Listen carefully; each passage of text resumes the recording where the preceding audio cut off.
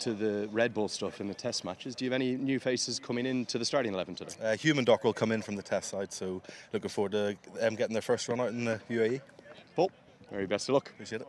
Okay, Paul Stirling winning the toss, choosing to have a ball first. Hashmatullah, what would you have done? Uh, Bismillah Rahman Rahim, being honest, uh, we wanted to bat first, so it doesn't matter now. Obviously disappointed to lose that test match. Are you coming back to a, a format here in the white ball stuff now you're, you're, happy with, you're comfortable with? You had a brilliant World Cup uh, in India last year. Uh, yeah, happy with the team. Uh, I know we lost the first test, but uh, it gives us a lot, a lot of lessons as a team. So uh, now it's time for ODIs. We playing good cricket from a couple of years in ODIs. So looking forward for today's game. Inshallah, we will try our best. You had four potential debutants in your squad. Have any of them made the starting 11? Uh, yeah, have we uh, yeah we have one uh, Ala Mohammad Ghazanfar who had a, a, great under 19 World Cup mm. recently. So he is part of the 11, and uh, I wish him best of luck, and I hope that he uh, uh, do well for the team. Looking forward to seeing his mystery spin, Hashmatullah. Best of luck. Thank you. Thank you. Okay, that's the news from down here at the toss. Ireland's captain Paul Stirling, he's won the toss, and he's chosen a ball first.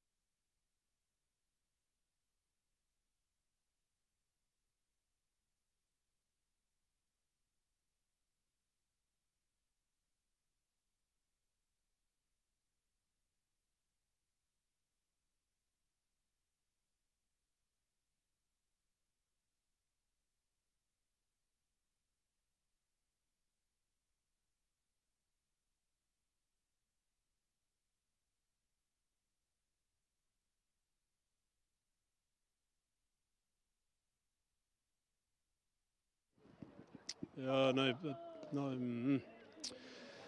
Okay. I can hear you. I can hear you. It's a little muffled, but I can hear you. Chats is very clear. I'm just worried about the levels once we get going here. Won't you boys speak? Just speak, Ahmed. Hi, can you hear me? Alan, Hazy, can- can you hear me, Hazy, through those lovely ears of yours? Lovely, gorgeous. Alan, just speak while Niall's speaking to me. Just count now. One, two, three, four, five, six. Great to be back in Sharjah. Al. Yeah, Alan. Alan, you. just chat to me while Niall's counting or something, just so I'm checking these levels.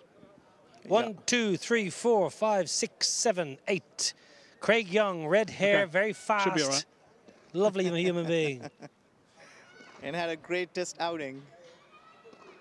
So, do you have an earpiece? No. Yeah, I do. Do. I do now. One, two, one, two. Hope I've got an echo. Echo, echo, echo, echo, echo.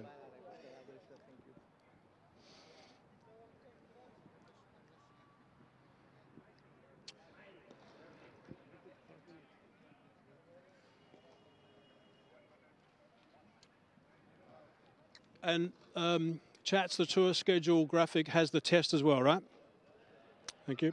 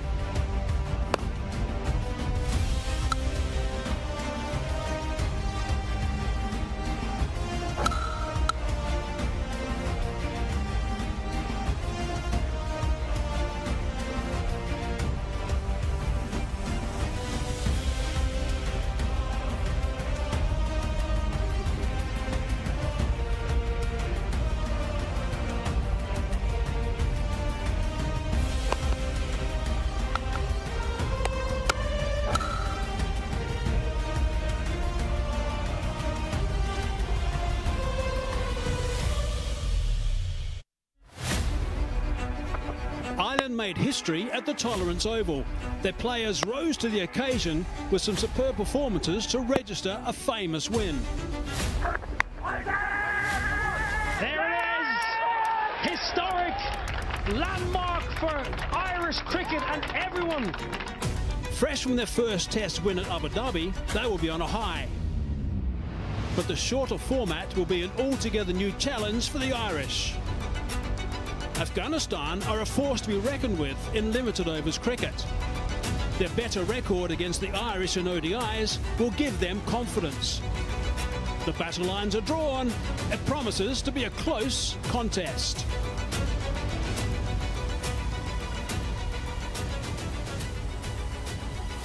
We are all set to go for the White Ball Series. What a series this is going to be. It's one day as to start with, coming to you live from Sharjah Cricket Stadium, Afghanistan versus Ireland. Now, let's just have a look at uh, what has happened and what's to come before we do go any further. Of course, we did it with that uh, only Test match, which Ireland won in historic fashion, their first Test match win, beating uh, Afghanistan by six wickets in Abu Dhabi. We're in Sharjah now, and we've got three one-dayers. The first one, of course, today, the second on the 9th, and the third and final one on the 12th. And then we go to three T20 games. That first one on the 15th, 17th, and also the 18th, the very next day. So all the six games coming up in the White Ball Series are going to be in Sharjah. Hello, everybody, and thanks for joining us. Plenty of sunshine in Sharjah. We're looking forward to this. It's going to be a wonderful series, and I'm sure Afghanistan are hurting a little bit after going down in that test match. Now, I've got uh, a gentleman alongside me, Ahmed Fadai, who has uh, joined us in the com team. Welcome. Thank you, Hazy. Just tell me a bit about that. What about the response back home in Afghanistan? I guess the team and the public are hurting about losing that uh, test match. Absolutely. Uh, good afternoon. It's a beautiful day out here in Sharjah, and hopefully Afghanistan will start with the win. Uh, they're certainly hurting. Uh, Afghanistan have not been able to win any ODI since the start of the 2024, and then on the back of that, losing to Ireland, that should really hurt absolutely. But and, and another thing is that it's even Stevens when you look at both teams, Ireland and Afghanistan. Afghanistan winning 16, Ireland winning 13. So it's kind of going to be a very tough competition. But I think Afghanistan has got uh, things properly tuned up for the one day. It's a different format, so hopefully a better game. We'll get more into that uh, shortly. Um, what about Ireland? Cock hoop, of course, celebrations galore, and well done on for winning that test match. But uh, they'll be buoyant going into this. The Hazer, they played so well. The fact that they outplayed Afghanistan from start to finish in Abu Dhabi, that was the most pleasing thing for me. You know, watching Ireland go about the business over three days, session in, session out, ball in, ball out, to dominate Afghanistan was massive. They'll take a huge amount of confidence. This is their strongest format. So Ireland should be very, very confident going into this series. They've played some wonderful cricket over the last, I would say, 18 months, 24 months, since missing out on qualification for that World Cup in India. So it's a building blocks. It's a stepping stone. Paul Stirling in charge. He's taking the team in the right direction. Righto, we are all set for this. It's going to be fascinating. Before we go any further, let's have a look at a bit of a preview. There it is! Historic landmark for Irish cricket and everyone. To win a test match away from home is, is a phenomenal achievement for any team. 110 runs seemed a, a, long way away in that innings. You know, 13 for three. There was a, it was a couple of tense moments, but to chase that three down on that wicket was, was an exceptional effort. The added benefit we have of, of playing against Afghanistan is we, we've played them quite a lot. You know, we've seen a, a fair bit of their bowlers. Um, we've played here against them as well. I'm sure the batters have prepared exceptionally hard and, and well against what's to come. I believe the wickets have been relayed since the last time we were here, but you know we've had a, a little bit of a trundle and a hit out there today. Um, and I think it's probably what we, we had expected. It looks a little bit less grass on the wicket. The test game, uh, it was disappointing uh, for us as a team. Now it's a history and we can't do anything about that. Only we can learn from it. We played a lot of cricket in Sharjah. They have made new pitches over there and still I can feel that the condition will suit us and uh, our spinners will be uh, good in this kind of conditions. We are preparing ourselves and we are trying our best to make ourselves 100% 100 uh, prepare for the ODIs. As a team, I believe that we have a good team in ODI cricket and we will try our best to win the series, inshallah. Righto, so both these teams are fired up and ready to go. Ahmad, let's go to you because uh, once again, Rashid Khan, we talked about the spin, of course, how important that is. Rashid Khan not here, might be here for the T20s, one or two of those, but what a blow, and how can they cover that loss? Uh, Rashid Khan's been an impact player. We know that. His economy is under five, which means that he doesn't give away a lot of runs. He takes wicket. He's an attacking bowler. So and all this has certainly left an impact on the Afghanistan team. We see from the results, Afghanistan not able to win any games. But I hope that Afghanistan will be able to bring into play uh, youngsters and, and, and hopefully alongside Noor, who's now been improving his game. He's been bowling proper line and length. We saw in the Sri Lanka series. So hopefully they, they will find ways uh, how they can tackle the challenge of the lack of Rashid Khan. And it's amazing how opportunities present themselves in that sort of situation. What about Ireland? What's their strength in your mind? Seam bowling, Hazy. They've got some quality seamers. Same in the test, right? Yeah, Terrific. very similar Hazy test match. It's just going to be disciplined. Mark Adair in the power play is an exceptional power play bowler. We saw him with that wonderful wrist position, swings the ball away, can swing the ball back in. So power play wickets is a definite opportunity for Ireland, and they've got a long batting lineup, a lot of all-rounders like Curtis Campher, etc. So a long batting lineup, excellent seam bowling throughout. And obviously, Paul Stirling is going to be a key player. Yeah, and he loves playing against Afghanistan. He's yep. one player that's actually dominated Afghanistan for most of his career, averaging over 40 in ODI cricket against Afghanistan. And he loves batting here at Sharjah, Paul Stirling. Okay, we'll look forward to that as well. You maybe not, but anyway, we'll see what happens. Maybe those spinners, the young boys, get involved. Oh, yeah. We need to find out more about the pitch. Let's go and check out what Tino's got to say. An hour and a half ago, the word I would have used to describe the weather in Sharjah today was rather pleasant. There was a breeze then, there isn't a breeze now, and it's about 25 degrees. It definitely feels a lot warmer than that, and it could be quite an uncomfortable afternoon for the players on the field. Right, today's pitch, which we'll come to in a moment, is number four, and it's right bang in the middle. The boundaries all the way around are 70, so nice and even for the batsmen when they are batting out here this afternoon. The other thing that I'd like to mention is how good and pristine the outfield's looking. Now, Sharjah's hosted a lot of matches over the last two or three months, and it's a kudos to the ground staff for the work they've done to make sure conditions are as good as they are today. Now, the pitches that were used in the ILT 20 here in Sharjah, which ended about a month ago, were very green, had grass, and they assisted the faster bowlers a lot. Today, we're looking at a surface that is the typical Sharjah surface from yesteryear. Very dry. It's got a sheen on it and a few cracks underneath, so that confirms that a lack of moisture in the surface. I don't think we can expect too much for the seamers in the surface. But if we take a closer look, what I would like you to see is the fact that it's not blades of grass that have been rolled into the surface. It's almost like dry roots. And I think that might just slow the ball up to the seamers. I think it might help as well to the spinners when they are bowling out here this evening. We might get some turn. A few things to consider here in Sharjah. Over the years, historically, it's a place that you want to be batting first and putting runs on the board. A lot more teams used to win then. But in the last 15 or so fixtures that have played here, it's been the reverse. Teams that have uh, not been batting first are the teams that have been winning here. So something for the captains to consider. Do you want to bat first on a surface that looks really good to bat? Do you want to bat second in a pitch that looks like we're probably in the outfield later going to get some dew? We don't have much of wind here today. That's what the captains will have to think about. Tino, conclusive. Thanks very much. Quick one to you, Ahmed. Uh, dew factor, would that be an issue? Yeah, there was dew yesterday. Okay, righto. So the players are going to have to look out for that a little bit later. The ball then skids on a little bit more, and therefore it's going to be harder to bowl. Of course, and easy to bat, batting second. Righto, let's go and find out what happened with the toss with Andrew Leonard. Well, after a fantastic test match up the road in Abu Dhabi, it's time for the ODI series here in Sharjah. It's Afghanistan against Ireland again. Of course, Hashmatullah Shahidi, joined by Paul Stirling and David Boon, the ICC match referee. Hashmatullah? Heads. Heads is called takes a bit of a turn. And it is a head. We're going to have a ball.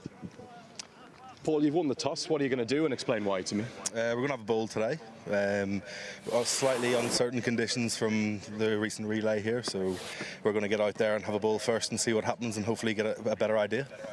Do you see this as the first steps on the journey to the 2027 50 over World Cup. Ireland hasn't been at one for 12 years. Is this all part of the process to get to that? I think it is, yeah. I think we started in Zimbabwe. We had three ODIs there, and then this is just continuing on from that. We had a couple of good results there, and I think the challenges just get tougher as, as time goes on. So another tough challenge against Afghanistan again. You've got a similar squad to the Red Bull stuff in the test matches. Do you have any new faces coming into the starting 11 today? Uh, Hume and Doc will come in from the test side, so looking forward to them getting their first run out in the UAE. Paul? Very best of luck. Appreciate it. Okay, Paul Stirling winning the toss, choosing to have a ball first. Hashmatullah, what would you have done? Uh, Bismillah Rahman Rahim, being honest, uh, we wanted to bat first, so it doesn't matter now. Obviously disappointed to lose that test match. Are you coming back to a, a format here in the white ball stuff now you're, you're, happy with, you're comfortable with? You had a brilliant World Cup uh, in India last year. Uh, yeah, happy with the team. Uh, I know we lost the first test, but uh, it gives us a lot, a lot of lessons as a team. So uh, now it's time for ODIs. We playing good cricket from a couple of years in ODI. So looking forward for today's game. Inshallah, we will try our best. You had four potential debutants in your squad. Have any of them made the starting 11? Uh, yeah, have we, uh, yeah, we have one, uh, Ala Mohammad Ghazanfar, who had a, a great under-19 World Cup mm. recently. So he is part of the 11, and uh, I wish him best of luck, and I hope that he uh, uh, do well for the team. Looking forward to seeing his mystery spin. Hashmatullah, best of luck. Thank you. Thank you. Okay, that's the news from down here at the toss. Ireland's captain, Paul Stirling, he's won the toss, and he's chosen a ball first. Andrew, thanks very much. Nice to hear from the skippers, Afghanistan. Ahmed, where do you go? Well, not a bad side. Uh, uh, I, I, like the inclusion of uh, Muhammad Ghazanfar, who's uh, uh, filling in for Mujib Zadran. We know he's been out because of the injury. Rashid Khan still missing. Noor Ahmed, hopefully he'll fill in for it. Quite a decent uh, batting lineup. Especially I like for them batting first because Rahmanullah Gurbaz and Ibrahim Zadran, every time they bat first, they put together a strong, solid partnership. Zafa in, 16 years of age. That's exciting. What about Ireland, uh, Niall? Yeah, very much tried and tested. Paul Stirling and Balbirnie, two very close friends, top of the order. That middle order, so powerful. Campher, Tector, Lorcan Tucker playing his 50th ODI today. Then you got some real all-rounders, George Dockrell and Mark Adair. Theo Van Woerkom, the left-arm finger spinner, gets an opportunity here. He'll enjoy conditions. That's a very strong side, well-balanced, Hazy. Right, Righto. So there you go. There's the uh, the lineups have been picked. Just a reminder again, it's three one-day internationals. Then we got uh, three T20s after that. Just behind us, you can see the uh, players uh, organised for the national anthems, and we're about to go and join them. Right, Righto. Let's go to the national anthems.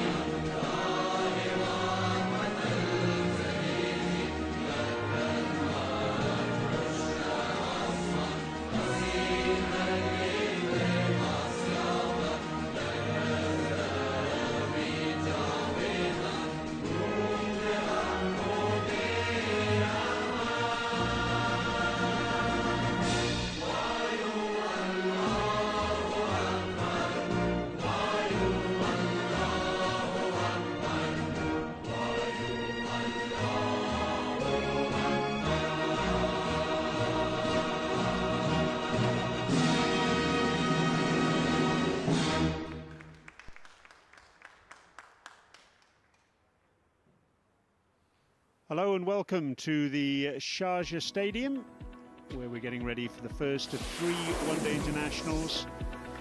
Here are the teams.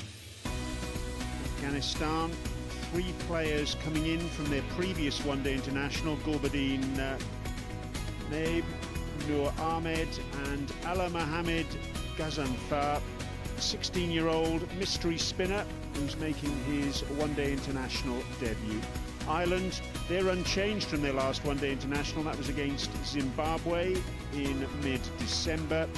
Out from the side that won the test match last week, PJ Moor and Barry McCarthy, and in from Graham Hume and also George Dockrell.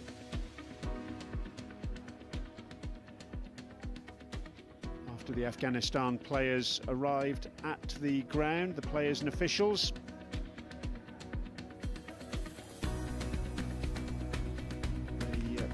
Prade ahead of today's match.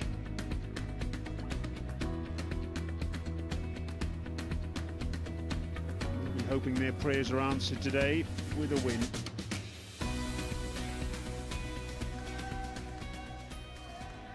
Toss then going to Ireland.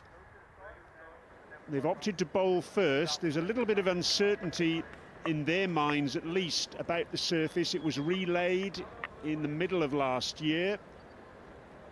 Tino Mawoyo alongside me. Tino, you've been out to the middle and had a look at the pitch. What are your impressions? Hello, Brian. Welcome to everybody who's joining us on this live telecast. Yeah, definitely when you take a look at it from here, you can tell not a blade of grass. when you get there, it's got that sheen on the surface, and I said that at the pitch report. So it gives you the impression that the ball will definitely come onto the bat. However, there is some dry grass and roots that's rolled into it. And I think uh, that might just slow the ball up a little bit, take pace out of it. Rahmanullah Gurbaz, who made his test debut in Abu Dhabi, such an exciting young player. Actually made his one-day international debut against Ireland in Abu Dhabi three years ago. And at the other end from him, another real talent with the bat. Ibrahim Zadran, he was so impressive in that test match. These two at the top of the order really have the potential to be dynamite. Talking of dynamite, Mark Adair, player of the match in the test match. Eight wickets for him, so he'll be absolutely chock full of confidence. Change of format, hopefully from his perspective, not a change of fortune. Two slips in position.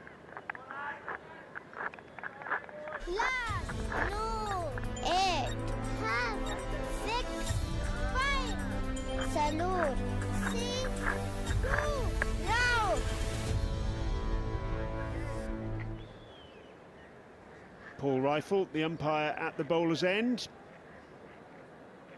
Gives us the signal. Play, he says. Here we go in this one-day international series. Or perhaps we don't.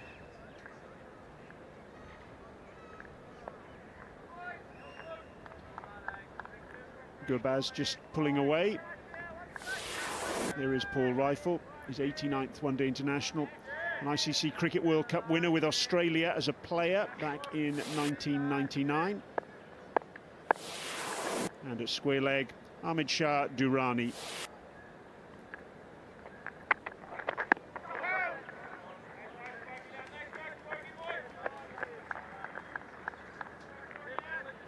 Leg by to get us underway.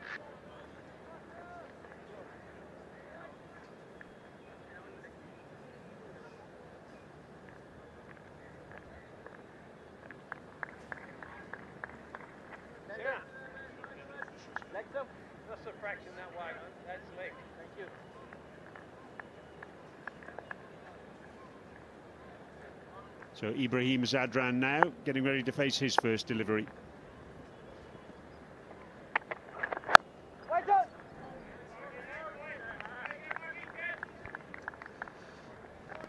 Two batters that are in good form for Afghanistan. Ahmed Shah Pakteen, the television umpire for today. David Boon, the match referee. Also looked over the test match in Abu Dhabi last week. Just getting his line wrong early on here, Mark Adair. What a performance from him, though, in Abu Dhabi in the test match. 5 for 39 in the first innings, followed up with three wickets in the second.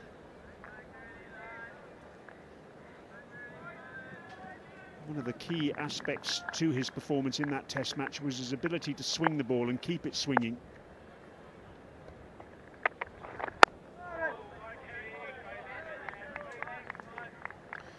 the other thing was his disciplines, the consistency that he had throughout the test match, both with the new and an old ball. And I think that's something that was outstanding about that surface. Even if the ball was older, he carried on getting it in good areas, then there was an opportunity for wickets and opportunity for chances to be created.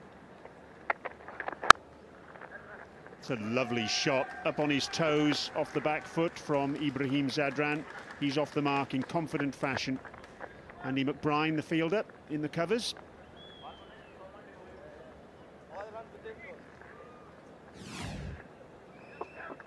Half century from Zadran in the first innings of the test match. And we saw a lot of similar strokes.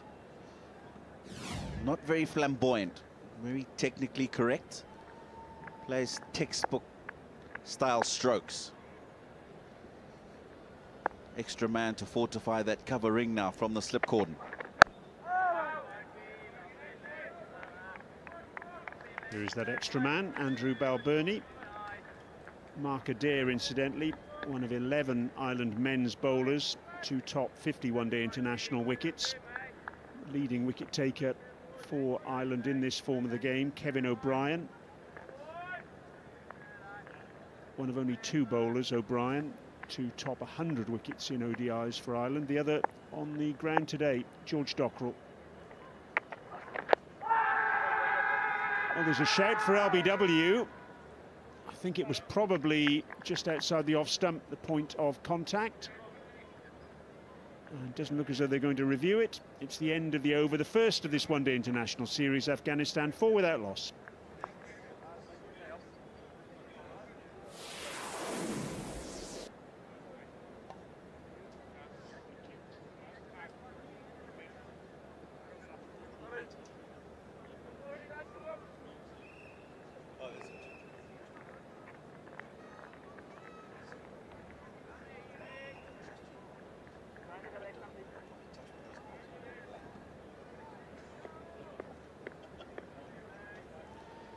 Afghanistan.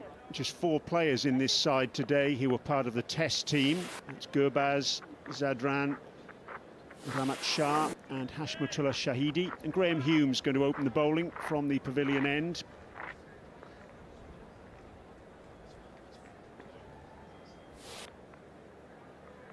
Should make the point as well. After that LBW appeal in the last uh, over, there are no reviews. There's no DRS in this one-day international series.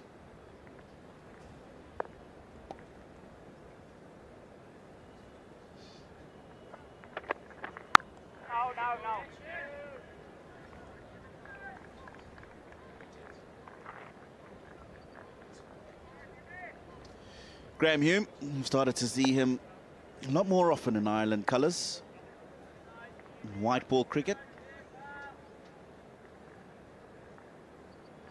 Steady. Grew up playing his cricket in South Africa and represented South Africa at under 19 youth level in the World Cup. Yes, that was back in 2010 in New Zealand. Graham Hume was actually South Africa's leading wicket taker in that tournament. 13 wickets. Made his senior Ireland debut in a one-day international against New Zealand in Malahide in July of 2022.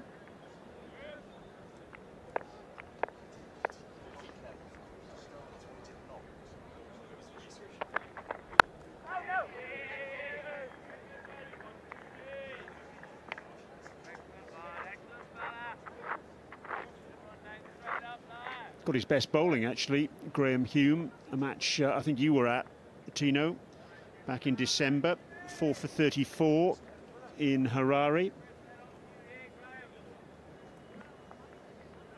He was tidy all throughout the series, actually. Didn't see a lot of him in the T20s. But he found the right lengths to bowl at Harare Sports Club. He got just reward for it.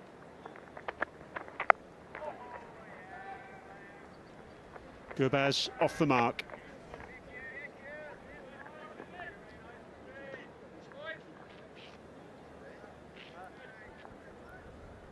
Gathering that throw, Lorcan Tucker making his 50th one-day international appearance today.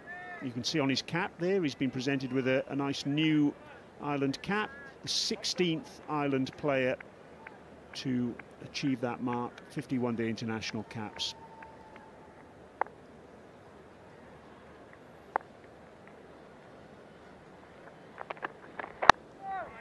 Well, Tino, you can see straight away Ireland have made up their mind about this surface. They started off with two slips. The second slip's come out very quickly, hasn't it? I was just about to come to that point, Brian Murgatroyd. And they did it in the first over as well. Four balls in, the slip's gone out. But I like the position that they've put that slip fielder into in the cover ring at a catching position. You can see Andy Balbirnie's there. Because, especially to Graham Hume, not much pace coming onto the bat. So you could very easily just pop one in the air. There is Andy Balbirnie, and that's the end of the over. Two gone, Afghanistan five without loss.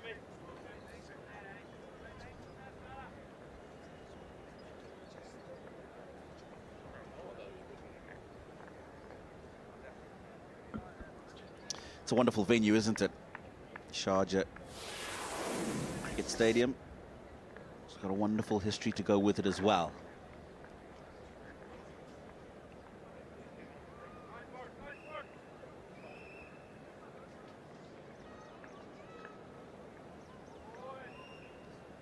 Ghazanfar, 16-year-old debutant today.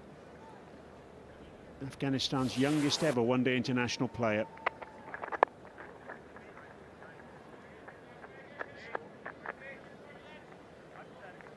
Incredible though, isn't it, Tino? The churn, the turnover from red ball to white ball for Afghanistan 10 players have come into their squad and 10 players departed from the different formats. Well, that tells you one thing, especially for one of the latest entrants into test match cricket. They've got a big pool to pick from. And that's kudos to the ACB itself for being able to get themselves in a position where they can do that. how many international teams around the world at the moment, Murgatroyd, including the top brass, have the luxury to change 10 players from one format to the other?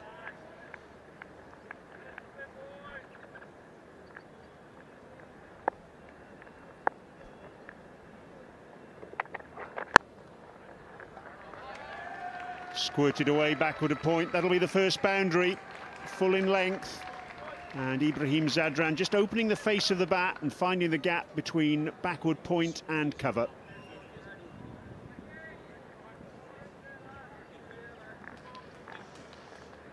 Yeah, a bit more pace on the ball from Mark Adair. It makes the shot a lot easier. You can see he's really waited for the ball, almost hit it behind him, and opened the face to get it just square of that cover fielder. Remember, there's an extra one in there. Successive boundaries. Adair correcting his line, going straighter. And Zadran whipping that one aerially through the onside, but he found the gap. Yeah, he found the gap and he did it with confidence as well.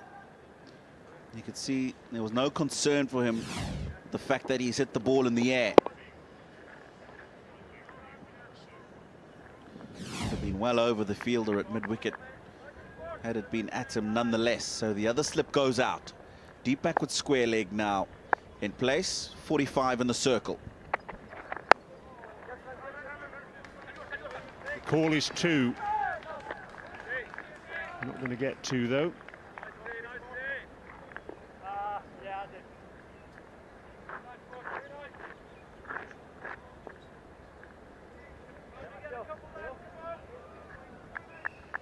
He received his test match debut in that test match last week and looked all at sea in the first innings but very different in the second fell short just short of a half century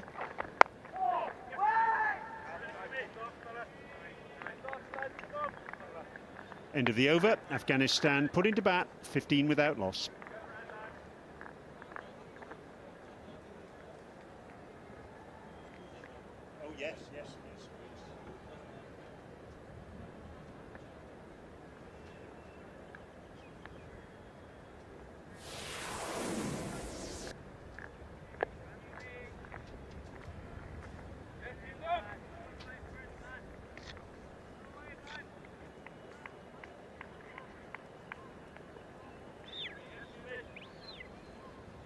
Here's the Ireland squad for this series. Neil Rock, the reserve wicketkeeper, and also Gareth Delaney coming into the lineup from the side that was victorious in the test in Abu Dhabi.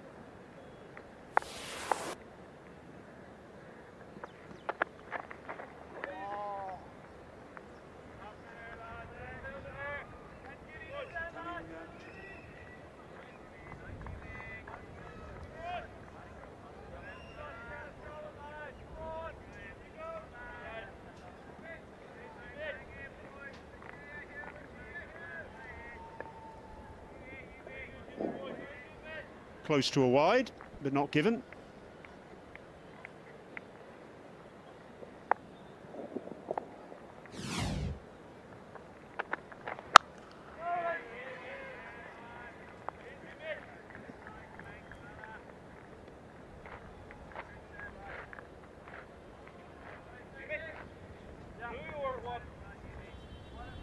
Nur Ali Zadran retiring from cricket.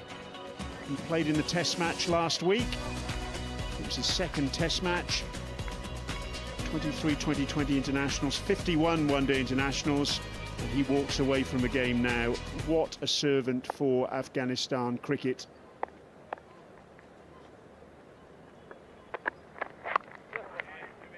One of the true pioneers for cricket in Afghanistan. He was part of the squad that played in ICC World Cricket League Division 5 against the likes of Germany and Japan back in uh, 2008. And, do you know, Ireland's first ever game against Afghanistan, he faced the very first delivery. That was in the World Cup qualifier in South Africa in 2009. And on top of that, he's got one international 100, and it was on this ground. It was against Canada in 2010. Mergers, you keep rolling it off your tongue. You could probably tell me what colour socks he was wearing in that first game as well. Grey Marl. Most of them are. Yeah, wonderful servant of the game for sure. I think extra special that you talk about where he came from, 2008 and Cricket League 5, to be able to go through all those years and go and play the pinnacle of the game, test match cricket as well for your country.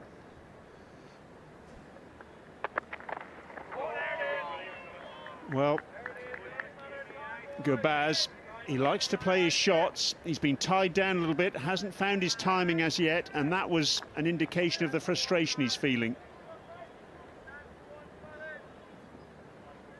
This ball also kept a little low too. Yeah, it did. It was your normal seam-up delivery, going through to Lorcan Tucker on the second bounce.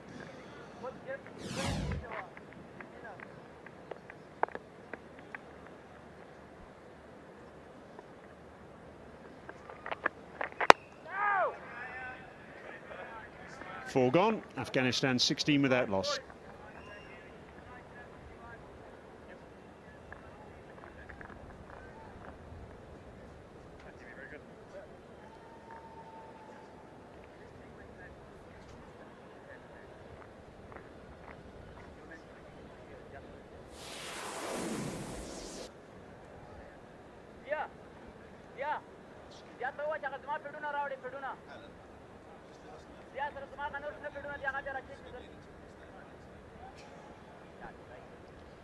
There's the Afghanistan lineup for this first one-day international.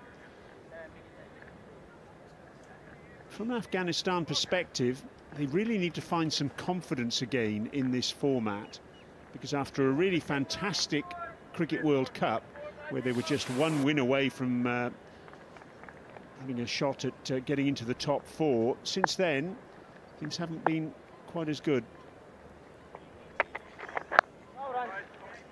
They were whitewashed in Sri Lanka last month.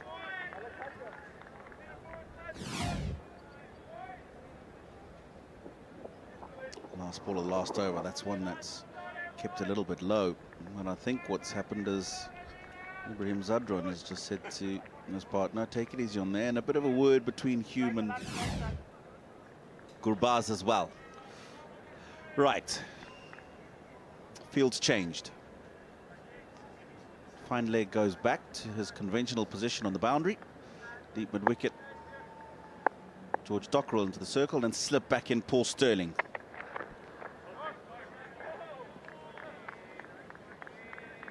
Well, I mentioned that uh, Afghanistan have been struggling in this format of late.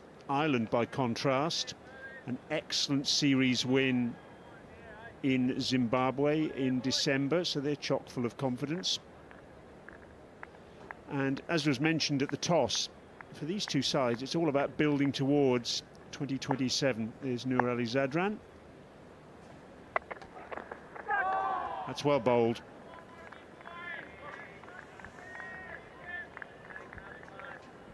Nice. I like that. More so because after the change of field, he's bowled the line outside the off stump. The ball before he thought about playing and let go. This one he's played at and it's just snipped away. If he does get that outside edge, he does have the catcher in place at slip. Good disciplines, good plans by the Irish.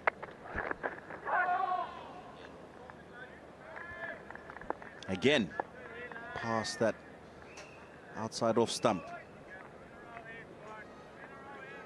Just concerned that where Paul Stirling's standing, he's not at your regular first slip position. He's quite uh, wide, almost at two and a half slips. There's Nur Ali. Wonderful career. But It's in the rear view mirror now. Again, really good bowling this from Adair. He'll know he's up against one of the most uh, prolific opening pairs in one-day internationals over the last couple of years. Ibrahim Zadran and Rahmanullah Gurbaz. Four stands of 100 or more since 2022. Only one pairing has been better than that, and that's uh, Rohit Sharma and Shubman Gill with 500 stands. End of the over, that's a maiden from Mark Adair. Afghanistan 16 without loss.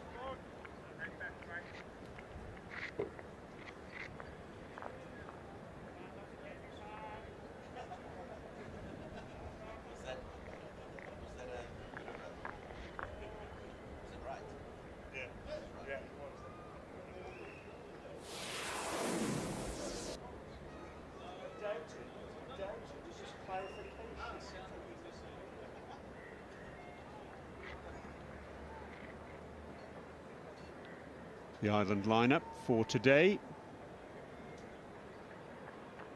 George Dockrell and Graham Hume in. They're the two changes from the test side. Players missing out PJ Moor and also Barry McCarthy. Hot work out there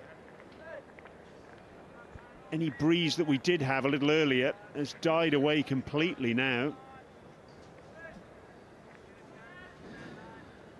Yeah, earlier on, temperatures didn't seem so warm because there was a bit of a breeze. That's gone.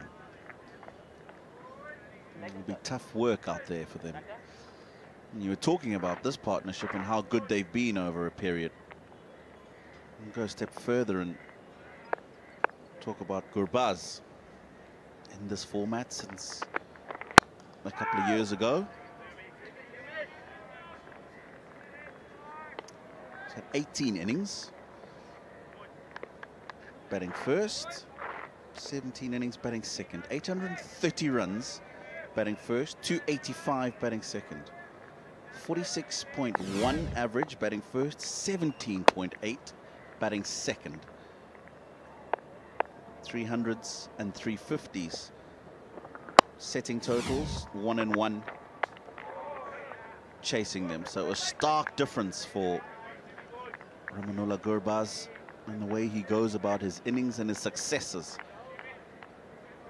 in one-day international cricket. And the one thing that would stick out for me is the fact that he's got a lot more freedom, no scoreboard pressure when he's batting first, so plays a lot more free. Doesn't feel he has to keep up to a certain rate.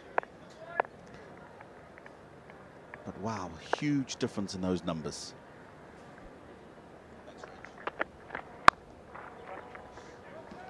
That's Gurbaz at his best. Slashing that ball away, backward a point. It's his first boundary, and he's got himself moving. I think he's realised that Graham Hume's not quite coming onto the bat as quickly as you would expect. You can see how backward the point is, but he's had to wait and wait to get it even finer. That's well played. Outfield's quick.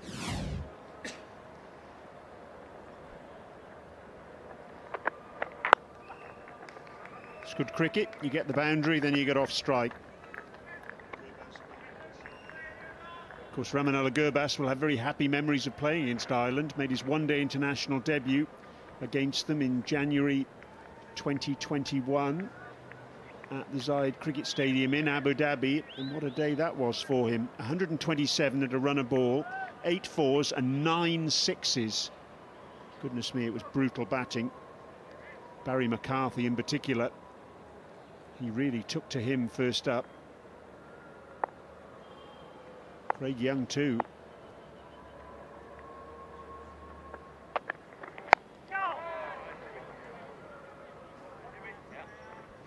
Skews off the outside edge. It's the first time we really see him try and play a full-blooded drive through the offside. And the other strokes he's played up until now have just been your check drive. And that I'm sure will be as a result of that extra cover field where he's realized he can't just punch the ball as easily through the gap. He's got to try and be a little bit more forceful.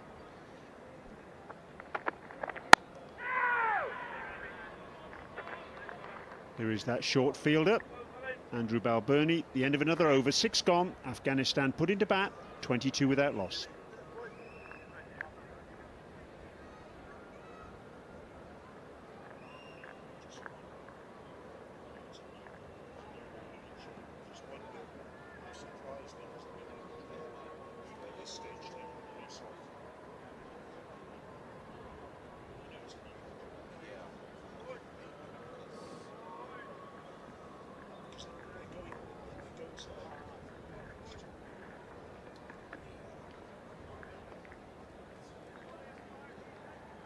First of three one-day internationals, this one, with three 2020 internationals to follow, all in the space of 11 days here at the Sharjah Cricket Stadium.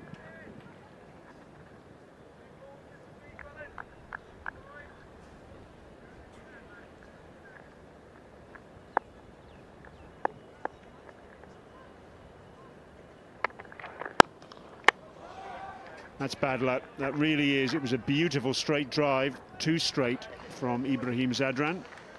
Well, the coach would have been very happy when the ball came off the bat, but won't be happy with the result. You don't have to hit it that straight. This is beautiful. Slightly overpitched. You can see the reaction.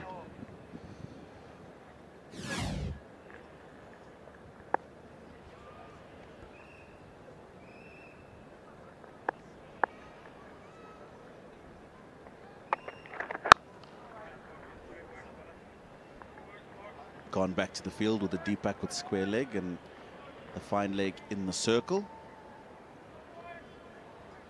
Taking away the slip as well.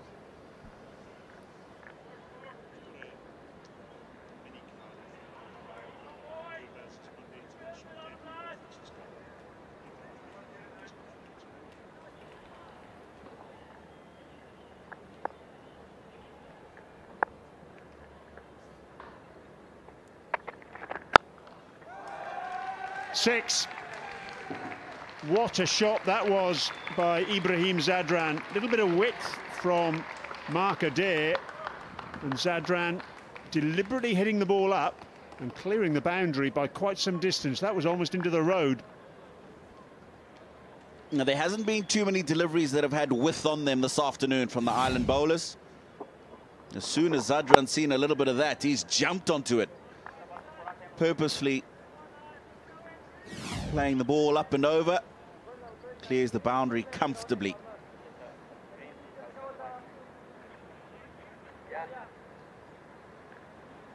First six of the innings for Afghanistan.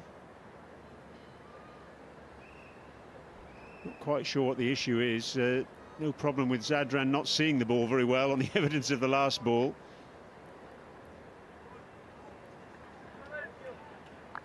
The uh, black covering over the side screen just rippling a little bit.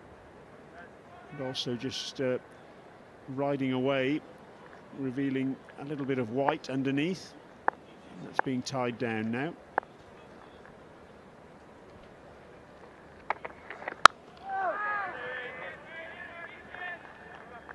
Making a lovely sound off uh, Ibrahim Zadran's bat, this ball.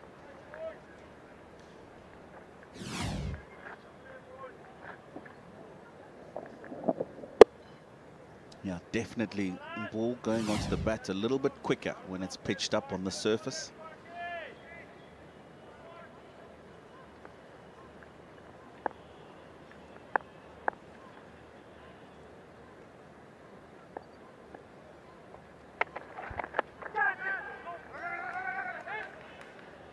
Leg by. Good running.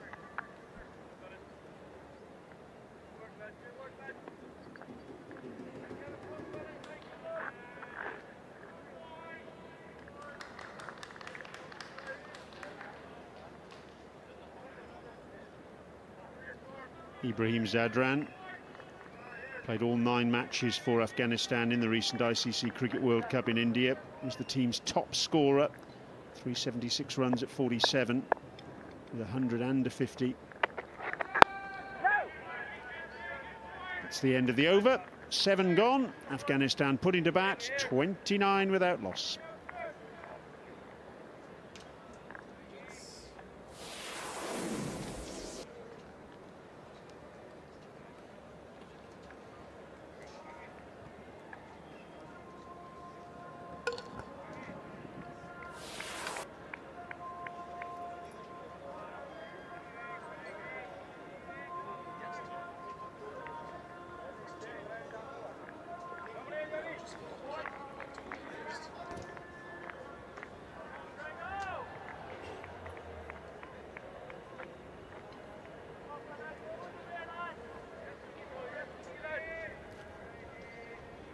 Very solid start for Afghanistan, having been asked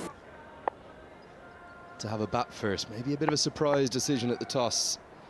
Paul Stirling didn't seem to know what to do as he's going to make his first bowling change. Ireland's white ball captain now, having taken the reins permanently from Andrew Balbirnie, who we saw still captaining in the test match format for Ireland.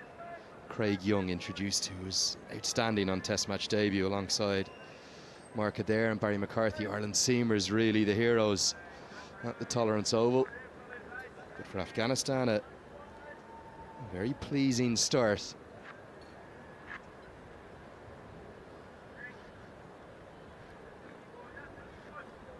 Having been inserted. to have a bat first. Got Devender joining me. Firstly, very good afternoon to you. Great to uh, switch formats and great to be at this historic venue. Very special Sharjah. Good afternoon, Andrew. Good afternoon to everyone tuning into this broadcast. It's a lovely day here at Sharjah. Thrilling cricket, that's what they expect when uh, Afghanistan play against uh, Ireland, particularly at this venue. So far, discipline from bowlers and batters as well.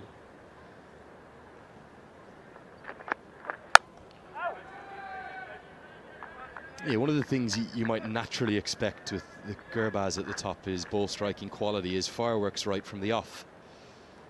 Seeing a little bit of a drift away from that in recent times, though, with the two white balls in operation in the 50 over game. A lot of openers now are, are evolving their game in the 50 over format compared to what we'll see in a T20 power play. In fact, the six overs of a T20I power play are very contrasting to the 10 overs of an ODI power play. Inside edge and fortune, good glove work too from Lorcan Tucker. So we may not see those fireworks yet, but there's every chance that Gurbaz and particularly Ibrahim Zadran may still go on for big scores. Almost chopping that one onto the stumps, just coming back off the seam on that occasion from Gurbaz. Also not bouncing to the expectation of the batsman as well. It hasn't been that bouncy surface. Low bounce,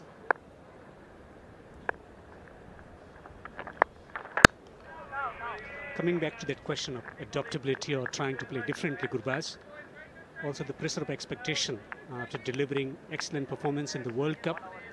It's about living up to the expectation in order to attain consistency in his batting. A lot more expectation from the people back home, from the team as well. The kind of talent that he possesses as a batsman.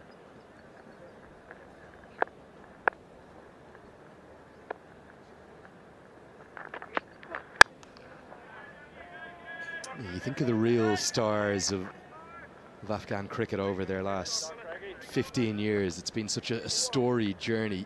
You tend to think of spinners and all-rounders, the likes of Nabi, and even those that have done a bit, you get to the end of the eighth over, 30 for none. You think about guys who are not necessarily out and out batters, guys who will contribute with the bat. The two men opening the batting here maybe have a real chance to change that, don't they? Still they will be thinking about having more all-rounders in the side given the dimension and requirement plus the kind of surfaces that they get these days.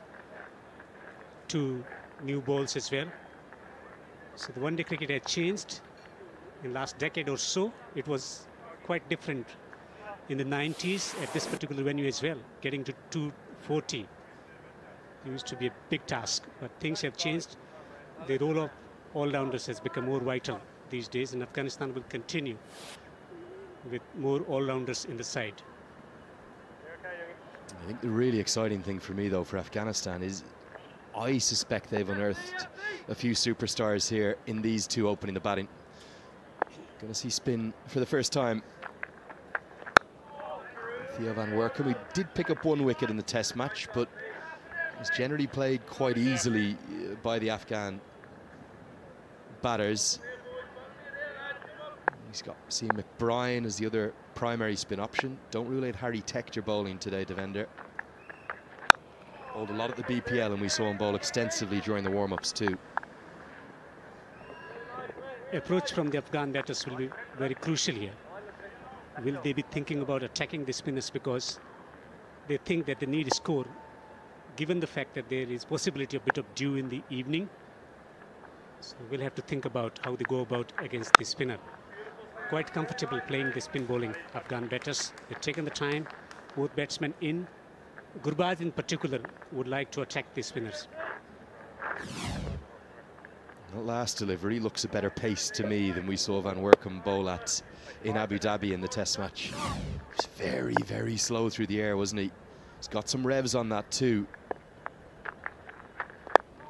No immediate purchase of, of significant note, but that looks a much better pace and one that will challenge the two right-handers. Slip in place, Stirling on the attack. He wants the first wicket. Definitely better revs. More action on the ball from Van Woerkom. Looks a different bowler, doesn't he? A few days on. He's bowling beautiful length at the moment, attacking the stumps as well. trying to get something to work with with his uh, ball revolution. Down the track, not quite connecting it. Fieldsman settling underneath, and the catch has gone down. Reprieve for the batsman, and it's going to touch the boundary ropes for four. Well, of all people, you wouldn't believe it, Curtis Campher. I don't remember him dropping many catches. He's put this down, gets us to the end of the ninth, 35 for none.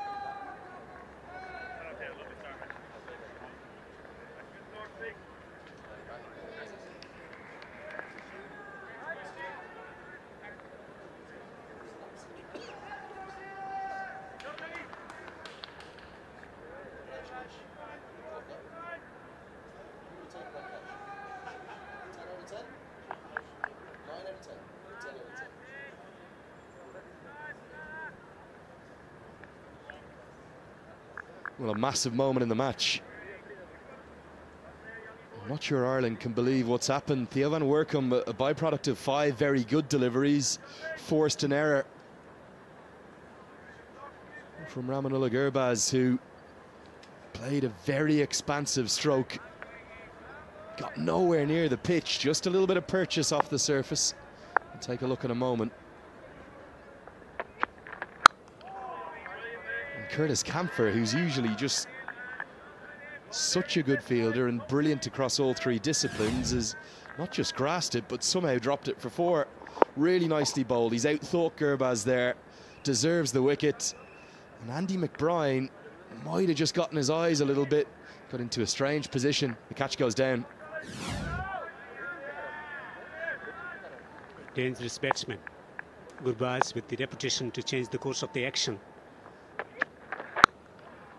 Works through the onside, more runs here.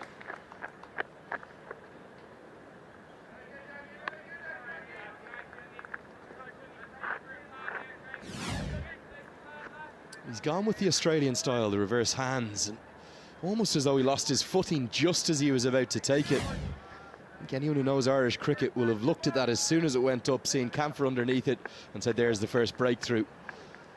I reckon you could hit that to him 100 times, you'll take it probably 99. I think this has come off the pad, not the bat. That's the initial indication. Tucker's glove work a little tardy down the leg side, though. Gurbaz living a touch dangerously. He's taken 25 deliveries for his 11. Looking to attack the stumps, Young. That's off the thigh pad. Down the leg side, just drifting in his line. 11 of 25.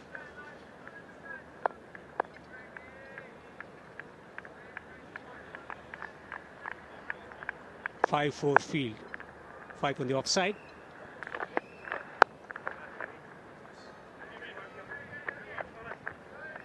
There'll have been a few Irish fans wondering what the response will be from Ireland to the success, maybe the unexpected success of the Test match in terms of five days between because the Test match only lasted three. But after all the emotions, the exultation, we heard Paul Stirling at the pre-series press conference yesterday said, yes, we did celebrate and we deserve to celebrate. They've actually been pretty good for the first 10 overs. They should have had the first wicket there. Can scarcely believe that catch went down, Devender. There too, on a historic occasion, 200 ODI for Ireland. The lines and length, lengths have been phenomenal from Irish bowlers attacking the stumps, given the fact that there isn't much of bounce on this particular surface. Attacking the stumps, and they've been able to hit the right lengths as well.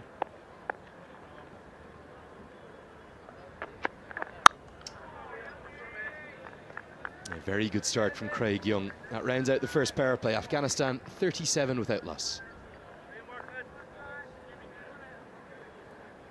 So going back to that discussion about the two new balls and the evolution of the white ball game, 37 for none, having lost the toss of position, Afghanistan be happy with. They will be more than happy where they are currently at the moment, given the nature of the surface. But with the spinners in operation, I think they will be thinking about, about playing attacking cricket.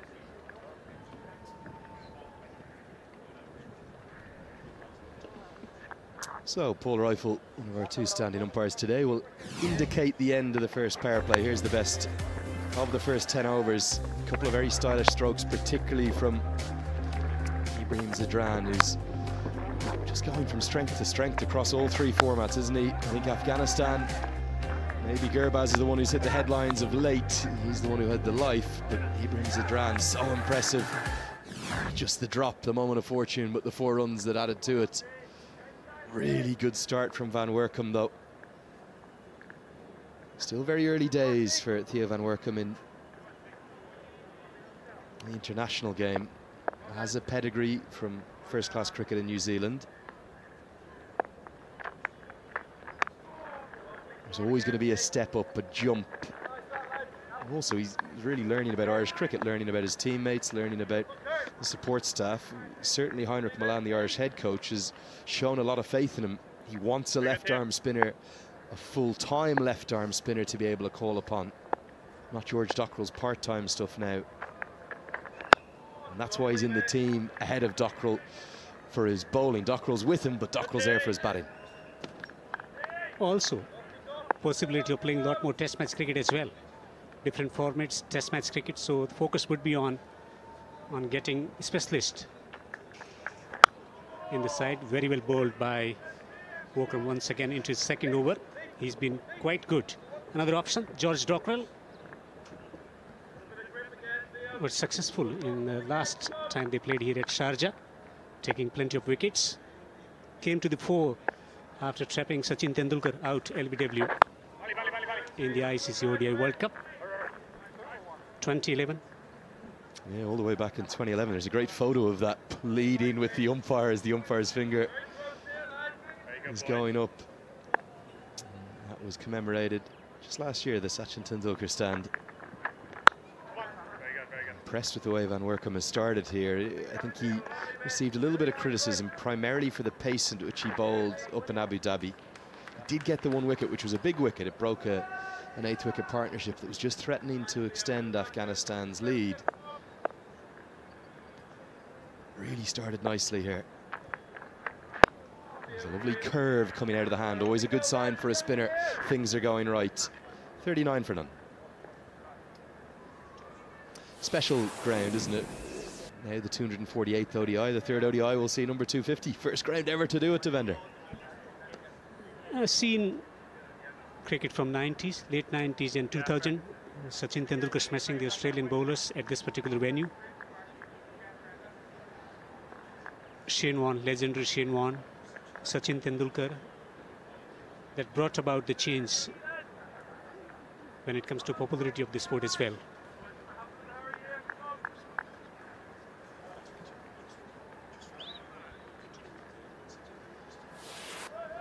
I really do love this venue. You can almost feel the history seeping out of the walls.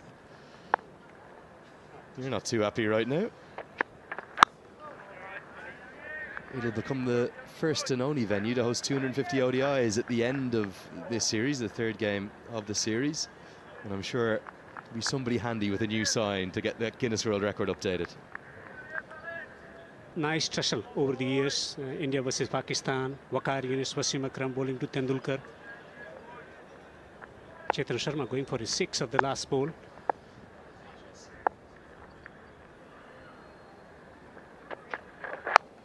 Plenty of superstars from various parts of the world participating in ODI cricket and popularizing the game. Historic venue, iconic venue. They used to play with just one white ball, not two balls, which changed the way we perceive the one-day cricket. And also the contest, the level of uh, batting and bowling efficacies as well.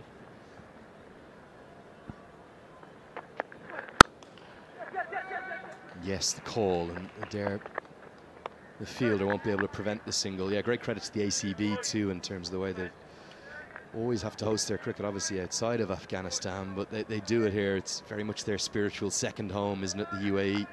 And this venue in particular, we're expecting really good crowds for the T20s that will follow this to return, the rumoured return, that is, of a certain man, Rashid Khan. Mm, love to see the passion from the Afghan fans always. We love you, Afghanistan team, and we miss you. That man I was just talking about, Rashid Khan. We saw a landmark a few days ago for Afghanistan with their 300th international across all formats. Ireland today, their 200th ODI. And these rivals, they certainly know each other very well.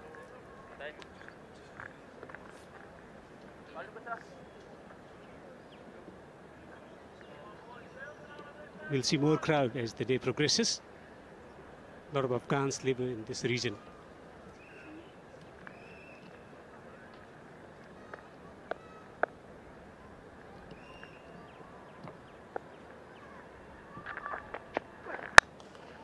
Sweetly timed. They will take a run. The fumble will prompt them to take a single. I think a pretty good hand from Andy Balbirnie there. For me, that's probably maybe three runs saved as opposed to one given away. I'm not sure there was a more elated man anywhere in the United Arab Emirates on Friday. He was out there for the winning runs. He didn't get to hit them. I don't think he minded that. His mum and his dad were there. And the outpouring of joy, really, from the Irish community at winning that first ever test match. Very evident to see, really was. And something that I think Balbirnie did really well in the moment was, was explain that it's not just about the 11 that were there on the pitch for Ireland, but those who came before them. Gave plenty of messages to the likes of Ed Joyce and John Mooney, Trent Johnston, the former captain, William Porterfield, all of those who played a huge role. And even looking back to the team in the 80s and 90s before Ireland really played any kind of regular international cricket, they used to play kind of guest fixtures against touring teams and the like. It's just guided away very fine and he's going to get four. He's played for this. Good skills from Ibrahim, a boundary to round out the 12th. 46 for none. That journey for Irish cricket, it's really shadowed Afghanistan's one, isn't it? there's a much longer standing history in terms of length of time for Irish cricket. It dates back several centuries, but the recent progress they've made and that historic test match victory in Abu Dhabi, it'll never be forgotten. It'll be in the books for eternity.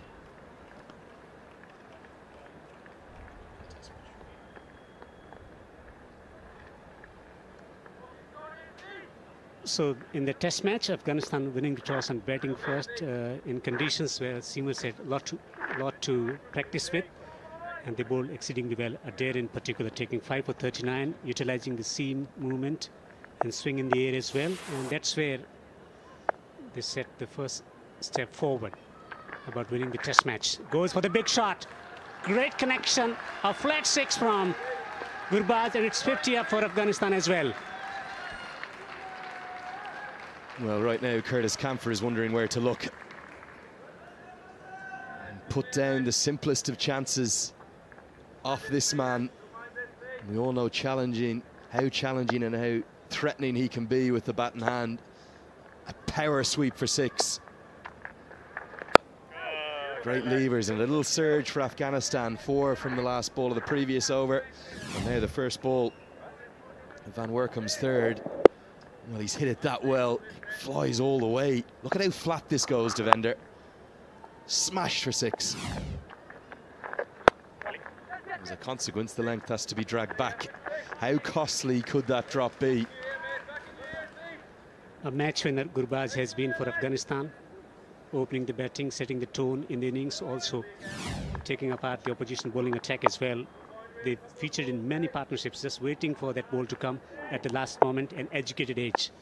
Spent a lot of time, plays the ball late, made a fine connection to get it fine to third man for a four. Yeah, that was the last ball of the previous over off Craig Young. There's no way that was an edge. That was intentionally played for, expertly guided. That's been the 50 partnership thus far. Ibrahim probably the more comfortable of the two. They want the quick single. Harry Tector comes in quickly but can't prevent it. Two very special right-handers, these two. They're great to watch the way they go about their business and they've got a good understanding of each other as well. They've been playing together from under 16 days. come from the same province as well, Khost in Afghanistan. Different nature though. Gurbaz is an attacking batsman. Ibrahim is methodical when it comes to his approach towards playing the game. Plays it defensively, a boundary, a six coming from this over. 13 gone, 54 without loss.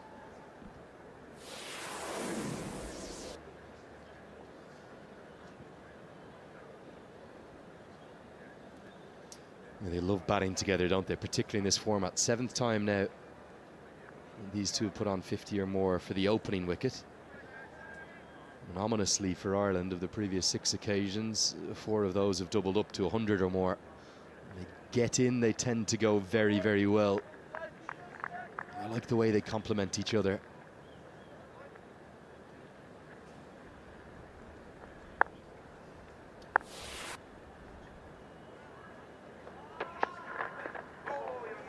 Just a few keeping a touch low that will maybe encourage Ireland. A lot of talk about the surfaces always in, in Sharjah, and obviously we have had so many of them relayed here, but always the ground staff, the Croatian team here do an outstanding job. Yeah, maintaining pitches uh, in atmos atmospheric conditions where moisture content hard to keep for longer period of time. They've been doing fantastic job. Work through the onside. Also, two 200 plus partnerships in one-day cricket in uh, recent years. 256 versus Bangladesh and 228 against Pakistan at Hambantota. Yeah, and a remarkable job done by Mohammed Jamil, the head curator and all his team. It's been here since 1981, the head curator, so nobody knows these surfaces better. One more look at this this drop chance. Where, where did this go wrong, Devender? Campher, you'd have expected to take this. Look, Gurbaz thought he was gone. Took it easy, eventually just losing the sight of the ball at the last moment when he was about to grasp the ball. Campher. And you could see the reaction, you could expect that reaction from the bowler as well.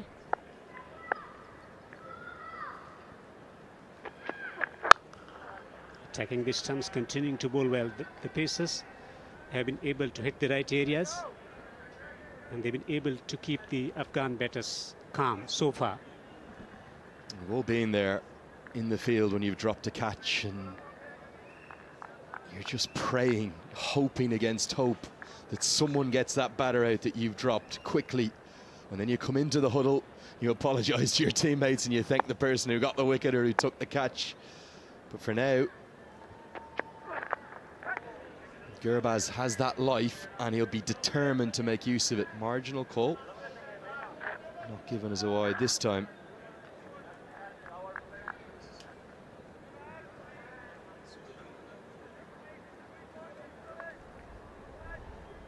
Just losing his, his patience at the moment, Ibrahim. A couple of false strokes in this over. Is this going to be maiden? Three men on the boundary, men at the point on the boundary, third man on the boundary, fine leg and four rather, one at the square leg as well. Good delivery coming back into the right-hand batsman, a maiden 14 gone, 54 without loss Afghanistan.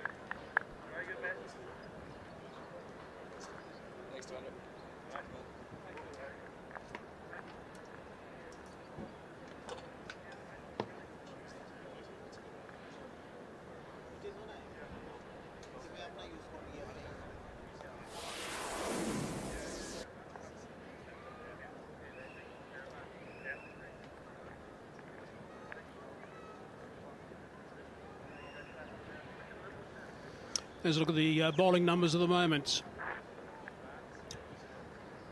Young has done a very fine job. Four overs, none for 10. Afghanistan will be quite happy with this scenario, going at a shade under four to the over. And they should have lost that wicket. The boys have uh, talked enough about that. Should have been swallowed. End of story. And unfortunately, uh, for Ireland, it wasn't.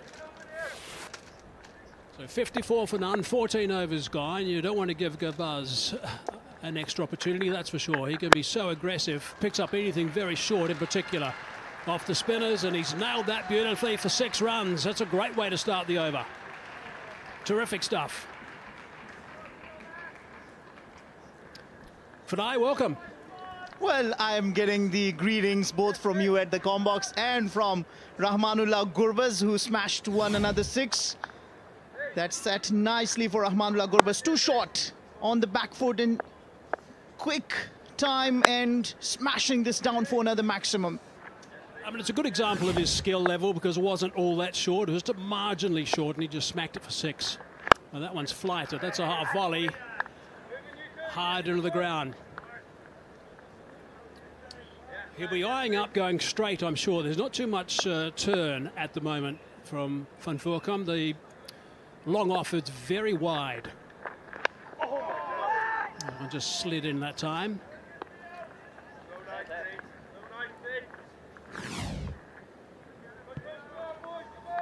Yeah, that's the second Rahmanullah Gurbaz. In both the occasions, he's charged against the spinner who created that opportunity. He was dropped at seven, you mentioned. How often it is that you get a life and then you can cash it out and spend time out in the middle and go big. Important is that these two out in the middle have converted their 50-run partnership four times out of six to 100 and more. This time around also looking really good. Afghanistan need a strong partnership Yeah, they're fine players, and they've done this so often. That's the nice thing about uh, this start for Afghanistan. It's not a flash in the pan by any means. Average opening together has been 45 before this game, and they're 62 at the moment. They're both flowing beautifully. They're just uh, both perfectly in rhythm with this game right now. On a track which is offering very little to the bowling. That's all the spinners can look to do is look to vary things a little bit from delivery. Wide of the crease that time from Van Woerkom. Just the single, 63 for none.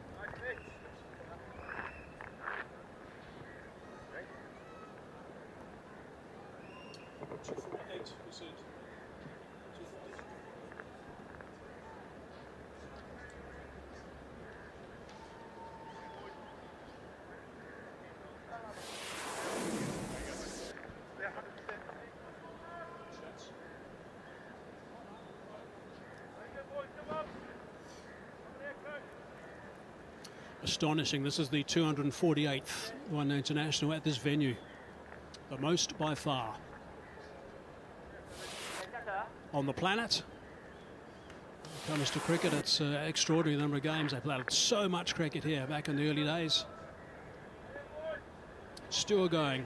As the boys before us were talking about, uh, Andrew was talking about the tracks have been relayed. And there was certainly some grass during the recent T20 tournament that was played here, but not today. It's going to be hard work for the Seamers. I was a little surprised that Ireland won the toss and elected to bowl first. Strong shot, no run. Well, I think they look at the stats and thinking that maybe there'll be dew factor. We talked about it earlier, and they might just come into play and help the batters play with ease. And you also, if you look at the stats, uh, the team batting second have won six matches out of four out of 10 matches. So it just kind of gives you the motivation. And then if you talk about Ireland, how often do you see them winning the toss and they always want to prefer bowling first? I think I mean Paul Stirling in the toss, and I hear what you're saying, and, and, the stats do say that batting second is the is the way to go. But Paul Stirling, not once of the toss mentions the factor. He didn't discuss that at all. So had he done that, I, I agree with you. I don't think, and that's beautifully played. It's a lovely shot, all on the carpet for four. It's a nice shot solid drive. I mean, the good thing for Afghanistan is that Rahmanullah Gurbaz is finding his rhythm. He was struggling, he was dropped at seven, he was not able to middle it nicely, but how well he is cashed out that on. Look at this. It was full and beautifully driven. It's always very important that you play it away from the fielders and score quick boundaries. That's nice to see. They've stepped up this rate too nicely. Gurbaz is calling for two. Going to come back for the second. This might be tight if it's a good throw. Big dive. Good desperate dive for Gurbaz. I like seeing batsmen do that when they know it's tight. Sometimes you don't, and they're out by uh, a matter of centimetres, but uh, Gurbaz is taking no chances. Well, I like the intent. I like the energy. Afghanistan have certainly started slow, and that should be on the back of a defeat in the test match against Ireland. But it's important that they didn't lose wicket, and this quick run between the wicket will tell you that now they are getting into the rhythm, they are getting into the momentum. When we started, you and I, that run rate was uh, at 3.85. Now it's suddenly gone up to 4.4. So they've stepped on the gas pretty well the last literally two overs. 69 for none. Interesting position.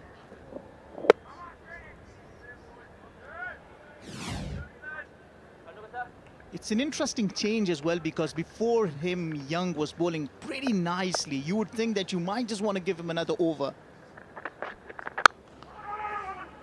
Quick single. Good running out of the blocks very quickly. Trusting each other. 70 for none.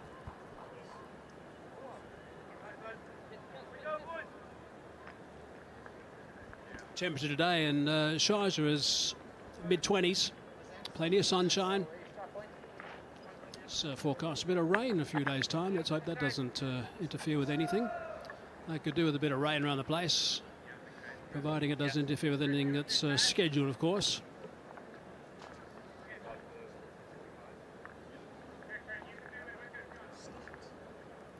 Quite pleasant too. Bottom uh, left, humidity 51%, just a little bit of a breeze. No rain expected today. Mid 20s, just ideal.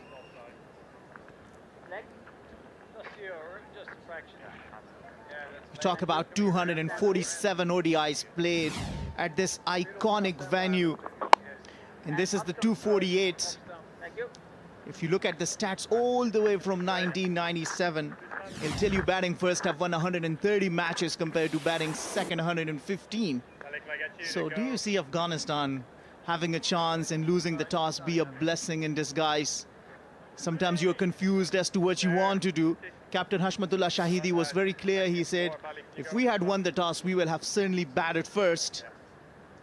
But how it will come into play. I think the first game of a three-game series, if you bat well, if you've got a, a, good batting lineup and you bat really well, suddenly it's going to put pressure on the opposition. Obviously, you're going to have one or two inexperienced spinners involved. The fact that Rashid Khan is not involved in this one-day international, nor the next two, that's going to be a little bit of a, a test. But if you bat well, as these guys are doing at the moment, you can get yourself a, a nice big score. They're on path that at this stage. It's been really good work. Yeah, absolutely. And this is not a bad batting lineup for Afghanistan. Gurbaz and Ibrahim Zadran. And then to follow Rahmat Shah, Hashmatullah Shahidi, Azmatullah Omarzai has been playing really well at number five. No more Najibullah Zadran in place. They have brought in Gulbadin Naib. So quite a strong batting lineup for Afghanistan. They need to keep wickets and can target the last overs. McBrine doesn't give the ball much uh, air. Since the start of uh, 2022, Ireland have batted first after winning the toss only once. They've chosen to chase on 15 occasions. There's the lovely trophy, by the way. That's a beauty. Three-match ODI series. The Test trophy was outstanding. I'm sure we're going to have a beauty also for the T20 series.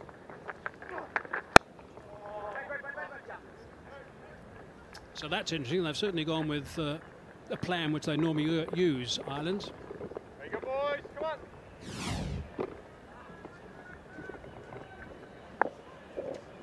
Well, certainly on a very flat wicket in Zimbabwe, they chose to bowl first, winning the toss.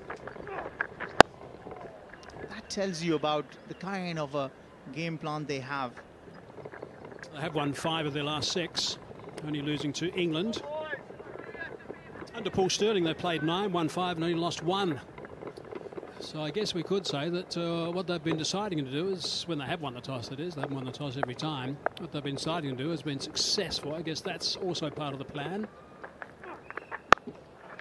It's a pretty tidy over, just four from it, 74 for none.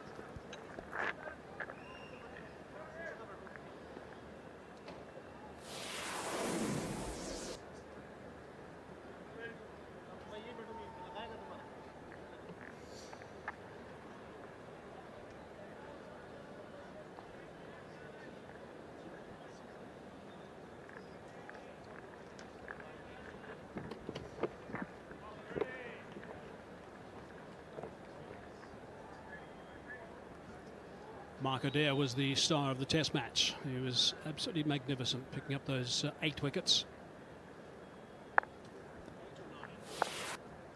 Started the proceedings again today with four overs. Short, Campher.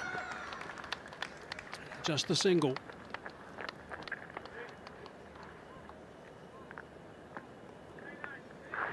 Yeah, and I still don't understand why Craig Young was not given just yet another over because he'd already put pressure onto the batters. Remember, the previous over he bowled, I believe, was a maiden, and he's only given away 2.5 runs in each over. Four overs he's bowled.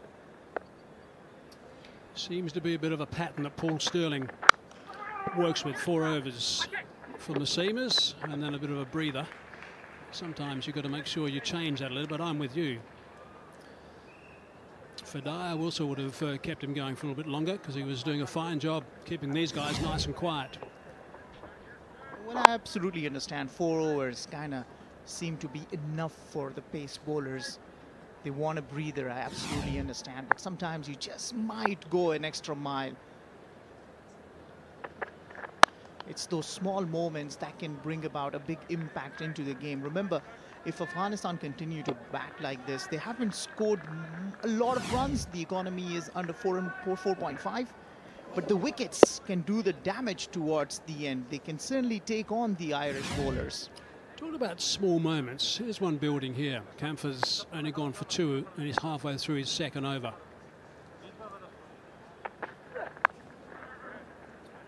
Runs that.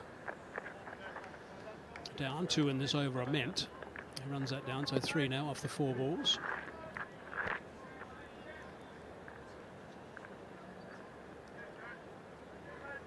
Six bowlers have been used by the Irish captain Paul Stirling.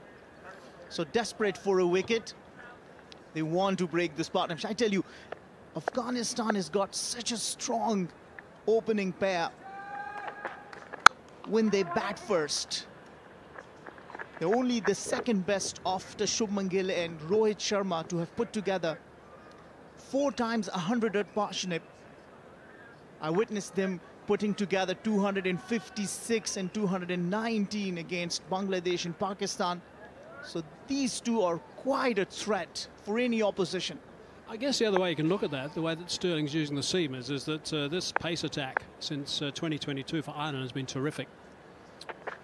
When it comes to uh, average per wicket taken in one internationals, third on the list between behind India and Pakistan. So he's got guys he can spread it around with.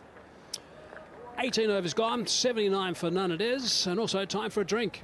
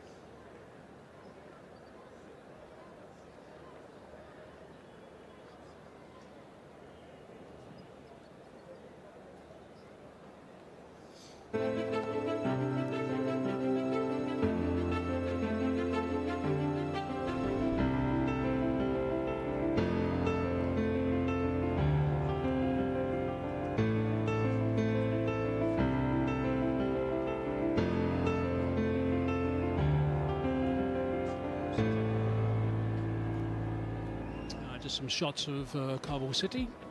We showed you some nice shots of Afghanistan during the Test series as well. Continue doing that during the one-day series and also the T20s. There's a look at the story so far. 79 for none it is. Gurbaz's not out 40. Ibrahim not out 35. They really have played nicely. In a, uh, a percentage of boundaries, they uh, took a little bit of uh, time to get used to the slowness, I think, of the surface, the lack of movement off the surface. That was good from Gurbaz. He's played that shot many times throughout his career in white ball cricket and that one as well. I've seen him uh, play superbly in many formats, even the very shortest one.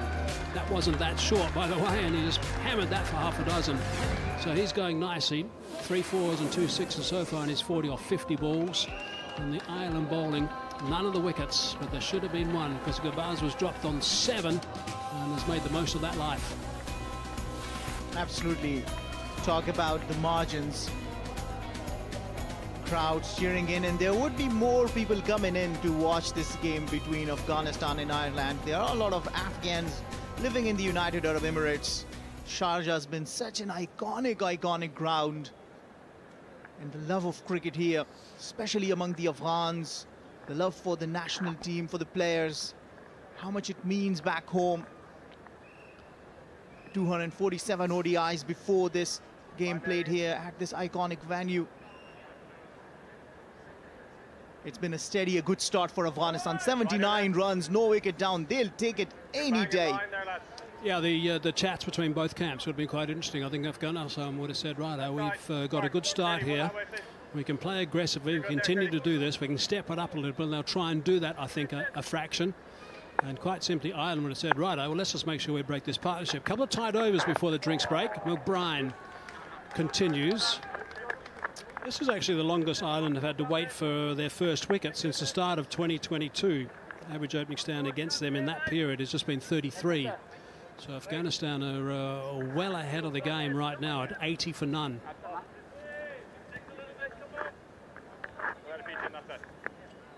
Yeah, absolutely. It's really nice that you do not give away wickets to the opposition inside the power play. Yeah, they did not score a lot of runs. It was only 37 inside the power play but they've come strong. Now, the economy being under four and a half, they'll still take it. Important is they can just continue with this partnership together, make it big. They would have had confidence in the fact they didn't need to uh, hurry up in that power play because they can play aggressive shots. They get this partnership going, it's likely to go pretty big, as it has done in the past. So far, as far as Afghanistan, so good, apart from that one uh, opportunity they provided, which should have been snaffled by Campher. Saw him coming, I think. It just dropped a fraction short. He's always pretty quick to get out of the crease and get down the track. Well, I like that. I like the intent from the batter because you cannot allow the spinners in particular to keep bowling into their channels. So it's very important that you disturb the channel that they're bowling at. So coming down the track, making him bowl shorter that's actually good. McBrine's first over went for only four. There's only two off this over so far. One ball to go, so here's a little mini period in this game. Got to make sure they don't do anything extravagant. Afghanistan. It's a top over, two from it, 81 for none.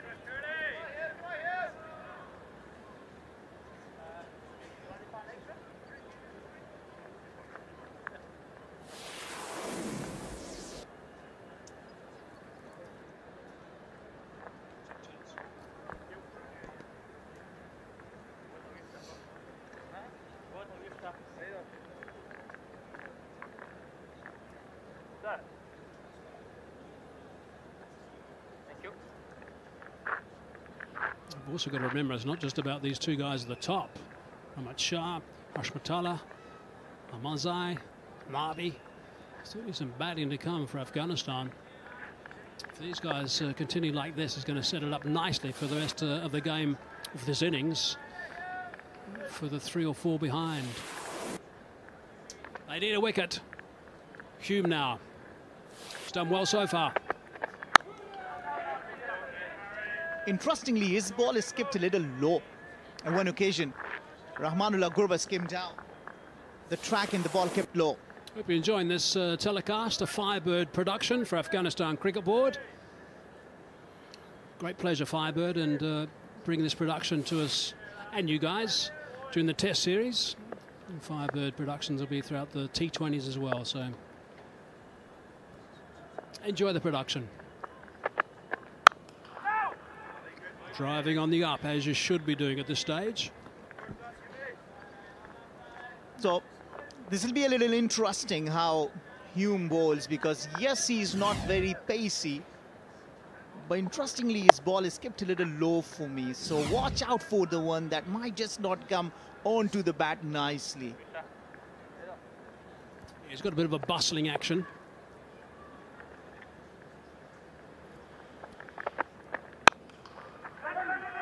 Bottom of the bat that time. Talk about his action. Devinder was talking about him being like Scott Styris.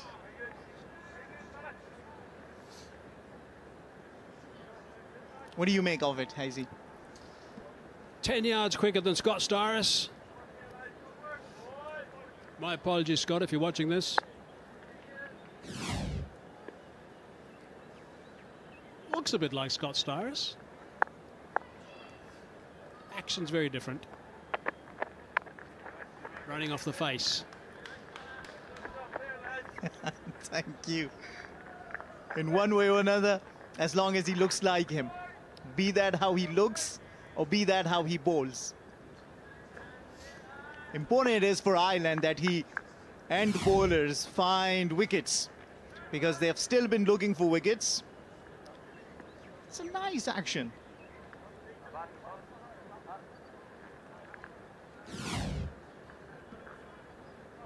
Again, it's another tight over, so they're stringing a couple of overs together. Remember, the two before drinks were really good.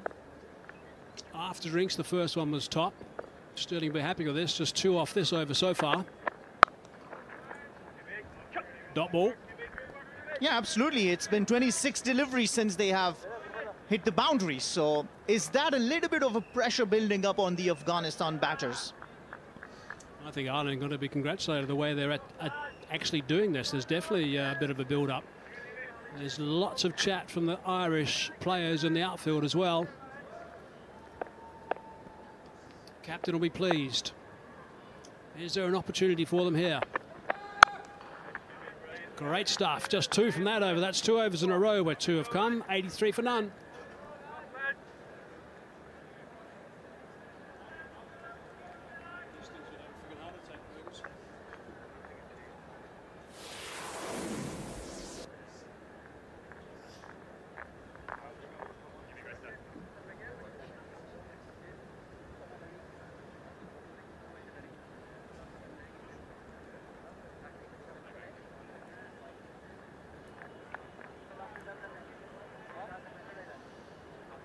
After that over, quite a long discussion between the two batsmen. And that's because of those numbers. McBrine, Hume, and also Young. Both going at two and a half and over at the moment. So that's how good they've been. In fact, three, I should say. McBrine,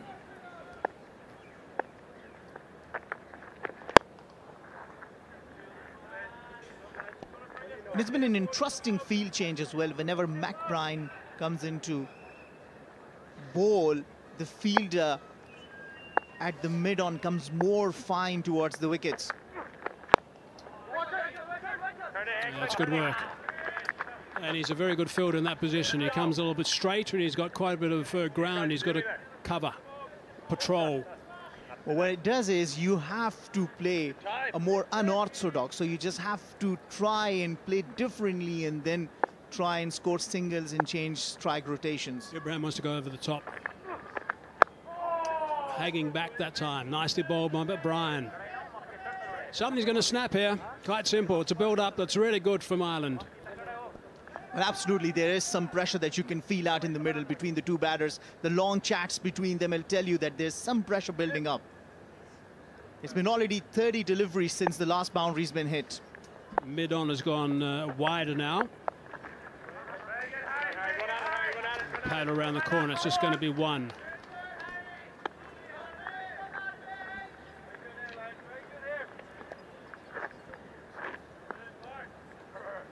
It brings Rahmanullah Gurbaz on strike. How about coming down the track and hitting one and miscuing another? It's interesting. Well, he's got a chance because uh, long on is quite wide. He can go straight if it's flighted. Coming back to you, coming back to you. This is outstanding work, really is. Pop back to you, Tip, pop back to you. Just one from this over so far.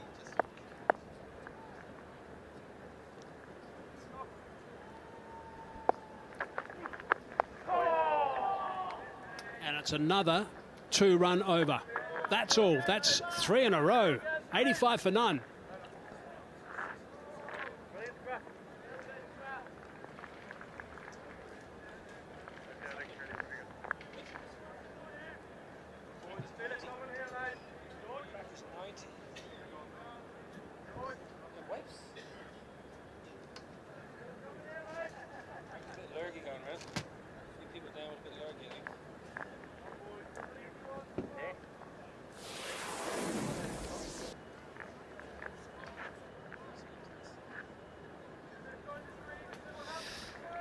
Afghanistan going nicely, 85 without loss.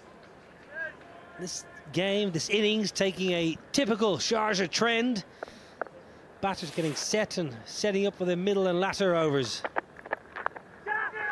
Off the thigh pad, I'm sure. Just flick the thigh pad. No, not flick anything. Wide given. There was definite sound through the stump mic. I thought maybe just flicking thigh pad. Ireland wanted an edge. Umpire having none of it. End result, a wide. Tino Mawoyo. Great to see you. What do you reckon of this one? Hello, Nilo. Yeah, it's just brushed the thigh pad, I think. Interesting decision. Lorcan Tucker thought it's come off the bat. And wicket keepers always think it's come off the bat.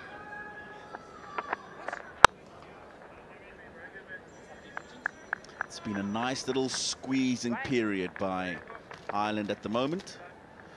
But I think what Afghanistan need to do is understand that uh, it's a good batting surface and there's plenty time out here in the middle. 87 for none, one ball into the 22nd over. There's still lots of time to bat. What you don't want to do is when you've spent a bit of time out in the middle and you've seen that it's probably not the easiest to score off, it'll be tougher for somebody coming on coming in. So spend time out there, keep pushing along. Yeah, you can see what Ireland are trying to do with the seam bowling options. They're trying to bowl as straight as possible, looking for any slight and different bounce. I always feel when you bat at Sharjah, you've got to give your stumps to the ball. Look at the look at the batter setting up here. He's almost giving Graham Hume his three stumps. That was Ibrahim Zadran. So giving a stump, so not getting, not falling into the trap of getting a pad in front of the line of the ball, allowing access and the blade to come through. Well, not for the first time today. Nearly a chop on from Afghanistan. Games of Sharjah, you have to accept, you have to take your medicine as a batter that you're not going to be able to go out and just blaze the ball to all parts. It's not that kind of surface. But if you bat time and bat deep, you can really cash in at the back end. It's not a kind of ground you come to and see scores in the 300s. 260, 270 is the kind of ODI score. If you get there, you're well within the game at the mid-innings break. Nicely worked. You've had a few days off. How have you been? You've been busy. Yeah, the last couple of days, uh, I was wishing that we could get to today, actually, Niall. It's been quite a long while off. Of course, the test match just the three days, and then uh, the three days that were scheduled in between that test match and this first ODI. But happy to be in Sharjah. Haven't been here for a while. It's looking uh, fantastic. Great work that's been done to make sure that it's in good order.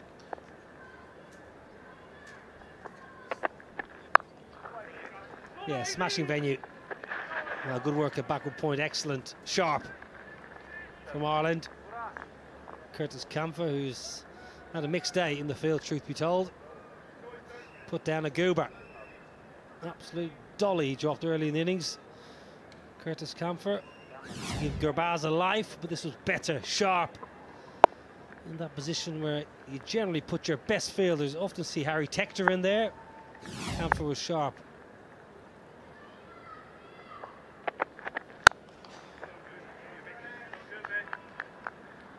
Four off the over. 22 done, 89 without loss.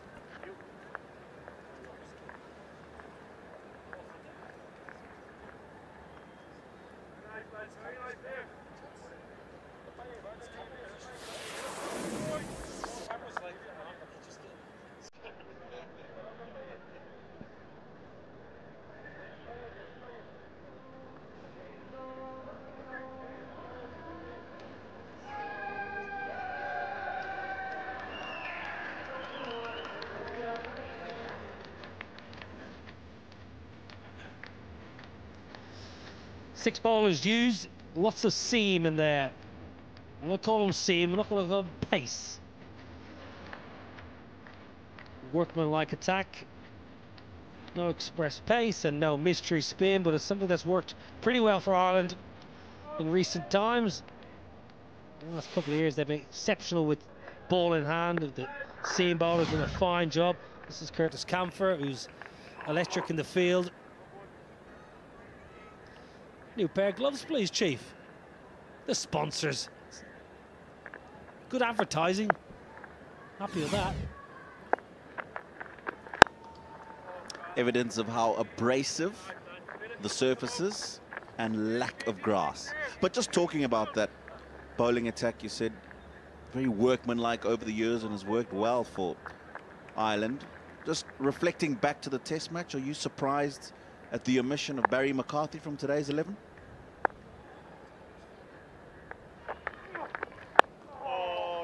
I am, Tino. I must. Uh, I just. I like Barry McCarthy in my side, and that's not a slight on Graham Hume, who would be the one for me that would miss out. McCarthy's riding the crest of a wave. Confidence is high. Genuine wicket taker. He's someone who makes the ball talk. Can make something happen. He can bat down the back end. We've seen him score a T20 half century against India just the season gone by. So he can contribute, Barry McCarthy. And after such a good performance, as you mentioned, in Abu Dhabi, slightly surprised not to see the Pembroke bowler in the side. Coach Heinrich Malan is sticking to what he knows and giving Hume the opportunity. I don't mind that. I like the coach. Continuity is something you crave for as a player.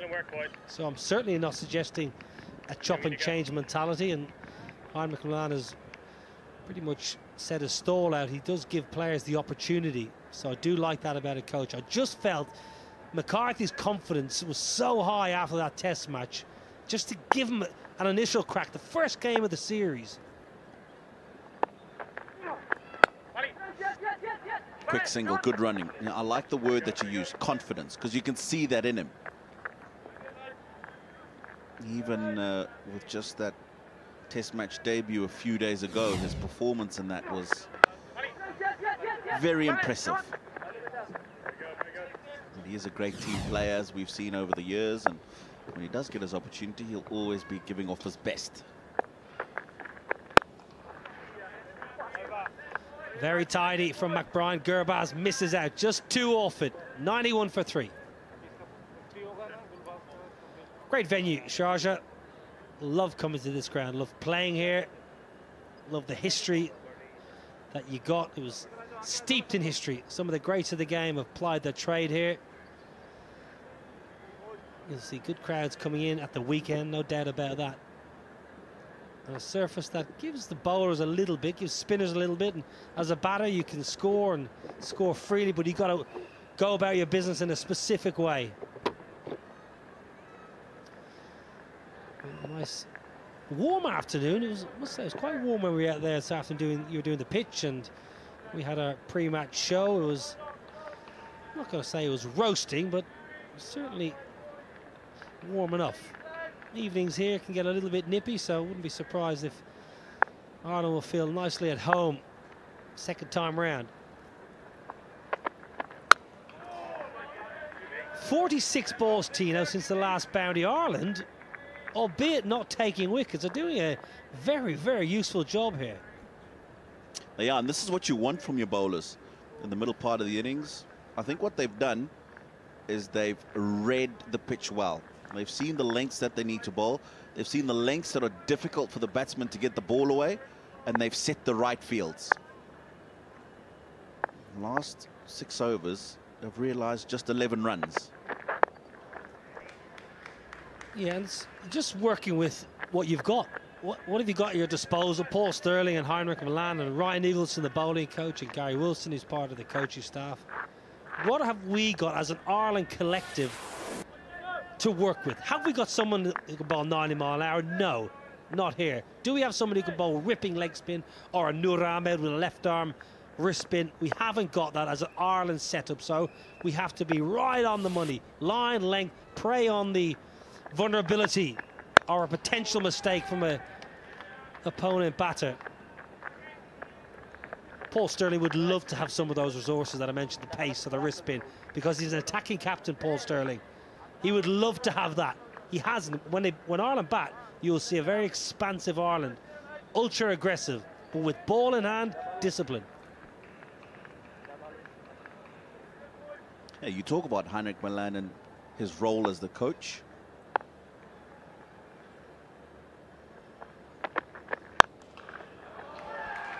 Well, down the ground, chipped. What a beautiful shot. Mid on and mid off was inside the ring. Just lofts it all the way for six. Easy pickings for such a talent like Ibrahim Zadran. Well, this is pure class. We've talked all the way through the series, going back to the test match, about how technically correct this man is. It's cleared the boundary by a good 20 to 30 meters, but it's just a punch. He's realized he's overpitched it for the first time in a while. Wants to, won't get to. 100 comes up for Afghanistan. It's taken a fair while to get there, but another excellent opening partnership for these two extremely talented right-hander batters. As I mentioned, not express, very valuable in the context of this first ODI.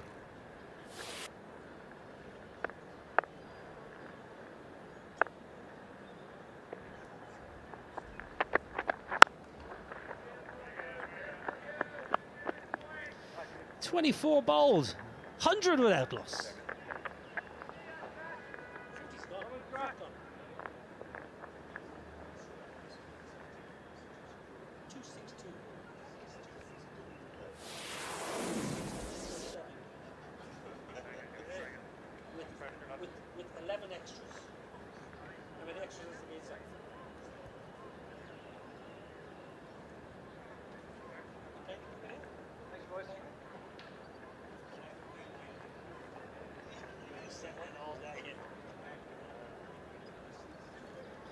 Excellent from Gurbaz and Ibrahim. Feels like Rahmanullah Gurbaz has been playing this side for 10 years. He's, well, he's been ever present since making that scintillating century on debut in Abu Dhabi, which was a pleasure to watch firsthand. 124 overs. Kind of position now, Tino, many teams around the world, and I'm thinking something like England, one of the, the better white ball sides, India to a lesser extent. In this middle phase, with 10 wickets in hand, they would be ultra aggressive. How do you see Afghanistan going about this little phase? Well, now that they've got to 100, just taking a look at that six in the previous over. And with both of these batsmen approaching 50, thought about two, won't come back for it. I think one of these two has to kick on. One of these two has got to say to himself, listen, I've just got to try and pick up that scoring rate. And I think that should be Rahmanullah Gurbaz for obvious reasons. Ibrahim Zadran has played a wonderful anchor role, even in white ball cricket for Afghanistan, and batted through the innings. That's the role that he plays. We haven't seen him as explosive as we, as we know him to be, Rahmanullah, but he can pick up the pace. Strikes the ball beautifully, clears the boundaries with a minimum of fuss. So from a team perspective, he really needs to kick on now.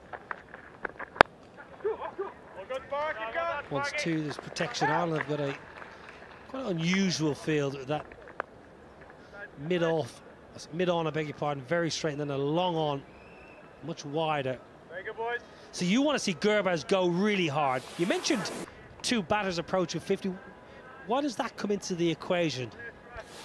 Because you'll find that most batters, when they approach a milestone, they start to have that in the back of their mind as much as they don't want to admit it. And sometimes they just play for that milestone, but when they get past it, then there's a breath of relief. It's another one in the bag, and we can start to move on a little bit here. Well, offside field, inside the ring. 50. Beautiful. Really, really well cultured half century from Ibrahim Zadran. It's his seventh in ODI cricket. And the alarm bells will start ringing if you're an Ireland fan because he generally turns them into hundreds. Probably one of the half centuries he's taken a little bit more time in terms of balls out in the middle. But it's still a very well-constructed innings so far.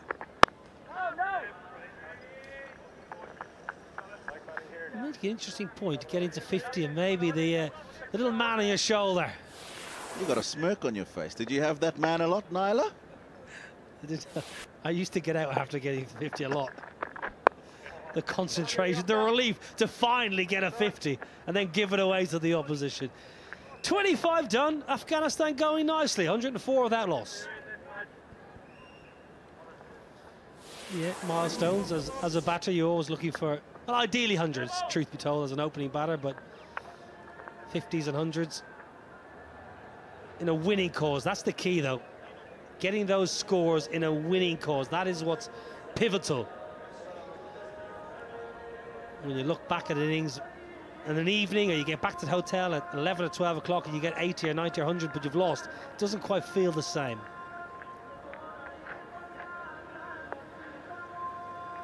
Played with Ramnaresh Sarwan, the superb cricketer from Guyana. He was my captain in England, and he had a philosophy, Tino, that when you get into the 90s, it shouldn't take you more than 10 balls to get you 100 in all forms. So first-class cricket, he didn't want that little man on your shoulder stopping your flow.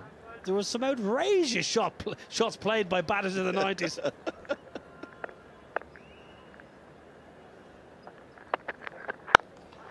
I'll bet not by you. 50.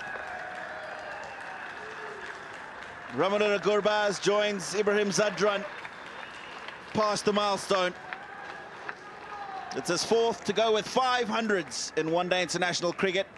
These two are outstanding together. It's actually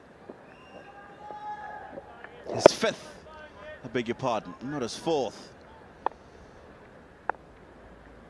What a wonderful partnership these two have forged.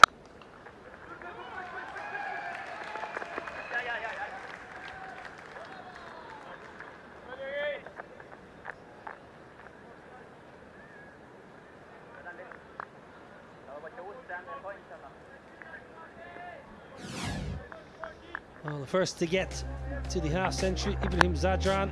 Sweet timer. We saw that in Abu Dhabi. Everyone was very impressed with his fluency in the test match. Just nip back. Just nip back towards that leg stump and hit above the knee roll. There's a hint of an inside edge as well, I think. There's confirmation from our trusty statsman. That is his slowest. Ibrahim Zadran 50 in one-day cricket. Had to grind a little bit more than he normally does. Surface where you just need to be a little bit more responsible, and that's exactly how he's played.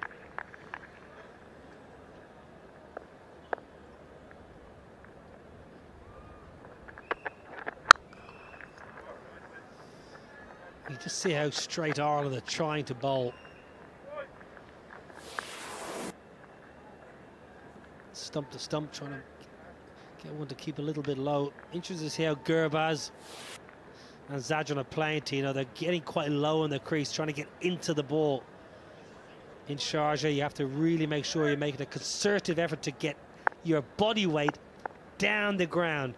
Not try and go back, even though sometimes you'll see the ball and you'll want to go back. That's a lovely touch. That is a gorgeous cricket shot. It was slower ball, it was into the surface, and Ibrahim initially thought about tonking it over the offside, then just tapped it on his head past Lorcan Tucker for four. Wow. That's really well watched and played. Finesse. Pace off the ball, which we haven't seen a lot of, but in the end, he's played it very nicely. There'll be no fielder fine enough in one-day cricket to save that. Really good over for Afghanistan. Nine off it. 26 done, 113 for that loss.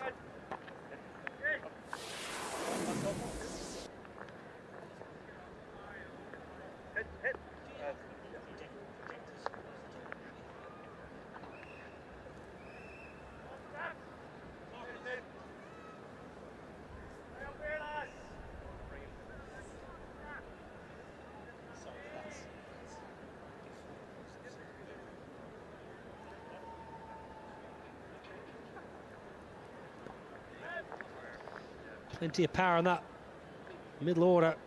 Omarzai, what a player. Mohamed Nabi, the resurgence of Mohamed Nabi. What a cricketer.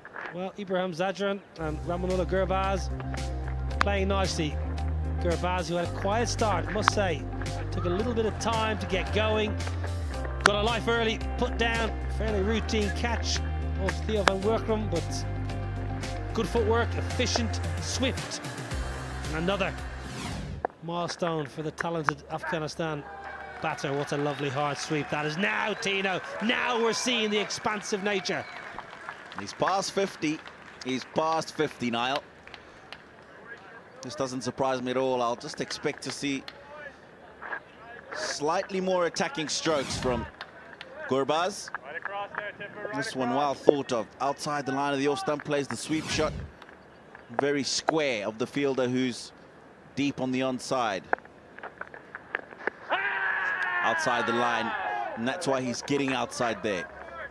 Well, just listening through the stump mic on the boundary that Gurbaz hit, Lorcan Tucker, the keeper, says right in front. Well, actually, it wasn't right in front. So Lorcan Tucker, the boundary that Gurbaz hit was a similar line and length. So Tucker was trying to get into the mind of Gurbaz, but didn't do so.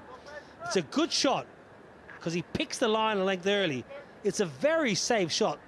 Prompts Paul Stirling just to move Harry Tector at deep backward square a little bit squarer.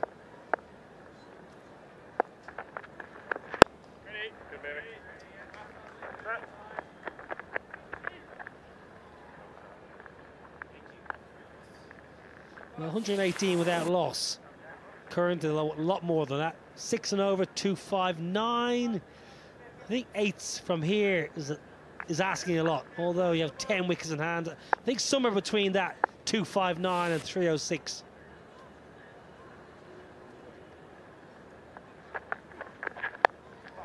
Pitch doctor, what do you reckon? Putting me on the spot there, Niall. I, I think with just less than half the overs to go, 120 on the board, 10 wickets in hand is a crucial part. Gulbuddin Naib to come in. I reckon they must be looking at at least, at least 270.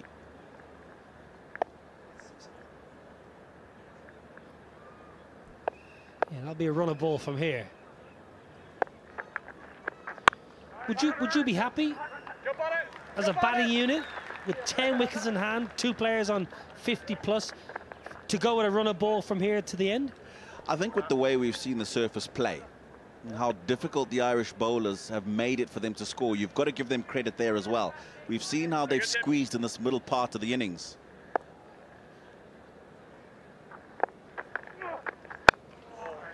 Another one that's just kept low. So if you can get yourself, that's why I said at least 270, they can get more, then I think you're in a good position. 122 for none.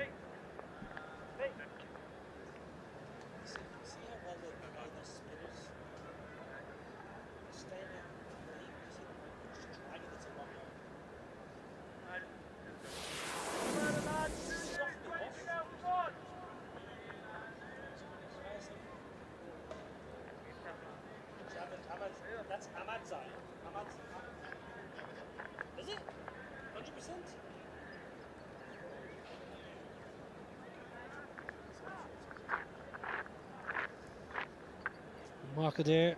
Graham Hume opening up. Wicketless. That's the area of concern for the men in green. Economies are pretty good from Craig Young and Andrew McBrine. Right, Craig Young, I thought he was good this afternoon. Bowled with decent pace and good aggression. Deep backward square, long leg, deep third and a deep point. The boundary riders. Oh, Tino, now we're just we're just opening the shoulders a little bit. All of a sudden, that 50 landmark, you were spot on. Two different batters since going past 50. I've seen Rahmanullah Gurbaz get past 50 a few times in one-day cricket. Niall? But I think this is the right way to go about it. He expresses himself a lot more.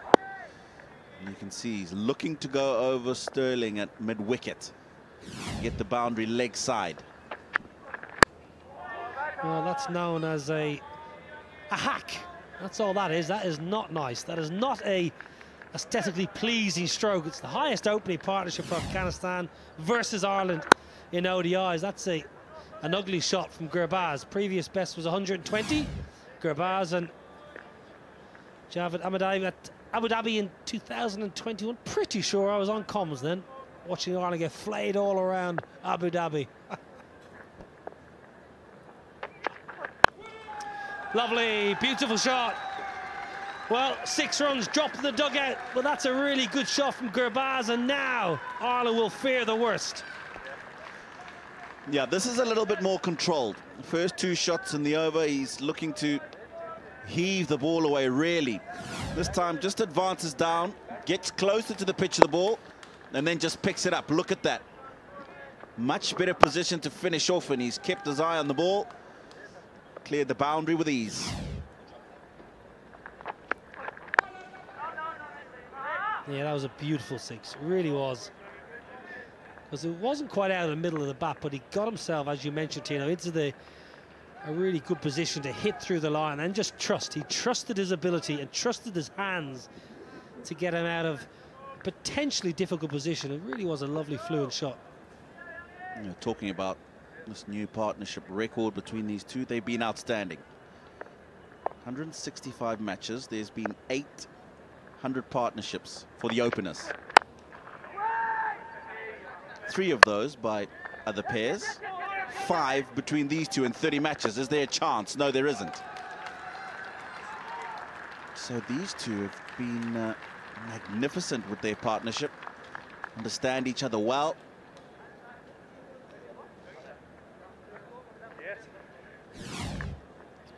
Well, decent footwork from Craig Young. Top corner, top net. Batter just making his ground and the presence, the awareness, just to pinch a single. When we came on commentary, Tino, there have been 46 balls since the last boundary, and since the last two or three overs, boundaries are plenty. 40 runs in the last 30 balls alone. Change of pace. Beats Ibrahim. 28 done, 131 without loss.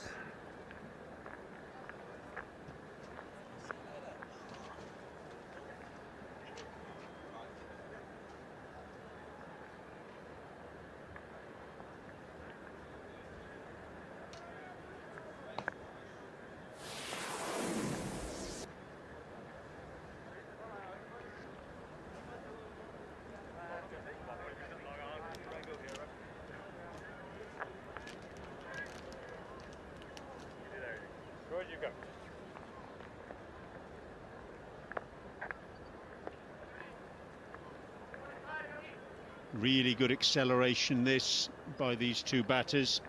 You can see the skyscrapers building there. Very impressive stuff and power to add.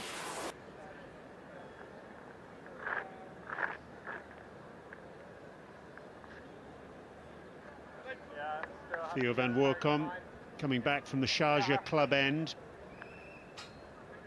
A little bit unlucky early on, to say the least. Having Rahmanullah Gurbaz dropped when he was on seven. Goodness me, aren't Ireland paying the price for that miss?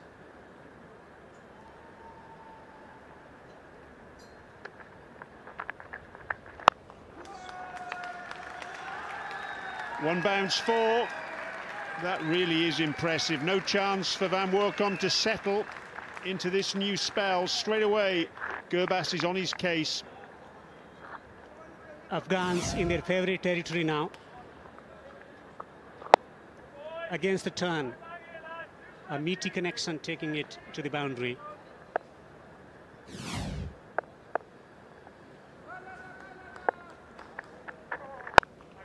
To drag down, and he's got away with that. Van Woerkom slapped straight to extra cover.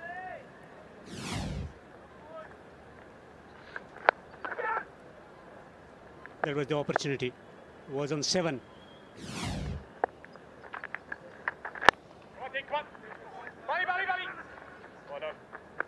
That's been a feature of these two batters today. Not only have they been powerful in dispatching the ball to the boundary, they also run beautifully between the wickets. Really good understanding. They pinched singles here and there, kept the strike ticking over. Terrific cricket. I think that's been the change that we've been witnessing since the World Cup. We'll take it and good communication between the two batters. The running between the wicket has improved for Afghanistan. And that was quite evident in the World Cup as well. The way they were successful in constructing a chase against Pakistan.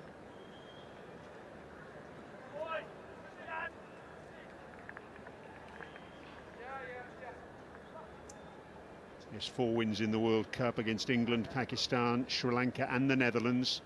Mid-wicket now going out. Mid-on coming up into the circle.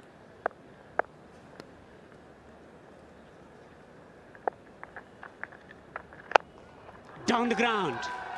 Terrific shot from Gurbaz. Four runs. Goodness me, the power here. Such a full-length ball and somehow he used his bottom hand and clubbed it over the fielder inside the circle. Midon is still inside the 30-yard circle.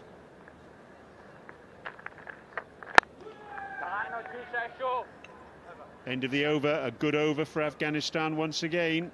Nine off it, 141 without loss.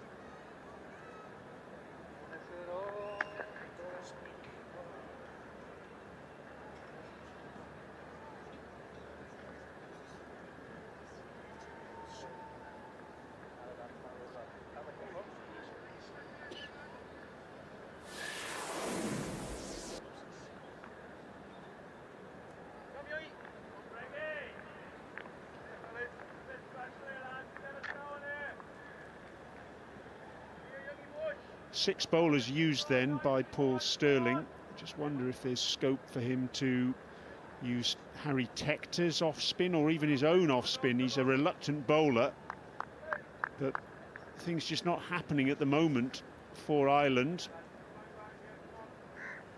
Definition of insanity is uh, to keep doing the same thing over and over again and hoping for a different result. Maybe it just needs some sort of change, any change here.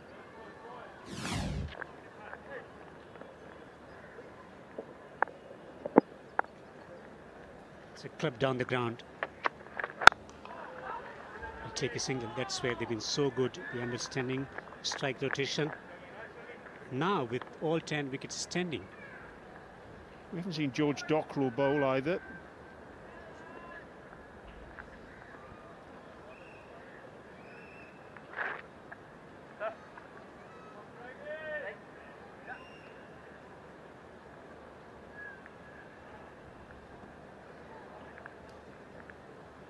So long on, men at deep square on the boundary. Powerfully struck. Got of ground to cover for the fieldsmen. Two more runs. Sense of urgency. And so there should be, as Niall O'Brien mentioned on commentary a short while ago, with 10 wickets in hand. So much power in that Afghanistan middle order. These two players really do have a license to play their shots. That's exactly what they're starting to do. Fine leg is up in the circle. Chase for Hume. They'll come back for two. Was dancing down the track, forcing the bowler to change the length and making good adjustment as well, taking the pace of the ball. Very much aware about where the gaps are available.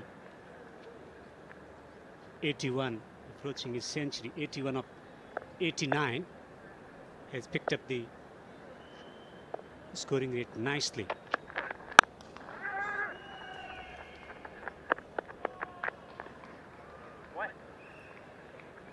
Tector at mid-off.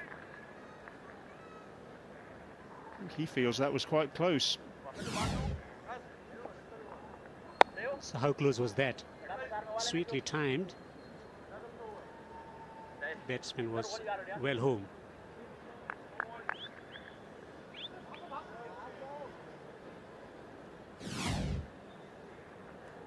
Two men on the boundary on the onside square and men at the long on.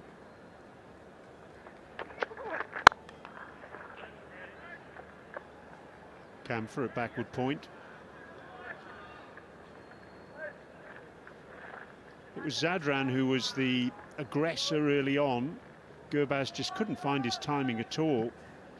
But after that let off, and dropped him, it was almost like the uh, the starting pistol. He really has timed the ball beautifully thereafter. Zadran has been happy to play second fiddle. And that's the beauty of the format as well. It allows the batsman to claw back, to come back. 30 overs have been bowled. It's 147 for no wicket Afghanistan.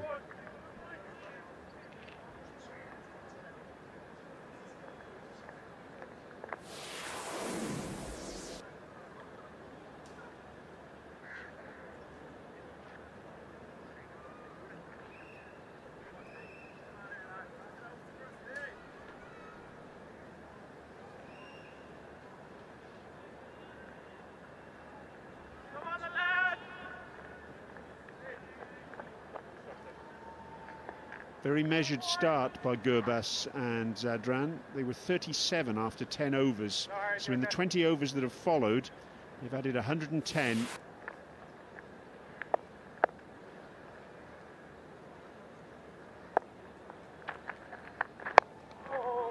It's interesting hearing Niall O'Brien and Tino Mawoyo on commentary previously talking about what a decent final total might be. Eight and over from here gets them to 302 Afghanistan. I think they'd want at least that with this platform. It can be harder to bat later on in an innings here at Sharjah as the ball gets softer. Now there are two fielders in catching positions on the offside here, Stirling and Balbirnie.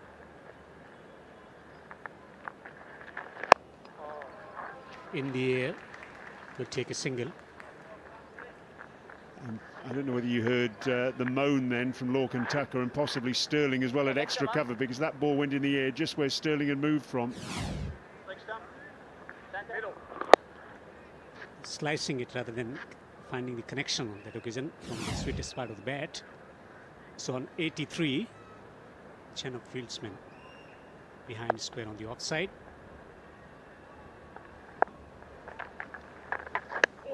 Brilliantly bowled.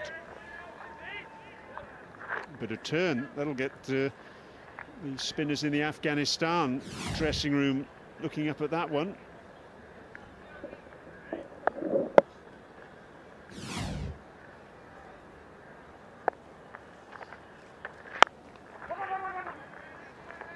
One fifty up for Afghanistan with that single.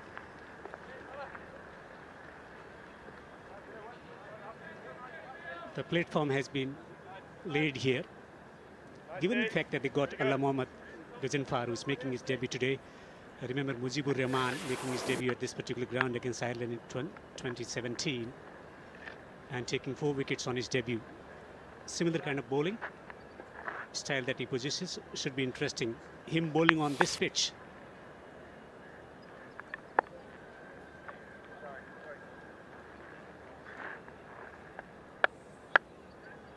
Direct hit from mid-on. From that uh, piece of fielding, just uh, disturbing the furniture. Paul Reiffel doing the running repairs. Three men in catching positions.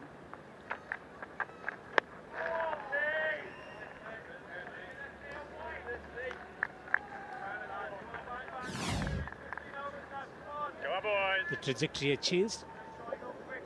Quick through the air as well.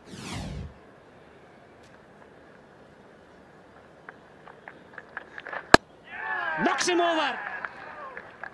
Fantastic piece of bowling and absolutely essential as far as Ireland were concerned. Van Woerkom has got the wicket. Ibrahim Zadran, the man to go. Well bowled.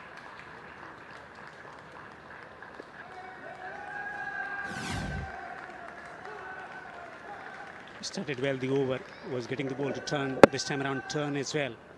Skidding up the surface, trying to give a bit of room to himself, too close to the body to carve out the shot through the offside. Ibrahim goes for 60. First wicket down for Afghanistan for 150.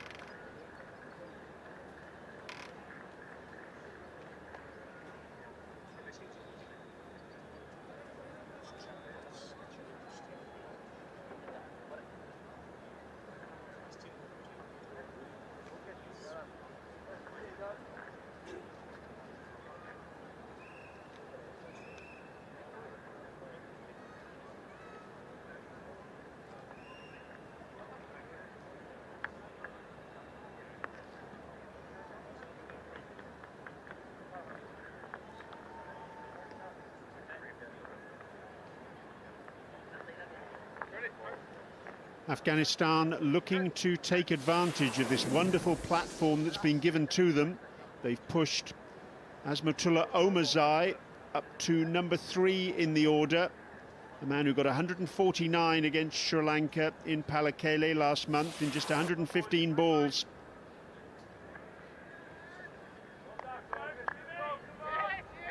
Omarzai was Afghanistan's second highest run scorer for Afghanistan in the Cricket World Cup. And he got those runs, 353 of them in nine matches, at a strike rate of 98 runs per 100 balls. He's not going to be facing now, though. He's at the non-striker's end. Gurbaz is the man in the firing line, and Craig Young is operating from the pavilion end.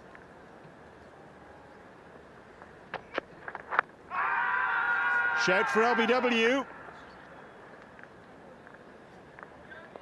Not out, and remember there's no reviews. Brilliant piece of bowling from Young. Just found the wicket in the previous over.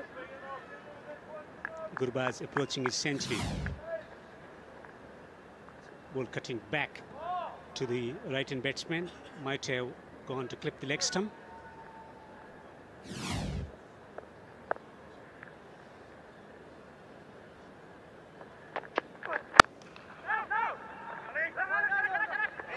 Oh, he's come a long way down, Gurbaz.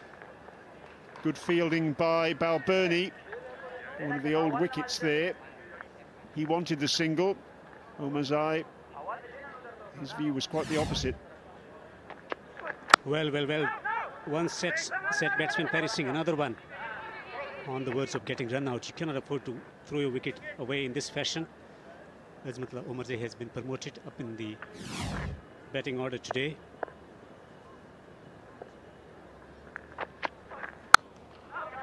Got to be careful. They need to sort out this communication between the two batsmen. We've seen Afghanistan collapsing. So new batsmen at the crease at the moment. It's important that they focus on just sorting out the issues. Take a bit more time maybe.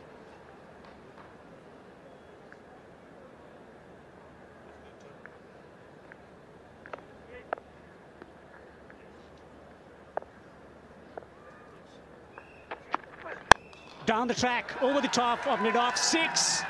Glorious stroke from Gurbaz. 50th six for Gurbaz in one-day internationals. That was just brutal. There's no other word to describe that. He has butchered that over mid-off.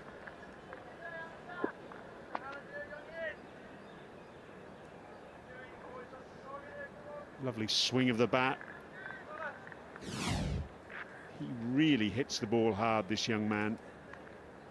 Five one-day international centuries, the first of which was against Ireland three years ago.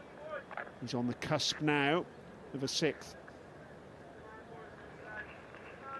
Deep square, long on, mid-off is up in the circle still.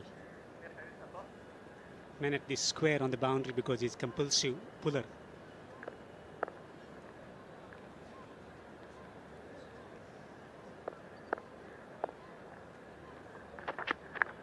Short ball and pulled. He gets into the gap on the onside. Another boundary. Gurbaz into the 90s.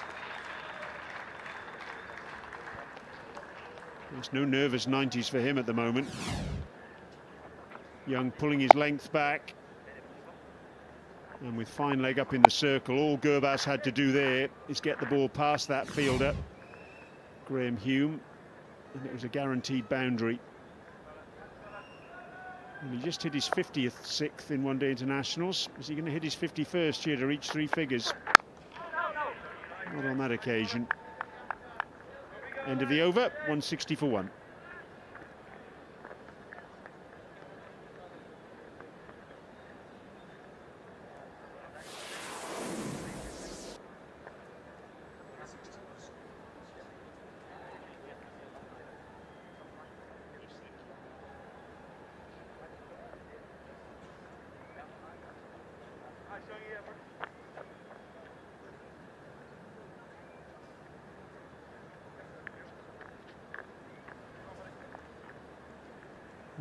Gurbaz and Ibrahim Zadran, their fifth partnership of 100 or more in one-day international cricket.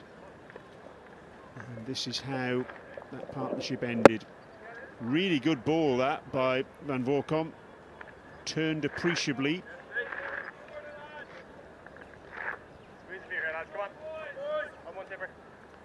Peer had added 256 against Bangladesh, 227 against Pakistan, 114 against England, and 130 against Pakistan prior to today. Oh, it was upish from Omarzai, not a million miles away from McBrine at backward point. Omarzai off the mark, perhaps a little fortuitously. It's not going to be that easy for a new batsman coming in and starting his innings, just holding into the pitch. Went through the vacant space. Slip in position.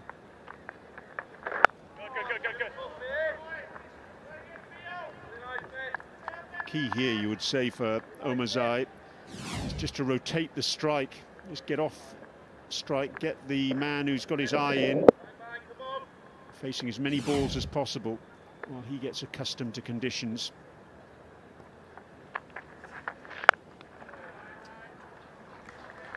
Just like that. Has obviously been given the, the clear instruction as Gurbaz is approaching his century to play aggressively. That's why he's been promoted. Looking at the conditions, he can be circumspect when Gurbaz is stroking the ball delightfully well. Just one stroke away from a potential century here, Gurbaz. 94 99.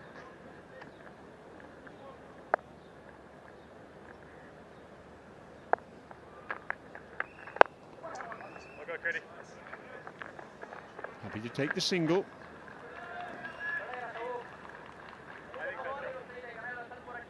Excellent betting performance from Gurbaz. Took his time to get himself in struggling to get his timing going on this uh, slightly challenging pitch. But, but once he got into the groove, he started playing shots. Focus has been on playing straight or in the V most of the shots.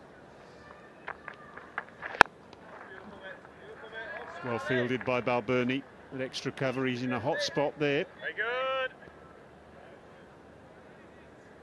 With the focus of using the straight bat, vertical bat to get runs Straight to the fielder again. It's a good over from Van Woerkom.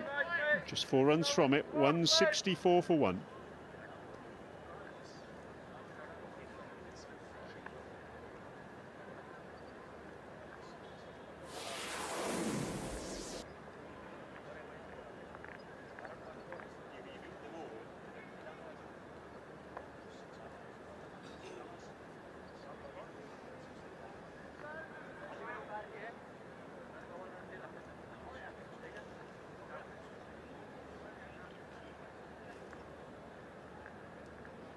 Here's the six bowlers used so far by Ireland.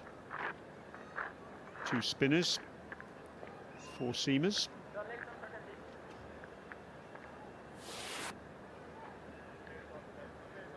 And Mark Adair back into the attack. A change of ends for him as well. He started off bowling from the Sharjah club end.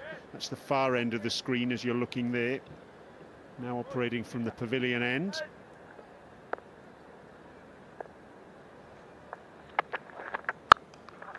Straight away starts off by taking pace off the ball. I just felt, you know, right at the beginning of proceedings today, I know the ball was hard, but I just felt that Afghan, uh, uh, Ireland could have perhaps taken pace off a little bit earlier than they did. It's going to be a stock in trade for them now, particularly the seam bowlers at the back end of the innings. Little cutter there, off cutter. Rolling his fingers down the side of the ball.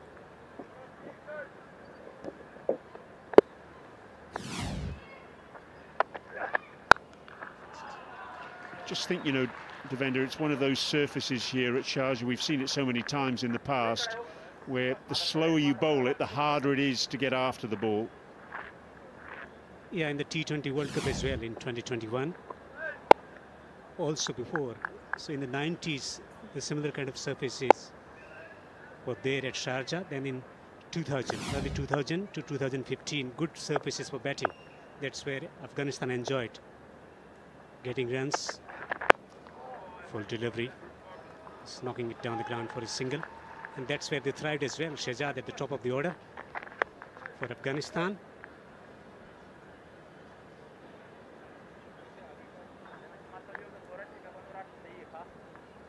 Yes, Mohammad Shehzad. Remember on this ground in a one-day international against Pakistan, he reverse swept Saeed Ajmal for six over towards the scoreboard look on Saeed Ajmal's face is still etched in my brain. Nicely driven. The focus is on strike rotation. He will be in action, hopefully in the month of April, playing the Shpageeza back in Afghanistan, the domestic T20 tournament. Just before the World Cup, the focus has been on preparing the players by providing the competition. On 97 Gurbaz,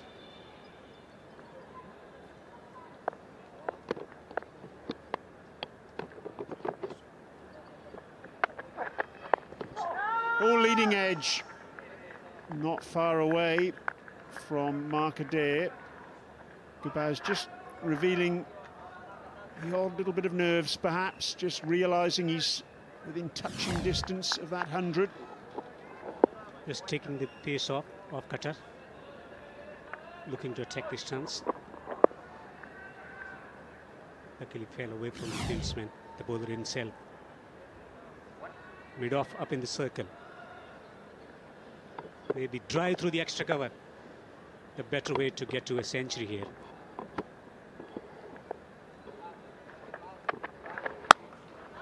Pulled away. There's a fielder out there at deep square leg. Just the single. It's the end of the over. Gurbaz will keep strike. 169 for one.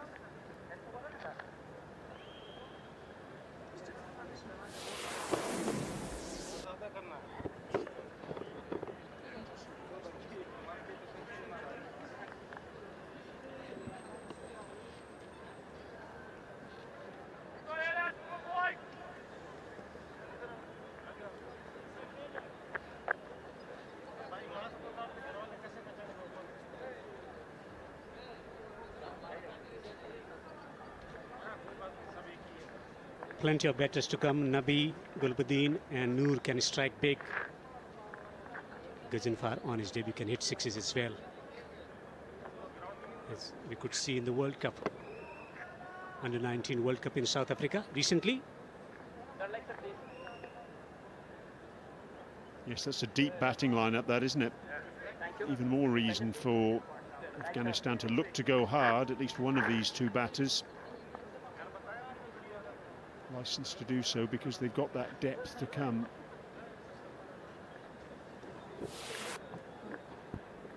Gurbaz then on 98.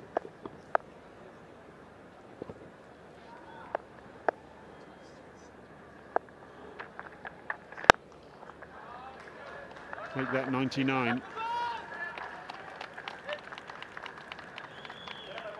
Excellent innings so far. Made a conscious effort to play in the V. Not many shots through the square of the wicket. That's where he's been faltering of late, trying to play through the onside against the tide. Was given life when he was on seven, trying to take the attack to the opposition by coming down the pitch.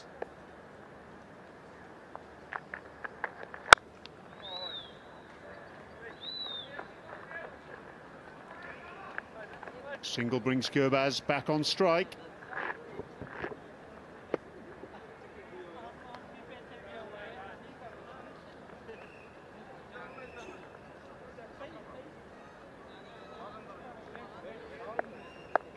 Conscious effort from Ireland here to try and save the single. One is the call, and the call is no from Omar They need to bring people up into the circle here, Ireland, just to turn the screw you rather fancy. Especially when the focus is on taking single. Conscious decision to take a single rather than go for the big booming shot. Balbirnie at extra cover.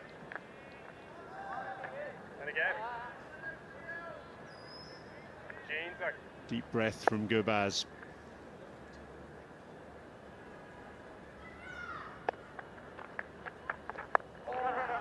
Delicate late cut. The single that brings the 100, a leap in the air from Rahmanullah Gurbaz. It's his sixth one-day international 100 for Afghanistan. That equals the record for his country in this form of the game. He's level now with Mohammad Shahzad. A fine innings appreciated by the crowd here in Sharjah. And what a platform he's given his side. A magnificent 100 played some pretty shots, just waiting till the last moment, just guiding the ball into gap. Jubilation, punching the air in delight. A delightful news for fans back in Afghanistan. He has transformed himself as a consistent batsman now.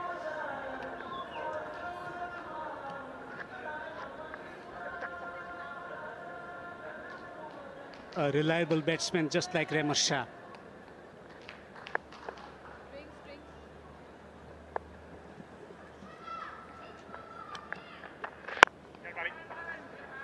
Half a hand from Balbirnie. Omarzai will keep the strike. 35 overs have gone. Time for a drink here at the Sharjah Cricket Stadium with Afghanistan 173 for 1.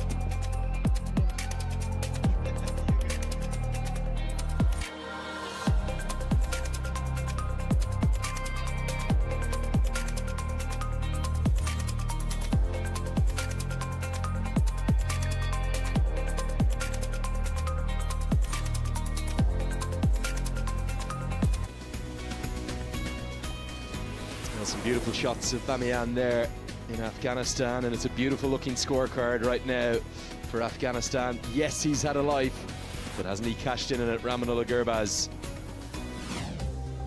A sixth one-day international 100, ball striking of the highest quality. Shots all around the ground, equally proficient against spin and pace, 11 boundaries in total.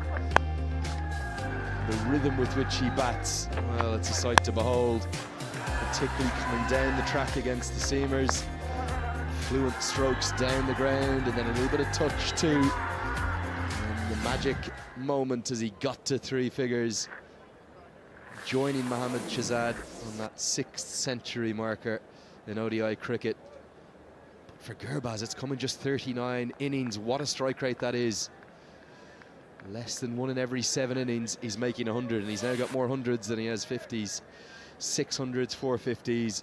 A star of the show as I wish a very well, good evening now, really, isn't it, to Ahmed Fadai. Ahmed, lovely to be with you.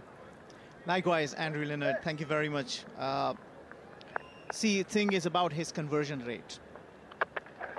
He converts his 50s into 100. That was a close one. It could come back onto the stumps. Lucky for Azmatullah Omarzai, who's been promoted today to come and bat at number three. Usually strikes at a ball, run a ball. Still finding his rhythm, maybe. He's been brought up the order to hit a few big shots. He can. He had a wonderful World Cup. Scored 97, fell just short of 100 inside the Cricket World Cup 2023 and then scored big 149 against Sri Lanka at Pallekele. Just like that, it's high in the air and should be a maximum.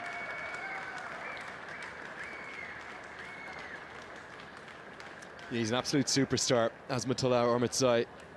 I think his potential ceiling of all of the talent that's being churned out by Afghanistan, it may exceed any of them. Bat ball in the field, he does it all. 149 not out against Sri Lanka was just phenomenal. He's picked the slower ball here, gets a good piece of it, cashes in. I think the reason they, they've promoted him up the order is is very much to try and capitalize upon that fantastic start. 150 on the board. I think 300 plus very much being eyed up. I see Shahpur Zadran out there. Mr. Ayubi and down at the end, the Afghanistan chief selector, Mr. Sulaiman, Sulaiman Khail, should be a happy man. Now, talking about the fielding, remember the match in the Cricket World Cup? Holland, Netherlands were batting so well, and then a throw came down from the deep, impacted the breakthrough, and therefrom the game changed to Afghanistan's favor, and that was Azmatullah Omarzai. So fielding is really an important factor. And Azmatullah Omarzai looks to be a very good complete package for Afghanistan. One thing not really working right now is the communication between these two. It's been a little all over the place, the running between the wickets. Okay, in this case, it cannoned into the stumps But not quite speaking the same language. There's been a couple of half chances. Balbirnie's been particularly good in the covers, actually. In Ireland, probably unlucky not to find a run out. For me, part of a, a kind of a new wave of Afghan players that they're finding and bringing through. They're very young, very fit, very strong. Just his ball striking is really something to behold. And Good positivity from Jonathan Trott's and, and, the Afghan management saying, we've got a great platform here. Okay, the wicket might be a little too paced, but let's cash in. Let's think of 300 plus. Well, I absolutely like the idea because previously Afghanistan have got such platforms, couldn't really capitalize on it. 256 for the first wicket against Bangladesh, and they couldn't score much after that. 227 against Pakistan, and they only ended up making 300. So this time around, they want to change it and it is to send down people who can strike the ball hard and who have the confidence. You talk about Azmatullah Omarzai and Rahmanullah Gurbaz not being as fluent as for the running between the wicket between these two is concerned is because they haven't batted together. Azmatullah Omarzai has put a good partnership with Muhammad Nabi, the second for the sixth wicket, highest 242 against Sri Lanka. So they certainly can spend time out in the middle and the chemistry will come. Again, a mix-up in the running between the wickets. They will turn down the second. End of the 36, 185 for one. The big thing for me, you think about the sort of pantheon of, of great Afghan batters. Was he the real uh, stars of the show have been their bowlers. Firstly, those fast bowlers, the Hamid Hassans, the Shapur Zadrans you just saw on your screen there a moment ago, Dawlat Zadran. And then the spinners, Rashids, all of these names roll off the tongue.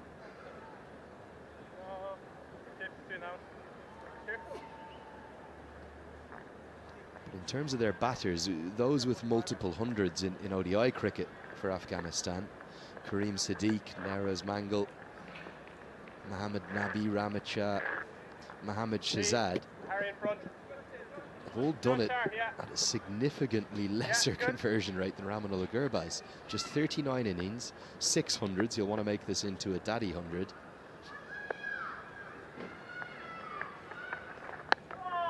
Nicely bowled, beats the outside edge. There has been turn on offer that may concern Ireland for the second innings.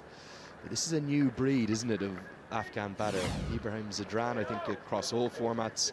Gurbaz, we saw made, make his test debut last week. Such exciting times at the top of the order for Afghanistan. We haven't even seen Shah yet, who's maybe the class act of all of them.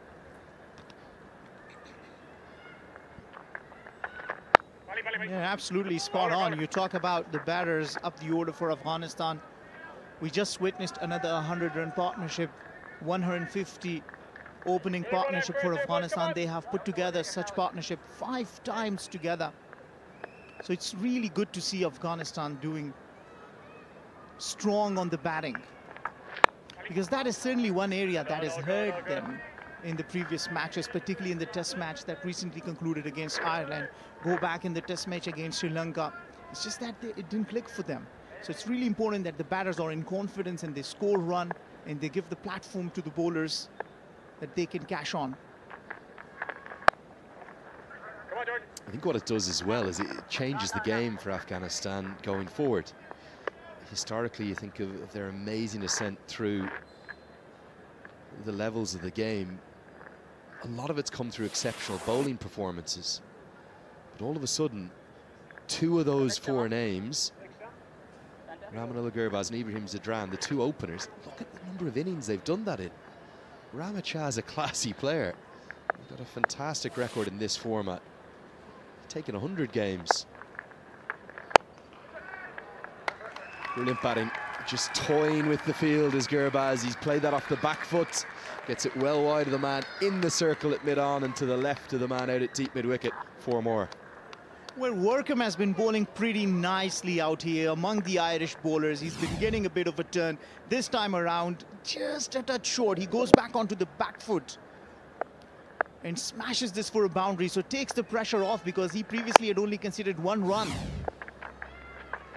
Comes down the track and this is good fielding, really good fielding. End of the over, six runs off it. Afghanistan 191 for one.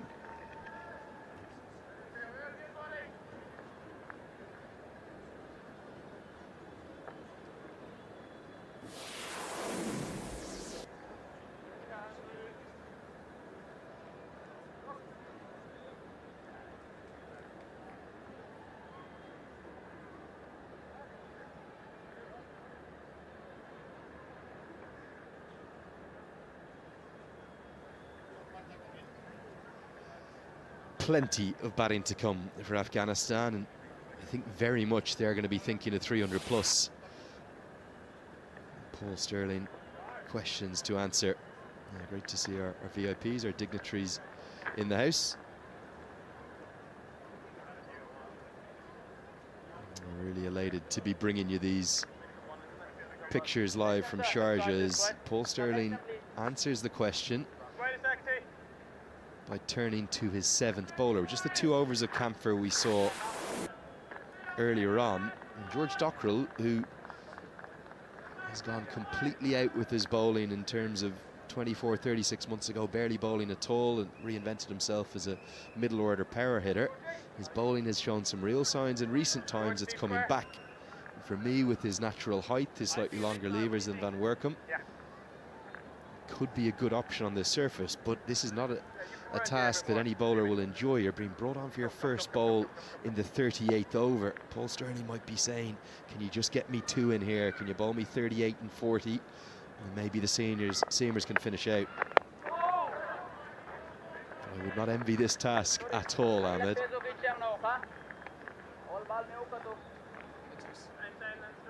just go a bit finer for this guy.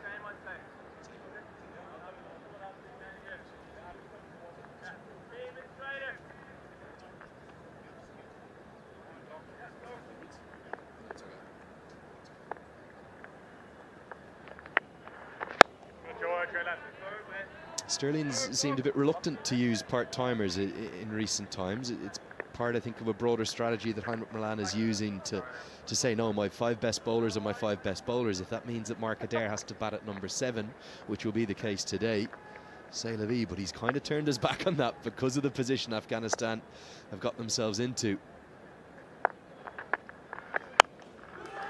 And that's the answer from Rahmanullah Gurbaz. Almost onto the road, a monster. Six from the moment it left the bat. Anybody out there in the on the road can just take the ball for free because this is gone out of the park. Some work for the umpire to come down, bring the new ball. Rahmanullah Gurbaz doesn't treat Dockrell nicely.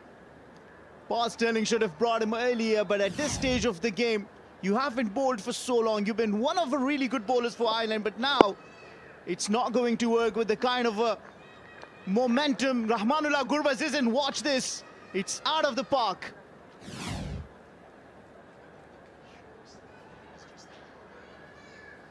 Well, there is a landmark. If you get onto Google Maps, it's called MS Dhoni's Landing Point. I think Doney famously sent one out onto the main road there. Not sure if it got all the way there, but went pretty close to it. It's an invidious position here for George Dockrell. He's been almost tossed a little bit of a hospital pass, hasn't he, by his skipper. Yet to bowl, you can see he's still trying to just get some air, some feeling into the hands. 38th over, bowl to a man who's on 107 not out, and he's going to ponga you out of the ground. See, the other thing is that the Afghanistan batters have the game awareness. Now, bringing in George Dockrell into the 38th over kind of gives you the sense the captain doesn't have a lot of confidence in him, and this is back-to-back maximum. Another one off the bat of Rahmanullah Gurbaz. 200 up for Afghanistan, 205 now. Only in the 38th over, two back-to-back sixes. The 50 partnership has come up in a flash off just 41 balls. Probably not quite the right angle. And Gurbaz's quality of picking that length, not out of the middle this time. Back-to-back maximums, Afghanistan on the charge. Well, 300 plus minimum from here. I do feel a bit for George Dockrell. Didn't bowl at all down in the ODIs in Harare. Now called upon against maybe two of the biggest ball strikers in this entire Afghanistan side. Gurbaz goes bang bang. Pressure on Dockrell. Speared in. Could end up just being the one over at George Dockrell. We're going to see they'll get back for a couple here. Already 16 runs from it. Done a huge amount wrong here. Just the quality of this man. The first one, monstrous. The second one, not quite as big, but just as effective. Absolutely. Afghanistan batters cashing on the opportunity. He's done well in the last two or in the last two deliveries to have pulled things a little bit. Followed Rahmanullah Gurbaz, didn't give him room. End of the over, a big one for Afghanistan. 16 off it, 207 for one.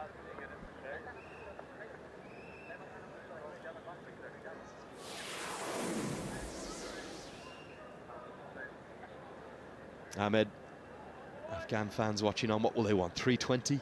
More than that? Well, absolutely anything above 300. And I tell you what, Andrew, if Rahmanullah Gurbaz stays, it can certainly go above 300.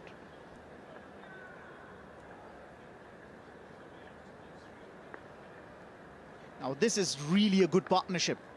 It's 57 of 43 deliveries. It's just what is required at this stage of the game. The platform is set, nine wickets in the bank. You can certainly charge the Irish bowlers.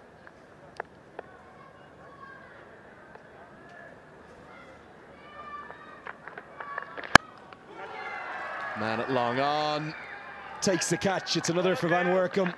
Omarzai never quite got settled. Good reward for what has been, well, for me, a much more impressive spell here with the white ball than what he bowled at points in Abu Dhabi. Good reward for Van Woerkom, justifies his selection. He's got both wickets to fall. Yeah, absolutely. He's been the pick of the bowlers for Ireland.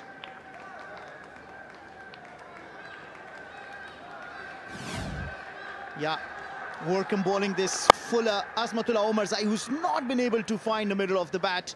Campher takes the case. This will give some relief to Campher. Maybe a little late, but whatever. Azmatullah Omarzai departs after making 19 of 20 balls. Afghanistan are 207 for 2.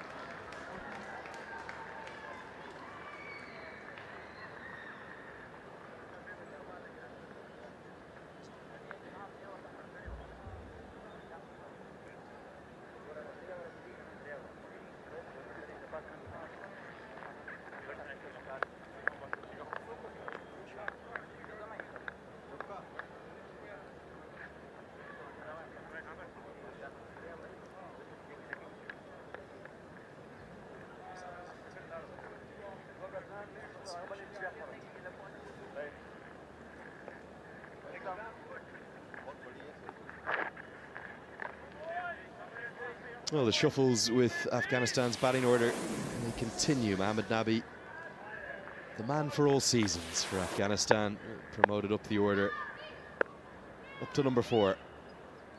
Deep breath as he enters into this series for the first time. He was part of that phenomenal partnership with the man he's replaced, Azmatullah Omarzai against Sri Lanka, who's really enjoying watching that. Different conditions here, nowhere near as humid. Or as hot as this is so nearly a third for Van Woerkom. Sharp turn, an outside edge, maybe a flick of Tucker's glove. The end result will be a boundary to get Nabi off the mark. Well, that's very cruel, and all of a sudden you start thinking why a bowler can only bowl six deliveries and why not more. Look at this genuine edge. You'll think if there was a slip fielder, Nabi was a goner. That's lucky four runs for Muhammad Nabi. He will take it. He'll open his account. He's a very dangerous batter down the order. Ireland will certainly warn him out. And Afghanistan will want him play till the end.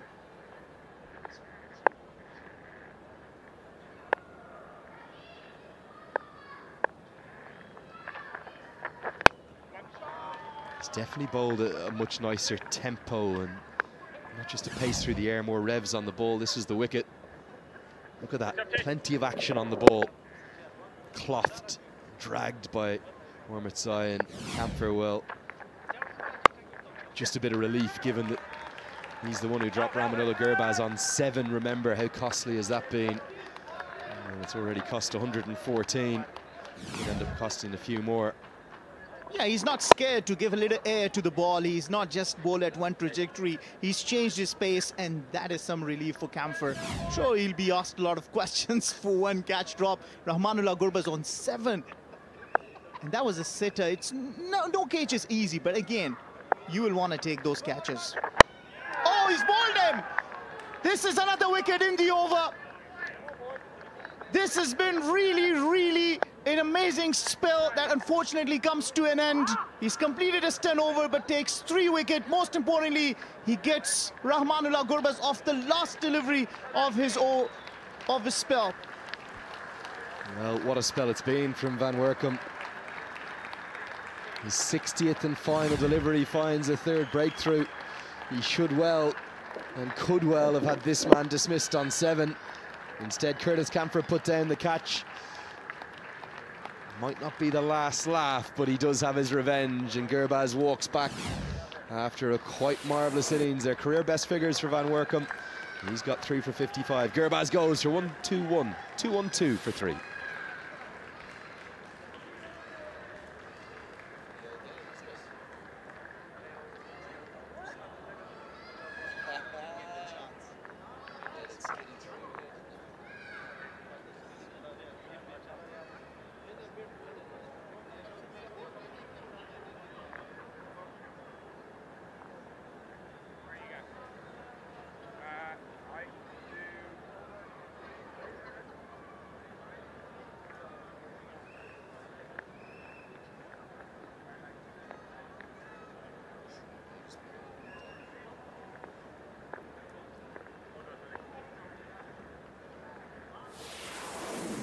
Two wickets in the over for Theo van Woerkom as he finishes his spell will bring Rahmat Shah to the crease at number five. Might not necessarily be his natural game here now with just 11 overs to bat, but I suspect his main role will be to try and get Nabi as much of the strike as possible. Plenty of batting to come to. Really good career numbers. He's an elegant driver of the ball, effective puller and hooker as well. Just really good to watch. Fluid to the eye. For Ireland, I think it will just be that one over of George Dockrell that went for 16. Definitely a little bit of a hospital pass. He was tossed by Paul Stirling. Graham Hume will return. He's been economical and, if not penetrative, thus far. For Ireland to, to drag themselves back into this game, the last 10 will be important, but a special moment for Van Woerkom. Getting that revenge, just skidding on a little bit, maybe keeping a fraction low. Three wickets to his name for the first time in an ODI, well bowled. Well, absolutely. Rahmanullah Gurbaz played the wrong line, it went with the arm, and it skidded through. Now, can this be the comeback that Ireland wanted in this game? Afghanistan still have a very strong, strong platform. Some of the Irish fans enjoying. Previous over was one of four to watch and see. I would just think laughing and smiling, maybe enjoying the game out there. But yeah, Rahmat Shah now comes to play a kind of an unnatural role. So a lot of shuffling has happened. Azmatullah Omarzai was promoted to come and bat at number three, which is the position that Rahmat Shah always comes in bats at. But he's played the domestic Shpageeza often. So you can be expecting a few shots from Rahmat Shah. The platform is set. It's really important that they cash it out. There are a few indications, hints if you will, from the surface that may be going up and down a touch. So, well, for Ireland to have any hope of winning this match, every run is going to count over the course of the, the 10 overs that follow this one. One's driven away, should be a couple to Shah to get off the mark. But you think about what could Ireland chase? I mean, won the toss, chosen to have a bowl first. You really would think that anything over 275, 280 is not going to be easy.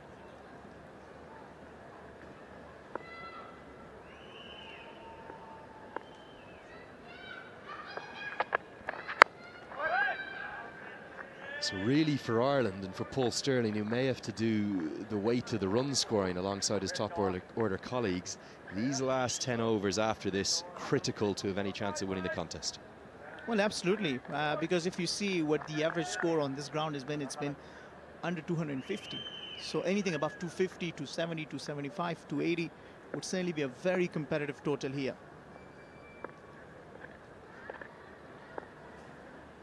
I've been talking to the curation team, they felt 250, 260 would be a winning total. I felt Paul Stirling was very uncertain at the toss as to what to do, and, and, Ireland's kind of default historical position, well, we'll just have a bowl and then we'll work out can we get in the game. By no means was hugely either way and ended up winning the toss and choosing a bowl. End of the 40th, 215 for three.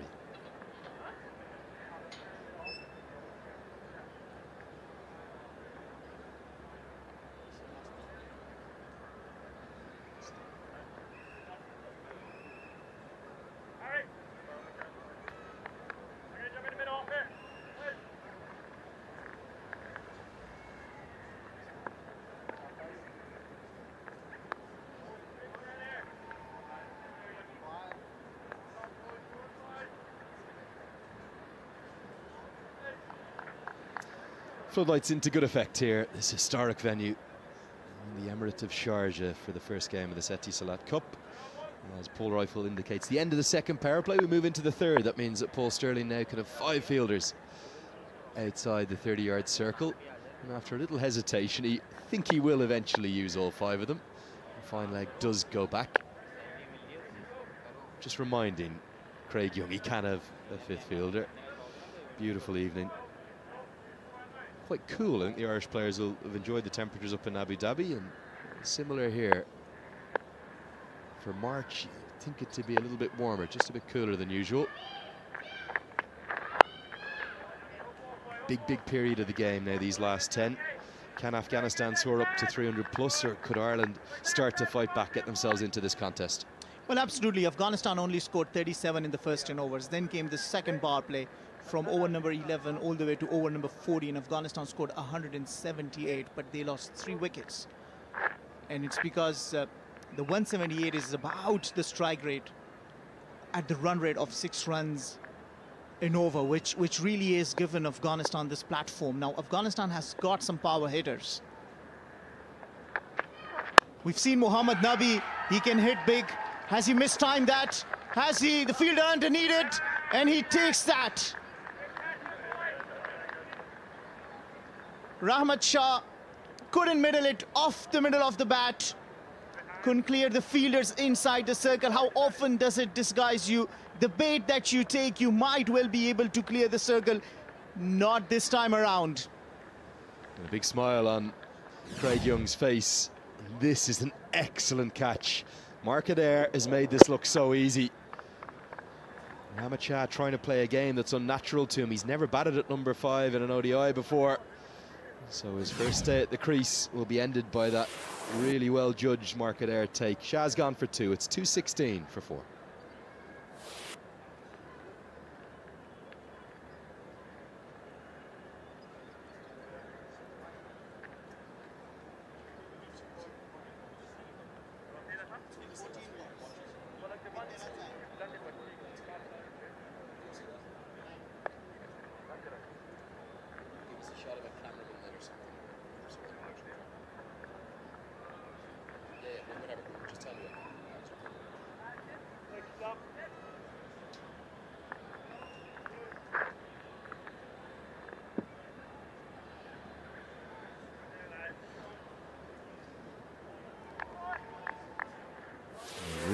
Really impressive fight back by Ireland.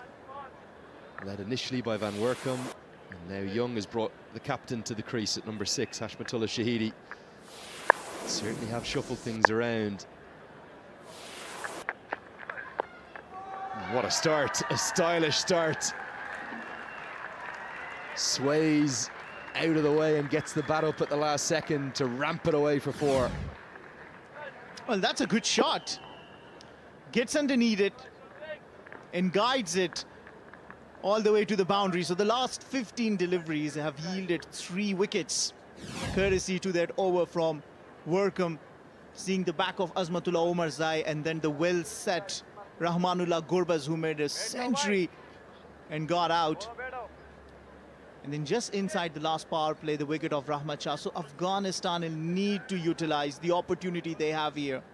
The last 10 overs, six wickets still in hand. They need to post a total above 280. This is how Rahmat Shah got out. No timing on that shot. Didn't read the timing on the ball right, and that was really a brilliant catch. Mark Adair made it look easy, as you said, Andrew. That is not an easy catch to take, I tell you. He's probably known as, as, Ireland's best catcher in the field. Big hands. The judgment of that was exceptional. Really, really good. Made it look so easy. the challenges now for Afghanistan. Nabi certainly can play this role in the last 10 and, and score quickly. Shahidi not really known to do it. Alikhil might be held back. They may go with Gulbuddin Naib, I suspect, in next. Shahidi's career strike rate around 67 has started to add some power to his game and occasionally got himself into the T20I team, but a lot for me now rests on that man's shoulders, Mohammad Nabi. Yeah, Gulbuddin Naib is also one that can hit the ball. And I like the move for Hashmatullah Shahidi to bring him himself in instead of sending Gulbuddin Naib. Probably keeping him for the last five overs. End of the over, eight from it. Afghanistan 234, 223 for four.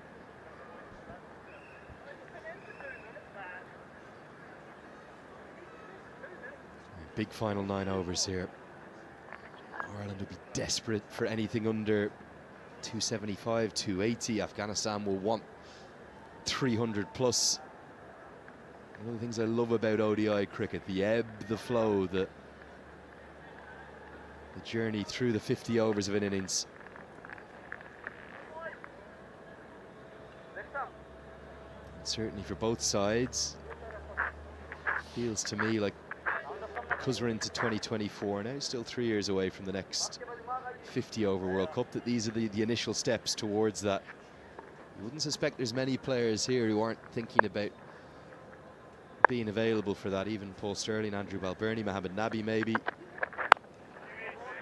Will still be in the mix for that next Premier tournament. That'll be down in South Africa, Namibia and Zimbabwe in 2027 just a reminder, if you do want to enjoy the action on your, your smartphone devices, you can also get that up on the, the smart TVs too, of course, youtube.com forward slash Firebird Universe. And a big shout out to our crew, been working incredibly hard, firstly up at the Tolerance Oval, now here at Sharjah.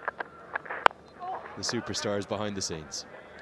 Well, on the back of uh, brilliant performance at the Cricket World Cup 2023, Afghanistan have qualified for the Champions Trophy that'll be played in 2025. So before the World Cup, Afghanistan have got themselves to prepare for the Champions Trophy. For the first time, they'll go and play there. Yes, they didn't have a very promising 2024 year. They lost the series to Sri Lanka 3-0. But they've really improved their game. Solid in the chase. We saw that in the Cricket World Cup 2023 brilliant when they bat first, especially for their opening batters, Rahmanullah Gurbaz, Ibrahim Zadran, having that tendency of converting 50s into 100s.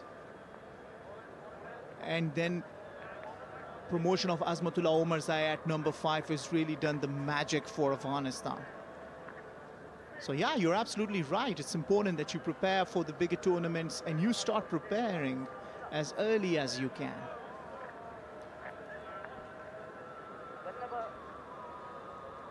I think certainly that would be a great first step for Afghanistan, a first Champions Trophy. Will be held in 2025. Going to run a quick single here. They'll get home comfortably enough. You cannot take for granted, though, your status at ICC World Cups. You've seen Zimbabwe learn that in the T20 World Cup qualifier last year. Afghanistan will have an expectation to be there, no doubt, particularly with it being an, an enhanced 14 team tournament in, in 2027, four teams added, but their route will depend upon whether or not they're in the the top eight of the rankings outside of South Africa and Zimbabwe are qualifying as hosts. So 10 will get through the rankings the moment they're in that spot. So every match, including this series, will contribute towards those rankings. Cutoff will likely be some point late in 2026. the depth to world cricket now, you can't really take any games against any sides ranked in the top 25 or 30 for granted. So getting there is step one and then establishing a side like they so nearly did last year in India that nearly got all the way to a semi-final is the next step. And I think there's enough talent in and around this group that they could surpass those expectations and certainly think of a Super Six, maybe a semi-final in 2027. Exciting times for a game, for the game here in Afghanistan. It really is what a crop of players they have.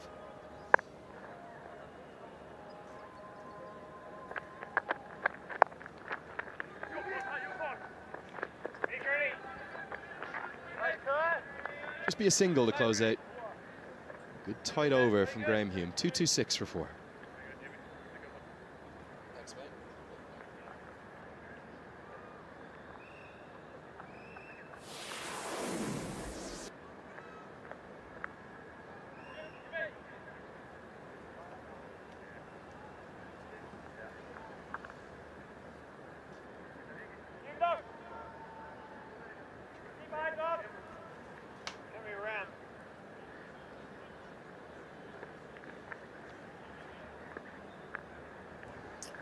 Afghanistan have got some work to do here because they have just fallen off a little bit. You can see the wickets have made a big difference that Manhattan graph.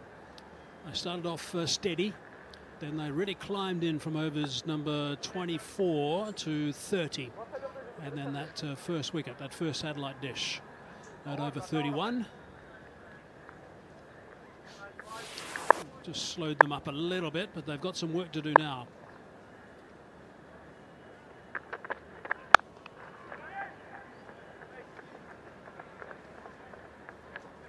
One stage they were looking uh, easily at around the 310 mark.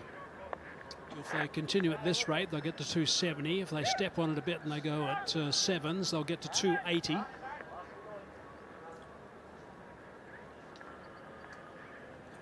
me just explain why it's so important for Afghanistan. They've won their last eight of 11 ODIs in UAE, but they have lost their last five. So they do need to turn things around, and it's a real opportunity here against uh, Ireland in these three one-days. They went down in the test match. That would have hurt them. They were favourites for that.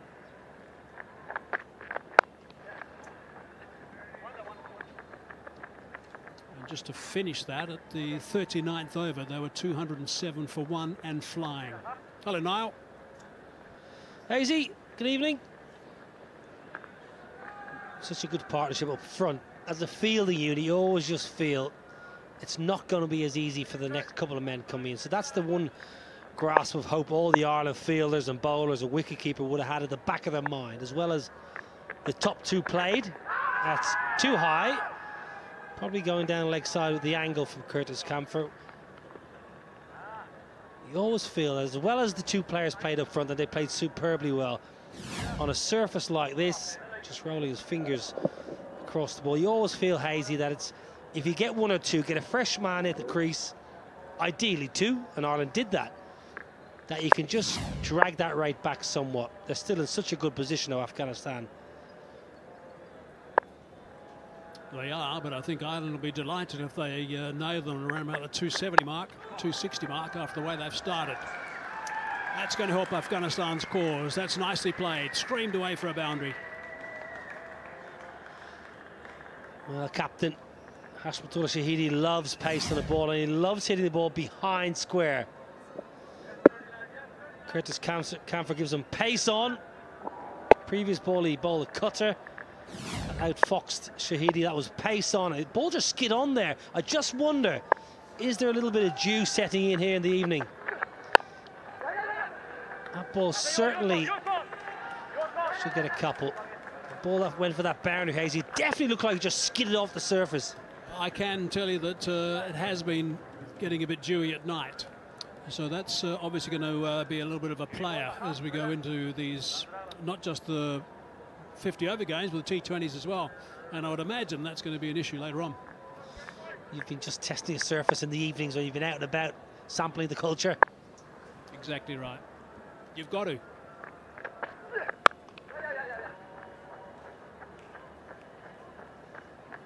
Nine off the over, 235 for four.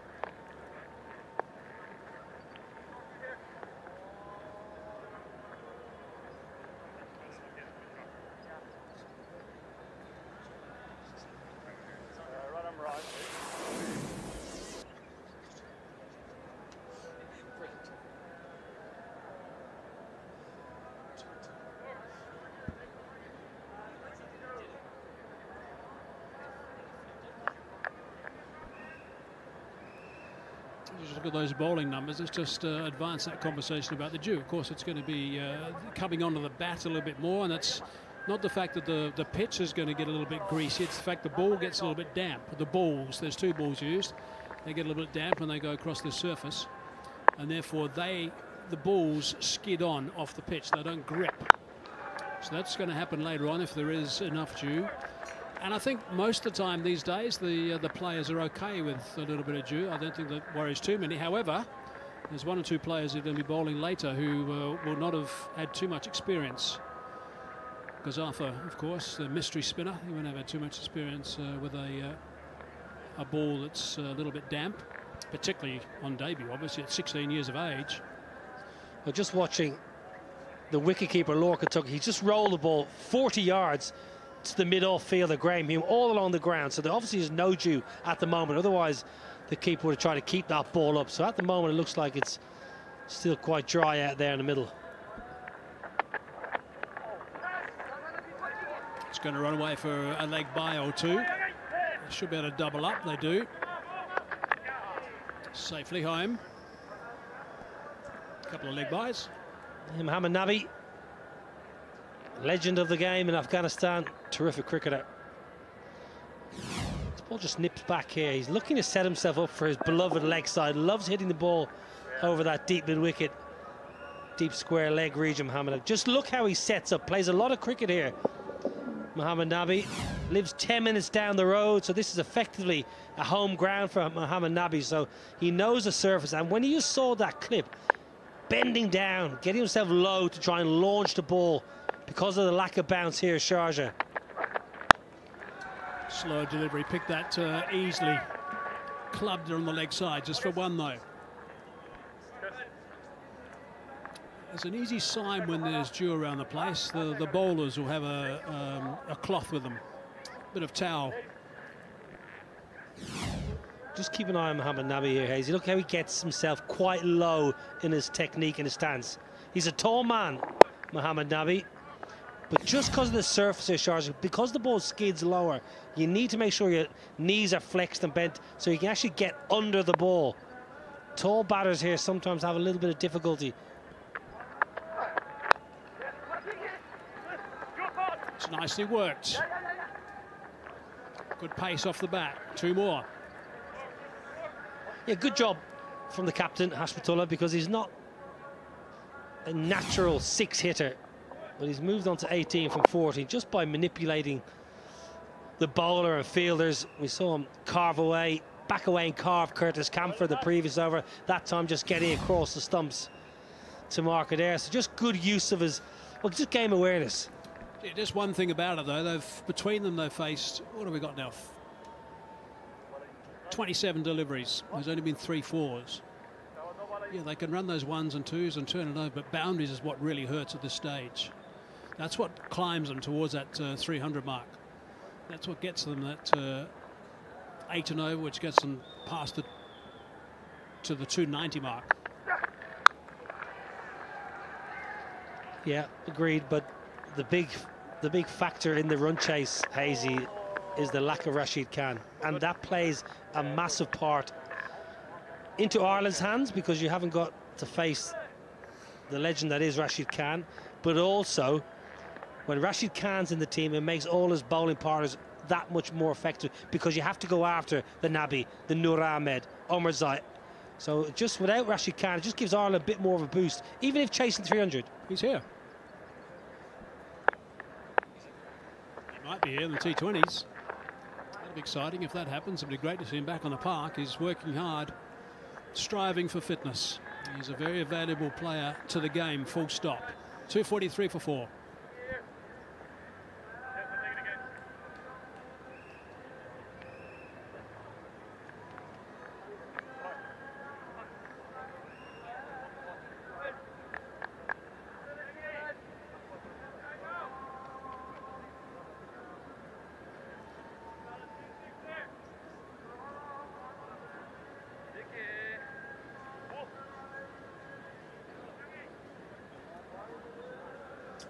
Just a, uh, a further discussion about Rashid Khan against Ireland. 55 wickets at an average of 17 and an economy rate of bang on four to the over. That's not bad, right? How many wickets? 55. 55 ODI wickets. Is that ODI cricket? Against Ireland in ODIs, yeah. Okay, well, I reckon I'm in there about, oh, and Raj might get, I reckon seven times I'm in there. Let me see what Rajneesh says. Rajneesh, no, he says 22 times. Lots of wickets, not many runs. En O'Brien versus Rashid Khan. He gave me nightmares, did Rash. Okay, it's not 22. On that also, Afghanistan's spin attack has been the most economical since 2022, and that's when Rashid Khan's been involved, and uh, Mujeeb as well. They have gone since uh, 2022, they've gone at 4.7 runs and over. That's extraordinary. He used to walk out of bat against Afghanistan, and Mohammad Shahzad was generally behind the stumps, and he's Well, quite cheeky chap, Mohamed Shahzad. And he would just tell Rashid Khan, here's wicket number X, because Niall's coming out to the bat. Of course, you weren't cheeky. Well, I wasn't in that situation because I knew I knew exactly what was coming. Unfortunately, he was going to wrap me right on that right shin in front of all three. They need to come back for the second again. They should be out of. Yep, they do. Touch and turn. It's good work. It's a horrible feeling when you walk out to bat and you literally know you've got little or no chance of getting any runs today because Rashid Khan's up against you. And you're just hoping that maybe the openers and number three can see off the majority of his overs and have a bit of respite against Mohamed Nabi or maybe Zadran or Gulbuddin, something like that. But no, there was Rashid, smiling from ear to ear, just thinking, happy days. I'm definitely getting one wicket today. Whirring away. Fast arm action, fast wrists. Concentrating on the various grips he had, rotations of the ball, various looks as it came down towards the batsman. I'm looking for, speaking of wrist spin, looking forward to seeing Noor Ahmed over the coming days and weeks. Left arm wrist spin, the must be the most difficult art. Left arm wrist spin to put revs on the ball, but also have the control, the discipline, the variation. The thing about him is he's so hard to pick. There's so little difference in his action, in his release from his wrong and his standard delivery. That's the thing about him. You'll see, he's just so tough to pick. Yeah, watched him at the Under-19 World Cup not so long ago, and he was very impressive. I think if you're an Afghanistan cricket fan, there's only one IPL team you're supporting this year, and that's the Gujarat Titans. You got Rashid Khan, Noor Ahmed, Omarzai. Three Afghanistanis in the one franchise at the IPL. Incredible. Just tidy bowling, five so far off the over. If they can finish this, if Young can close this over down, it'll be very good for over number 45.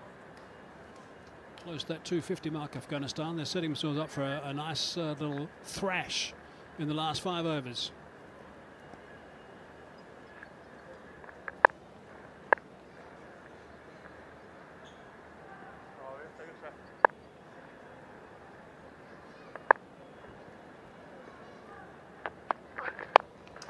Wide of the crease that time. Slower de delivery as well.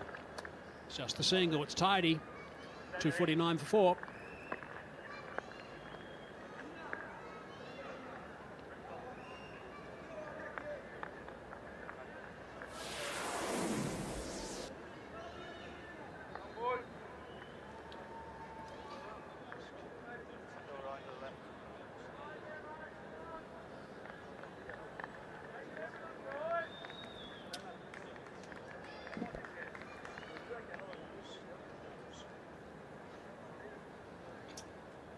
Goes on for at the bottom there. 16 years of age. Just think what you were doing at 16 years of age. Now, what were you doing at that age? What time is it? Quarter to seven. I'm not sure I can say. We're still a PG hour right now. Still at what? PG. What's PG hour? Well, you see a movie as PG. Parental oh, guidance. Oh, I see.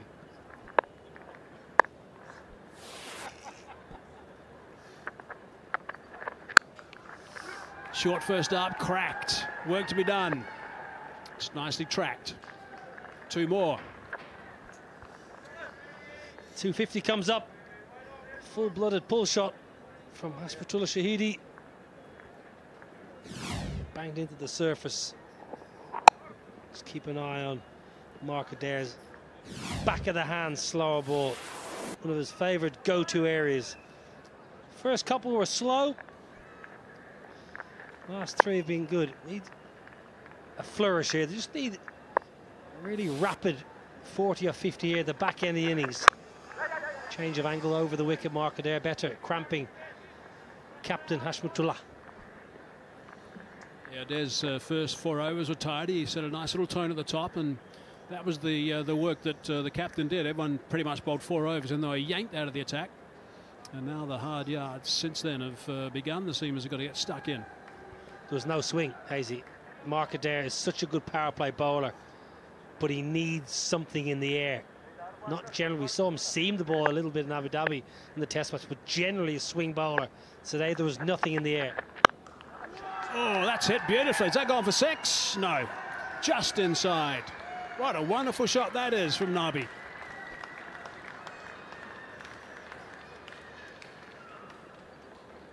Yeah, a real powerful blow here from Mohamed Nabi. I mentioned he likes going over mid wicket. He's, that area there, that is a very difficult shot. A couple of players I've seen in the recent past played that shot really well. Nabi and Sikandar Raza flat bats the ball over extra. Seven off half the over. There's a chance in this over to go big. Can look for uh, two more. I'm not sure they're going to get it. No. Straight to the fielder. Nicely uh, charged from the boundary.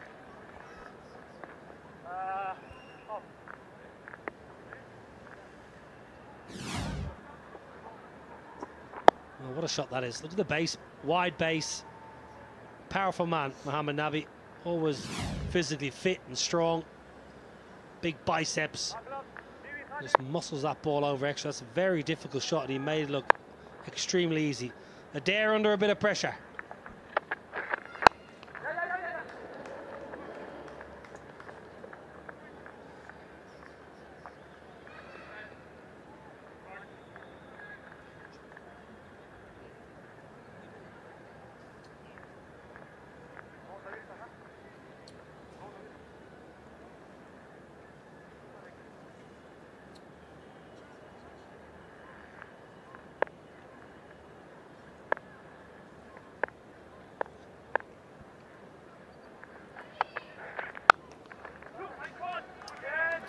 Might be two here. Coming back to the second. This will be interesting if it's a good throw. Went to the wrong end. End up being two off the last ball. 11 from the over. 260 for four.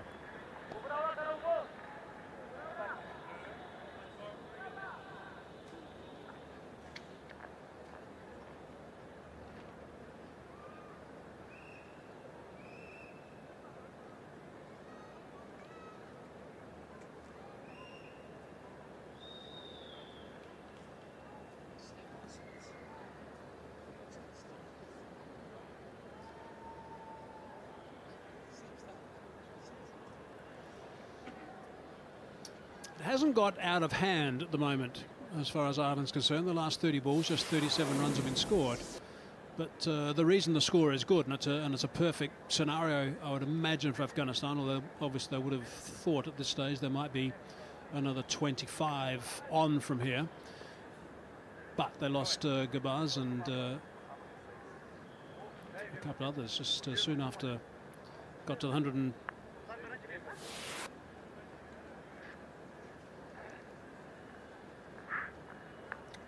and correction, the uh, 207 mark.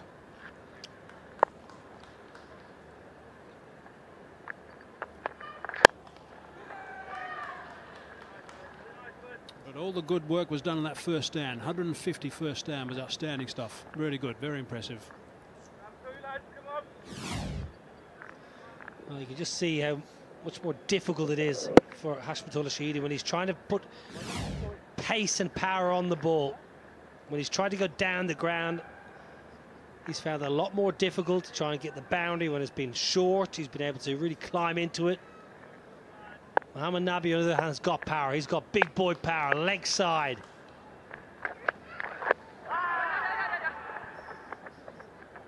Oh, well again, Craig Young, Hazy.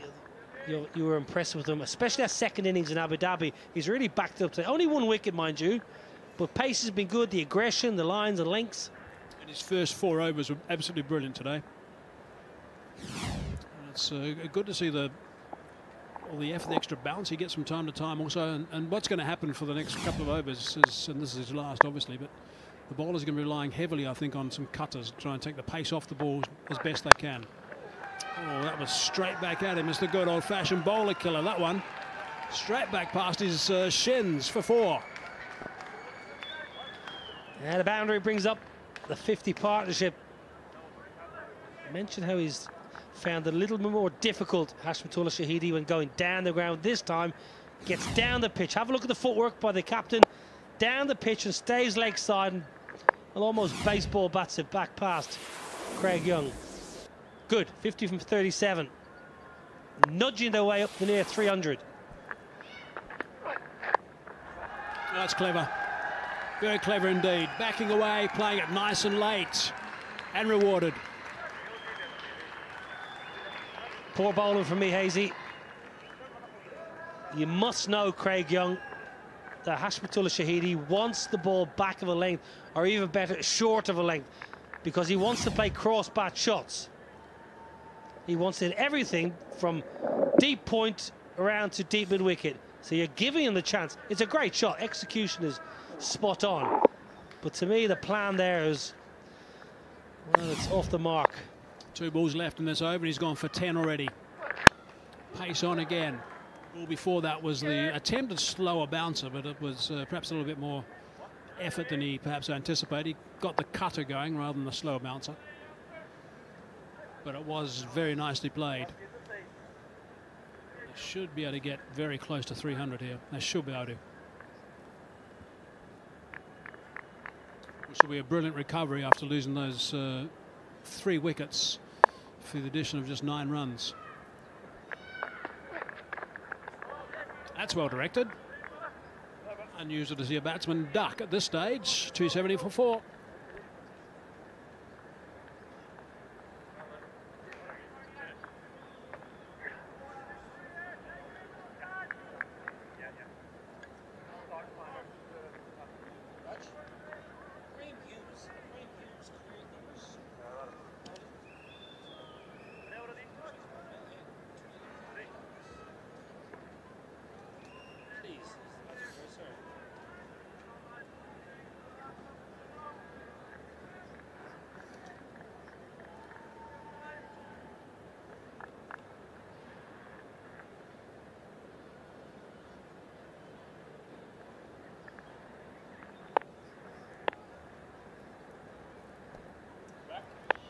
Three overs left.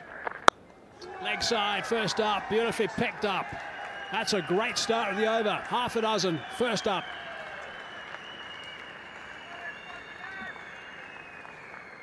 Uh, 49 runs off the last 30 balls, and Afghanistan with the luxury of having six wickets in hand and two bat, two batters set at the crease. It's leg side. It's a freebie, really. It's in one of the shorter little pockets of the stadium. Not a huge ground Sharjah, but that's one of the smaller areas down towards that long leg region. Nicely picked up from Mohammad Nabi. Yeah, no one's hit more sixes uh, for Afghanistan in ODIs than Mohammad Nabi. 104 with that one. Oh, he's found another one. Well done, sir. Oh, no, Paul Reiffel's found one as well. No, no, he's happy now. Paul says, I've worked it out. He's saying, did you lose one at some stage? Oh, he's dropped it. Oh, no, he's got one in his little clip behind. Oh, no, he hasn't. He's missing one in the clip. One's off. Well, Mark there trying to cramp, trying to jam in a leg stump Yorker to Mohammad Nabi. Nabi all over him. Read him like a nursery rhyme there, Mark Adair. Wide Yorker was the ball there because Nabi couldn't have had the levers to get back and reach.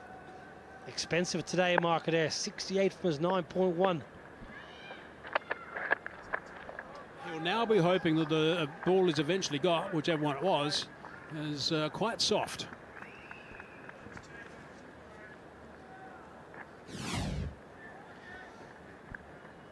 But such a better option. It's what Mark Adair should have done. The ball he went for six because Mohammad Nabi did exactly the same thing. Two balls in a row. He went leg side hoping Mark Adair would follow. Adair did follow the first time, pumped him for six.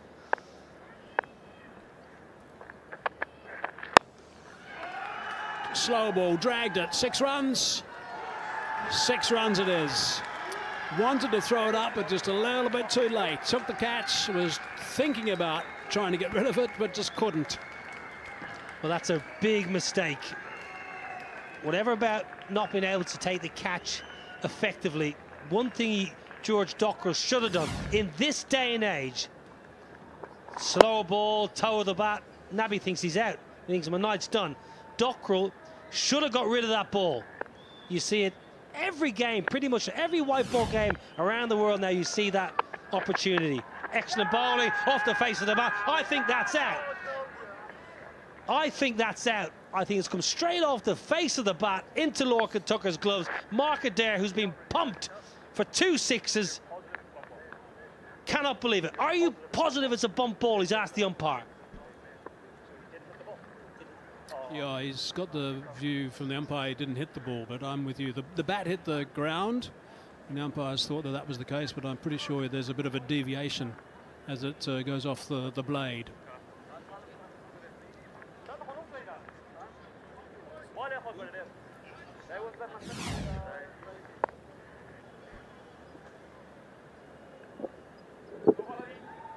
Straight off the face of the bat.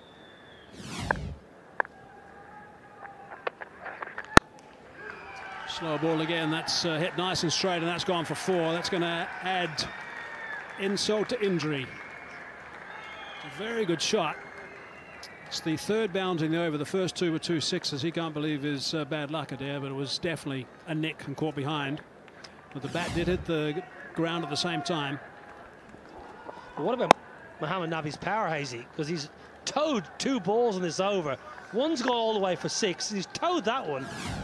Gone down the ground for four. 16 off the over, last ball of it. He's clipped that away. He's hit it nicely. It's only going to be one, I think. Yep, just the one. Big over. 17 from it. Should have picked up a wicket. Didn't. 287 for four.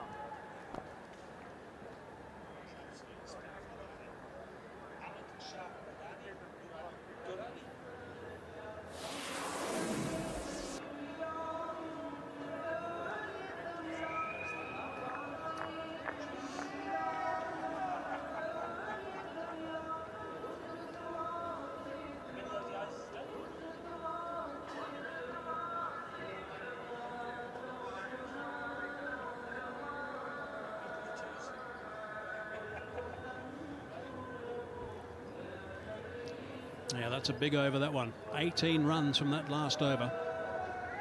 And this partnership is now substantial. 71 off 46. That is really good work from these two. Hashmatullah and uh, Nabi has done most of the work. 40 off 26. Nabi, outstanding. A strike rate of 154 at this stage. Hume with the hard yards. Two overs to go. Set that straight up in there. Should be caught and bowled by Hume. Should be taken quite comfortably. It is in the end. He was under for some time. Well, that reaction says it all. Leave it to the keeper. Big fast bowler and his follow through. It's a low full toss. Graham Hume, I'm telling you what, next time just leave it to Lorcan Tucker. He's got two gloves for a reason. It's a low full toss. Mohamed Nabi will be gutted. He's trying to be quite delicate. He's trying to be cute. If he had his time again, Mohamed Nabi, I reckon he's going to pump that one out of the ground. Good catch. Good reward for Graham Hume. Nice from Nabi. Going for 40. Afghanistan 287 for 5.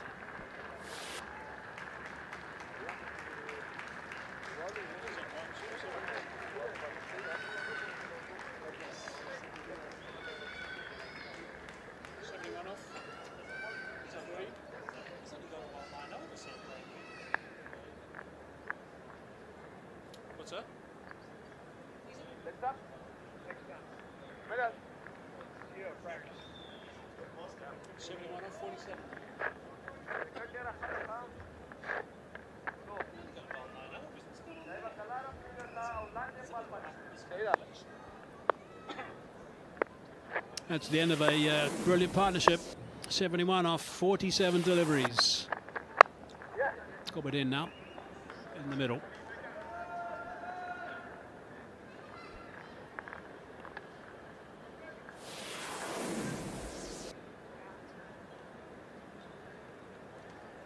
Average of 20, strike rate of uh, 75 in one day is experienced. Best of 82 not out, he can certainly bat.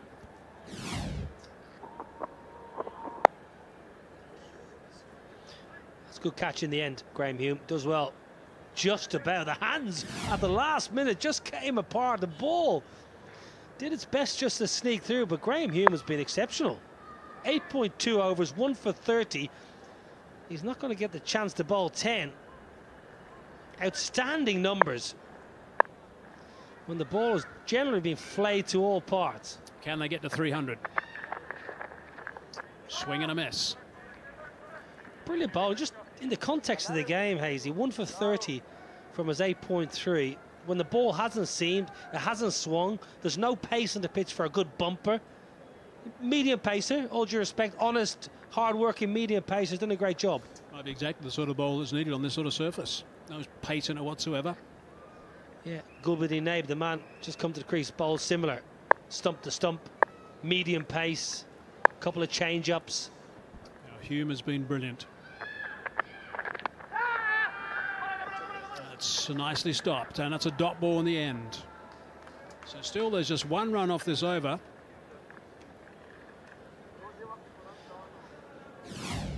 That's pitching outside legs, so no chance for the LB, but Lorcan Tucker, it's all about the wicket keeper here. That's brilliant.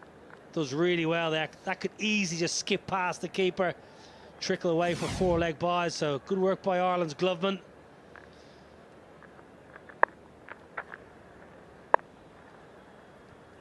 Two balls left in over number 49. What can Hume do to keep this nice and quiet? That's cracked away. And it's going to go for four. Thought about going for the catch. I think that was the issue. It was probably the right call, actually, to try and catch it. Just couldn't quite get there. Andrew Balbirnie in the deep. It's the cutter into the surface, asking Hashmatullah Shahidi to do all the power. Yeah, I reckon you're right. I think the chance was there to go for it. If he had just made that ground a little bit sooner and made a bit more of a direct beeline for the ball, would have been a difficult catch for Balbirnie, but it was certainly catchable. Hard down the ground. There's no one down there. That's uh, also gone. Six runs. So 10 off the last two balls. 298 for five.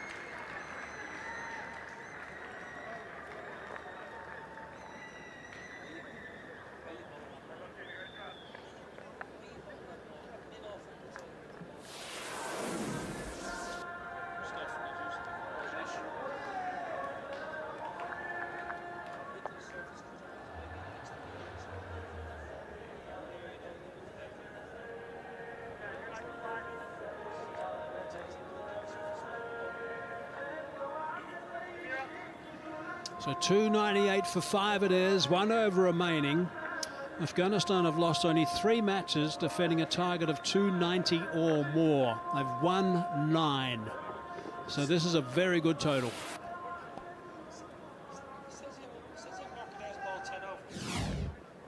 Have a look at the uh, six off the last ball. It's beautifully played. It was in the slot.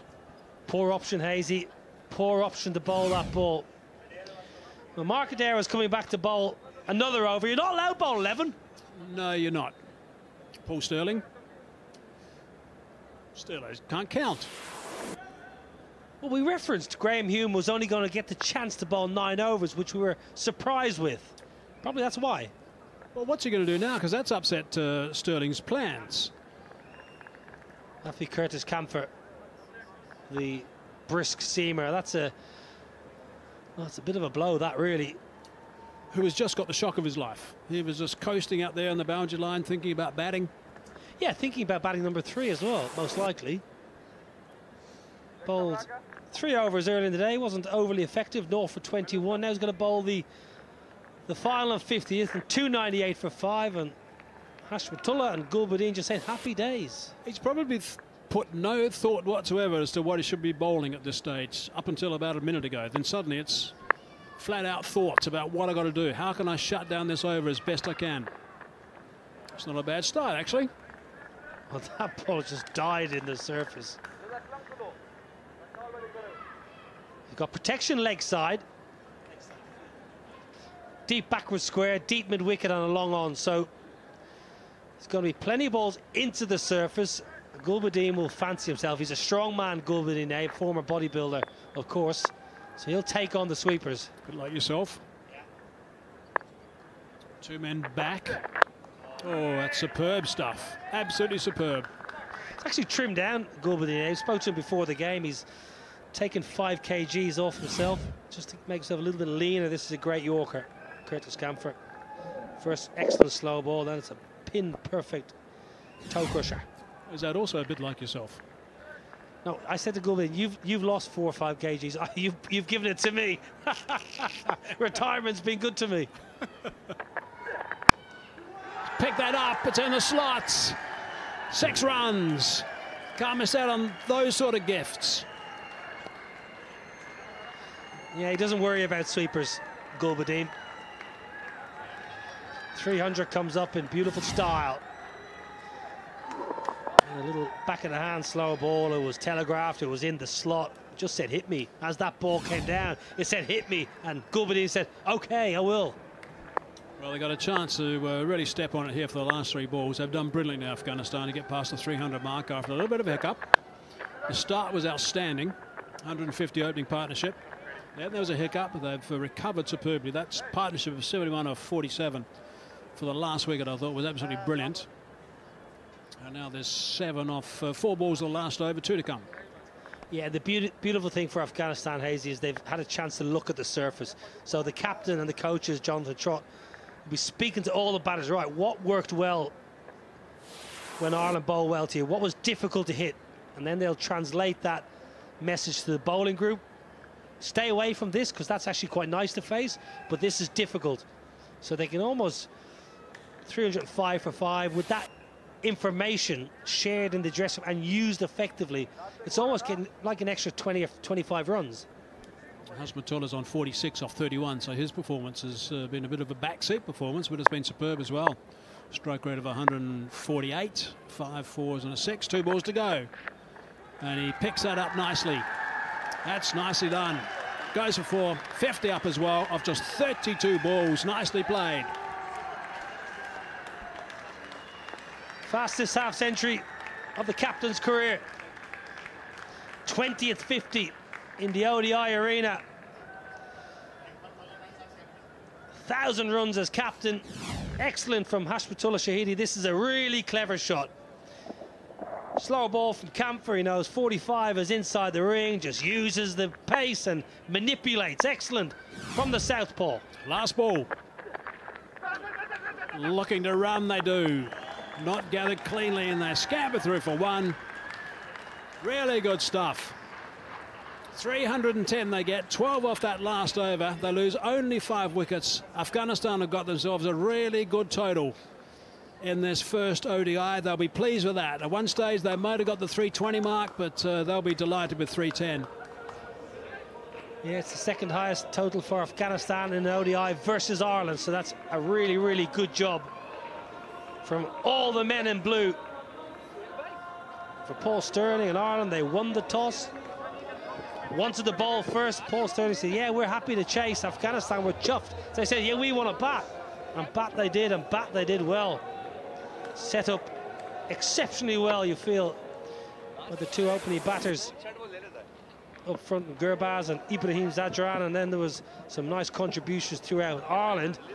Well, that's a massive chase. 311 off their 50 overs at over 6.22 or no. That's going to be a stiff chase. Yeah, I think that Paul Stirling is going to be so, so important in this. He's uh, got a very good record against uh, Afghanistan, so he will be key, and we'll have to do uh, the same again. Will the skipper.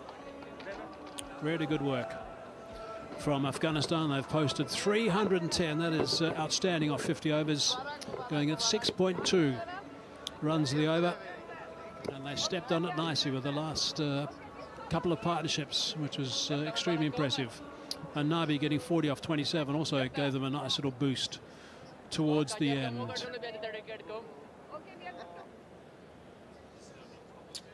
Right, let's uh, go downstairs now and join Ahmed Fadai.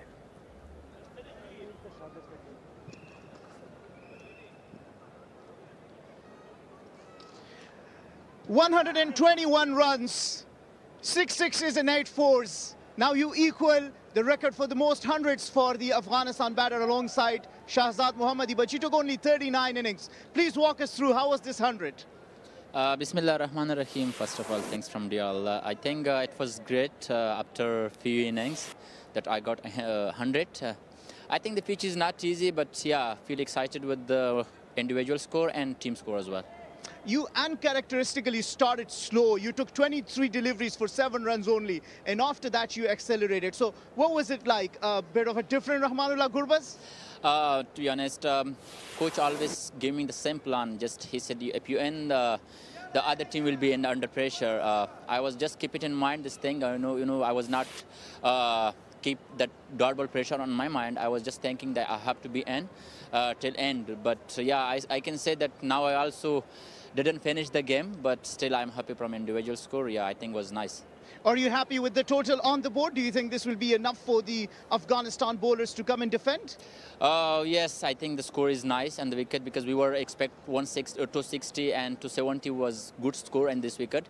But yeah, the way that Nabi and Ashmat finished the game, that was brilliant. I think, uh, yeah, but if you look the our bowling side, uh, I think the score is nice. Well, brilliant batting. Thank you very much. Uh, Rahmanullah Gurbaz, a brilliant 100 today. Thank you. Thanks. Certainly was. Outstanding century. 100 uh, opening stand. The fifth 100 opening stand was brilliant between him and uh, Ibrahim, so outstanding work. 1-2-1 for Gurbaz. Ibrahim 60. Nabaz uh, was, uh, Gurbaz, sorry, was outstanding with that uh, 121 of 117 balls. And Nabi was really impressive with his 50 off 27. Hashmatullah 50 off 33. So uh, good stuff all round. Not much to work with if you're a bowler here Sharjah. Pretty Flat pitch, Mark Adair expensive. 79 from his 10. I thought Graham Hume was exceptional. Just nine overs, one for 40. Picking the bowlers though, Theo Van Woerkom, 10 overs, left arm finger spin, three for 55. Right, let's have a look at some of the highlights from the uh, first uh, innings in Sunshine. These boundaries are coming thick and fast. That was the drop catch when Gurbaz on seven. Should have been absolutely swallowed that, but it wasn't. Went for four as well. Wasn't uh, very short, but picked up quickly from Gurbaz. And he's such a strong player. Likes to deal in sixes in the white ball game. I've seen him play a lot around the world, and he's a very, very fine striker. He's got a guy at the other end as well who can play nice. Ibrahim was uh, terrific with the work that he did. Gurbaz, really nice. 108 balls for his century. It was magnificent work. They just kept going and going. Ibrahim was bowled by Van Woerkom for 60 off 93, so 150 when the first wicket went down. And then Gurbaz in particular decided to step on the gas. And there's the big celebration with that 100. Played really nicely. Yeah, marvellous innings.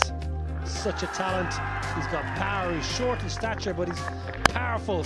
Good strike of the ball. Omarzai was promoted up the order, which was nice to see. And then Theo Van Woerkom, who superbly well, took some huge wickets, cleaned up Rahmanullah Gurbaz. This was an excellent bit of work in the deep. Mark Adair trotting back over his right-hand shoulder, takes a good catch. Captain Hashmatullah Shahidi came in at the back end innings with Mohammed Nabi, former captain and current captain totally outfoxed this over a couple of times. George Dockrell made a bit of a mess of that. Graham Hume, low full toss, catching off his own bowling, out of the way. It's all about me, my ball, my game. Shahidi, lovely, lovely poise down the ground and then a little bit of delicacy to bring up his 20th half century in the ODI arena. Interesting that Gurbaz said that they were talking about 260 initially, and at one stage it might have been 330, then it went like maybe 280, then it ended up 310, and that is Ireland's target. 311, 50 overs they've got, 6.22 runs per over. You can rejoin us in about 25 minutes' time.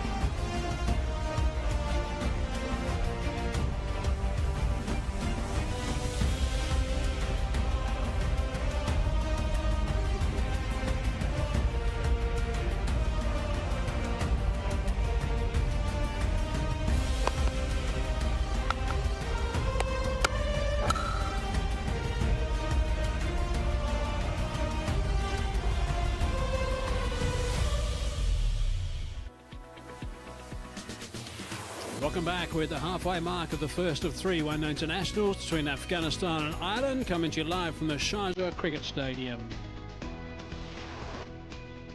We're going to first few shots of Afghanistan.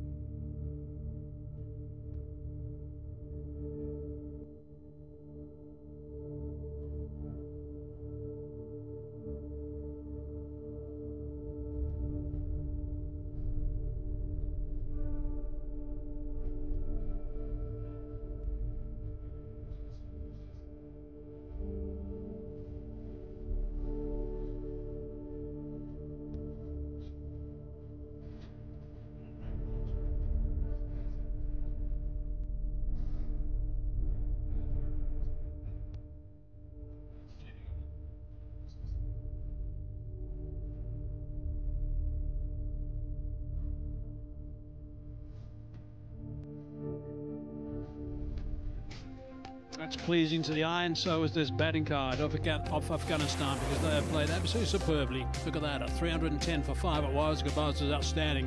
121 off 117 opening stand of 150 between here and Ibrahim. We got 60 off 93. Very handy 40 off 27 from Nabi and also uh, skipper Hashmatullah 50 off 33. So really good work. But let's have a look at the work that uh, Gurbaz did. He played some wonderful shots. He's someone who uh, scores boundaries. That's what he does in the white ball game. It took him. Uh, they played nice and sensibly right at the top, actually. Then suddenly he started to unleash. That was a magnificent shot. Wasn't that short? He picked it up brilliantly. Did it for six, and then he was in full flow. Really played uh, superbly. It was his uh, sixth hundred in one day internationals. Amazing stuff. Of 108 balls that century and ended up uh, getting a really, really big total of 121 of 117. So really good stuff. Confirmation of that stand of 150 off 189. So that was instrumental in getting past the 300 mark. Magnificent work. His partner, of course, Ibrahim, who really played nicely as well. It was Gurbaz that took uh, centre stage with uh, the sixes that he was scoring. But Ibrahim also is a little bit more sedate hit the ball crisply and uh, very valuably as far as Afghanistan were concerned because he had to go as well to make sure they uh, pushed on. Now this was the fifth time that they got a 100 opening stand and they went bigger than that. They've been so consistent for Afghanistan over the years. He got 50, ended up getting 60 off 93 and his performance was uh, superb. Tino's alongside me. Tino, just take us through the bowling card. Thanks, Hazy. That was tough going for the Irish bowlers. Didn't get wickets all the way through that first half of the innings. And you can see that it was the slower bowler. We expected there to be a little bit of assistance for the spinners. Van Woerkom with 3 for 55 and his 10. The rest of them all pretty expensive. So it's a big target they're chasing down, and this is only three one-day internationals. Then we go to three T20s, remember. And that's what they need. 311 to win Ireland. It's a big ask. They need to go at 6.22 runs per over.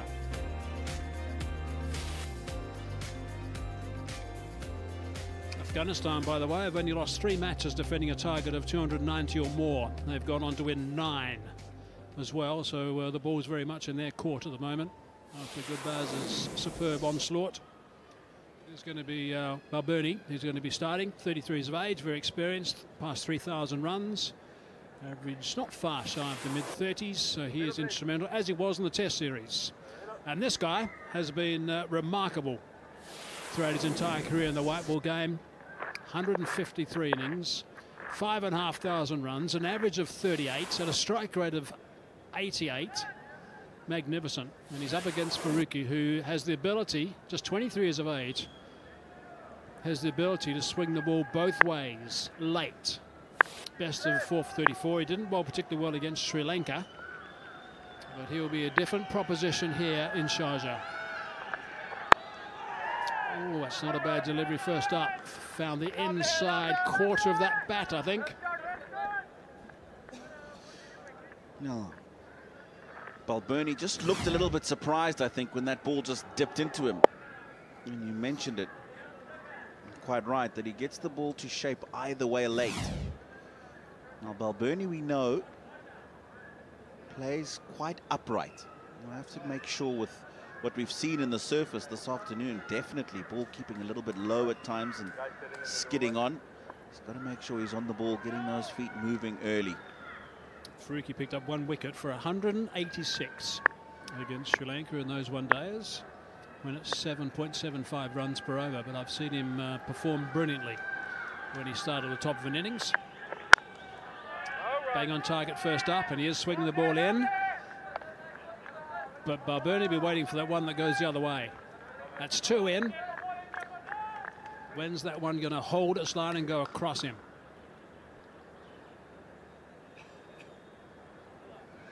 He's a man who's full of confidence.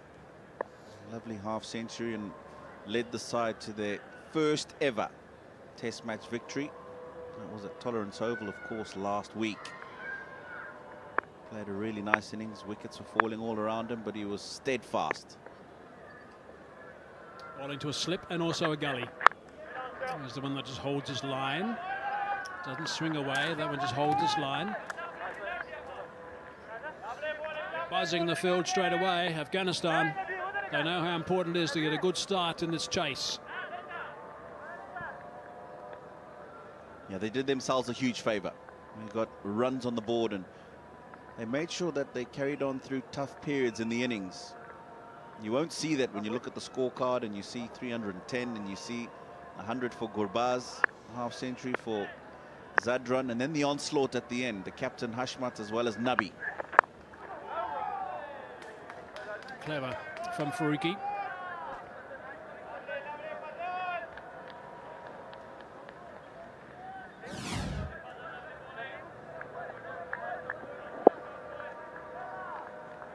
That one looked like it probably just held on the surface a bit longer than Balbirnie expected, but he's very skillful, Faruqi.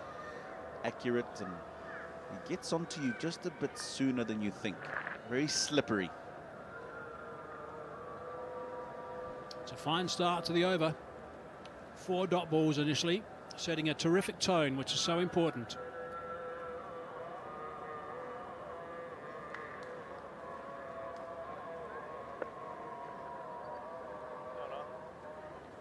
Bit of a conversation between Hashmatullah and the on umpire. I wonder what that was about. Whatever it was, they seem to have agreed.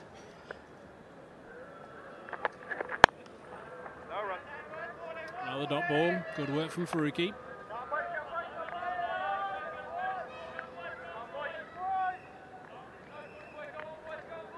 When you need to go at uh, nearly six and a half to the over which is what Ireland need to do. You can't afford too many slow overs right at the start because then uh, you've got to play catch up a little bit. It's okay when you've got some good strikers.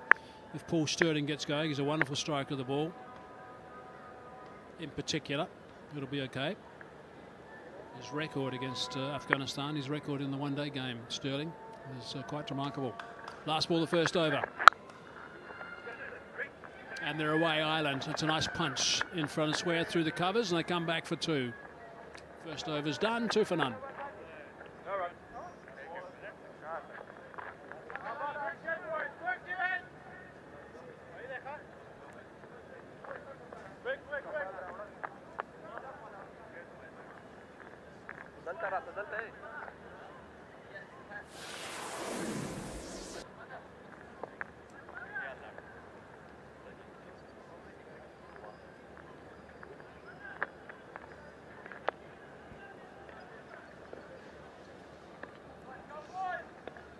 Campher at three. Tector, who's been uh, very consistent in uh, all formats actually for Ireland. At number four, Mazai. 23 years of age, again, another young player. Fast medium. Let's look at the work that he's done in the 26 uh, matches at this stage. Not a big wicket taker. He'll be starting with a couple of slips.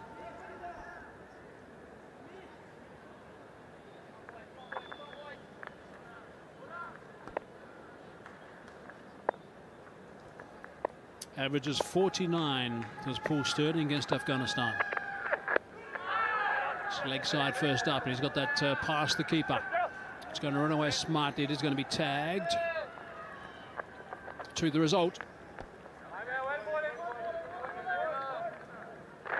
Yeah, straight and just went on with the arm, that first delivery from Omarzai. He's got to be careful to stay away from there. He's just got a very straight mid-wicket and pretty straight mid-on as well as protection. Otherwise, all the way around from that straight mid-wicket, who's almost in a catching position, to fine leg is acres of space on that leg side.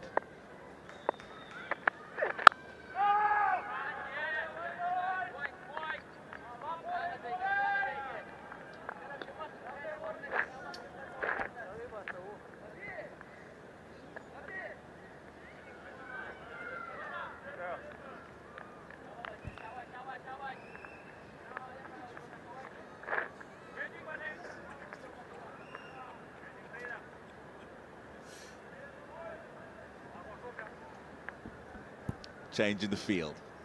Two slips that were in place have gone out. The one who remains goes to a one and a half slip. And then a close-in catcher on the offside. I like that. Didn't take long for that change. No pace in the surface.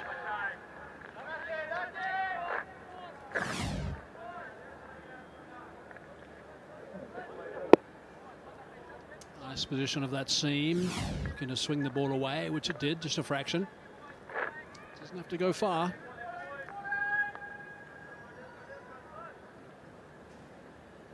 Also with a man going that uh, short cover from the slip cordon keeper and slip have come up a yard too, which is sensible. Oh, it's a lovely punch in front of square. Nicer work by Stirling. He's going to come back for the second. Yeah, just looking at the way he played it, I wonder if that probably just kept a bit lower than he thought. What he did well was just open the face at the last instance. There. A conscious effort to make sure that he gets it in the gap.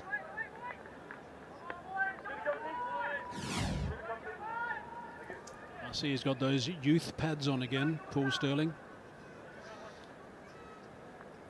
Very small pads.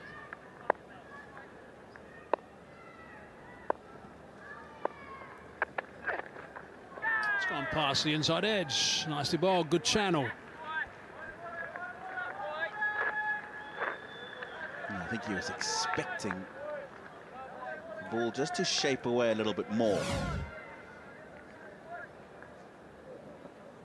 It looked like it was going to, and it just went straight on. That's why it's gone past that inside edge.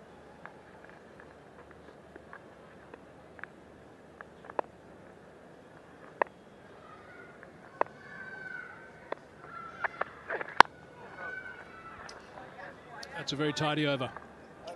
Six for none.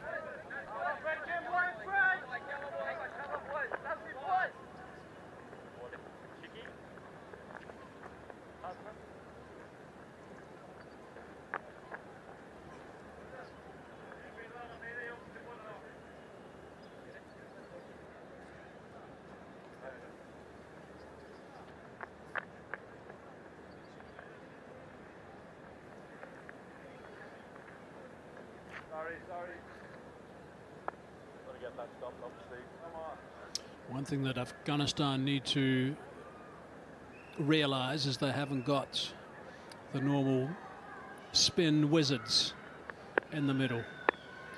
So they've got to make sure that they're ahead of the game when the spinners get involved. More emphasis on these opening bowlers, and that is a magnificent delivery. Change to Faruqi's field as well now to Andy Balbirnie.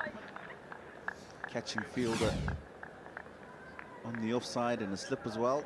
I'm just wondering, we've seen him bring the ball back a lot into Andy Balbirnie. We saw the first ball played into the onside but aerial. I wonder if he should just get that catching fielder onto that onside. Because if he gets that line slightly wrong, then he's got the extra protection of possibly a straight to square leg as well. Holding its line. The The other thing about him is that uh, his line will be consistently starting outside that off stump, so he'll be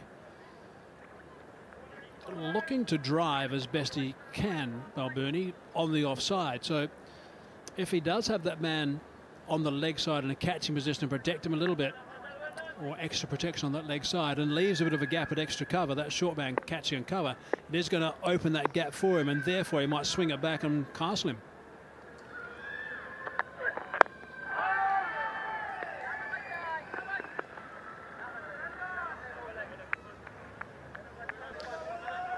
Yeah, so much that the captain and the bowler in the middle have to think about with the assistance of a lot of the time the wicket keeper as well these days because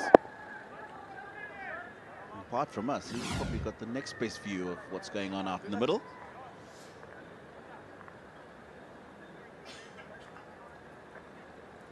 Two hundredth one international for Ireland. They'll want to make this a, a good return. They've got uh, their work cut out chasing down 311 to win. Means they need to be positive at the start, positive in the power play. Only two allowed outside in the power play, outside the circle that is. Around the wicket. And that goes past the outside edge this time. I like the change in approach and I like it early as well. Just gives the batsman something extra to have to think about. Something extra to deal with and straight away he's played a false stroke outside that off stump. Look how that ball's gone through to the keeper. Almost on the bounce, Hazy, and it's only the third over of this evening innings. Wonder how much more difficult it's going to get for the Irish batsman in terms of the ball coming onto the bat with nice pace and bounce. Again, that time it swung away. That's nicely bowled. Again, keeping low, but swinging away this time. That's the first one I think we've seen swing away, which is probably why Farooqi's decided to go around couple of the bowlers, Farooqi being one, has got that towel stuck in the back. So they're anticipating some dew, which will make it easier for the batting side. As the ball will just skid on, it won't obviously move through the air.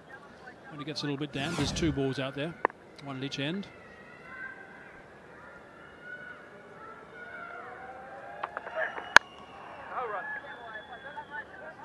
Stop bowling, that's a maiden. Brilliantly bowled by Farooqi, six for none.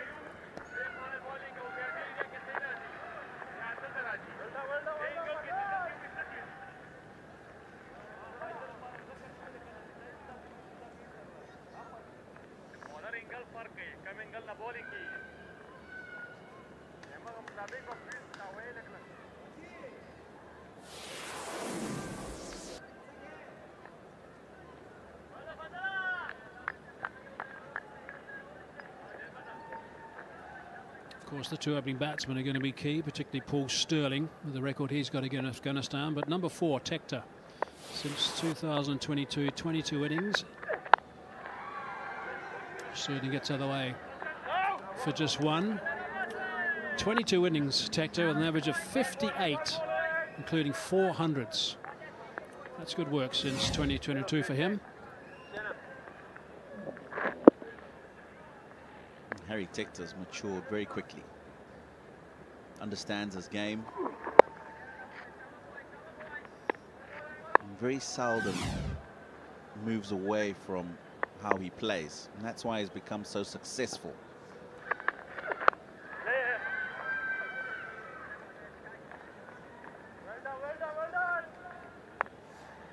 Takes his time when he gets out in the middle, gauges how the surface is playing.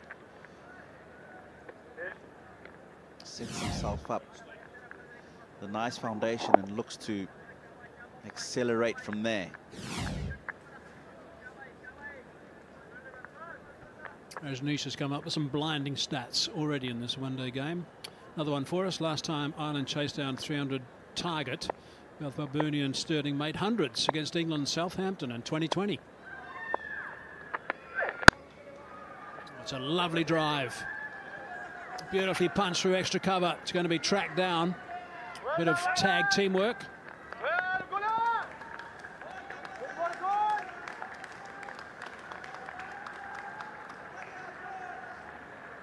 This is a good shot from from Paul Stirling. And even with that man at extra cover, manages to find the gap between them and the cover on the offside ring. But again, just the opening of the face, the point of contact, so it finds that gap. Gurbaz is quick. Make sure they just get two. Oh, it's gone past the outside edge. No, it's nicked it. And up goes that finger. Stirling's not going anywhere. Little shake of the head from Stirling. He doesn't think he nicked that. He's not happy, but Afghanistan are. Well, if it's unfortunate if he didn't, but what a delivery. Just angled in and left Paul Stirling. His reaction, the shake of the head, lets you know that he believes he got nowhere near the ball. Afghanistan appeal and Afghanistan celebrate.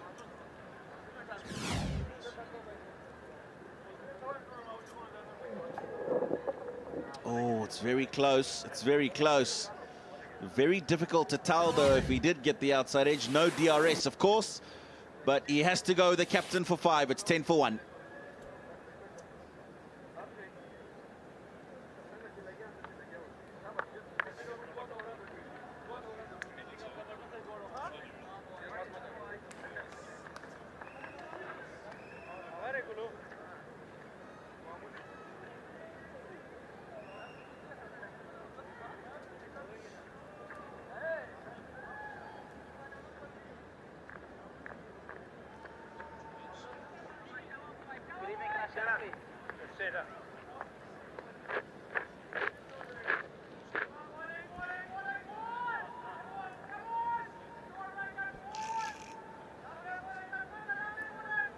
Two ball shy of four overs. First wicket down. Big wicket for Afghanistan. Paul Stirling. Curtis Campher. It's nicely cracked. First up from Campher, no run.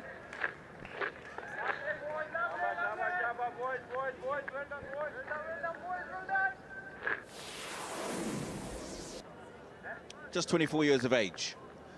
28 innings in his career. Best of 120. Six half centuries to go with that 100.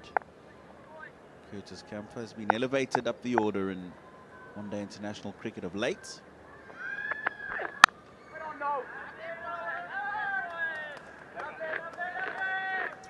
Ten for one.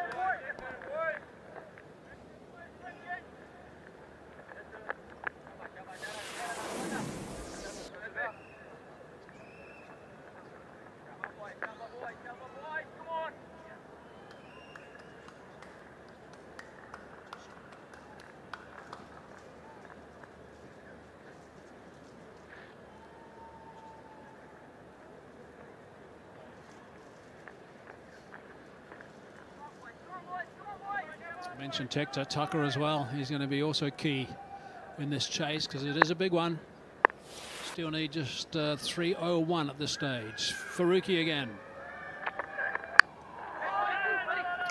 On the inside edge, you're going to look to come back for the second. There won't be a second there though. They're buzzing, Afghanistan, buzzing at the moment. Yeah, and this is the reason why. Dismissal of Paul Stirling. It's a beauty of a delivery. Not so sure that he did get the outside edge, but they won't mind Afghanistan. They've got the early breakthrough that they were looking for. This man, it's a wonderful record against Afghanistan. Yeah, I didn't uh, hear anything in, in my uh, ears at all.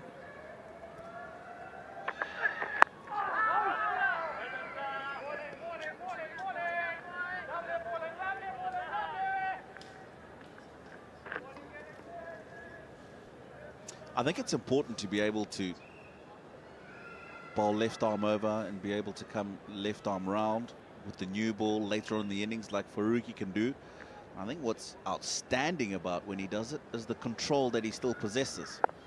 Sometimes it takes bowlers a bit of time to be able to get into the correct radar, especially with the newer ball when they change over early. Quick single. Oh, he's hit the stumps. Rahmat but I think Curtis Campher is home. Yeah, I think they're going to have a look though. just to be sure. Better to be safe than sorry.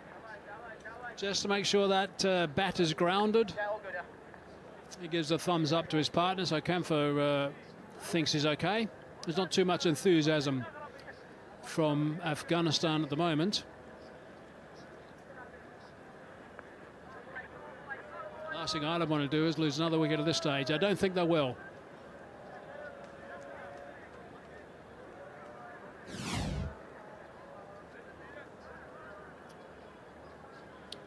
Safe by some distance.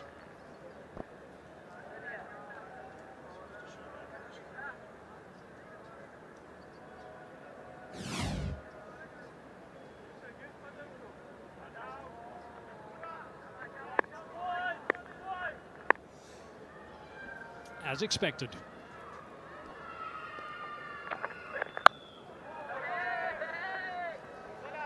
Got a real skip in his step at the moment. Farooqi is bowling absolutely brilliantly.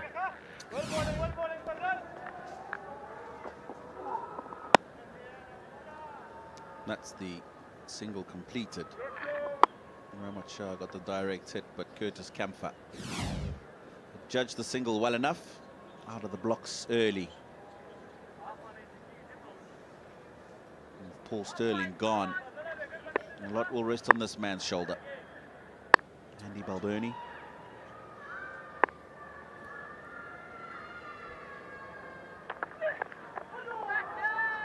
Looking for the big drive. You're getting just a little bit edgy at the moment, Ireland. They don't have to. Still got plenty of time.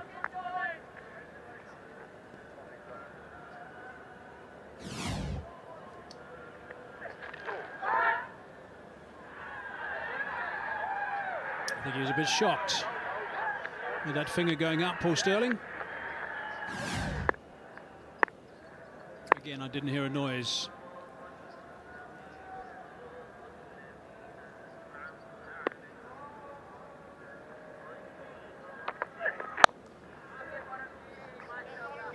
Just two off that over, 12 foot one.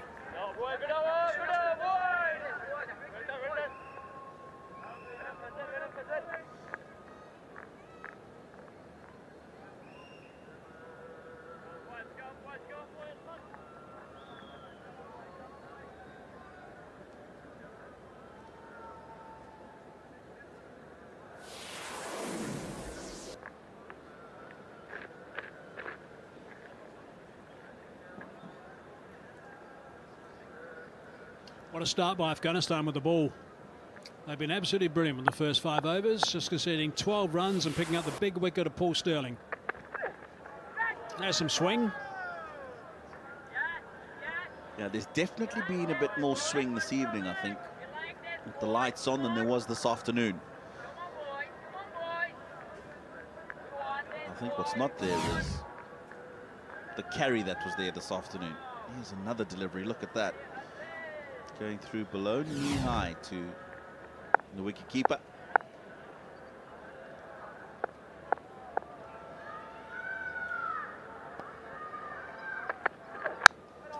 Just got to try and get some sort of, oh, there's a uh, unforced error. Oh, there's another unforced error, but uh, both of them not penalised.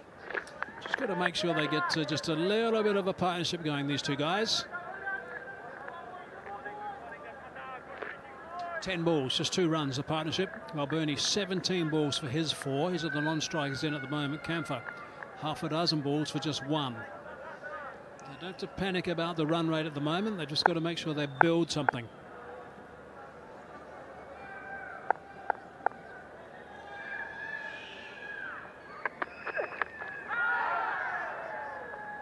This one goes the other way. Good pace on it as well.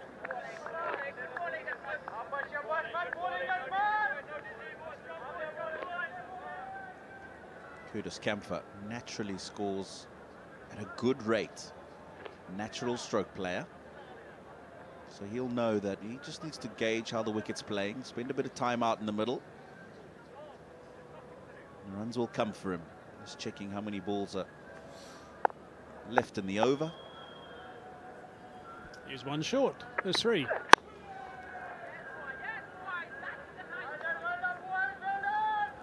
Reminds me of the story from Meyrick Pringle bowling in a test match against India at the Wanderers, He uh, walked past the ball. He was bowling, of course. He walked past uh, umpire Cyril Mitchley. Remember umpire Cyril Mitchley?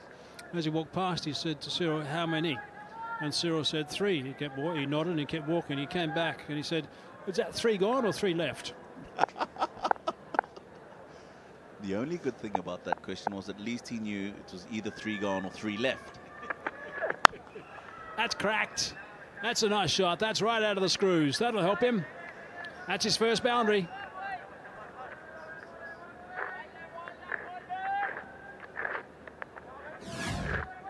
Yeah, this shot oozes confidence.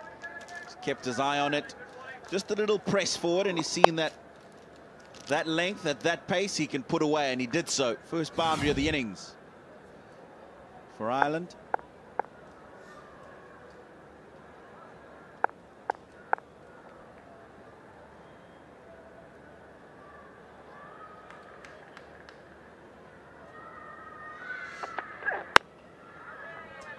Very, very good delivery from Omarzai.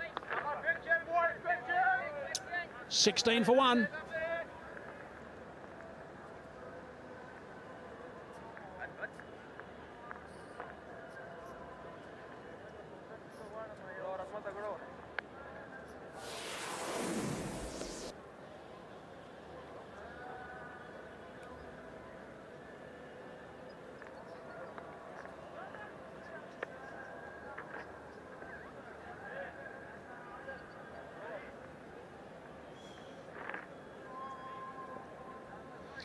Quiet on the Sharjah front at the moment.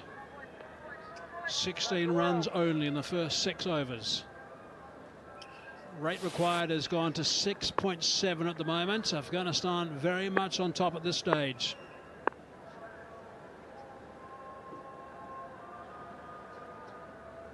Faruqi, three overs, none for four. Starts his fourth. Bowled him. That is a beauty. That has just come back enough and hit that off stump quite hard. It's been a struggle this innings for Andy Balbirnie, unfortunately. And it's been a struggle mainly because of Fazalhaq Faruqi. Hasn't been comfortable to him all through this evening. And eventually, he's got one to go past the bat and crash into the stumps.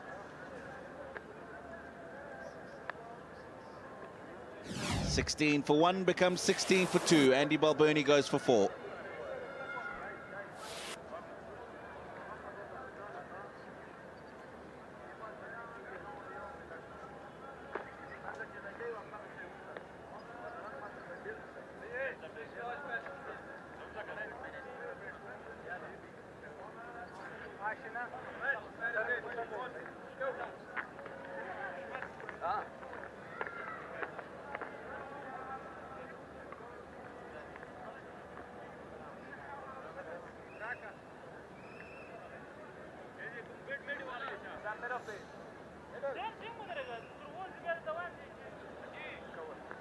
Took 207 runs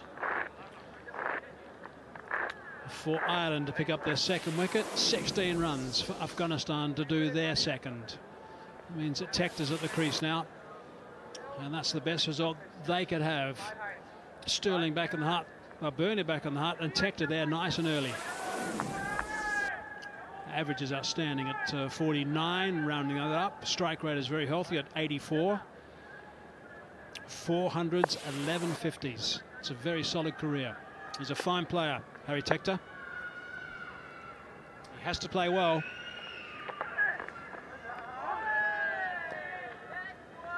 Let's have a look how much this ball comes back.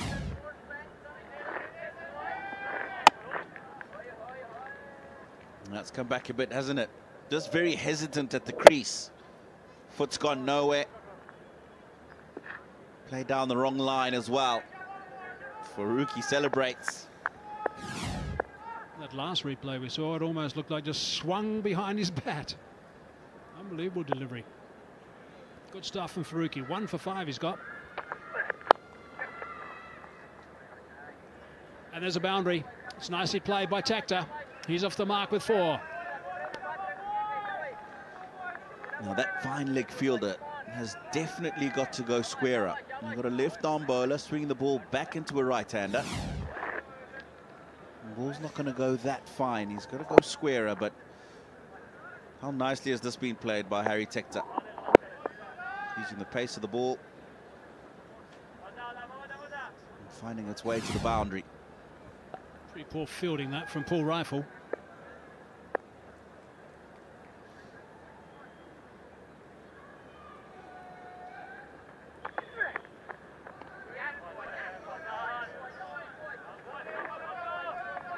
This is what he'll do. Harry Tector, early on in his innings, very happy to leave the ball outside the off stump. Takes his time to get used to the conditions and see how the ball is coming off the surface. Is there a bit of swing? Is there a bit of movement off the track?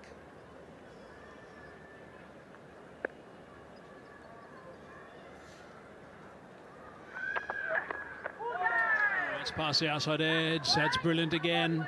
Faruqi. He's been far more effective, interesting enough, since he's uh, gone around the wicket. Now, one of the reasons these left armers are so effective, there's a couple of reasons. One, when they're over the wicket and they're not swinging the ball, they can just shut down the one side and bowl wide to right-handers. So they have to play on the offside. When the ball's swinging around, they are very difficult and often swing the ball nice and late. Perhaps the main reason left armers are so effective is because when you're a young player growing up all through your career, as you get closer and closer and play more first-class cricket, it's almost like muscle memory. You're used to facing right-arm bowlers, so left armers are all just a little bit different, unless you're used to facing a lot of them. Not too many players are, and that's why so many teams these days always want left-arm quicks, particularly in T20 cricket. They're gems to have in your side. Left arm seamers. More so one like this who's very versatile in how he bowls. Able to bowl over the wicket, able to bowl round the wicket. Swing the ball in, swing the ball away. We haven't seen his variations. He's got those two.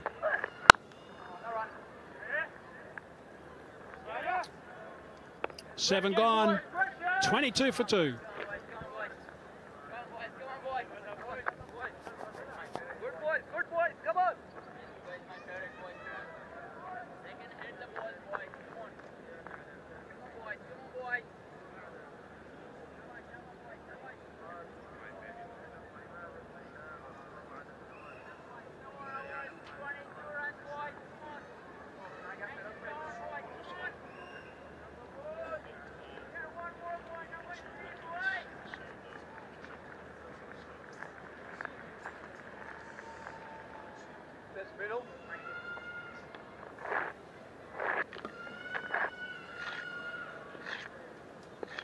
Terrific start by Afghanistan.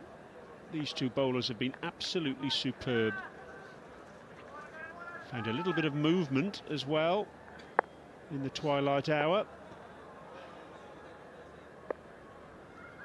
Omarzai continuing. Niall O'Brien's alongside me. Good evening, Niall. Evening, Brian. Difficult for Ireland. All the twos, 22 for two, but they've got plenty to chase. Afghanistan have it moving now.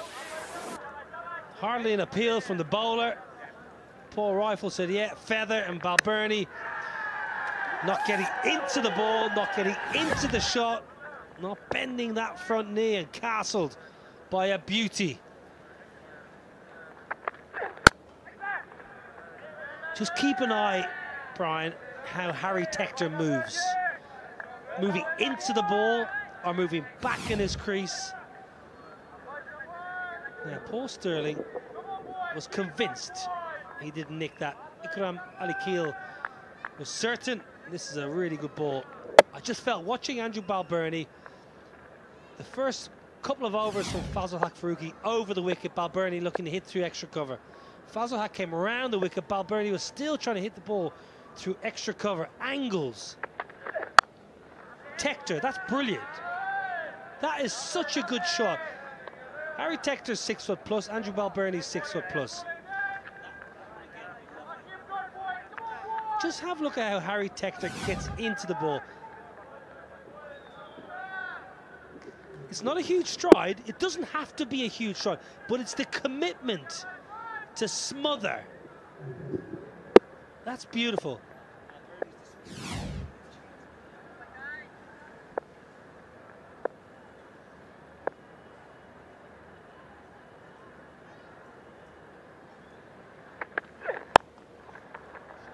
A lovely shot from Tector. We really have seen him grow up before our eyes over the last couple of years. The World Cup Super League did him a power of good, and that really is a terrific stroke off his pads. Yeah, second boundary, and it's a similar shot. Carbon copy, leg side flick, and again, I'll just mention the balance. It's a poor ball. Most batters, even yourself, Brian, will put that away most days of the week, but it's with the ease that Harry Tector does because the balance is so good.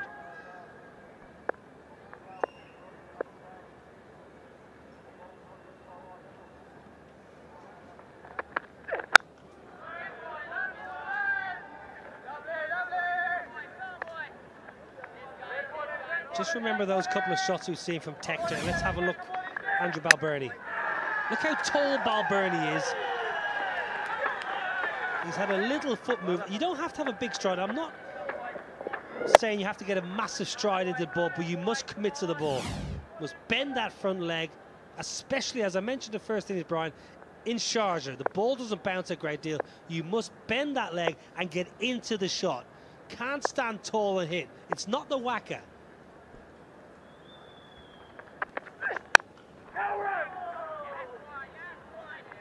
It's the end of the over, four runs from it. Ireland 26 for two.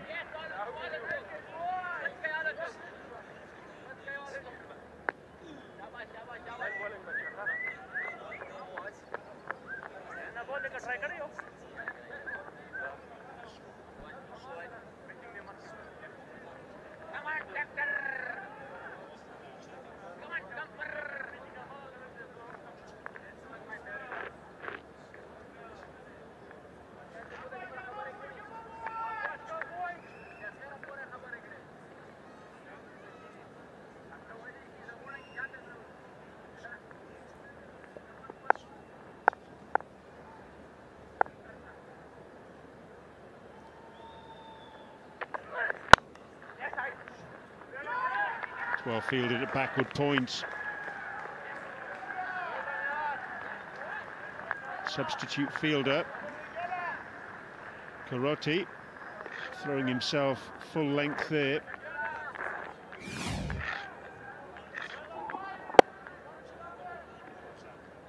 Well, Ibrahim Zadran is off the field. That's great work. To his weaker side, left arm thrower. Dives away to his right. Excellent, good commitment. That's what you got to do. You're not in the 11. You can still make a difference, make an impact. Coach will enjoy that.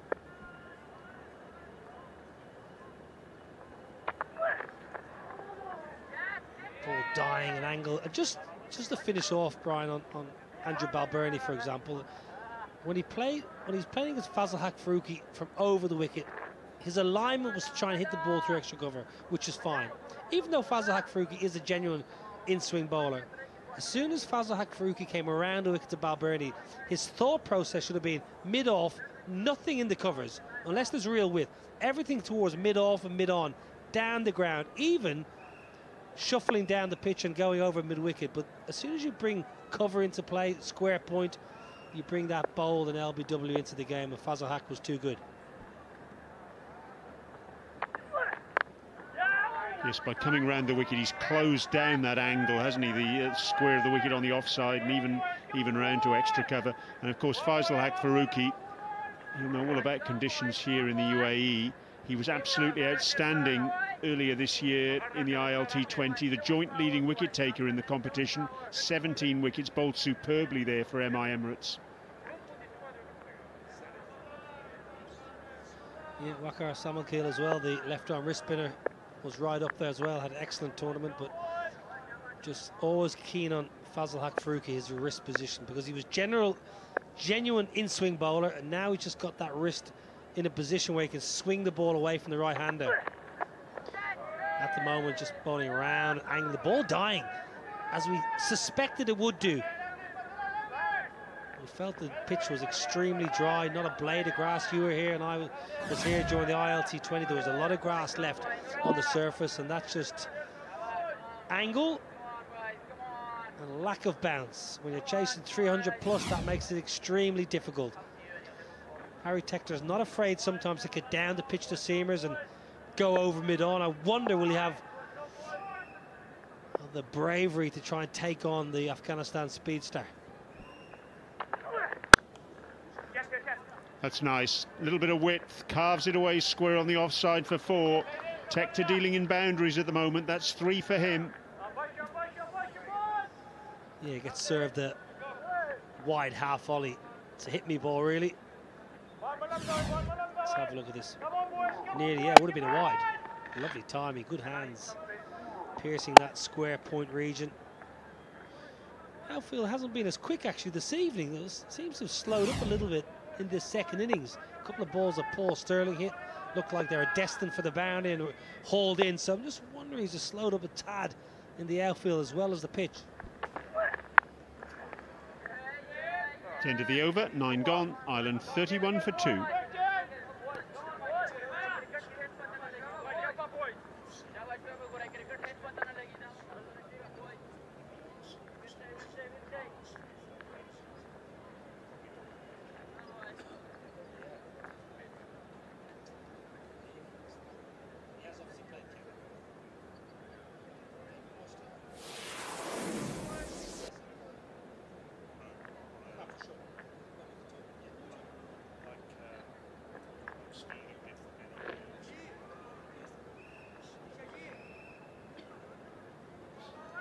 Looks a long haul this for Ireland, doesn't it?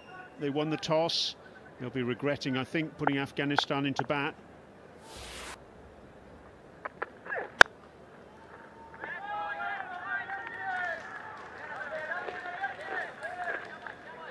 Harry Tector, as I mentioned earlier, we've seen him develop superbly through the Cricket World Cup Super League, Ireland getting a whole host of matches over the course of two years how's he going to develop further? How's he going to continue this progress now, I wonder? In the past, a player from Ireland would have gone and played county cricket. That's not really an option that's open now because, of course, he'd be an overseas player post-Brexit. Yeah, played a little bit for Gloucestershire last year and certainly good enough to, to uh, grace the county game, but made more difficult now, as you mentioned, Brian, being an overseas player as opposed to a local. I was one of many players that prospered from a long time, best part of 15 years of the county game. And there's no coincidence that when Ireland had five or six guys playing county cricket, the national side benefited also. But at the same time, Ireland, as a, as a nation, as a cricketing nation, have to develop through our own system. We have to have a system in place throughout the whole country, the 32 counties that brings on the next generation. Harry Tector generally has been developed in Ireland by Ireland. Whereas you look at someone like an Eoin Morgan, for example. Eoin Morgan was destined for greatness from a very young age. And I played against Eoin when he was 12 or 13 years of age. I think everyone knew back then he was one, going to play for Ireland, and two, was probably going to go on and play for England. Not many would have envisaged the success Eoin Morgan had. But he went to England very early, Dulwich College, summer summer timetable. Went to went to school in the UK a couple of times. Used to the bottom hand from Curtis Campher. Should get a couple. So there was there was a case of all the cricketers, Ed Joyce, myself, William Porterfield went to university in the UK. Gary Wilson was at the Oval at Surrey for a long time. So as much as Cricket Ireland developed through the underage system and some of the rep teams, the finishing school was almost a county game. So now Ireland has had their own finishing school, and that's I think that's very important that the Ireland Cricket Ireland aren't relying on the ECB. So Harry Tector is a prime example. Lorcan Tucker, another, developed in Ireland by Ireland. Yes, I know there's talk within Cricket Ireland circles of the possibility of bringing first-class cricket back to Ireland this coming summer, if they can possibly do it. Of course, COVID was an issue. The first class matches that were played were killed at that point and they haven't been revived since. Yeah, I'm, I'm, well, you told me that, no surprise that you're the man, the fountain of knowledge, but that is great news because if these Ireland players can get some competitive red ball cricket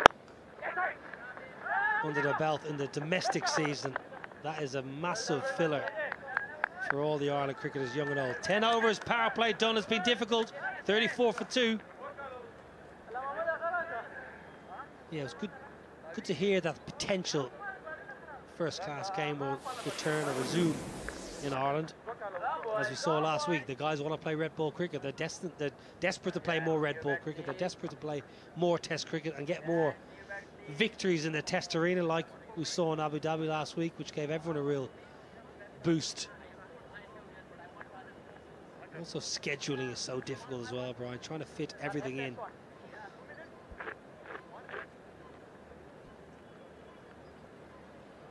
Well, Afghanistan with 37 after the first power play, so there's not an awful lot to choose between these sides in that sense. But of course, Ireland have lost two prime wickets, two players who've got fantastic records against Afghanistan Andrew Balbirnie and Paul Stirling.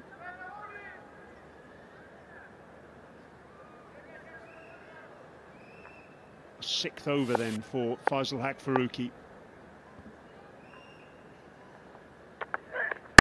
Oh another wicket too. Well bowled.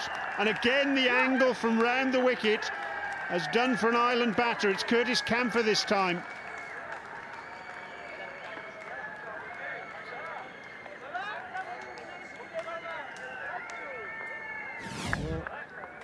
I think trigonometry angles left arm around the wicket you're trying to hit the ball through extra cover it doesn't work Fazal Haq says, yes, please, you ripper.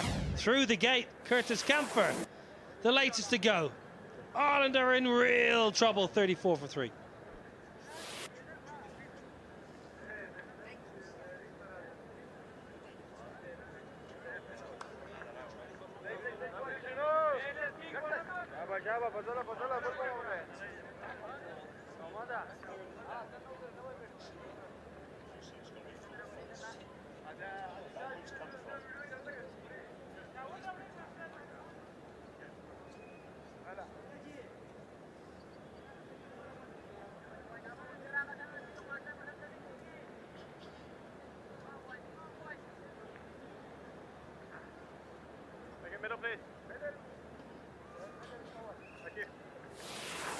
Lorcan Tucker in at number five. It's his 50th one-day international. 16th player for Ireland to reach that mark. His highest score of 83, he scored that against Afghanistan in Abu Dhabi three years ago. It's more of the same now.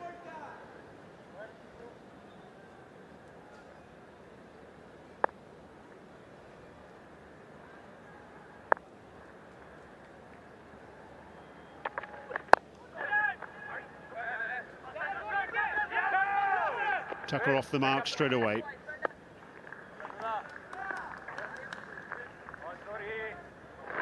Well, I've been harping on about angles for the last 15 minutes. Have a look at the angle where the ball's coming from. Have a look where Curtis Campher's trying to hit the ball. Ball angling in from left arm around the wicket. And Curtis Campher's trying to hit the ball through an extra cover region you're just giving all the advantage to the bowler there. You're just opening yourself up. It's great bowling. It really is high class. Just going to keep a close eye now on Harry Tector. Plays exactly the same bowler. What his movements are, how he's aligning himself, where he's trying to hit the ball. Straight to Brian. He's trying to hit the ball down the ground. Well, power play's been difficult. Paul Stirling got a good ball. He just nodded there, Paul Stirling, as if to say, yeah, good ball, too good for me. He was given out. Paul Reiffel said you nicked it. Paul Stirling didn't believe.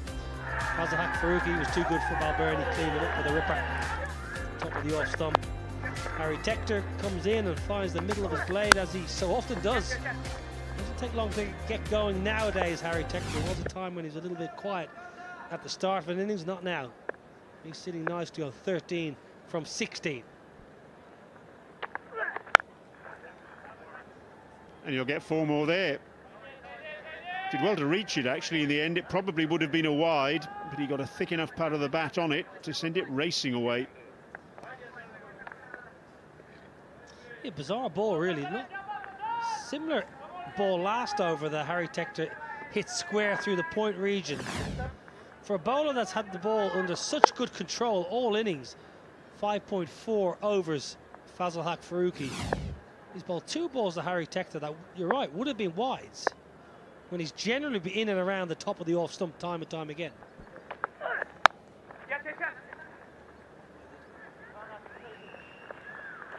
It's the substitute again.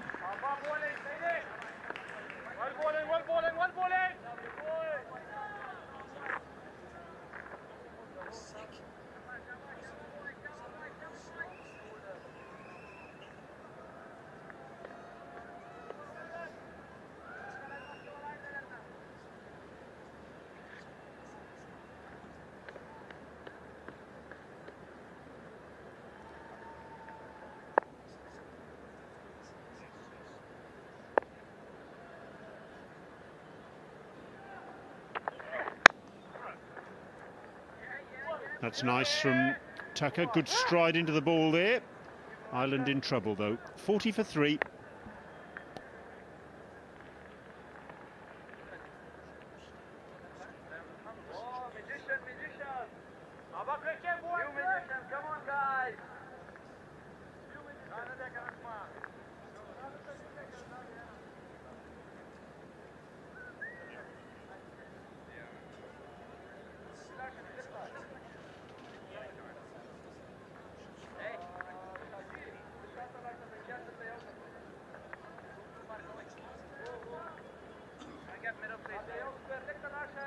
Like we're going to get the first change of this Ireland innings in terms of bowling. And it's the debutant, 16 years of age, the youngest player to represent Afghanistan in international cricket. Ghazanfar, 16 years and 236 days. The leading wicket taker for Afghanistan in the 2024 ICC Under-19 Cricket World Cup. And here's him receiving his cap. The 59th player for Afghanistan to uh, be capped at one-day international level.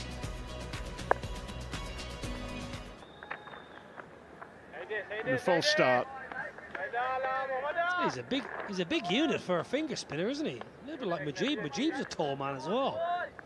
Must be a nice moment for Mujeeb to present the 16-year-old with his cap. I'm sure this young man would have looked up to Mujeeb and looked up to Rashid Khan to try and emulate their wonderful feats. Yes, Mujeeb was the previous youngest player for Afghanistan. He's out at the moment with a, a sprained hand. Fingers crossed, if you'll excuse the uh, the pun given his hand injury, that uh, he'll be okay for the T20s. He's got a strange injury, Mujeeb. It's almost the back of the back of the hand. He's injured through the back end of the World Cup. Well, my initial thoughts right now is speed. Here we go. Here's the youngsters. It's all about the youth. Rashid, Naveen Haq, 17, 16, Mujeeb and Ghazanfar. Noor Ahmed, excellent. Ibrahim Zadran, a lot of recent debutants there. And four of them at Sharjah. Yeah, they've settled in here in Sharjah, haven't they, Brian? Watched and played against Afghanistan in so many different venues. I think in Dehradun have been, they've played in Lucknow, Greater Noida, played a lot of cricket in Greater Noida. That was a lovely venue. Just beside the Jaypee Greens Resort. Sharjah seems to be a preferred venue now. Well, poor ball. That is a, a gift for Harry Tector. It was fast, it was flat, it was short, and Tector said, thank you very much. This is what Ireland have got to do with the young man. They've got to try and get on top of him early. He'll be nervous, of course he will. That's a desperate ball, that, a drag down. Tector taking full advantage.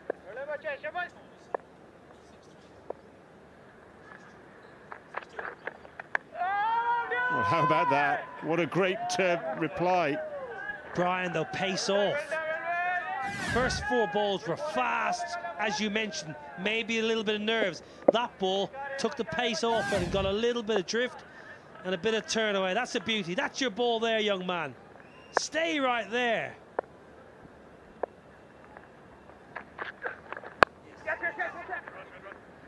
Well bowled. This is only his fifth list A game, you know. It's uh, his one-day international debut. His first over cost seven. Ireland 47 for three.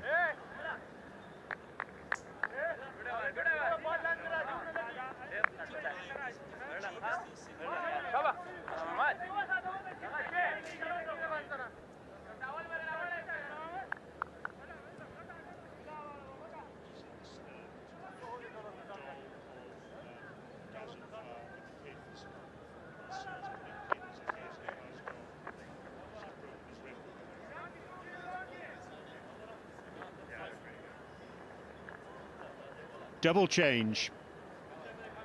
We've seen Ghazanfar come on from the Sharjah club end, and now Gulbuddin Naib is going to come on from the pavilion end. A man who has got bags of experience, along with Nabi, played in that World Cricket League Division 5 tournament in 2008. Former captain, led the side at the World Cup in 2019. Yeah, no, I was his first ODI wicket, he told me this afternoon. he greeted me with a lovely big smile. He said, Niall, lovely to see you. Keep doing all the great work in the comments box. Love seeing you do it. And you remember, you were my first ODI wicket. I said, I forgot. But Ireland have to be ultra aggressive here, I think, against Gulbuddin, because they're so far behind the game now. So they might need to take a bit of a risk against the medium pacer. Tucker already down the surface. You've got something brewing in that mind of yours. Something is just itching away at that vast brain that you want to just bring to the viewers back home, Brian. I can tell.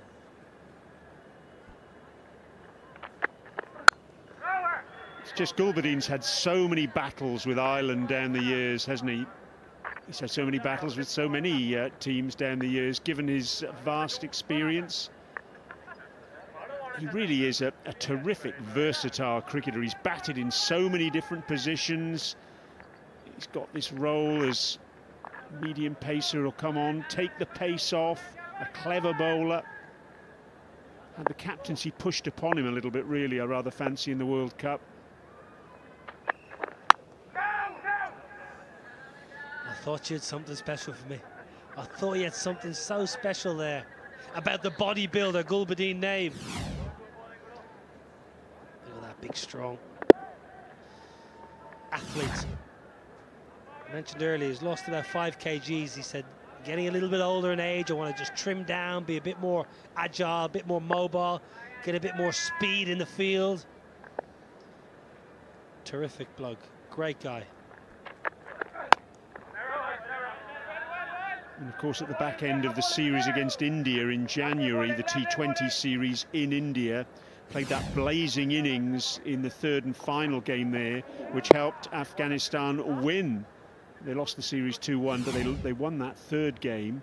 And that was the uh, T20 International, you might remember, that went to two super overs.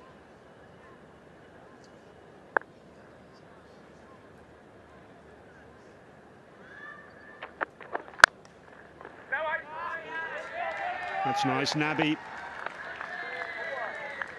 That's over. 48 for three.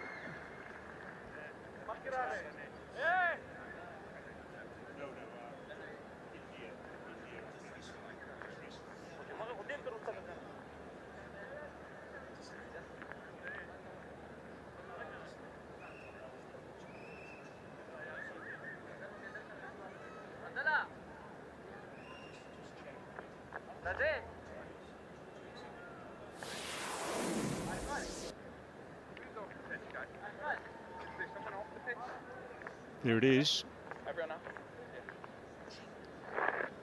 Gulbuddin Naib, look at that. 55 of just 23 balls. Remarkable stuff. Noor Ahmed, three for 20. With a score of 212, you're going a five and over, pick up three wickets.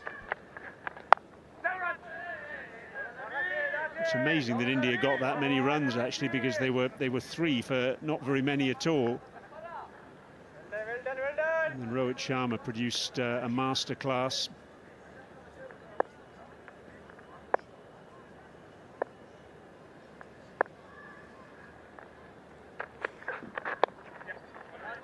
I wonder, on that game there, I wonder who Devender would have been supporting that match, huh? Our Indian fellow friend who is so passionate about Afghanistan. I'd say he was under the covers, under the blanket, couldn't watch. Well, look on the other side. He had a, he had a foot in both camps.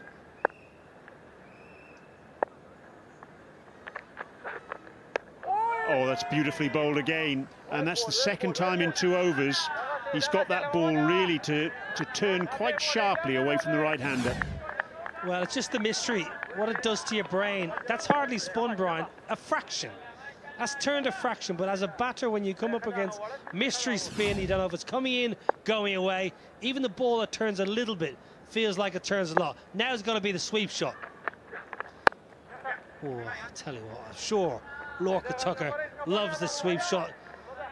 50 up, three down. All of a sudden now this youngster just getting into his groove. He's got the right pace on this surface.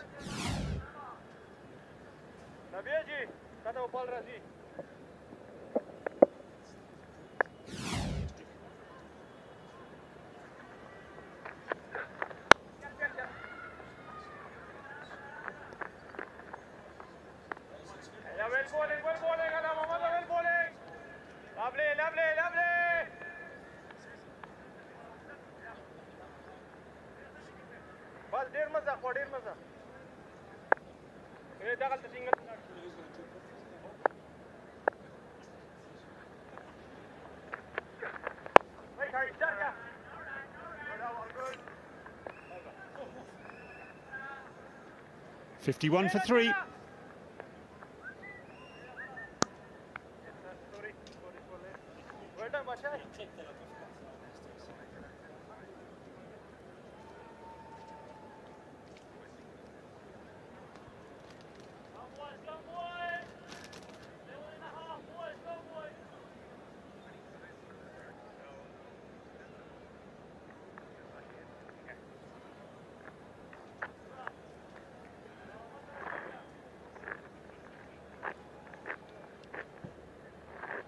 It's a decent start for Afghanistan. They've already taken three wickets. Ireland, 51 for three, will need to do a lot of build up here. A lot will depend on the two out in the middle. Tector and Tucker.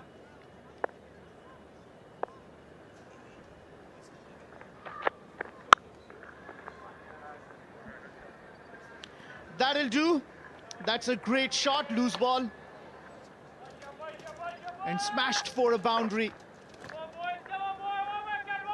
He's been cashing on the loose balls, not sparing anyone. Yeah, with given.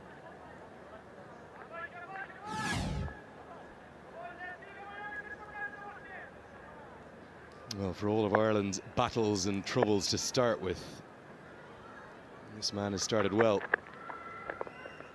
Just continued a theme in, in this format in particular, Ahmed, where he's been outstanding, exceptional, in fact. Harry Tector is taken to ODI cricket like a duck to water. Certainly promising in all three formats, but my God, in this one, he's been sensational. And he may need to produce something close to a career best for Ireland to get into this contest. Right now, they are miles behind. Yeah, absolutely. He looks in good nick. He's been batting brilliantly. He's at six fours. Oh, Harry. You probably have heard at home, he's none too pleased with himself in that particular delivery. Oh, Harry, no, was the shout through the earpiece, just the inside edge. He's really setting new levels for, for Irish batters. I see Paul Stirling, the leading run scorer, by a distance across all formats. If you look at the rankings, Harry Tector, sixth in the world now. No Irishman has ever been in the top 10 before. I think Stirling got to a height of 13th. But look at the names he's mixing it with. Probably just as well. Mid-wicket didn't pick it up cleanly. It won't take the second. Babar Azam, number one in the world, Shubman Gill, Virat Kohli, Rohit Sharma, Daryl Mitchell, and then Harry Tector. Good company to be in with. Absolutely, and uh, his uh, performance out in the middle speaks for how he is down there among such great batters. He's uh, striking ball nicely. He's hit six fours, and he is actually, most importantly, any loose deliveries, he hasn't let it go. Oh, that sloppy fielding. Muhammad Nabi not able to stop this, and that runs down to the boundary. Boundary number seven for Harry Tector. It's Tucker through the covers. Nicely played. The ping off the bat is similar, isn't it? You won't be the first nor the last to get confused between these two. The reason why, not just the similarity in names, but they played so much cricket together. Come all the way up through the under-19 system plenty before that. Tucker, a product of the Pembroke Cricket Club in Dublin 4. Tector, not far away. The YMCA Cricket Club, one of the real hotbeds of the game. There's five or six in Ireland. South County Dublin is one of them, in Dublin 4. Four cricket clubs within a square kilometre. Pembroke Railway, where Niall O'Brien is from, don't mention that to him. YMCA, and then Merrion just up the road. Then you've got Fingal in North County Dublin, produced the likes of John Mooney, Conor Armstrong, more recently Fionn Hand. And then up in Belfast, where the likes of Mark Adair and Paul Stirling are from. And then up in Derry, Andrew McBrine and Craig Young territory. They're the real hubs, the hot spots of the game down in Cork too. Well, the Irish fans will be just not minding the fact that one or another just keep hitting the boundaries. End of the 15th, it's 62 for three. It's been a good over for Ireland. 11 runs came off it. They are chasing a required run rate of above seven, so they'll have to repeat the same as often as they can and not to lose wicket.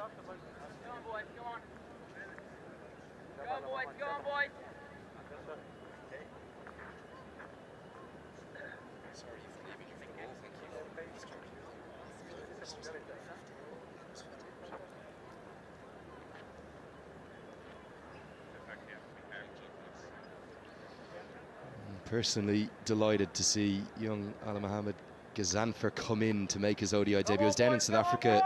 It's actually in Group D, where Afghanistan were teamed up with New Zealand, Pakistan, and Nepal. lost a thriller, an absolute heartbreaker to Nepal to not get through to the Super Sixes. And having been to a couple of semi-finals in recent editions at the 19s World Cup, that was big disappointment for Afghanistan. But this young man, he was the one that stood out in a big way. And the thing that impressed us so much about him down there in South Africa was that the batting didn't click for Afghanistan. It really struggled. I think they made more than 140 or 150 in the group stages. But the brilliance of Ghazanfar meant that they still stayed alive in all those games. Three for 29 against New Zealand, three for 30 against USA, and then a wicket apiece against both Nepal and Pakistan. Eight wickets across the four matches in the tournament, but it was the way he got the wickets.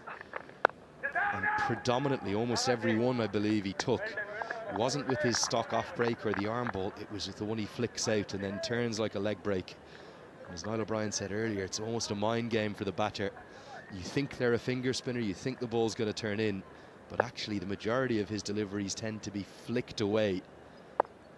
The control he has with it for 16 years of age, phenomenal. And another thing about the debutants against Ireland, is that Mujeeb made his debut against Ireland in 2017. He was at that time the youngest before Allah Muhammad Ghazanfar taking over his idol who presented the cap to him, the 51st for Afghanistan. He's 16 years and uh, 236 days uh, as compared to 252 days, which was Mujeeb when he debuted against Ireland. Now the thing is, Mujeeb came, he took four wickets against Ireland and Afghanistan won that match. Rahmanullah Gurbaz made his debut against Ireland and made a 100 on his debut.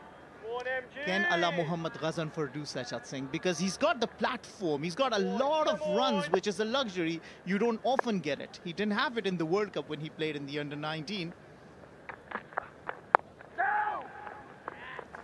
It's kind of a, a dream scenario uh, to debut in because of that. There isn't a huge amount of pressure on him.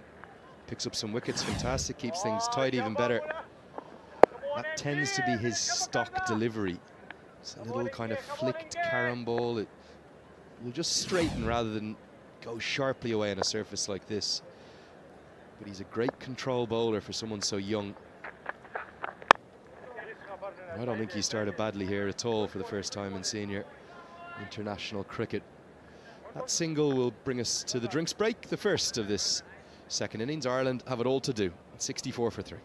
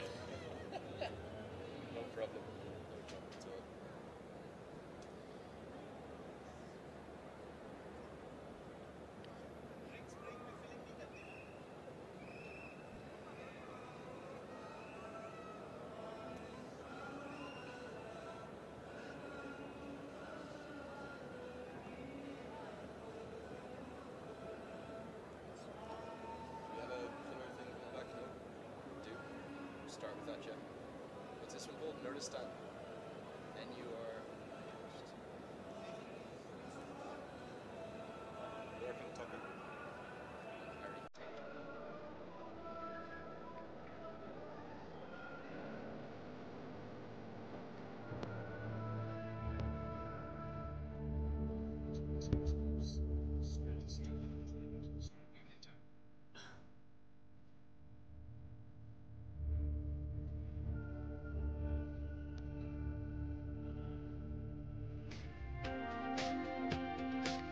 Some lovely shots, including a little bit of village cricket there in the Nuristan province, one of the 34 provinces of Afghanistan.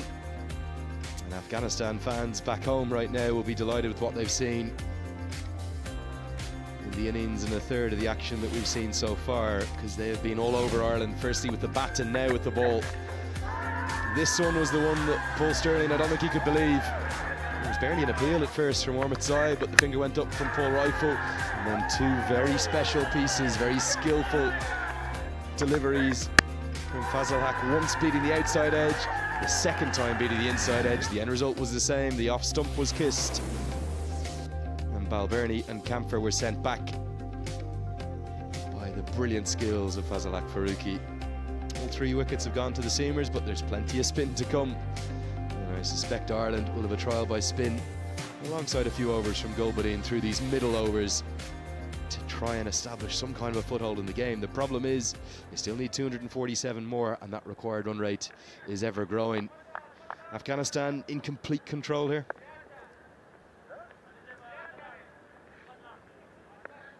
Yeah, beautiful sight from Nuristan that say it's the Switzerland of Afghanistan. So beautiful, natural beauty all around, greenery and wonderful rivers.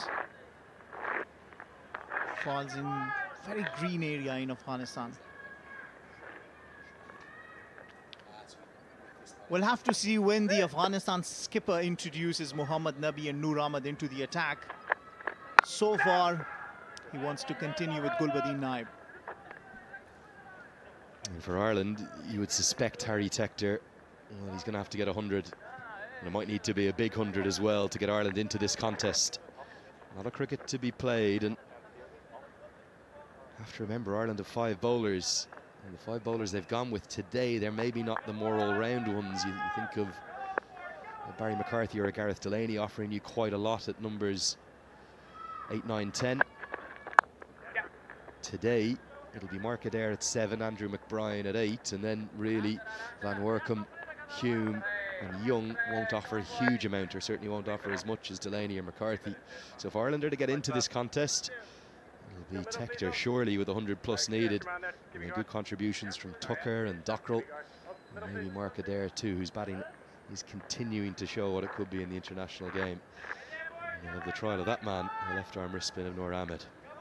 Yeah, it's not going to be easy playing against him. It's absolutely a big task ahead of Ireland. Slow ball. Gulbuddin is going to throw a lot of slow balls. They want this run, quick run. A direct hit could have been interesting, but I believe he'd made, made it comfortably at the end. So yeah, it's going to be a big task. Rightly said that. Sheedy does well there. Always comfortably home, Tucker. Yeah, for Tector, you really talk about that, that quality he's brought to Ireland in, in this format. Brian Murgatroyd was talking earlier about the importance of the ICC Men's Cricket World Cup Super League upon well, Harry Tector in particular, but both of these young cricketers' journeys, they've had to learn on the job. They haven't had the, the kind of finishing school of county cricket. But listen to these numbers.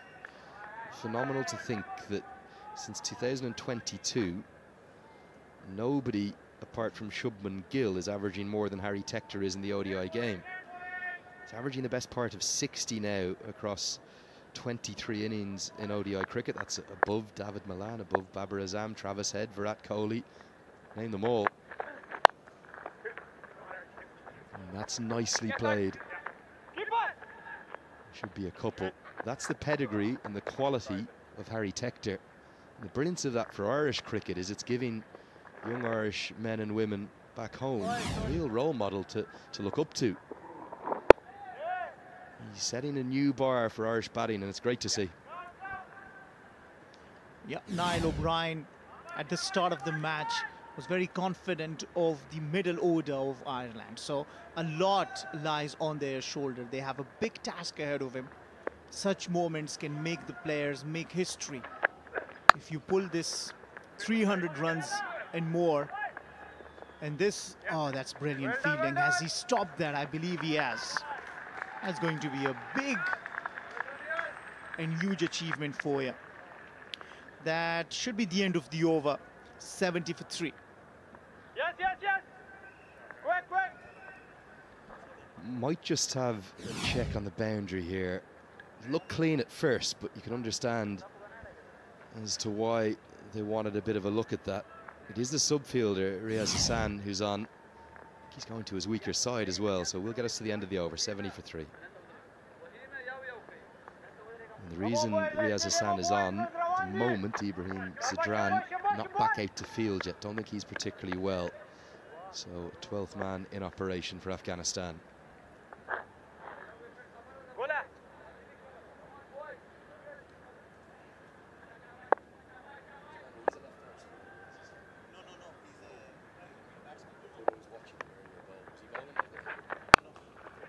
Slog sweep, risk taken and reward given to Lorcan Tucker. He's an aggressive player. Ireland want to take the fight to the youngster, put pressure on him, slightly overpitched. Not over the head of mid-wicket by much, but by enough. Yeah, absolutely. That's good shot. Sweep shot. He's a good sweeper of the ball.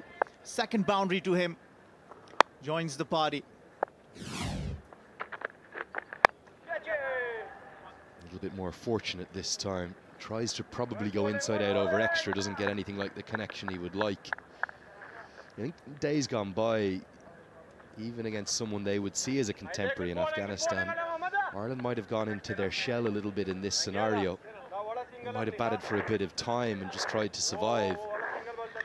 The mindset, something that Gary Wilson has brought into the team alongside Heinrich Malan, Gary Wilson, the assistant coach, Heinrich the head, is one of very much let's go down fighting. They'd almost rather be bowled out for 140 than make 220 for seven.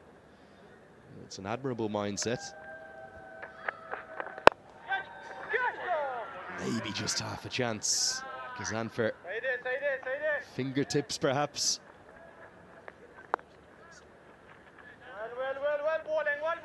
Well, he's actually responding to what you just said. Attack. And that's what he's trying to do, what the Irish batters out in the middle are doing.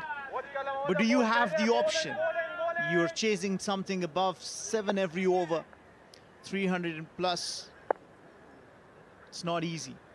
So you take risks, and at times you get the reward.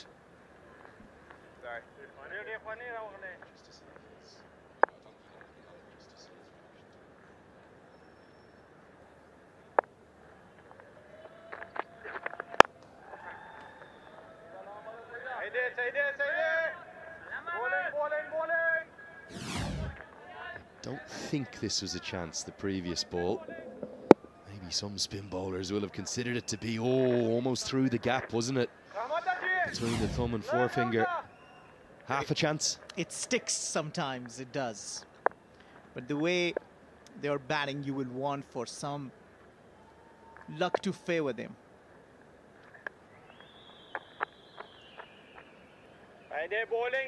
Very interesting run up, doesn't he? he? Generates a lot of momentum through the crease. See Tector, even though it's not a warm evening, perspiring for the cause. Shades of certainly Mujeeb to the run-up. A little bit of Harbhajan Singh, I heard, as a shade from the back of the box. Be looking to make his own name bigger than even those two in, in due course. at the age of 16, to be given an international debut. Just love the way he's getting all the trajectory going towards the target. That's what you want as a spin bowler. Let's have another look. It was definitely something on it. Not easy. Need to be good off your own bowling as a spinner. Didn't seem to pick it up at first, did he, Ahmed? Not quite. Yeah, I don't think so. End of the over. Eight runs off it. Ireland are 78 for three. Ireland building nicely a partnership of 44 or 48 between Tector and Tucker. They'll need for this partnership to go until the 40th over at least to see themselves home.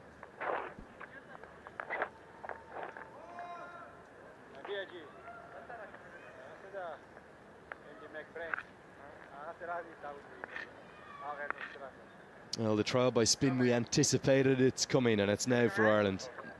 Noor Ahmed, the left arm wrist spinner.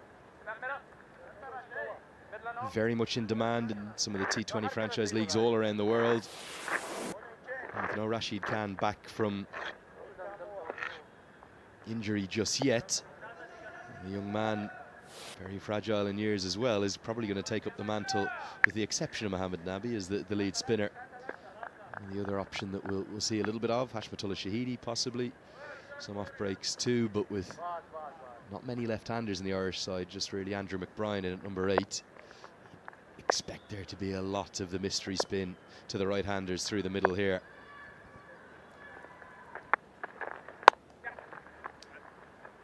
Spoken quite a lot about Afghanistan's landmark of 300 games that came in the Test match, Ireland's 200th ODI today.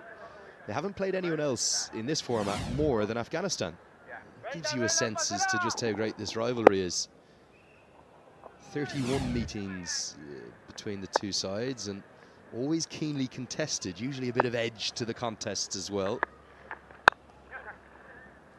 Yeah, 13-16 kind of look even Stevens when you look at their win ratio. Ireland winning 13, Afghanistan winning 16. Yeah, it tells. On, come on, Noor Ahmed. Yeah, Farber production this for the Afghan Cricket Board. And our thanks for all your messages from all around the world. People enjoying it, not just on the live stream, on television channels all around the world. And our miracle team putting out all these pictures. Yeah, certainly great to be seeing these pictures live. I know there's lots of fans watching back in Ireland. About 5 p.m. there.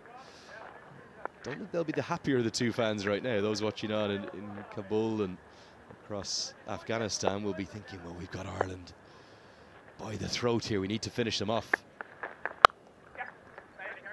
Afghanistan desperately looking for a victory because the year 2024 still, they have been looking for a win in the ODIs. They've only played one series against Sri Lanka before this and they were whitewashed. So yeah, a win from here will give Afghanistan a good momentum. We saw how Afghanistan started their innings. It was 37 run on the board in the first 10 overs. They will tell. Didn't have a lot. Oh, this is a shout. Things. he's got his man, but I believe he's going outside the off stump. I think if I can still read the wrist spinners, I was one, so I'm hoping I can. I, I think this is the googly. So I think this is going to be turning away from the right-hander. Probably just pitched outside leg and ooh, might have been closer than you first think. That's the mystery. That's what it provides. Difficult for the umpires to pick as well. 19 bowled, 81 for three. Well, two spinners now been introduced so far in the attack. Muhammad Nabi is yet to come in bowl. We'll have to wait and see. When you look at the warm, it looks even Stevens at this stage, except for the fact that Afghanistan have not lost any wicket, and Ireland has lost three.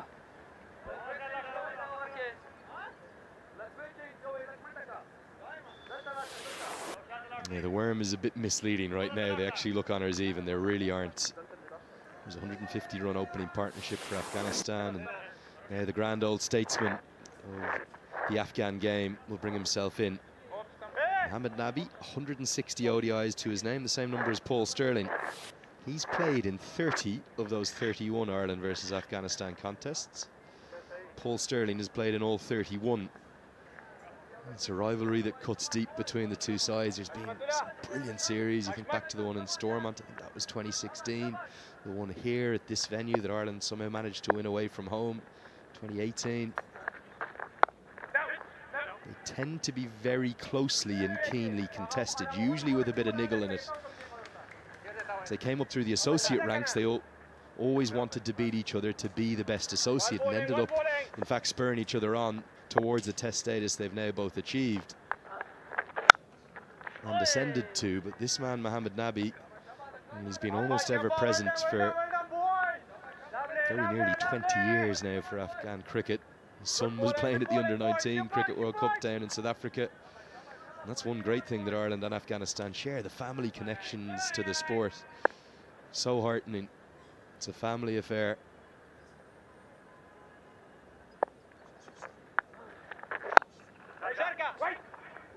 Well done, well done, well done, well done.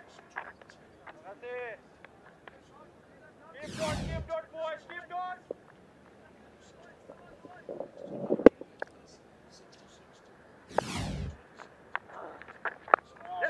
He's a good bowler, Muhammad Nabi. He will keep things tight. He will not give room to the batters and he will force the batters to make the mistake if they want to score runs against him. So quite an experienced of the lot. Muhammad Nabi, as you rightly said, have played a lot of international cricket for Afghanistan, plays all around the world, plays at the leagues, the T20 format, T10 formats. It's been nice. Well-built partnership, 50 runs of partnership built together in a very crucial stage. Only 59 deliveries. And that again indicates that kind of new, it's not new, it's 18, 24 months old, but the, the methodology that Ireland's batters now take and are encouraged to take is one of continuing to attack.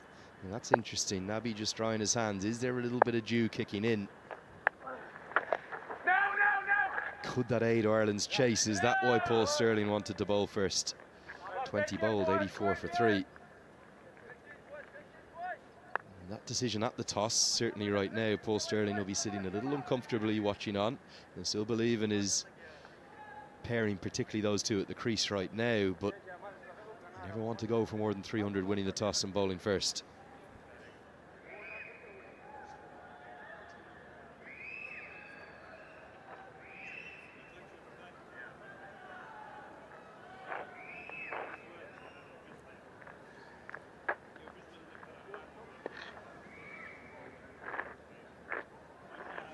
Something for Ireland to cling on to with this partnership. It's worth 50. It's coming a good clip, 50 off 60 balls.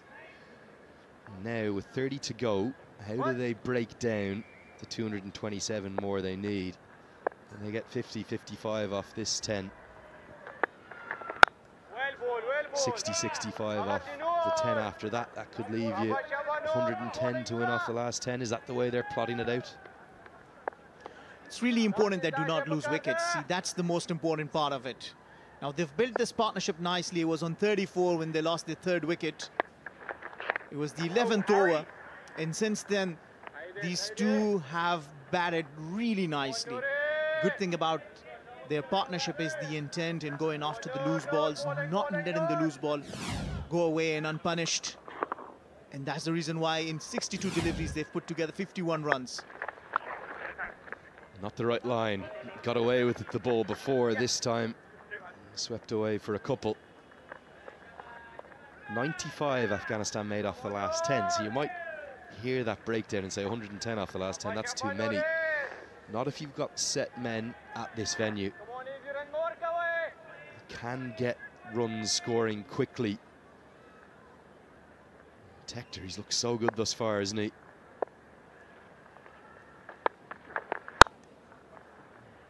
Critically right now. Uh, he's either reading it out of the hand or off the pitch reasonably well. He knows which way it's going. Tucker looks like he's sweeping a bit more, might not quite know as much as to which way it's going. It's also to see where the bowler lands the ball. It's usually when you can kind of make your mind and the wrist spinner, leg arm, left arm. He usually bowls the wrong one. So you can also decide from where he's actually pitched the ball as you can decide if he's bowling the one that is coming in, if he's bowling it onto the fourth stump, probably bringing the ball back into the batter or bowling it onto the middle stump, probably taking it away from him.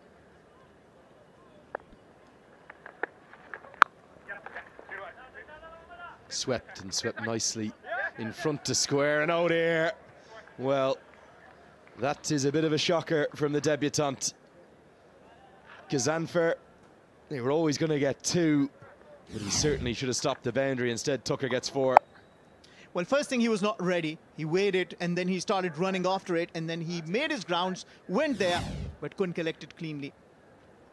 Gave away four runs, two runs. They will have run two.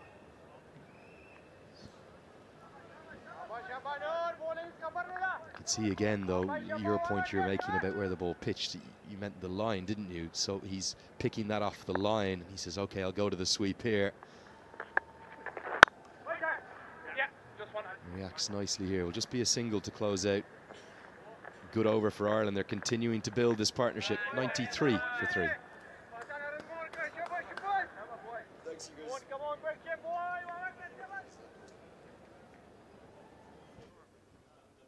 عجیب خونی کړی دنګرونا خایستا دری او شنه باغونا تازه تازه وی پری روحونا تازه تازه وی پری روحونا زمنګ د هیلو و دنیا د دم خاور دانکا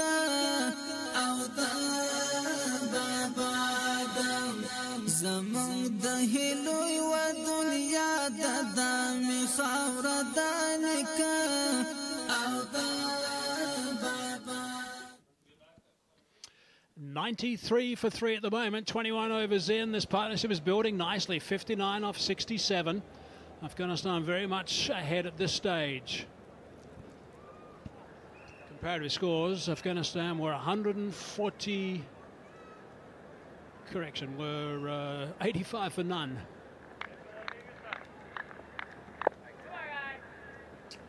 But a bit of experience now, Nabi.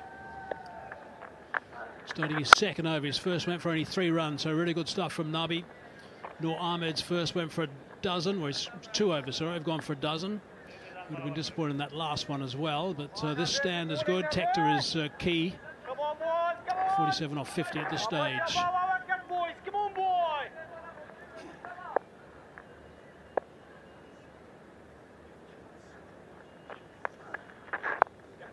Just a little bit of turn in this uh, track today. Maybe uh, gives it a little bit of a rep, so he'll get uh, turn out of most surface if there's any assistance. Good application from the both batsmen, stitching together a partnership, uh, putting the team in a position from where they can think about winning with the prospect of deuce setting in. Yeah, I think they've got to think about a, a huge partnership. I think that's their best chance of winning this game. That's what they need to get. Tector and Tucker going to go really big, these two. At the moment, it's uh, 61 off 69. So they're not more than, uh, well, not much more than just a run a ball at this stage. So they need to step on a bit. At the moment, uh, the required rate from here is 7.54. So that's where they've got to go. They're only going at 4.47 up until now. So they've got to uh, bat for a long, long time and make sure they start scoring highly in the boundaries. That's what's going to get them uh, closer. And that's where Mohammad Nabi's role is going to be crucial, given the fact that two inexperienced spinners playing in this contest. His spell will determine where the game will head from this situation. For bowled really nicely. Four overs, none for 20. I see someone young and someone new bowl with that sort of control. That was the impressive part about it. Of course, uh, Ireland players have seen Nabi before. He's improved drastically Nabi of late as well. Had some fitness issues, but has been working tirelessly on his fitness.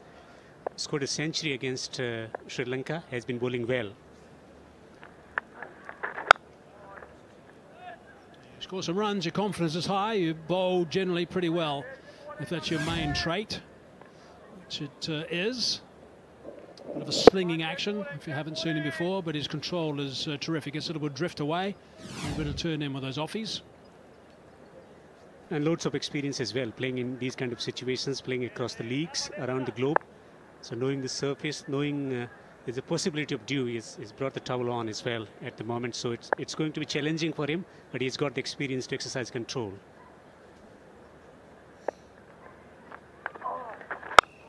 It's a little bit uh, short, that one's been hammered away.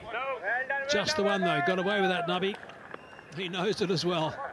About halfway down, five off the over, 98 for three.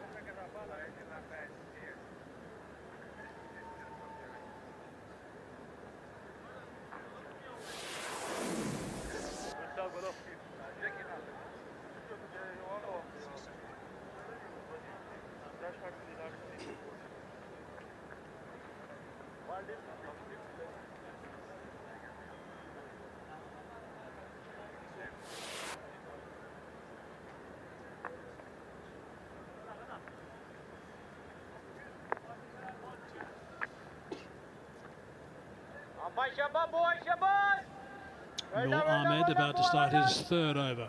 Now, the thing about Noor Ahmed, once he gets his line right, which didn't necessarily get right in that last over, he's uh, wrong and is extremely hard to pick. It's not a great change in his release points. It does come out of the back of the hand, but it doesn't change dramatically. Doc Dockrell, Adair and McBrine, the three to come in next, six, seven and eight.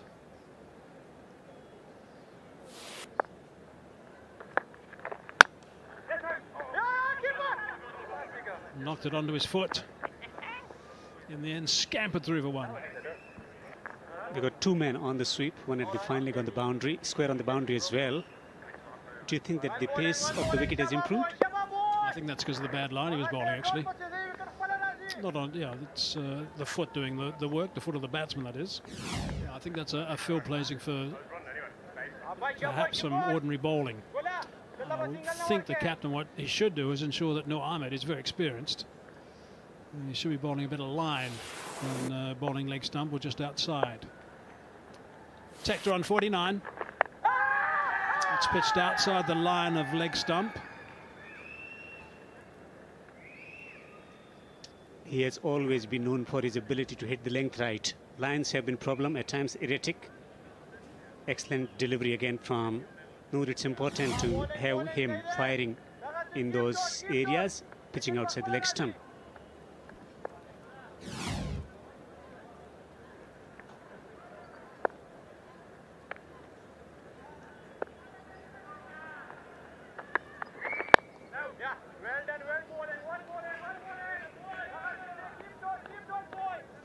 got out early, lot of expectation, played a significant innings in test match. Paul Stirling leading the side, the ODI side one day cricket. He wasn't happy when he was uh, given out. It's a little bit tight with the line.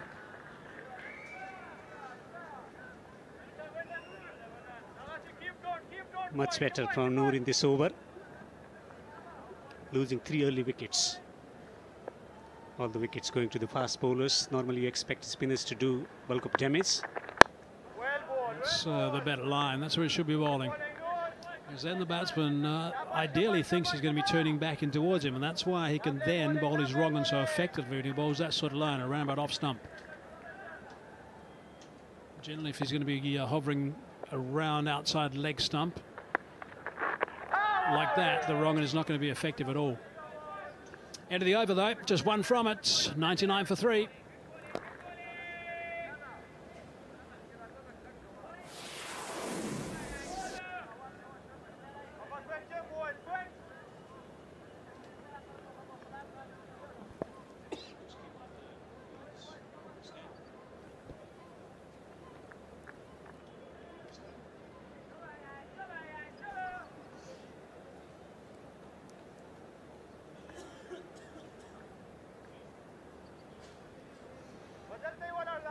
310 was a bit of a fluid number at one stage. It looked like 330, then it dropped down, I thought, to around about the 280 mark. Then it looked like they might be around about the 290. Then they played really well and got to that 310. So it was good work from Afghanistan. Nabi again. Again, just uh, pitching that on a leg stump and turning down the leg side. A little bit of bat on that, I think. We get confirmation from uh, the umpire and they come back for three. Good stuff. Good running. Leg byes. 100 up as well. Ireland, this has been good partnership. Nabi normally very accurate. Looking for the traditional off spin, sliding down the leg side. Skids off the surface at this point of time. A little bit of dew setting in. Needs to exercise better control on 49 Tector. This has been brilliant innings so far from him. You can see when the ball just runs along the ground that uh, Nabi is uh, using his rag to dry the ball. And of course, just uh, one of those along the ground. It's going to get damp again. 50 up for Tector. That's his 12th one international 50. His first, first against Afghanistan. He also has kicked on and got 400s. And Ireland need that today. He's played beautifully so far. He's enjoying good run with the bat. He's been in good form and making significant contribution already. But has to score big in order to overall this target of 310. He's been so superb. Just going on the back foot, reading the the delivery of the pitch. He's been playing it from the center of the blade. He brings out the sweep. There's the man on the boundary.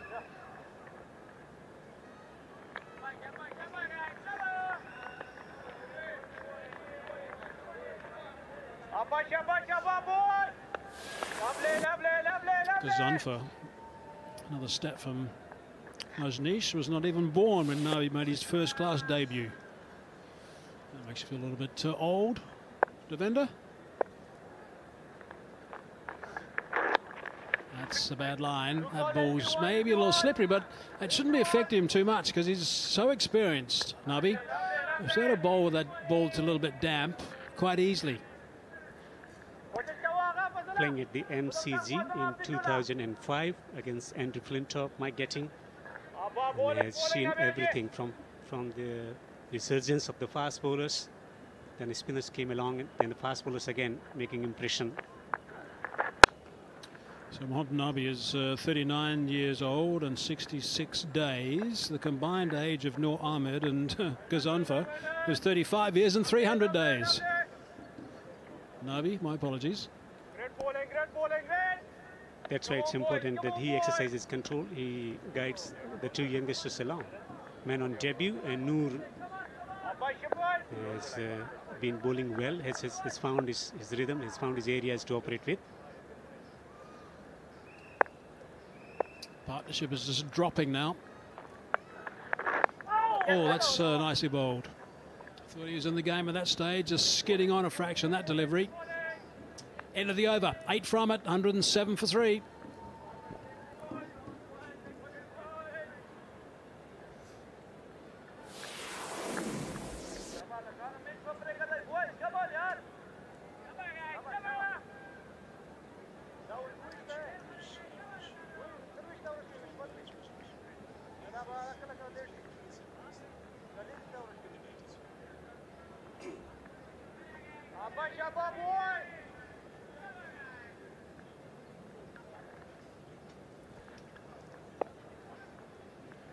Dockrell's due to come in next, an average of uh, 22 in his one day international career. Noor Ahmed now.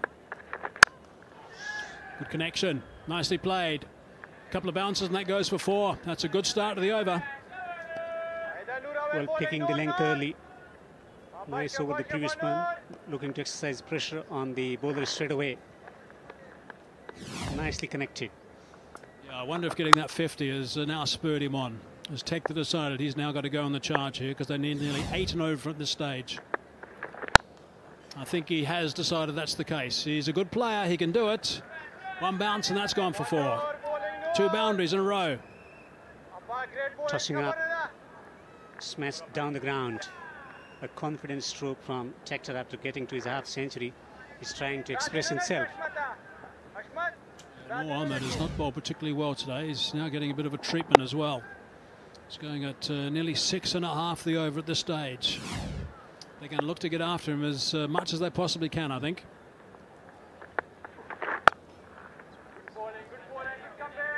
Just pulling his length back. That's why two inexperienced spinners and the Nabi fast bowlers will, will come back. Is there time to bring a fast bowler in here? Not yet. Keep those spinners going for a bit, I think. What they need to do is break this partnership. And that'll put a lot of pressure on Ireland. Spinners have still got to bowl a lot of overs today, and they uh, will be able to get through these overs fairly quickly. And that run rate per over will just keep climbing. 82, the partnership of 89 balls, though. And both batsmen looking comfortable against spin. Not a good sign for Afghanistan moving forward.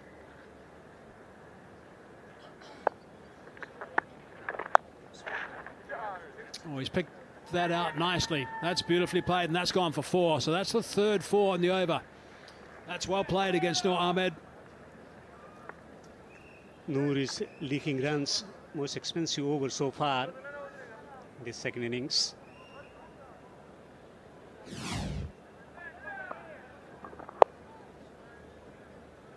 Picking it from well outside the upper stump, getting it fine. Just rolling wrist over. Be tempted to keep uh, Noor Ahmed on. They don't have to panic about the runs per over at this stage, Afghanistan. He's a wicket taker, Noor Ahmed.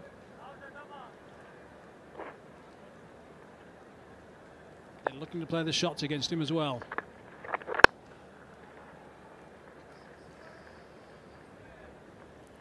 That over, though, goes for 14, 121 for three.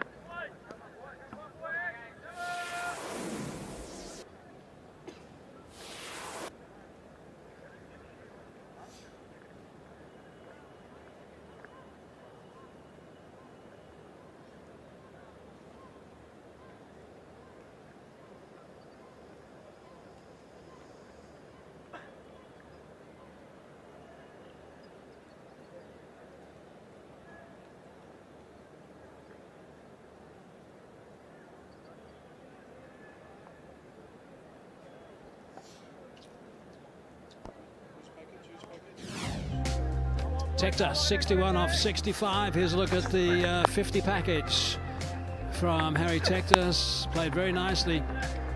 Very strong batsman. Is uh, someone who's uh, blossomed beautifully. He's got a very good uh, career over the last couple of years.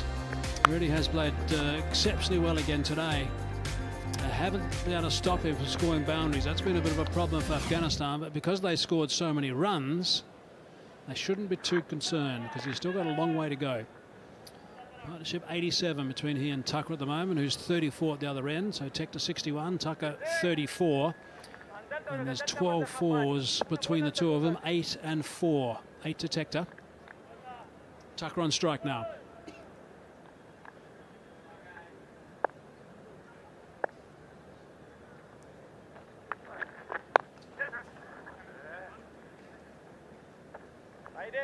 Nicely tucked away on the onside. Most of the runs from the blade of Tector scored the wicket on the off side, on the leg side as well.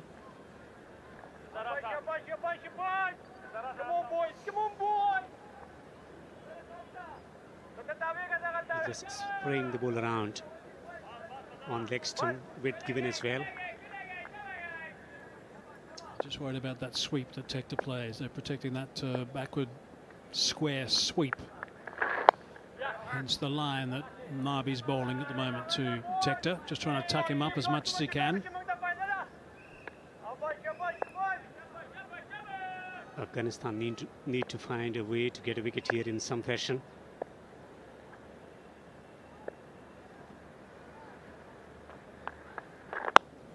That's beautifully bowled. Nice flight. Nice speed through the air. A little bit of curve away from Tector as well. Of late, he- he has been bowling the outswingers, so this time just holding its line. Length, just pulling the length back. And again, you can't do too much with that. It's good work. Bowling superbly to his field at the moment. Nabi.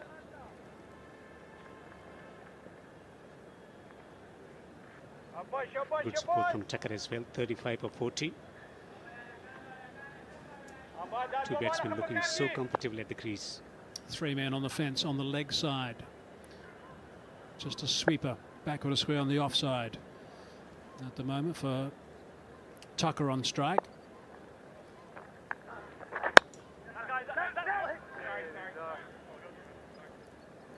He's been able to hit the gaps.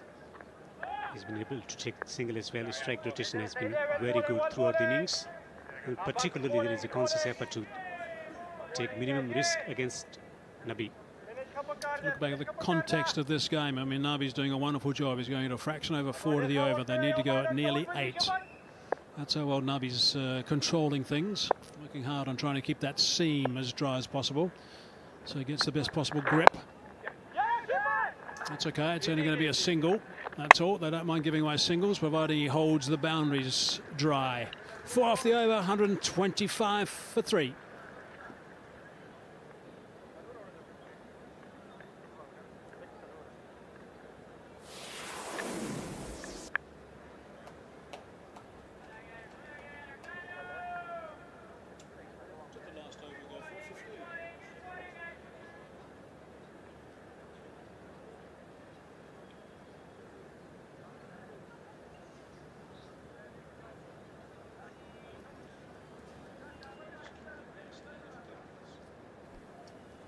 Just a couple of uh, overs of note 12 and 15.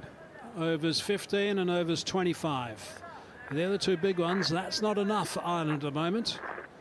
Still need to go at uh, 7.75 to the over from here. And this partnership, even though it's good, 91 it is off 97 balls, it's not making any catch up on the total. Noor Ahmed continues. Captain persisting with him. Interesting story. He was picked uh, for his performance in Shpageeza in 2019. Noor.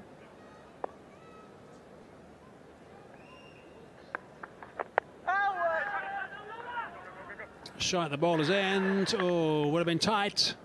Think a desperate dive might have got him home. He hasn't uh, burnt some bark off his elbows.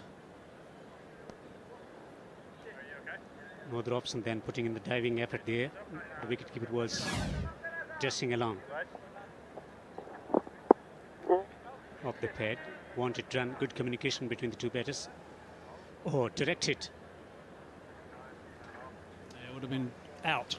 A direct hit. But it's a desperate dive.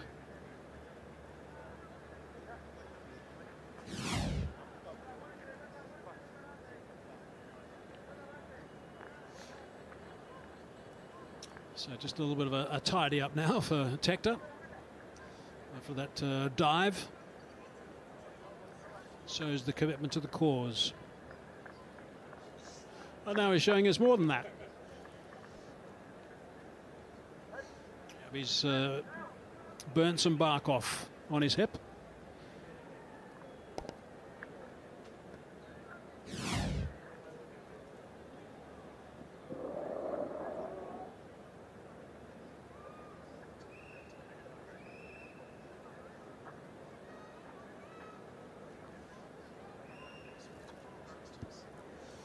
Him an opportunity also to uh, change his shirt. He was uh, dripping wet.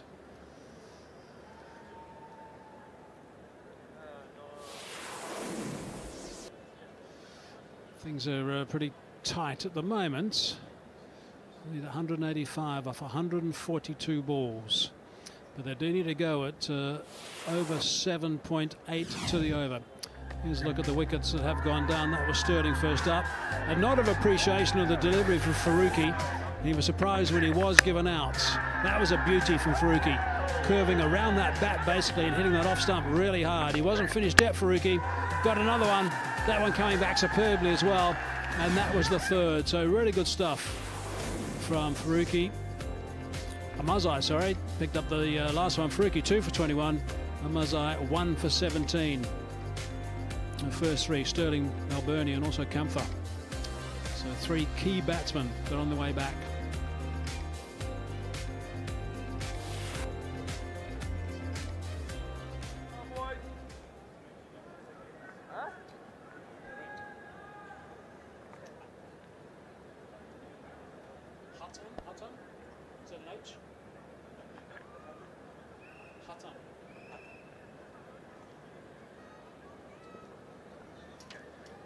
Right, I think we need to uh, get this game moving a little bit. Uh, umpires, I think Paul Reiffel just came out and probably said exactly the same thing. It doesn't take that long just to patch up a bit of a graze on a hip. Tector's on 63, Tucker's on 36. No, he just wants to have a drink. Does Tector? 185 required. They've got some work to do. Partnership is on 92 at the moment.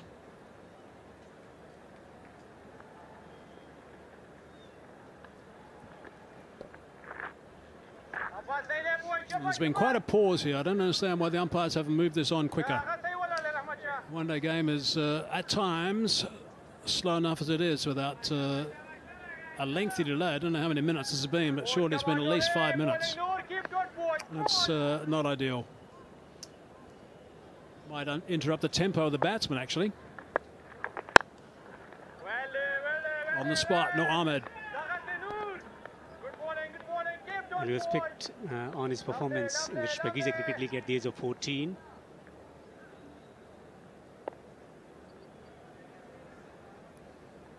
Halfway through the 27th over now.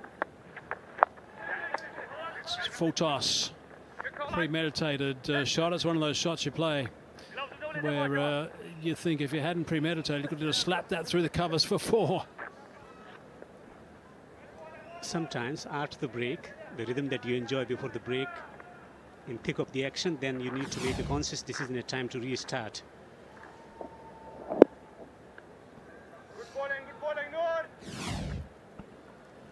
Yeah, it's been a good over so far from Noor Ahmed. Just three from it. It's nicely bowled, dot ball. Tucker wanted to give a bit of room to himself to smash through the extra, then making the late adjustment. He's playing with a straight bat. Hashmatullah Shahidi scoring a half century. Good stuff again. Yep, momentum I think has been interrupted the batsman taking so much time. 128 for three.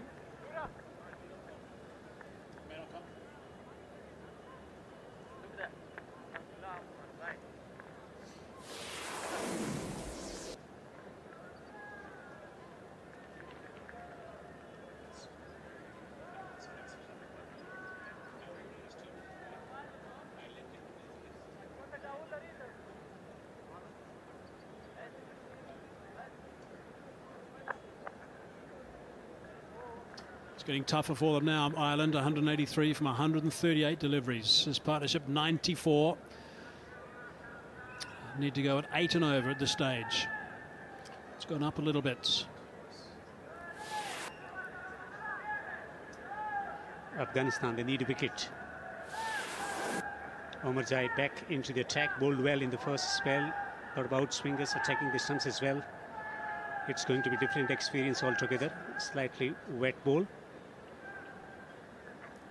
He's not only uh, great pace, but he's very accurate.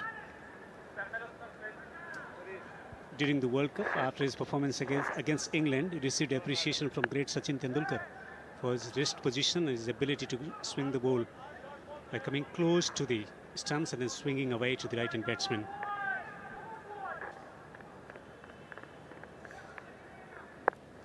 So Nabi has a uh, bit of a breather after his uh, four overs, none for 17. He was tidy, Nabi, that's for sure. They're keen, they're desperate to take a wicket here. Omarzai normally prefers to bowl with his new ball. He started thinking about becoming a cricketer representing Afghanistan after watching Bangladesh and Afghanistan in action in the Asia Cup in 2014.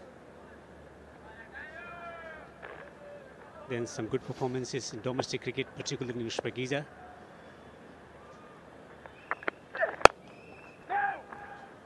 Good solid shot, no run there. Also getting the opportunity to play in Bangladesh Premier League where he shone brightly with the ball in hand. He used to bat a lot, did not bowl even a single over in APL 2018.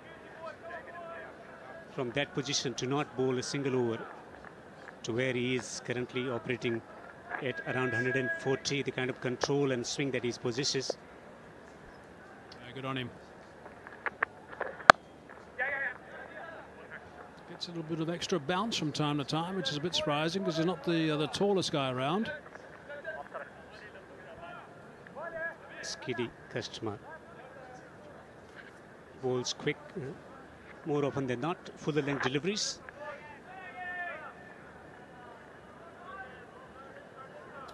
It's a very tight half an over at the moment. And he's come back over. Omarzai. Tucker on strike now.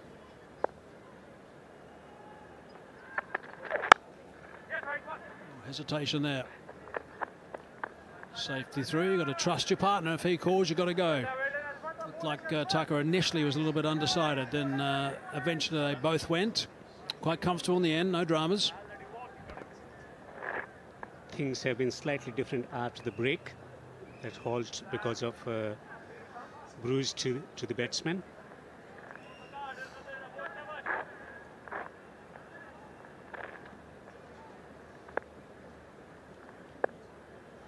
Afghanistan have got uh, quite vocal in the field now. They're sensing a bit of an opportunity with the Mazai back into the attack.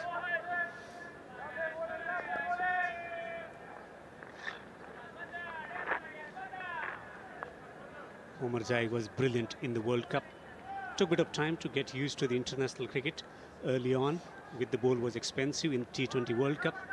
Persisted by the selectors and has paid dividend. That persistence with him has been generating good results for Afghanistan with bat and ball.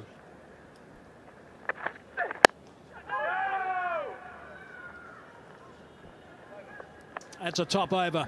Coming back and just going for three. 131 for three.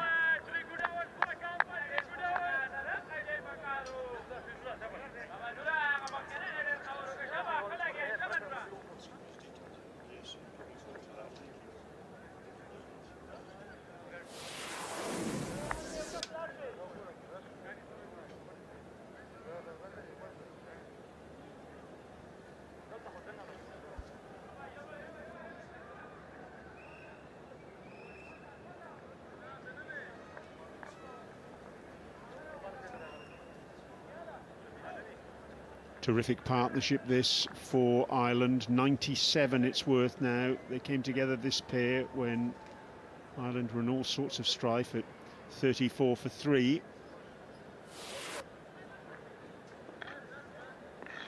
Noor Ahmed to continue from the pavilion end. It's got a long on and a deep backward square leg on the onside.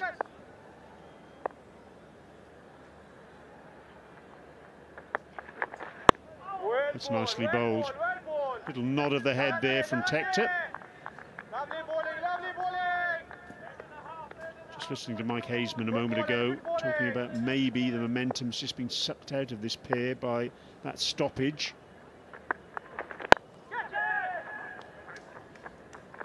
It's a nice shot from Tector into the gap. They'll come back for two.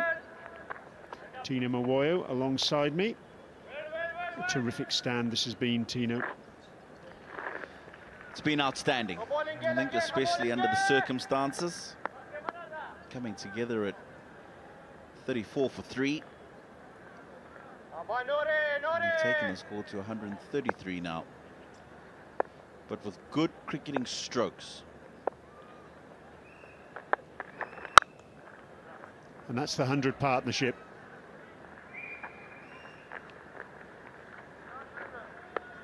Really good effort from this pair. What it also confirms is that the future of Irish cricket batting is very bright. We know enough about Harry Tector. That's their contribution, 68. He's on 55 and 63 he's contributed, 39 and 47 for Tucker.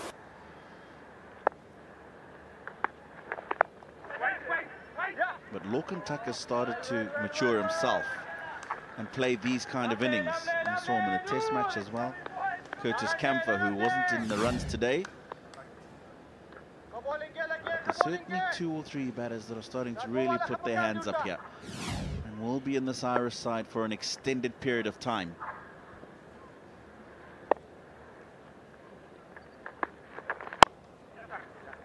remember watching Tucker in the T20 World Cup a couple of years ago. Ireland were in Zimbabwe's group in Hobart, you might remember. And I just felt he was a little bit skittish there. He was batting up the order on that occasion. He was batting at number three. There's more of a maturity to his game now that I've seen. He's a lot more selective. Seems to know his game a little better. This, of course, is 50th One Day International today.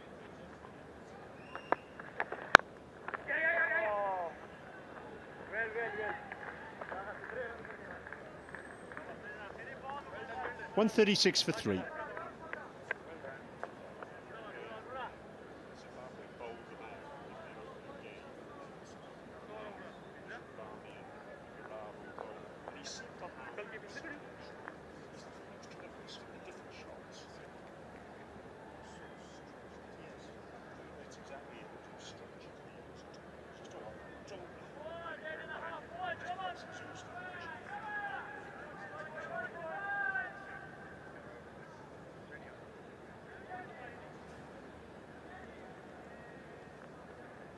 And Tucker bringing Ireland back into this game. It's still a tall order, 175 off 21 overs, but they've given their side a chance.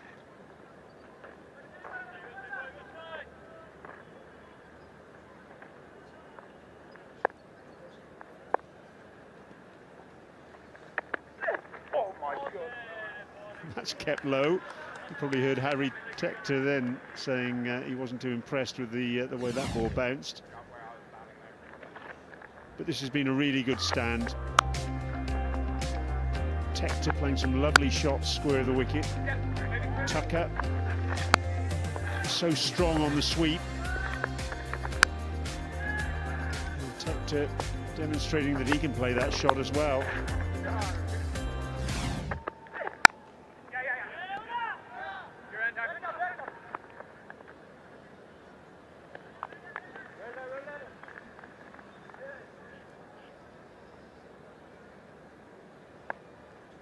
What stood out for me in that little partnership package was how many balls were hit along the ground.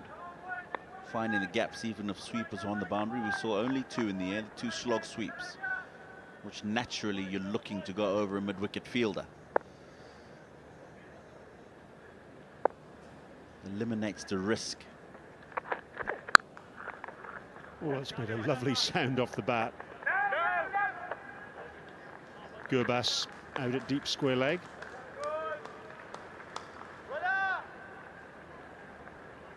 Yeah, he's uh, timed the ball beautifully this evening. We were just talking off air, and I, I've got to agree with you. I think he's got a lot more structure to the way he plays, and he puts his innings together. And that comes with playing a lot more games, being in these kind of situations often. Once you play through those situations two, three, four times, then you start to know what's expected of you.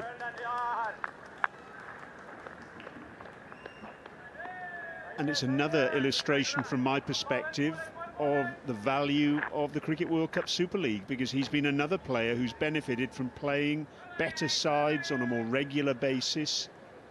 And if you play better, play against better players, you become better. In a lot more diverse conditions as well. Look at today's surface, and I think despite 300 being made in the evening now, it's become a lot more difficult to bat on. Another one that's kept very low.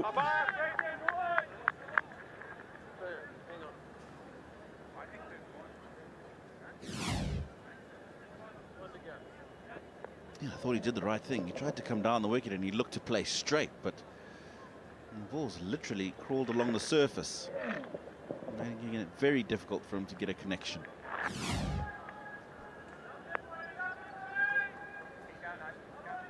These surfaces were relayed last year. I'm not sure Sharjah will be all that happy. So there doesn't seem to be an awful lot of carry in them. Anyway, 30 overs gone. Ireland 139 for three.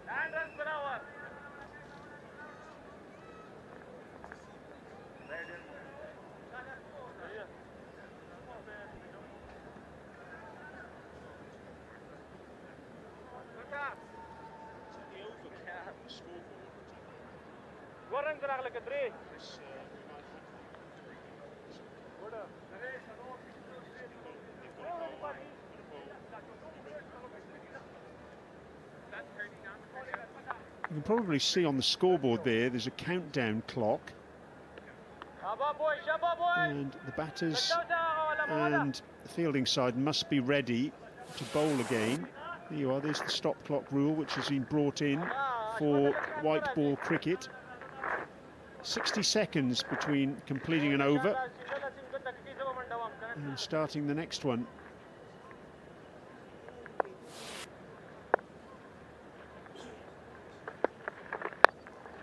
It's interesting listening to Mike Haysman in the last stint of commentary talking about how the game basically came to a stop for five minutes while Harry Tector got some treatment and changed his shirt. It's all about entertainment.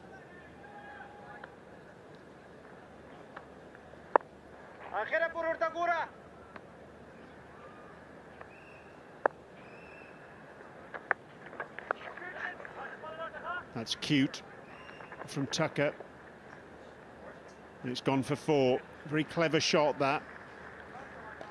Yeah, this one's worked out better for him because of the line of the ball and the length as well. He tried it in the previous over. It was a low full toss outside the off stump, so couldn't get it fine enough for a boundary, but this time he's done it well. Just given the ball a little bit of an extra lift as he gets bat onto ball, and that's got it to speed away down to the boundary. I'm liking the look of this young man now with bat in hand, Lorcan Tucker. Brave shot, that one as well, because he showed the bowler his stumps. You can see Noor Ahmed using a rag to dry the ball. There's a fielder now gone over to 45 on the leg side, trying to plug the gap. Short, fine leg.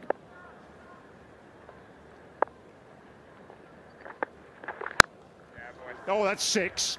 Goodness me, that's made a lovely sound off the bat, and it's 50 to Tucker. Fourth 50 in one-day international cricket. Second against Afghanistan, his previous one three years ago in Abu Dhabi in a losing cause. He'll hope this one's in a winning one.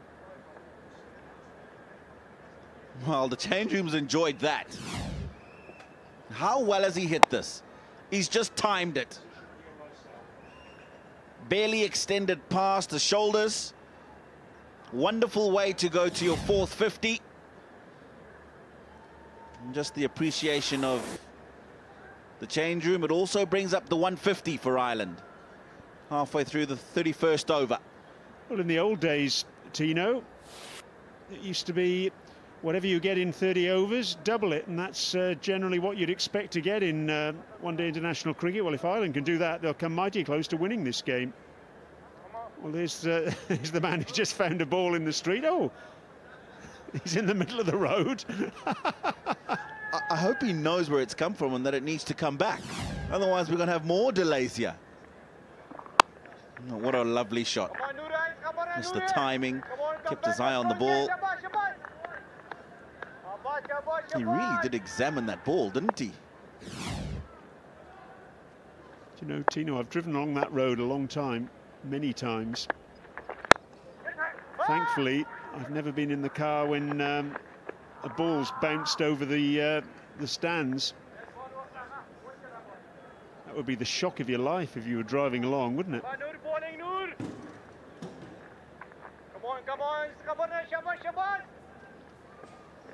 I'm pretty sure you would know what time's a good time to drive through here when there's cricket on anyway.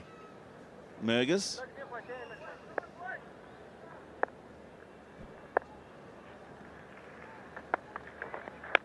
That's well bowled.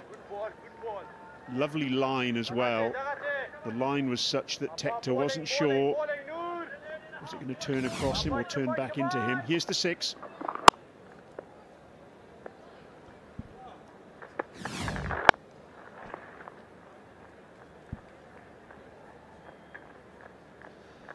One fifty-two for three.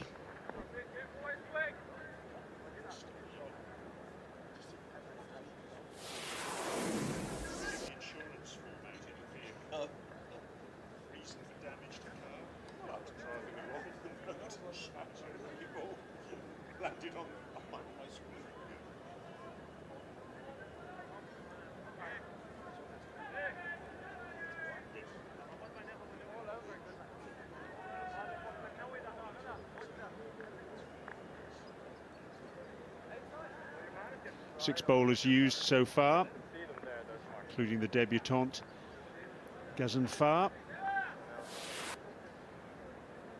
Change of bowling now at the Sharjah club end, the far end of this Sharjah cricket stadium. Gulbuddin Naib coming on.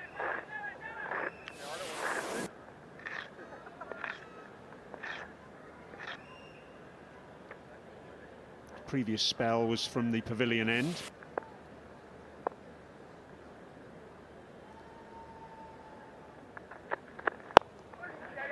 Leading edge there from Tector. And in the end, that's well run. Oh, and there's going to be uh, overthrows, is there? No. Good backing up on the deep square leg boundary. You've had a couple that have gone over into the road.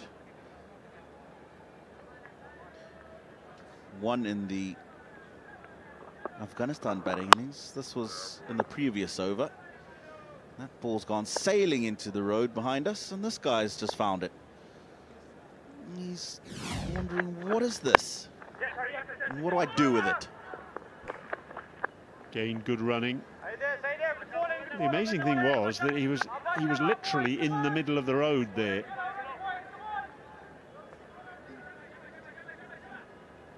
I guess what's good for him is it didn't land on his head.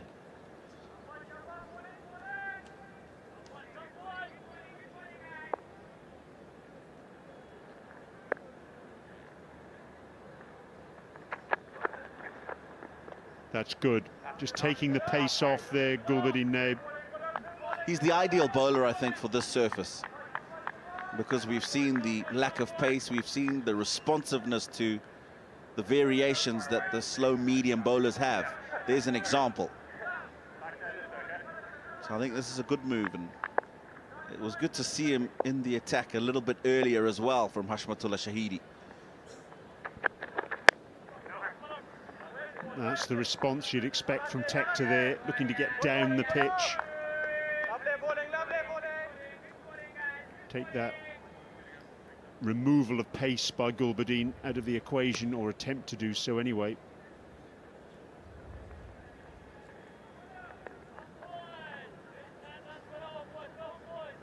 It's a warm evening here. You can see the sweat coming out of Tector's helmet. And again, no pace on that at all.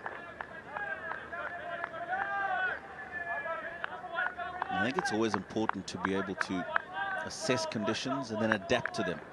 Realize what needs to be done on a certain surface because of the way it's playing. And I think Afghanistan, the way they've set their fields, yes, with runs on the board makes it a little bit easier. And how he's used as bowlers has been very good.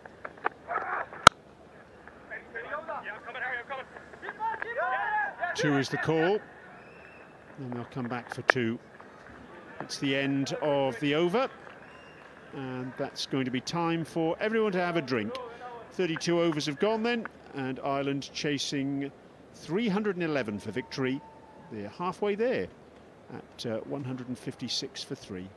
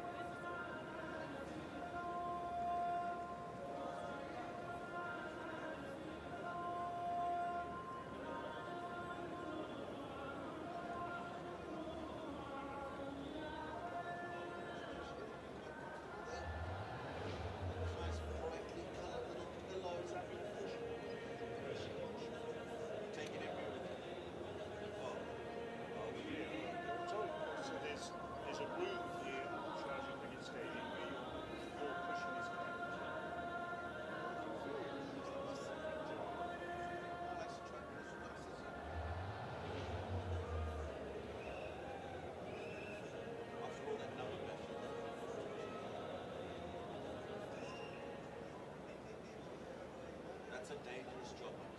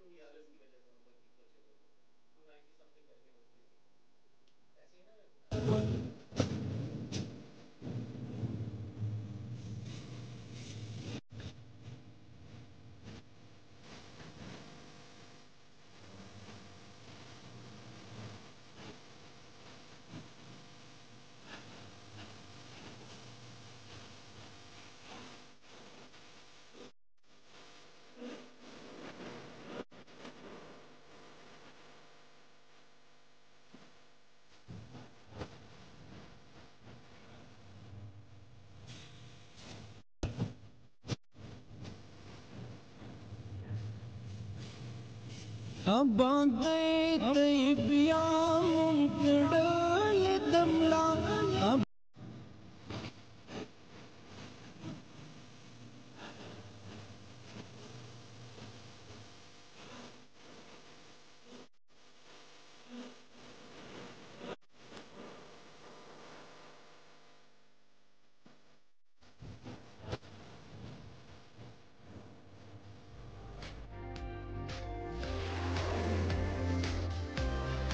chasing 311 for victory in this first of three one-day internationals.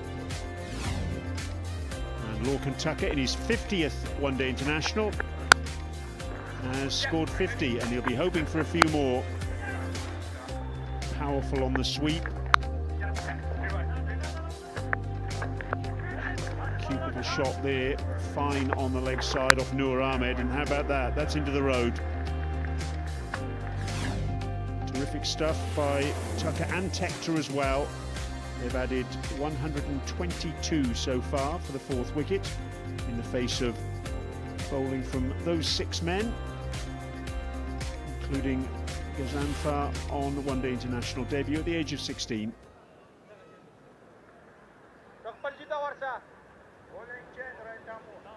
And he's back into the attack now. Change of ends for him. His first spell of four overs was from the Sharjah club end. Now he's going to be operating from the pavilion end. All sorts of chat out there as to where the fielders should be. Long on is coming into the circle at mid-on. It's going to be a, a 45 on the leg side, short fine leg, to try and cut off Tucker's pet shot. A little lap sweep.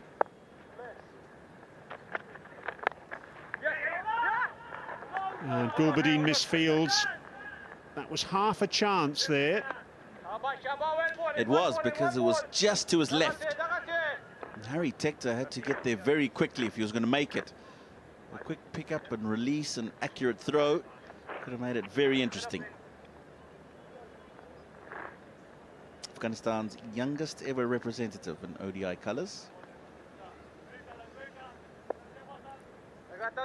Ghazanfar.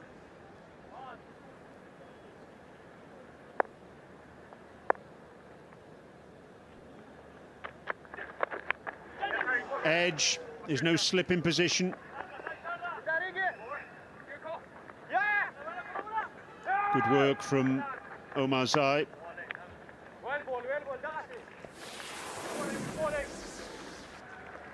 There he is, youngest ever player to have played for Afghanistan.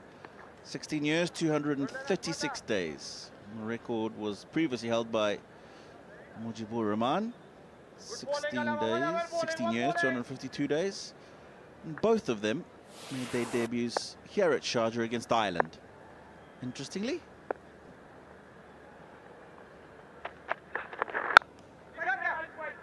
How do you think Ghazanfar has uh, bowled this evening? Has he acquitted himself, Tino? I've been quite impressed, to be honest.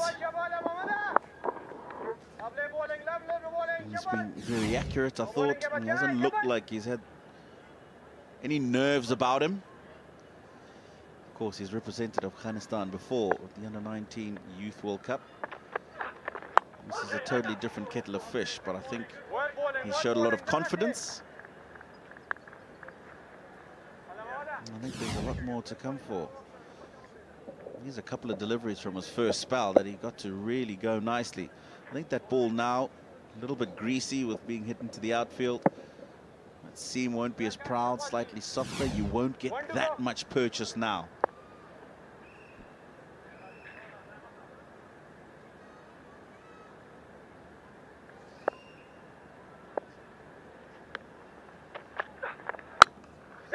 And as a batter, Tino, how would you have played him? Would you have played him as an orthodox off spinner? Would you have played him as a leg spinner? How would you have played him?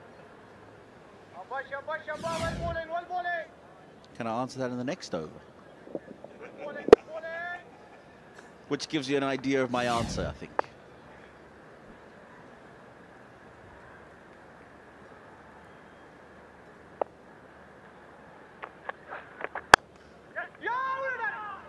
Rahmat Shah, misfield from him on the edge of the circle. End of the over, 33 gone, 161 for three.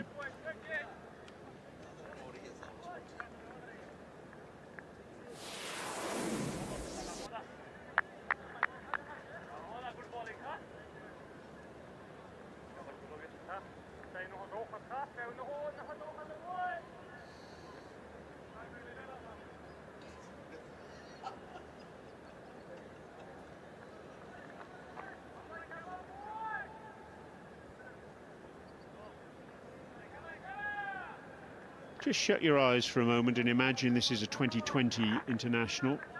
And if you offered Ireland 150 to get in 17 overs, would they take it? They might well.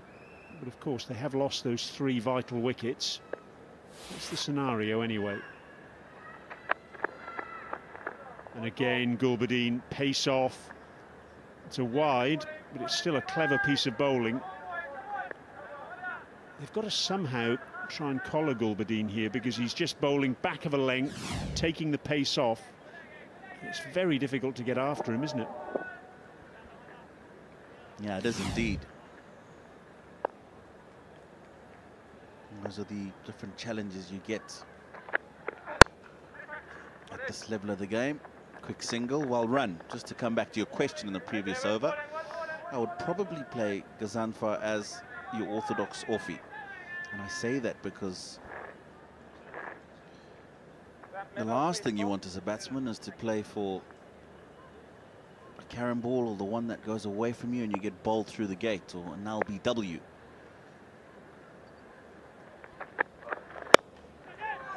Dropped. Well, Tector was done by a lack of pace there, and I rather suspect in the end Gulbadin was as well, because the ball came back at him a little bit more slowly than I reckon he anticipated. I think it bounced a little bit more on Harry Tector. It certainly hit high up on the bat. And with pace off the ball, he expected the ball to come a lot sooner. You're right. He had the hands ready and in place before the ball got there. When it eventually did, he wasn't in the best position to take the catch. Opportunity for Tector.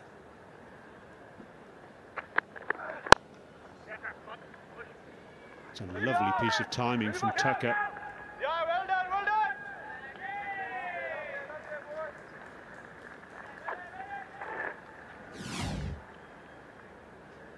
Let's take a look at this in real time. And you can see that he expected the ball sooner. And that's understandable with the swing of the bat that you'd seen and the momentum from Tector.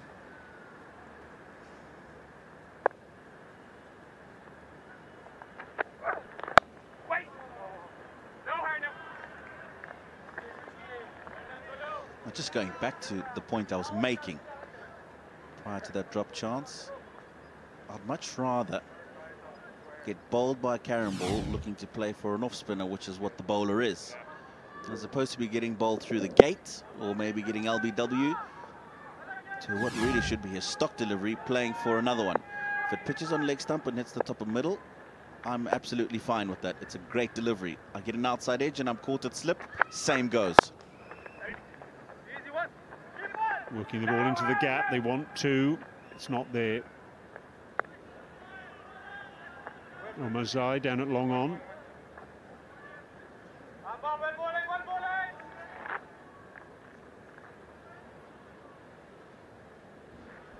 He's done a handy little job in the context of the game and the time that he's bowled Gulbadin.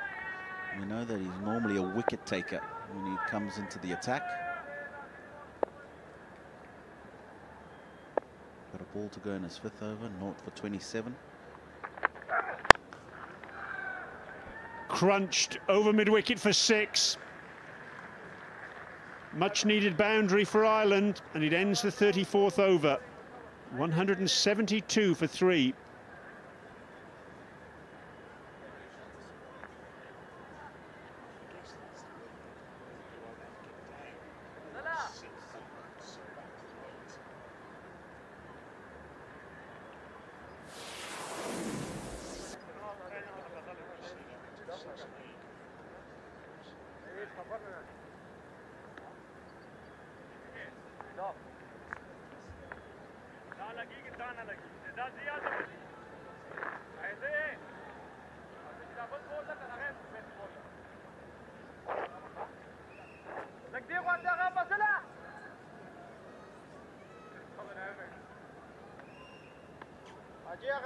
يا رياض راغي رياض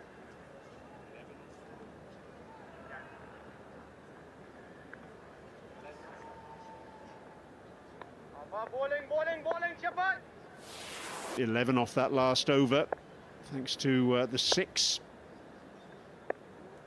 of the last delivery.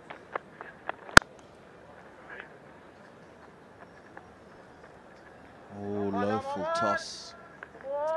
Could have done more with that, Harry Tector. This is the last ball of the previous over. How good a shot is that? So still at the point of contact. There's nobody anywhere near the leg side boundary, so look at his reaction. Cannot believe it. Gulbuddin Naib. He forgets that he does the same to other bowlers himself.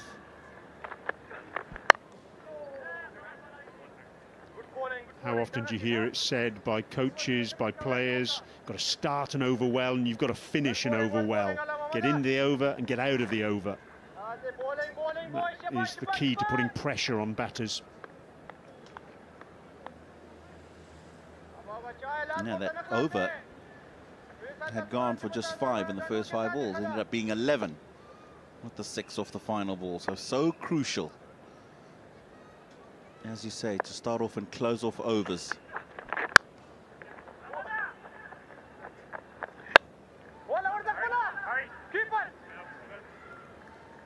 Tector had run too far past the stumps there after that direct hit from Rahmat Shah. No chance of the extra run as a result.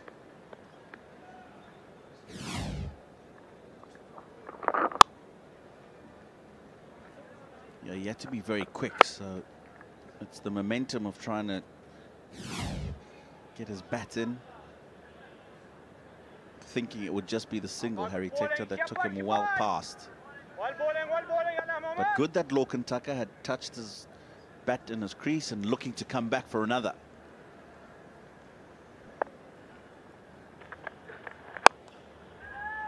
Down towards long off, and it's gone for four. It's a bold shot. Substitute Riaz Hassan was down there, full length dive. He thought for a moment he was in the game. He thought he could possibly take the catch. Yeah, good shot. He's gone downtown. Best place in the field to hit the ball. There's no fielders there. The sparing dive. You look up at their partnership, they're now five short of 150. The beginning of our stint, they hadn't got to 100 yet, so it's been a very profitable little period. Highest fourth wicket partnership for Afghanistan in ODIs versus Afghanistan, I beg your pardon.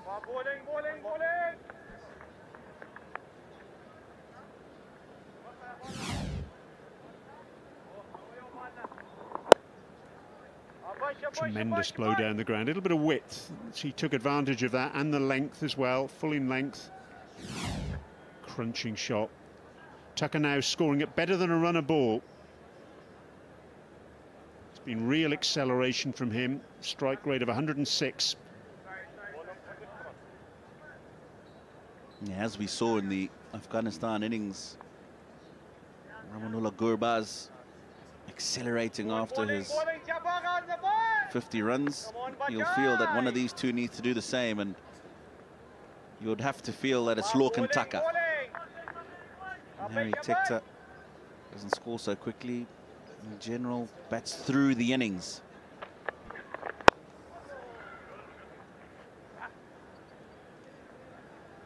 End of the over. Tector will keep the strike. 35 overs gone, 181 for three.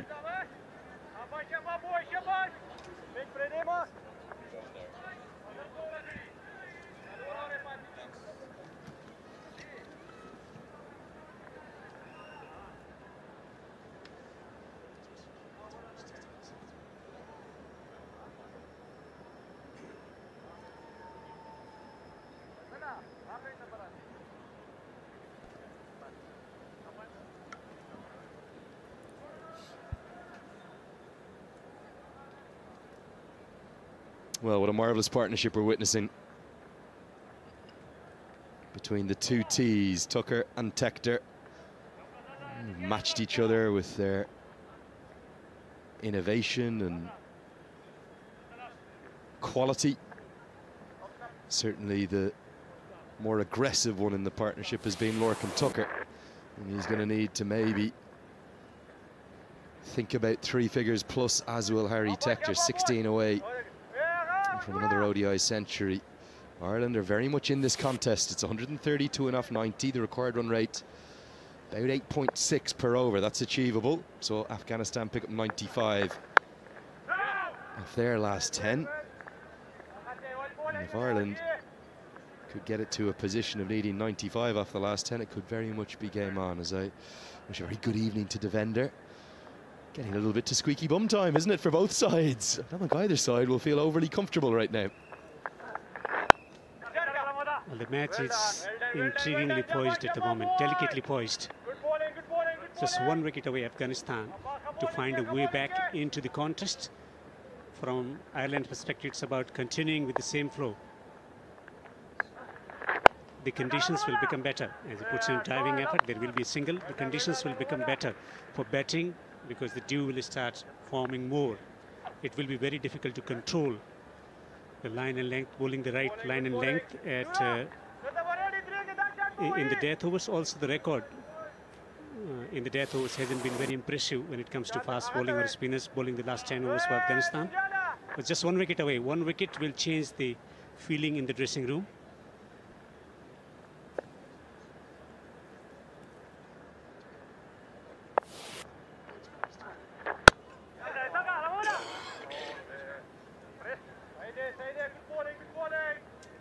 It's been the occasional moment, a half chance here, a half chance there, but the way in which they've done it has been so impressive. And strike rates of the batters to come, Dockrell, ignore that career 81. That's significantly in excess of that since he's played as a specialist batter. And look at Mark Adair's career strike rate, over 110. That's very rare in the ODI game.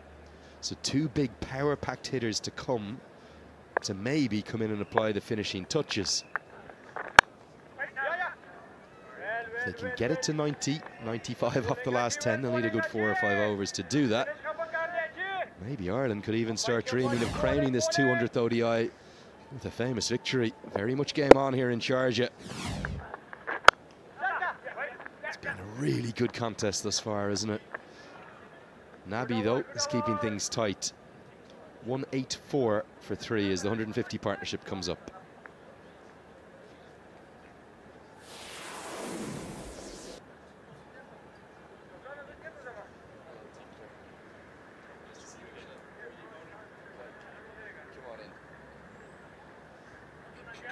Oh, well, I was just about to say, I'd love to see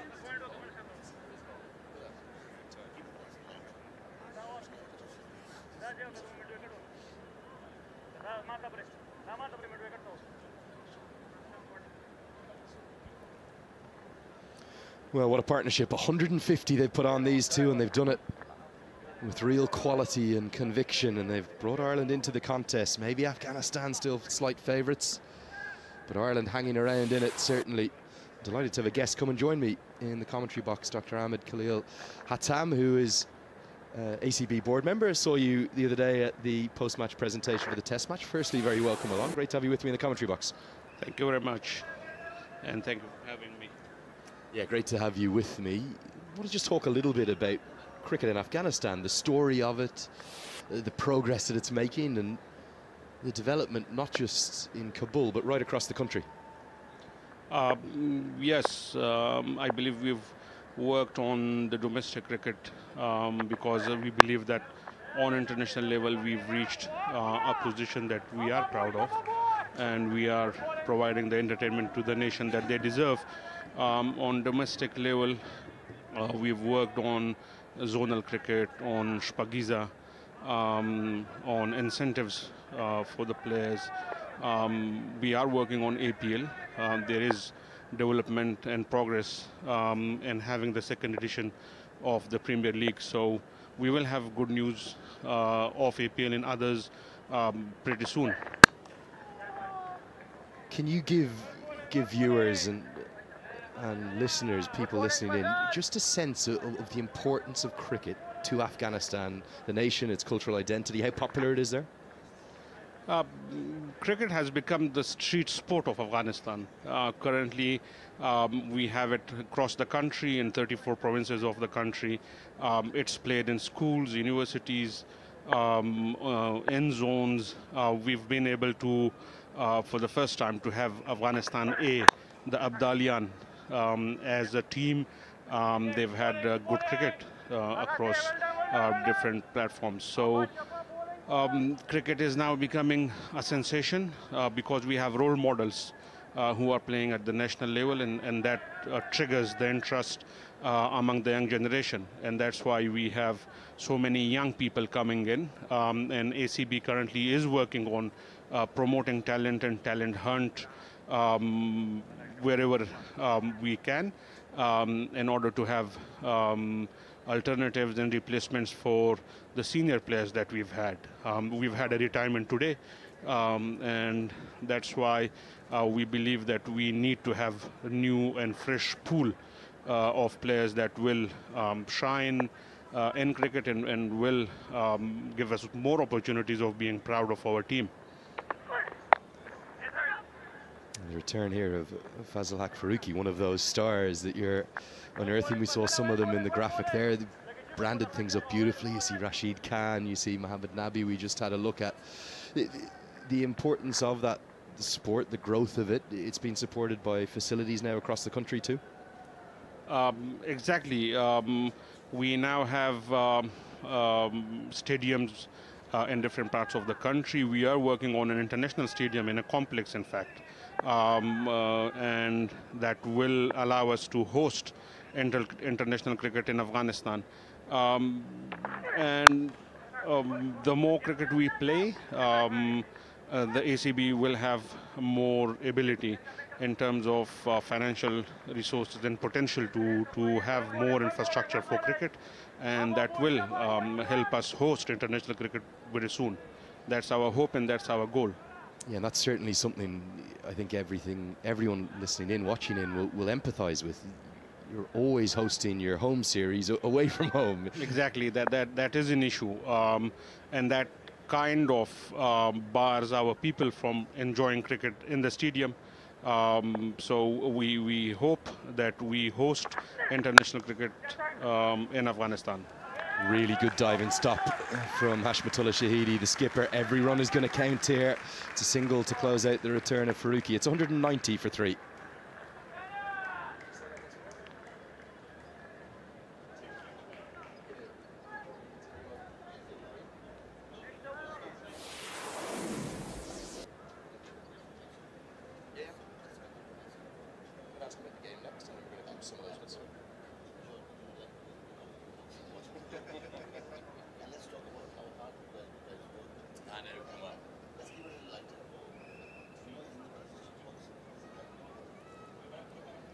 State of the game. 121 required off 78 for Ireland. The game very much hangs in the balance. And Andrew Leonard here with you. Delighted to have a guest commentator alongside me, the Afghanistan Cricket Board member, Dr. Ahmed Khalid Hatam. Ahmed, really appreciate you joining me. What about this game? Where is it going? It's such a great rivalry between Ireland and Afghanistan.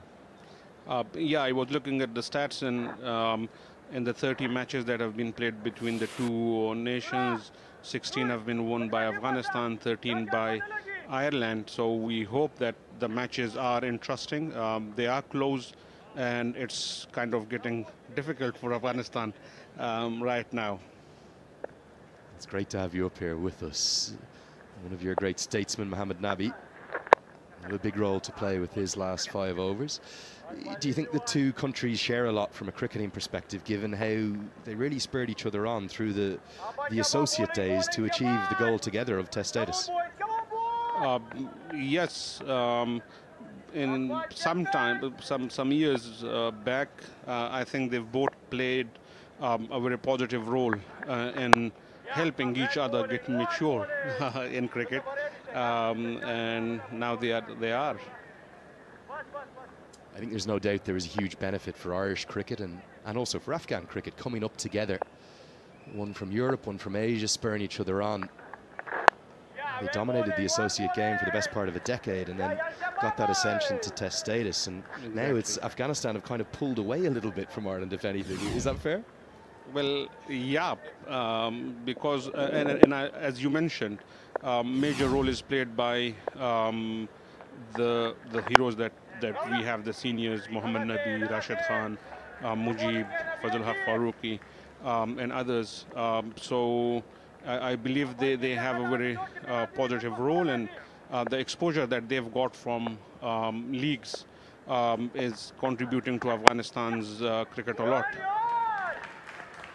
And certainly, I think if you look at the the ICC and, and in Afghanistan's case, the ACC events that you, you get to play, the Asian Cricket Council events, you become regulars now at the top table. Brilliant 50 over World Cup last year, probably just one win away from a semi final.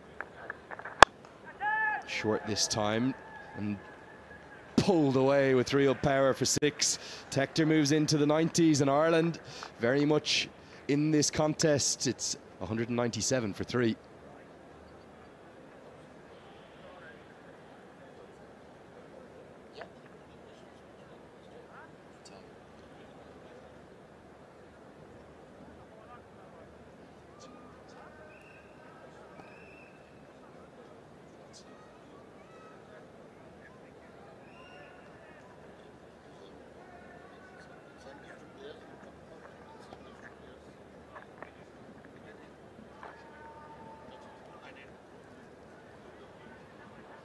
Ireland's best partnership against Afghanistan in ODI cricket it belongs to these two young men.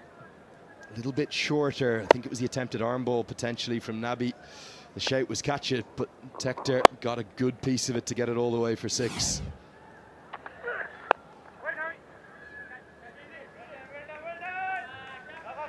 Doctor, I just want to ask you a little bit as well about about what's next for Afghan cricket, where the journey is is taking you.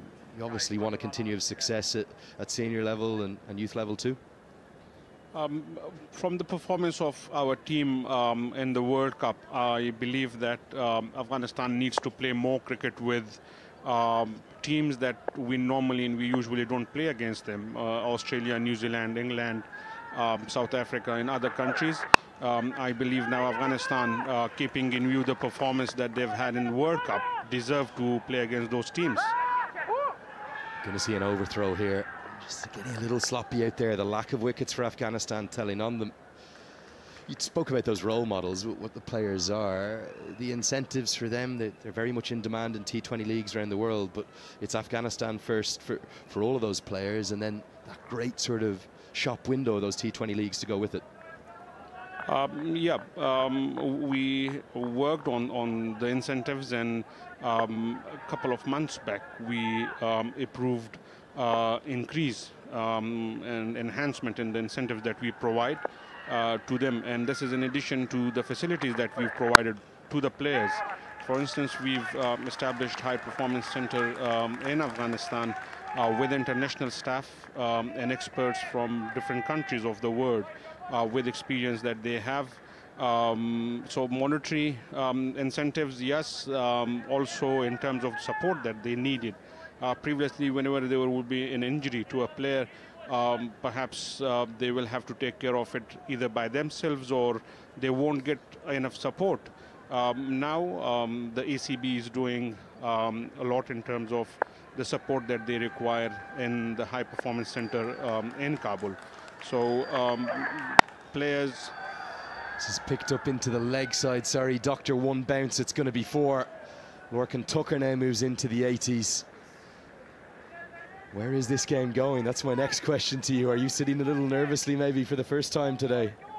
Um, yeah, it's my first time in the commentary box. We've, we've always watched uh, it either um, on TV or uh, from the uh, box, presentation box, but uh, not from the commentary box. Um, it, it, appears that you, you live with every ball. that is the life up that's, here. That's a, that's a difficult thing to do. Is. Second 100 has come quicker than the first for Ireland. This partnership is growing from strength to strength. It's four more back-to-back -back boundaries, and even Farooqi now going for a few. These two sides, they never serve up bad games. It's always nip and tuck. It's always keenly contested and closely fought. Great rivals. Exactly. Doctor, final quick question. T20 World Cup to look forward to, both sides. You'd expect good performances from them in June? Um, yes. Um, um, we at the board, as well as the, the Afghan people, they are expecting them to perform um, really good because the exposure and the experience that they've had in the leagues, we believe that they, and we expect them to bring it uh, to the Afghan side. Big appeal and given. Tucker has a look down at his bat and He can't quite believe he's been given out, but the finger's gone up and the partnership has been broken. It was worth 173. And Doctor, I was just about to thank you and say goodbye. You've brought a final bit of fortune to Afghanistan. The fourth wicket falls.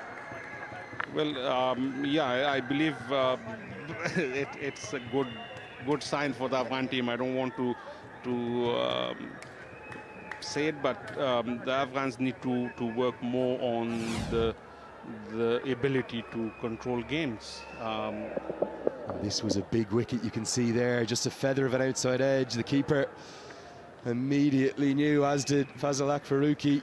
And then the finger went up. It meant that Lorcan Tucker has to depart. He's gone for 85. Ireland 207 for four.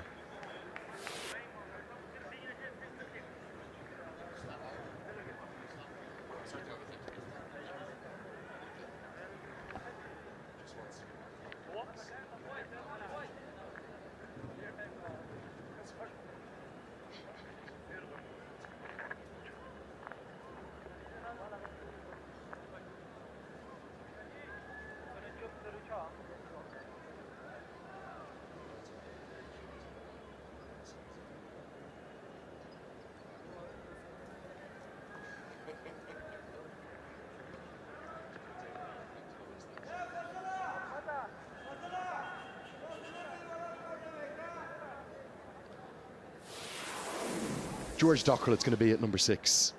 104 more required for Ireland. They'll need to get that from 11 overs.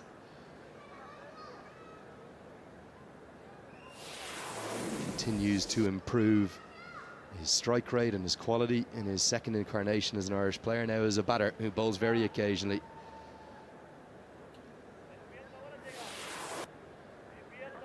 So, Doctor, I just want to quickly say a huge thanks to you and really interested to hear all the developments made in Afghanistan. Wish you all the best for the future. Thank you very much, and thank you for having me here. Thank you. I think you're a natural for what it's worth. Might have you up here again. Thank you so much. That's Dr. Ahmed Khalid Hatam of the ACB, a board member. I'm sure he may see you in the post-match presentation as well. Thank you so much. So now, Harry Tector.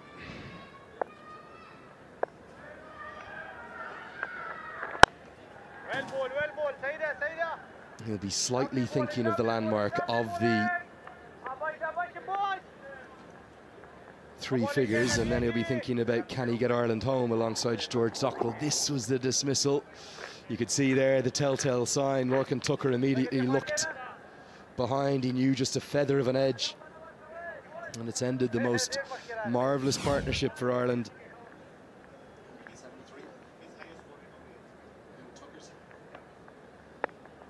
Lorcan Tucker's highest score in ODIs, 85. Never had has made an ODI century yet. I welcome back Devender. Devender, thanks for allowing the doctor in. Fascinating to hear. I know you know Afghan cricket maybe as well as anyone. Some really significant developments, particularly the facilities back in Afghanistan. A lot of work has been done of late in the last couple of years when it comes to spreading the atmosphere. At the same time, providing more opportunities to the to the players to com compete in different types of competitions.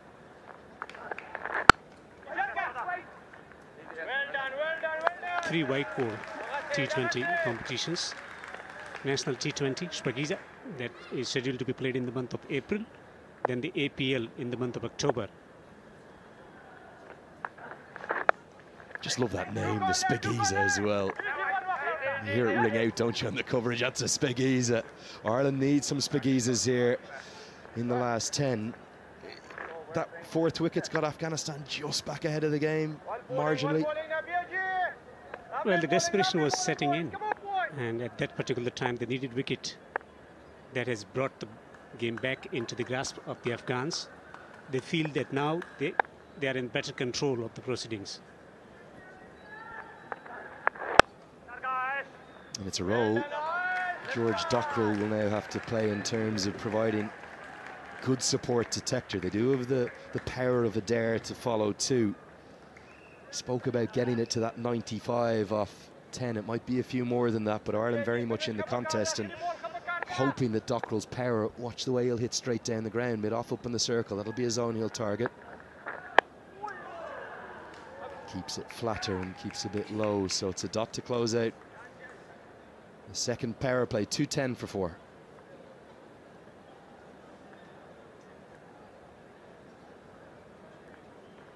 10 overs left, plenty of options for Afghanistan because of the six bowlers being used. Yeah, plenty of options, and uh, still they got over of uh, Nabi. Three more overs for Mohammad Nabi as well. The experience. They got the fast bowlers who bowled impressively in their first spell, and they will love th this situation. And also, it affects the wicket fall, affects the the tempo of the innings as well. The batting rhythm that uh, Tucker and uh, Tector were enjoying, it's going to alter the way because new batsmen at the crease to develop that comfort factor about running between the wicket as well. There is the signal for the end of the second power play. We move into the third. So for Hashmatullah Shahidi, can have five fielders outside the 30-yard circle. You suspect he'll use all five. Indeed, he will. So three in the deep on the leg, two on the off. Deep mid-wicket and deep backwards square and long on on the leg side, long off and, and deep cover on the off. Tector on 96. want to second, but I don't think he'll get it. It's the left-handed fielder in the deep. Ireland have probably, particularly given their start at 1.34 for three, they've already done more in this contest than they might have expected, given they've been up against it for the vast majority of it.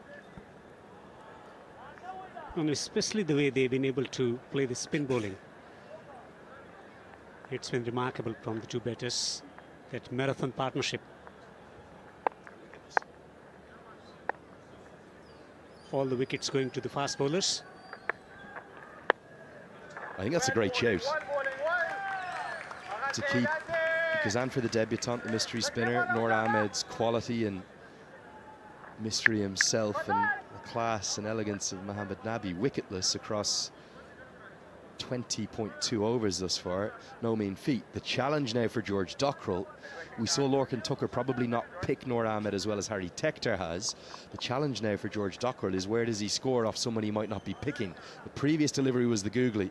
So just going to get on and go away from the bat. He hasn't picked it, it's beaten the outside edge. So where does he score? This is the challenge.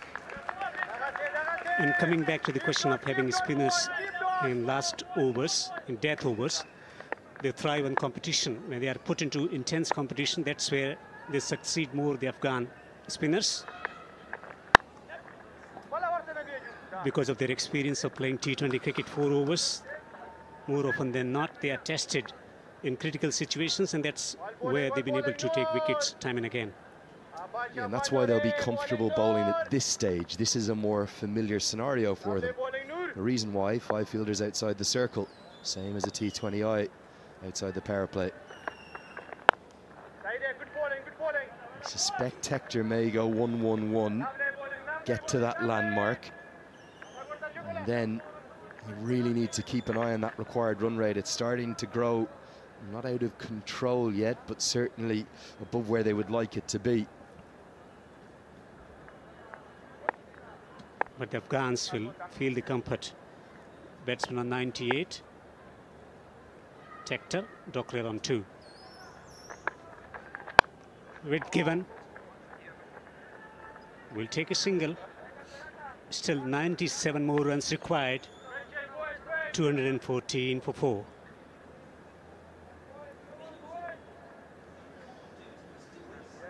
Challenge for Ireland, that required run rate, is now touching, not quite, near to 11, 10.78 from here.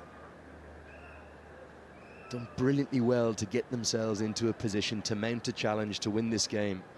It's a long way to go in this final power play. They'll need to play very, very well. And someone's going to have to play a good cameo alongside Harry Tector.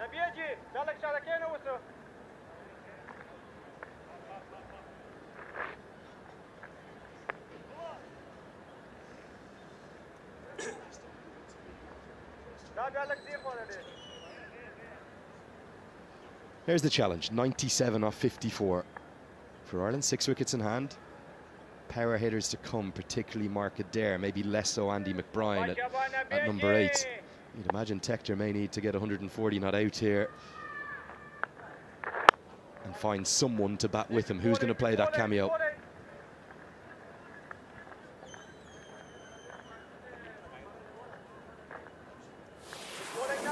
Another shout again for the Firebird Universe team doing a brilliant job here. That live feed available on YouTube and we're getting messages all over the world. People tuning in, enjoying the action. Here's Harry Tector on 98.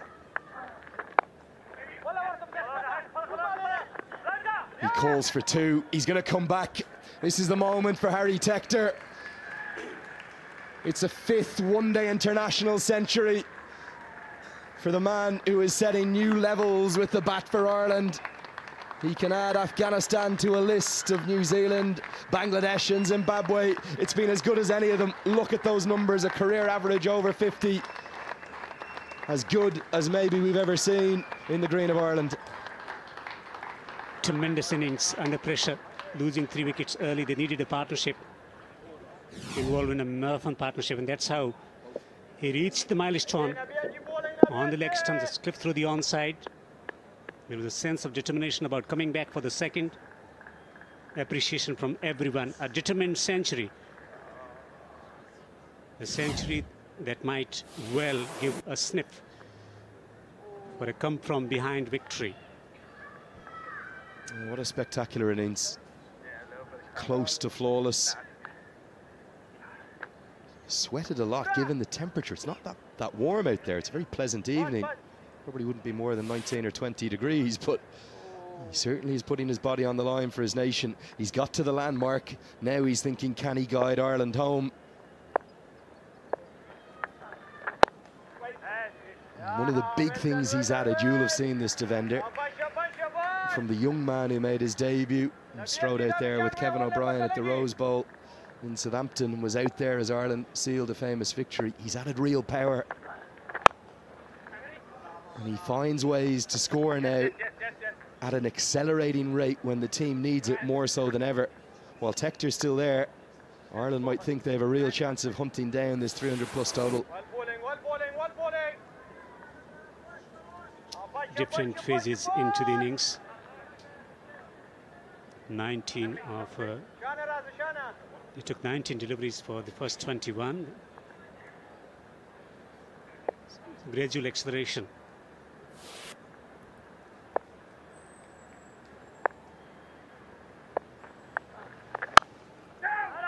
for a young man he's really had to learn on the job, thrown in at the deep end against England, against South Africa, against the West Indies, against New Zealand.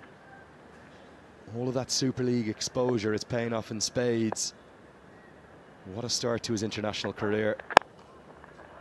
And if he's still there at the end, Ireland might be tasting victory here in Sharjah. 42 have been bowled, it's 220 for four.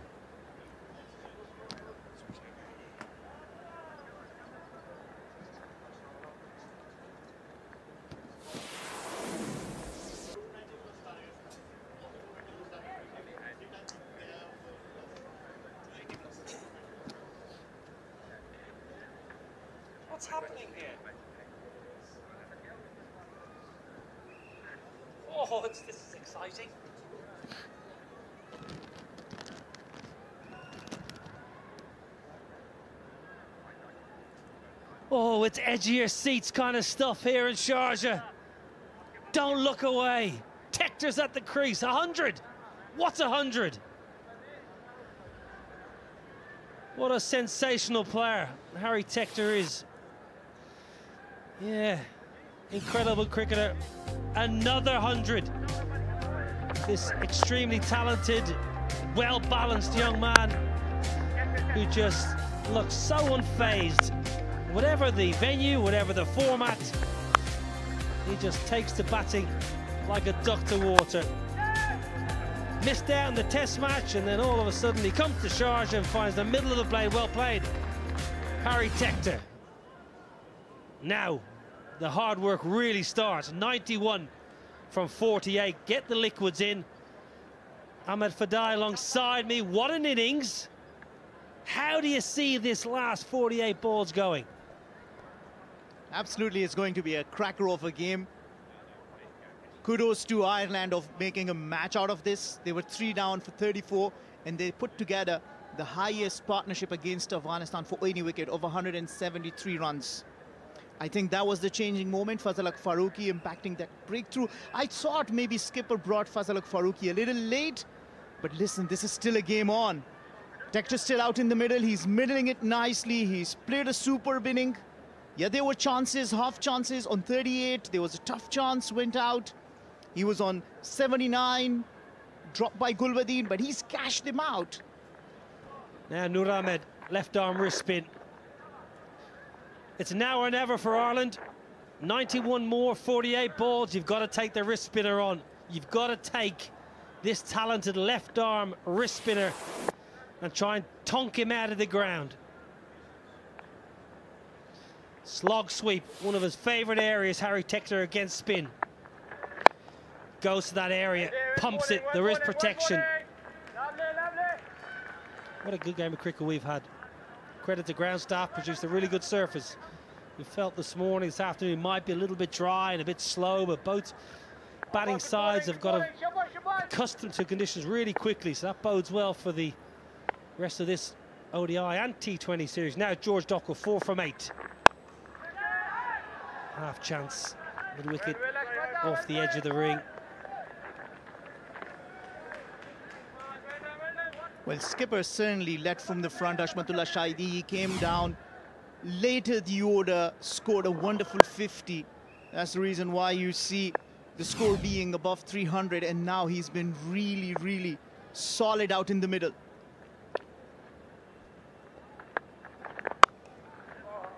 This is out. Cries of anguish through the stump mic. It was there to hit. It was flat, short. Tector misses out. Need one big over.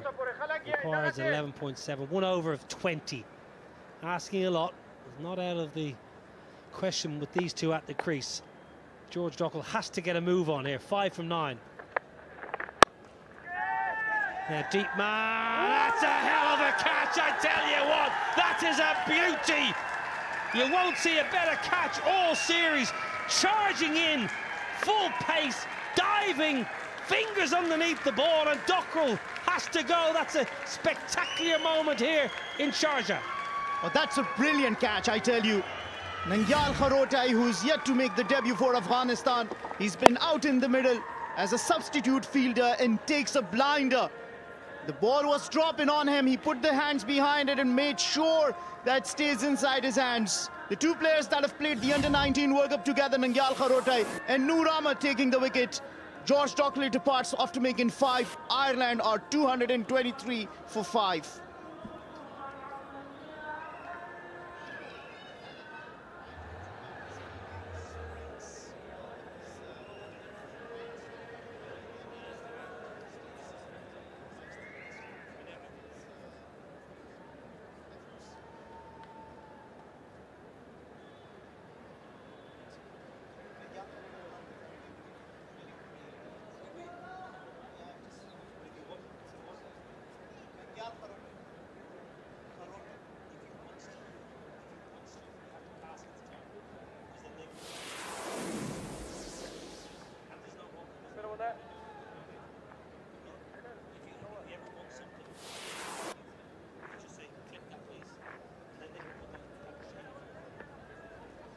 Mark Adair, who got pumped with the ball this afternoon, needs to do something special with the bat.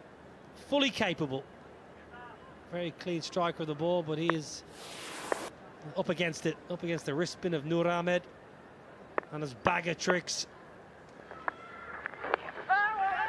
Straight away, the googly at the back of the hand, pitching outside leg, and Adair gets up the other end. But what a bit of fielding we have just seen. Talk us through this bit of fielding. Sub fielder. I mean, talk us through. Enjoy watching it. It's just so beautiful to the eyes. Look at the effort. Nangyal Kharotai has just been amazing out in the field. He's a sharp fielder, a wonderful cricketer. Looking forward to making his debut, hopefully.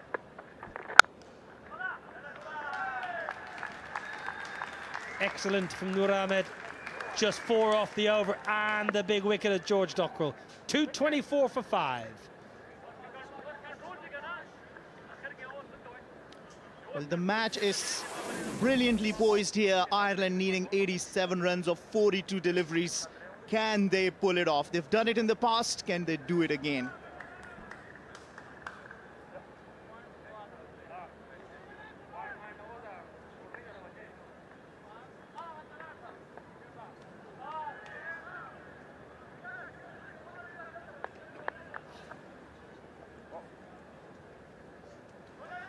Harry Tector with another ODI ton.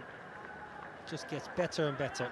Lorcan Tucker played beautifully for his 85, the Ireland wicketkeeper, who's had a wonderful couple of years, but now Ireland need to do something out of the ordinary. One side back into the attack ball. Well, the new ball swung the ball, got a little bit of movement with that new rock. And he's got a chance to close out and pick up a couple the back end. Good captaincy from Hashmatullah Shahidi, keeping Noor Ahmed, his gun spinner, with a couple up a sleeve for the back end.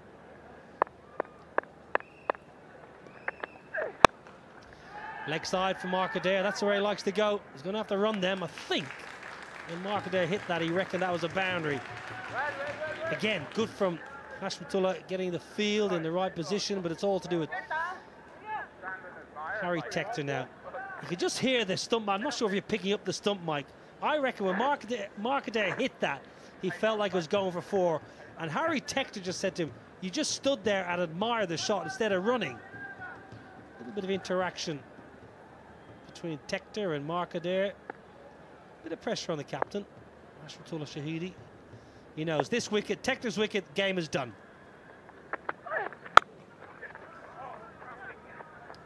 Like the intent. I like when you have the full 100% out in the middle.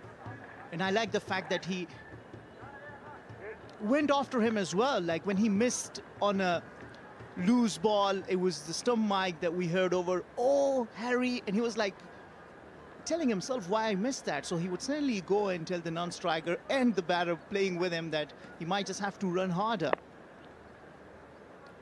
I mean, speaking about the fact, Ireland has in the past chased 300 plus runs. You see 329 against England, 329 against England again in 2020, 307 against Netherlands in 2011, and then 307 against West Indies. So can they do it? It's very difficult, but it's always gettable. You don't need to tell me. I was there for most of them. I know Ireland very capable chasing down 300. There at the end in one of those games in, Nelson against the West Indies, watching my good mate John Mooney shoulder the ball over the keeper's head for four leg byes to get Ireland a historic win. Watched Kevin obviously and the Ireland team knock off England and Bangalore. That's great bowling. That is top class bowling. Spears the Yorker in. That's why many feel that this young bowler, this young all-rounder, have a look at this bowl. Have a look at this delivery. Brilliant Yorker. Omarzai, IPL auction. After that auction, all these players signed for millions of dollars and huge sums. Pat Cummins, Mitch Starc, two and a half million USD. A lot of people said this pick, this man on your screen is the pick of the auction. Omarzai, Gujarat Titans. I'm sure Rashid Khan had a word and said, listen, we've got to get this young lad while we can because he's going to be an absolute superstar. That's going to be a no ball. That will be a no ball. Accidental. Well, that will result in a free hit. And Harry Tector was very quick to get down to the striking end. Wanting the opportunity, free hit. That's because of the dew that we're talking about. Not talking about Ireland having chased down. Yeah, that was really awkward. Look at that. That's a very awkward height. Absolutely a no ball. So talking about 300 plus runs been chased, are you at the wrong place? Do you not have to be out in the field helping chase down this big total? Well, I can't get any runs when I'm retired in the commentary box, so... Free hit, long handle, leg side, six. Well, he's hurt himself here, Harry Tector, or else he got a bit of cramp, I think. Been out there for a long time. He was cramping after coming back for the second to get us. So don't worry about running, Harry. Fours and sixes will do. I tell you what, the Afghanistan fans won't be liking the cramps because all of a sudden they might remember Glenn Maxwell in a lot of cramps, yet he chased down that target after having lost so many wickets early on. Yeah, he looks in pain.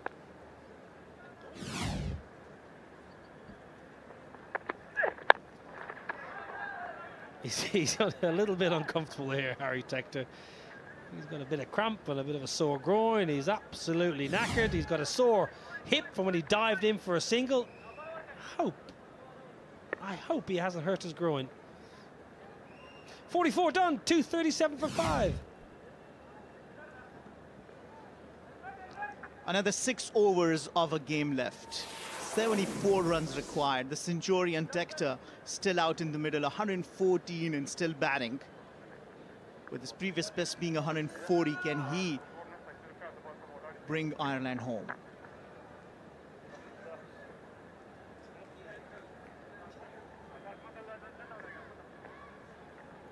Did you have pizza? Beautiful pizza. Great stats, Harry Tector. The one unfortunate stat, no century has resulted in a winning cause. So Ireland fans, you'll be hoping that changes today. But another top-class innings from the young dub. Last over for Noor Ahmed. Good good keeping, excellent gloves. Ikram Alikhil, that's superb keeping. A lot going on in front of the keeper there. There was turn, there was bounce, there was a bat flailing in front of your eyes. And just have a look at the glove work. Rises with the bounce. Beautiful. And again, top class bowling here, Noor Ahmed. And that's what he brings into the party. He was bowled for consecutive seven overs by the captain when he was brought into the 19th over. And he was not able to make an impact. And I tell you, it was Tucker who had actually taken him on. Harry Tector goes down and sweeps this beautifully for a maximum. Just that we were talking about how he'll be picked up. He shuffles across and smashes this for a maximum. Yeah, flat. Goes across the stumps. Previous two balls stayed leg side. Harry Tector this side. This time gets across the stumps and a flat bat. Six over that favourite square leg. No side has ever successfully chased down a 300 plus score here in an ODI. Googly pitching outside leg. 285, I'm led to believe, is the highest successful run chase at this venue. It's been done twice. 285 for four, West Indies versus Pakistan in 93. And 285 for two, Australia versus Pakistan back in 2019. So 300 plus, never been done? Well, no better time.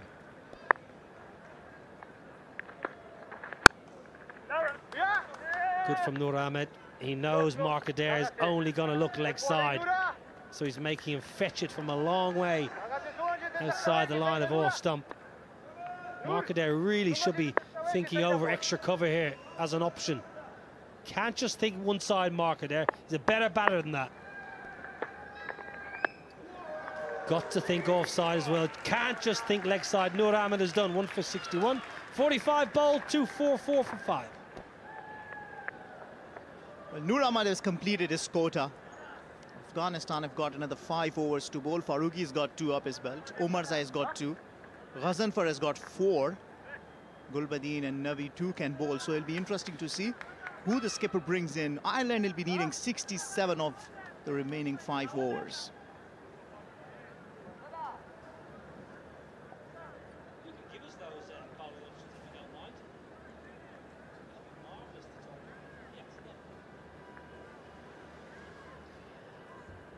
Five overs remaining. Ahmad Fidai alongside me. Who are your options here? Who are you going to as captain to close out the innings? Well, absolutely Fazal Farooqi to finish his quota alongside Azmatullah Omarzai. So the thing that remains is for the one over. Gulbadin is bowled nicely. He's really deceived with the slower balls. But I'll want to go for Ghazanfar because he's really attacking. He's not scared and he could possibly get the wicket and that too of uh, the dangerous looking Tector. So you'd, you'd entrust a 16-year-old debutant with one of the last five overs before Muhammad Nabi. All the experience Muhammad Nabi has, for example, you would go with a 16-year-old debutant over someone who's played 160 ODIs if you're going with a spinner. You asked me my opinion, and I that that's what I think. Why? I just thought that he looked a little dangerous today. He created opportunities, and he's not scared to attack. And also, if Afghanistan can get in that position to close this game out, the youngster potentially to get his first wicket. Fazal Haq who's been exceptional today, generally bowled around the wicket. First over and a half, maybe two overs, he bowled over the wicket, looking for a bit of swing, and then went around the wicket with the angle that got rid of Andrew Balbirnie and Curtis Campher. This game just drifting away from Ireland, not for the lack of effort or lack of skill, just through the sheer magnitude of chasing over 300 in Sharjah. Never been done before. Felt it was going to be a steep chase.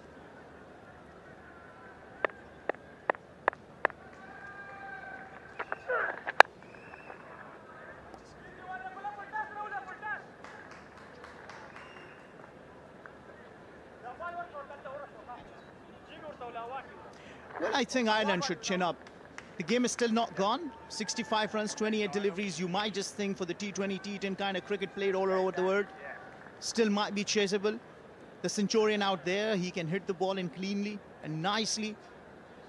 But whatever it is, the result, the effort, 100%, they have to be proud of it. Really made a game out of this.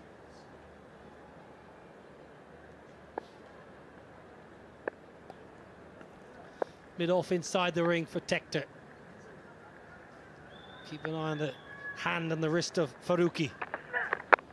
Top class bowling, that is excellent. Two Yorkers in this over, he's bowled to Harry Tector with the man back at deep backward point.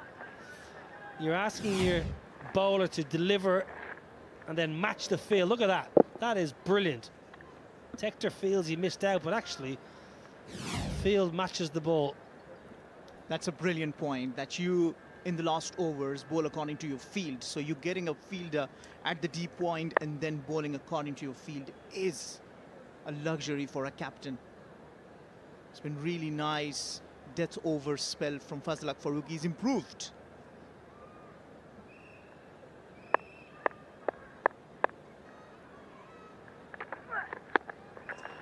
Again, high class, high class, showing all his experience here. Fazal Haq Farooqi. He's got enough pace. He's brisk without being express. Yeah, just trying to guide it past third that's inside the ring, but Noor Ahmed is back patrolling the boundary as well. So just three or four balls. I feel like two balls have to go either over the ropes or at least for a boundary. Watch out for a slow one.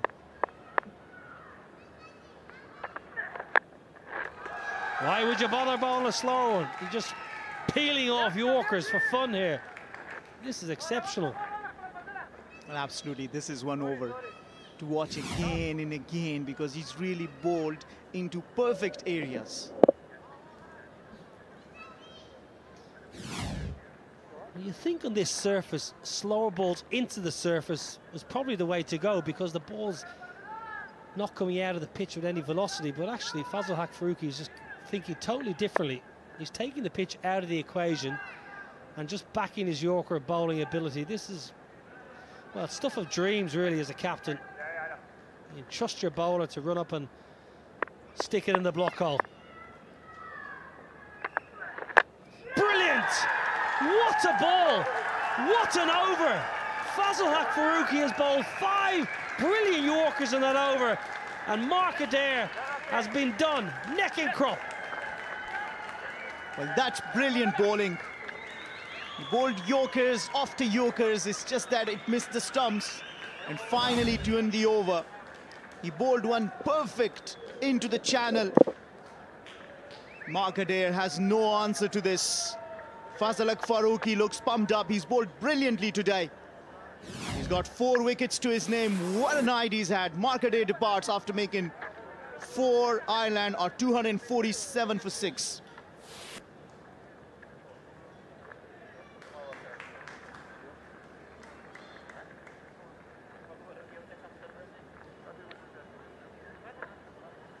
el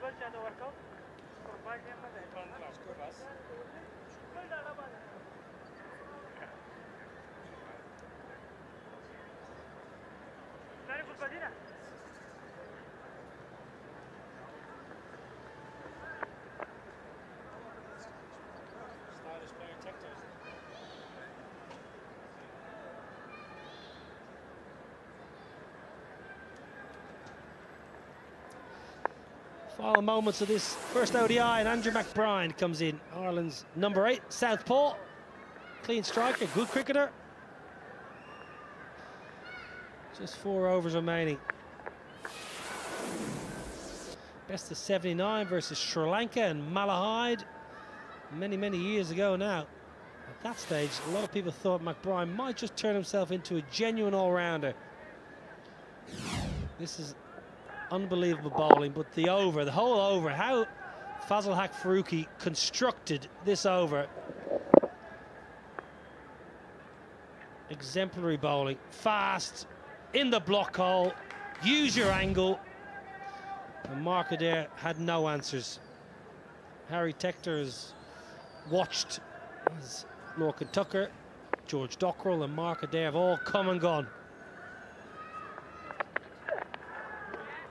I have a question. Was it was it the right thing to do to give Mark Adair the strike?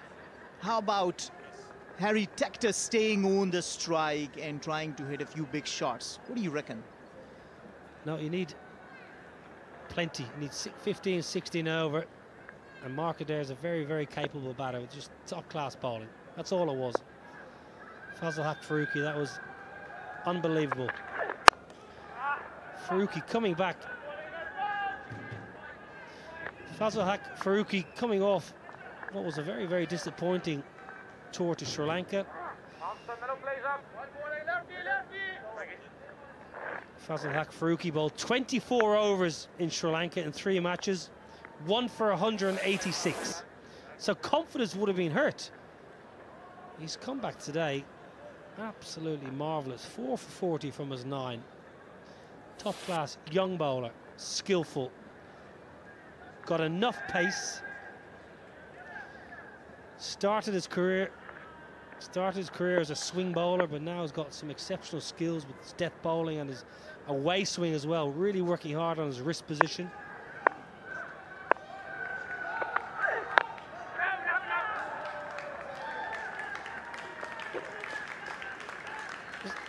Afghanistan, most likely, unless something extraordinary happens, gets over the line here. Ahmed, what about an area, a potential area that they can look to work on? Because you're always trying to improve game on game. Any area that maybe they won't be quite so happy with? I think a bit sloppy they were in the field, just a bit. Dropped a few chances. It's always important that you improve your ground field, you improve your ground fielding. And it is that all your fielders should be ready for it. Is that another wicket? Yes, McBrine departs. Azmatullah Omarzai doing the damage alongside Fazal Haq Farooqi. What a sight this is for Afghanistan. One area that Afghanistan had to have improved, bowling in the death overs. And they have found the answer to it. Brilliant bowling.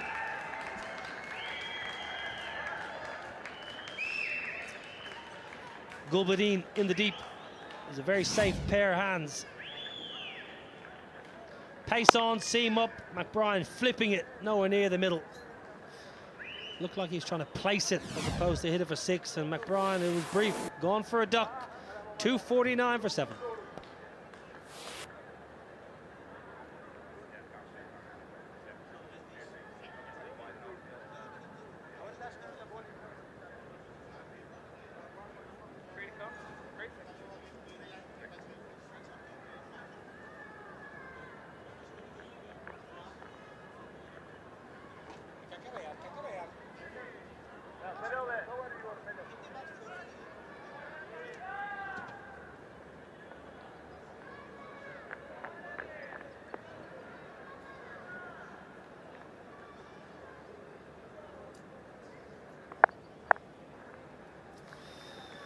Graham Hume, the new man. Not renowned for his batting. Ball well this afternoon. Graham Hume picked up one for 40.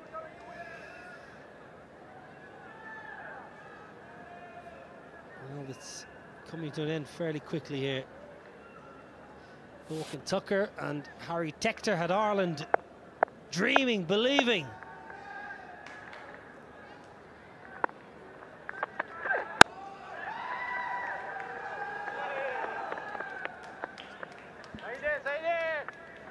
Faruqi's got four wickets. He hasn't got a five. He's got one more over to bowl after this. McBrine departing in this over of Azmatullah Omarzai. So he's got one over left. Be interesting to see if he can complete his fifer. Among the pacers for Afghanistan, he alongside Gulbadin Naib are the two bowlers who've got the most four wicket hauls, four times for Faruqi and four times for Gulbadin. So we'll have to wait and see in the coming over. This is the end of another successful over for Afghanistan. Only four runs, one wicket. Ireland are 251 for seven.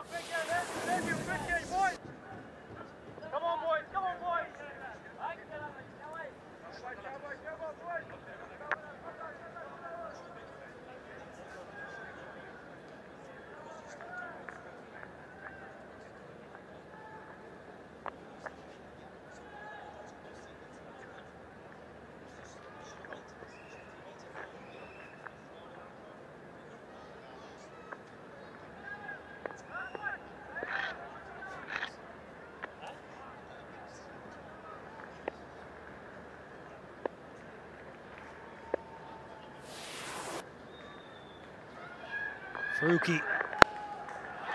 Reverse from Harry Tector. What a lovely shot that is. Why not? Have a bit of fun. You've played out of your skin. It's all on your shoulders now, Harry Tector. And clever as well, because he knows Faruqi's going to go for that Yorker, so he just brings out the reverse ramp. It's, it's, it's stylish, I tell you. It's so beautiful.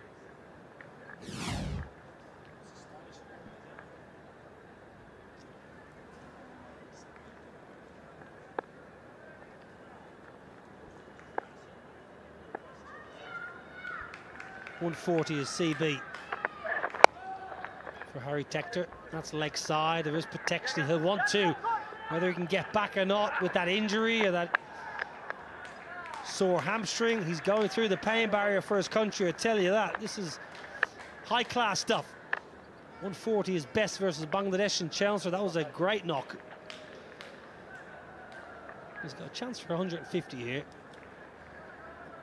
Albeit it will be most likely a losing cause, but the chance to get 150 in an ODI. He's played brilliantly. It's at times when players come out, played brilliantly. But look at Fazal Haq Faruqi. He bowled Yorkers into perfect channel. He was just missing the stump and last ball bang onto the wickets. Shares to catch it. Should get back for a couple. Yeah, that was a great little montage of Faruqi's skill. But five Yorkers in that over. Previous Faruqi over. He bowled five Yorkers that were nearly, I'm not going to say they're all absolutely nailed on. There was a couple low full tosses, but that's perfectly acceptable. Rather bowl a low full toss than get it wrong the other side and bowl one in the slot because if you bowl in the slot it goes for six down the ground. So the slightly lower full toss is more than acceptable. Four for 40 you mentioned that five for. Can he? Three balls gotta be gotta go for the stumps. Gotta get greedy. Yeah, that's when uh, bowlers start leaking runs. But I like the tactic from Hashmatullah Shahidi, trying to close the game with the front line bowlers and then that one over left. He wants to make sure that he's completely negated the chances for Ireland to chase this down. So continuing with Fazal Haq Faruqi, bringing in Azmatullah Omarzai to keep that last over or to penultimate over is really a good tactic for me. and you still want the teenager to bowl the last do you you want to give that youngster that last over don't you Honestly, I want him to take a wicket. I mean, taking nothing away from Ireland, they have played brilliantly, they deserve to win. Particularly Harry Tector. He's been brilliant and so pleasing to see. But that youngster has really shown courage and skill. He missed on chances. There was one, if there was a slip fielder, Harry Tector could have been gone. One went into his hand but couldn't stick into his hand. So a wicket will really give him a lot of confidence. Interesting conundrum really for Afghanistan cricketer, how they get all these mystery and wrist spinners into their sides. Noor Ahmed, Rashid Khan, Qais Ahmed, Waqar Salamkheil was brilliant in the ILT 20.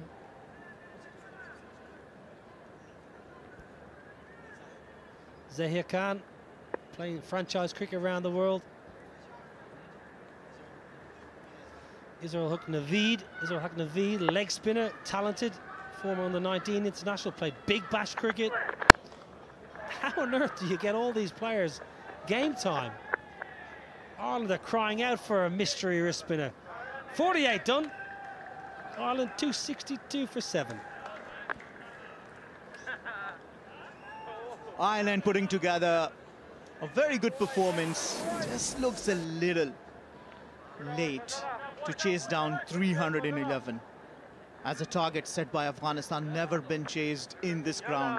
The highest chased has been 285 Afghanistan looks set to secure the first win. Can they do it? 49 required in the two overs.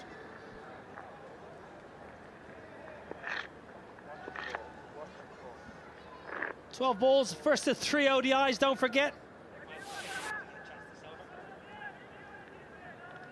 Omarzai to bowl the penultimate, 49th. Harry Tector on strike, 135 red. Misses out, full toss, was a little, little outside edge. Tector, I think, just fatigue. First of three ODIs, of course. Second will be on the 9th of March, followed by the third ODI on the 12th of March in Sharjah. Then we got T20 Fun, 15th, 17th, and 18th of March here in Sharjah. So you're in the area, get down and watch. If not, make sure you tune in on the TV. We'll be here to bring you all the live scenes and action. Should be a quality series. I'll tell you what, the Afghanistan bowling coach Hamid Hassan. Well, you should be getting a bonus. Where's Hamid? Where are you, my friend? My old buddy, Hamid Hassan, ex-tearaway quick bowler. He has got his bowlers bowling superbly here. His bowlers have been superb tonight. Their death bowling skills, which is something Hamid Hassan was known for. 90 mile an hour bowler, Yorkers, reverse swing. He's in having his dinner. Well done, Hamid. Nice to see Hamid involved and learning from the likes of Jonathan Trott as well. Well, absolutely. They've been working with youngsters, bringing him along into the camps, working really hard with them. Every time you go and ask him why the boys are not performing, he'll tell you we've been constantly telling him, practicing with him, and you see the dividends. There's been some superb death overs bowling for me. I've seen this in a very long time, I tell you. It's been so pleasing to eyes. Azmatullah Omarzai, Fazal Haq Farooqi really doing the job for Afghanistan. Again, wide Yorker. Well, I watched Hamid Hassan bowl in a tournament not that long ago, three months ago, I reckon, in India. He was playing in a league there for retired players, and he was still bowling pace, still getting the Yorkers in, still competitive as ever. He's traveling to Sri Lanka. He's going to be playing, so you might just see him again in action.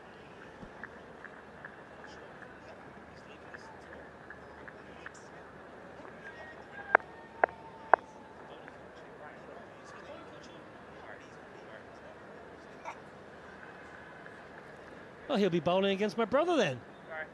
Because my brother's batting. My brother probably tonk him all around Sri Lanka like he used to do in the ODI format.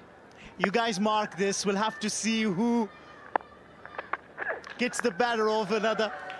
Well, what you will not know is my brother Kevin and Muhammad Nabi were on the MCC Young Cricketers together.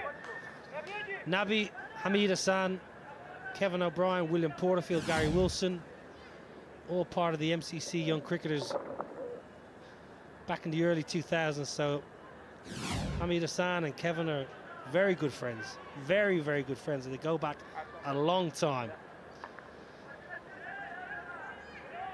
46 off seven, but more importantly, one ball left of the 49. Then will the secret will be revealed. Who will bowl the last over?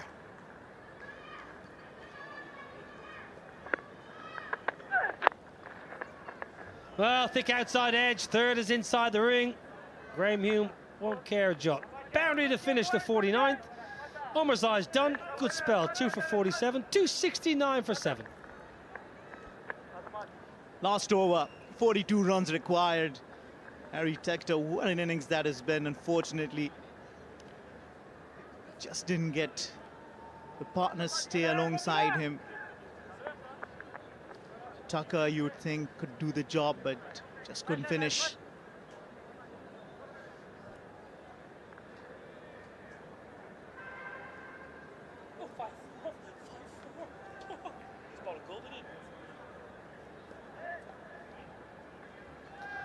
Last over of the first ODI here Sharjah. Been an excellent game of cricket. Plenty of runs. This is Graham Hume. Thick outside edge. Omar's eyes went for that Yorker, missed it. Ball well though, Omar's eyes. Well, you're disappointed. You're not happy. I am. We just saw a brilliant game of cricket. What a game this has been.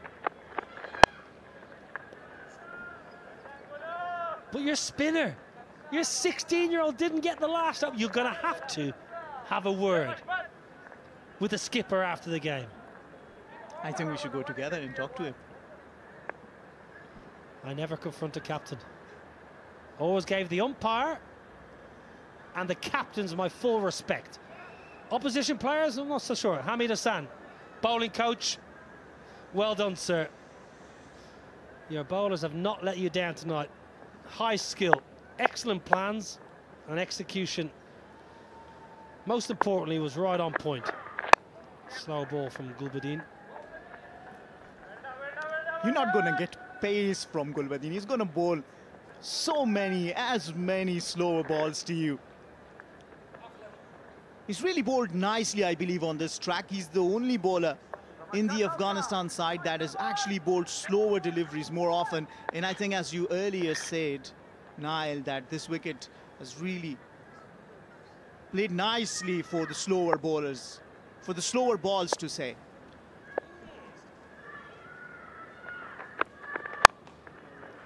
No timing. That's a shot of fatigue, and that will be the end of Harry Tector. Gulbuddin Naib in for the final over. Takes pace off the ball. Harry Tector has played outstandingly well, but in the end, fatigue has set in. Nabi takes a simple catch. And any hope Ireland had of getting anywhere closer is now gone. Well, his previous career best has been 140. He could not breach that. That's the only milestone. Other than that, he's done really nice job. Problem was there was no one else that stayed alongside him to give him company. Gulbuddin Naib taking the wicket. Muhammad Nabi safe hands, 138, brilliant innings. Ireland are 271 for 8.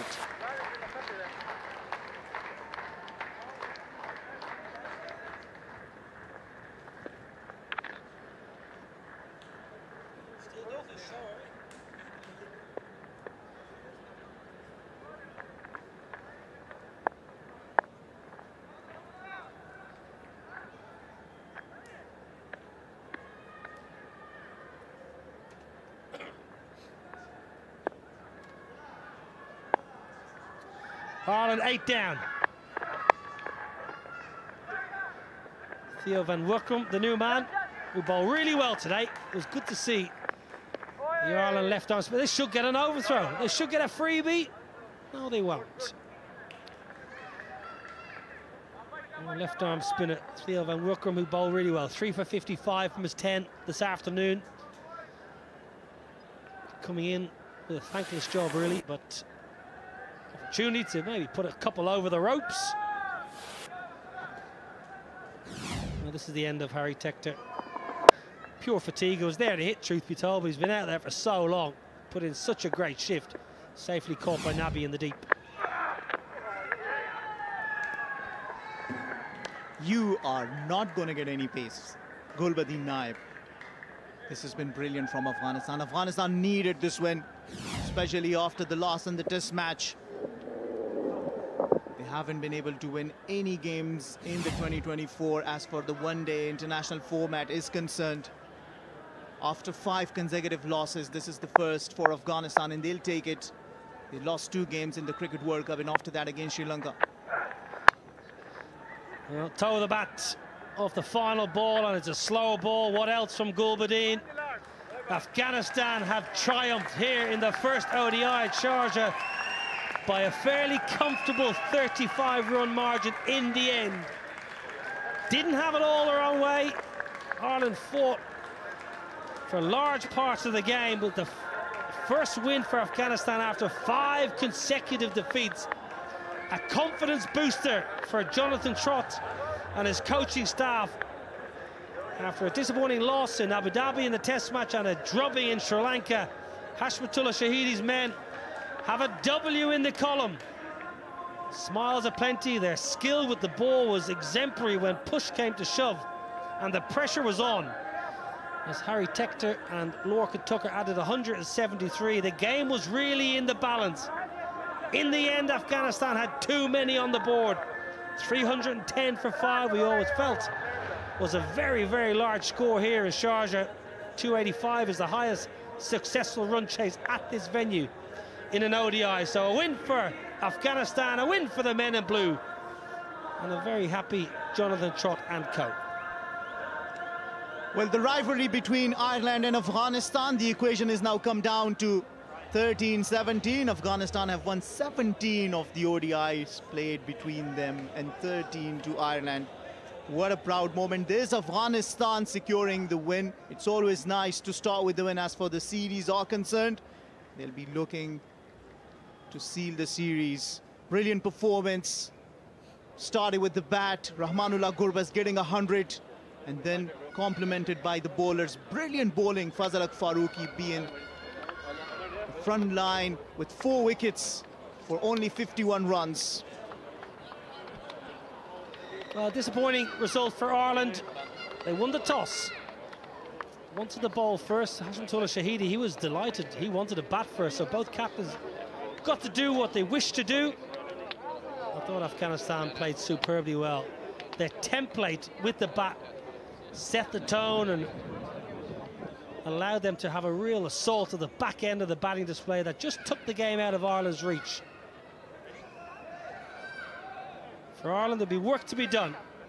They bowl well in stages, never really threatened. That will be the key frustration for Heinrich Malan and the bowling coach, Ryan Eagleson, and all the coaches that they never really threatened to take wickets con continuously, not like Afghanistan that had good skill, the wrist spin and mystery spin of the teenage debutant Ghazanfar.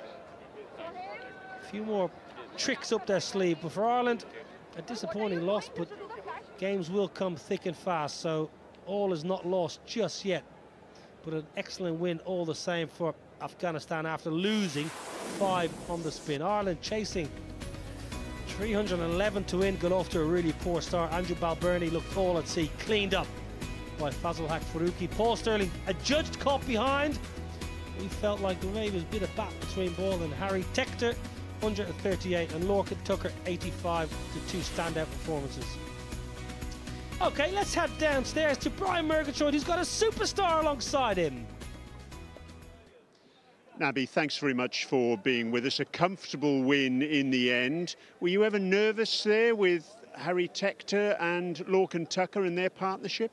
Uh, Bismillah Rahman Rahim. Yeah, it's a big partnership in the middle. Yeah, it's, and also the wicket is uh, straight, is nothing uh, for spinner as well. Also a lot of dew with ball.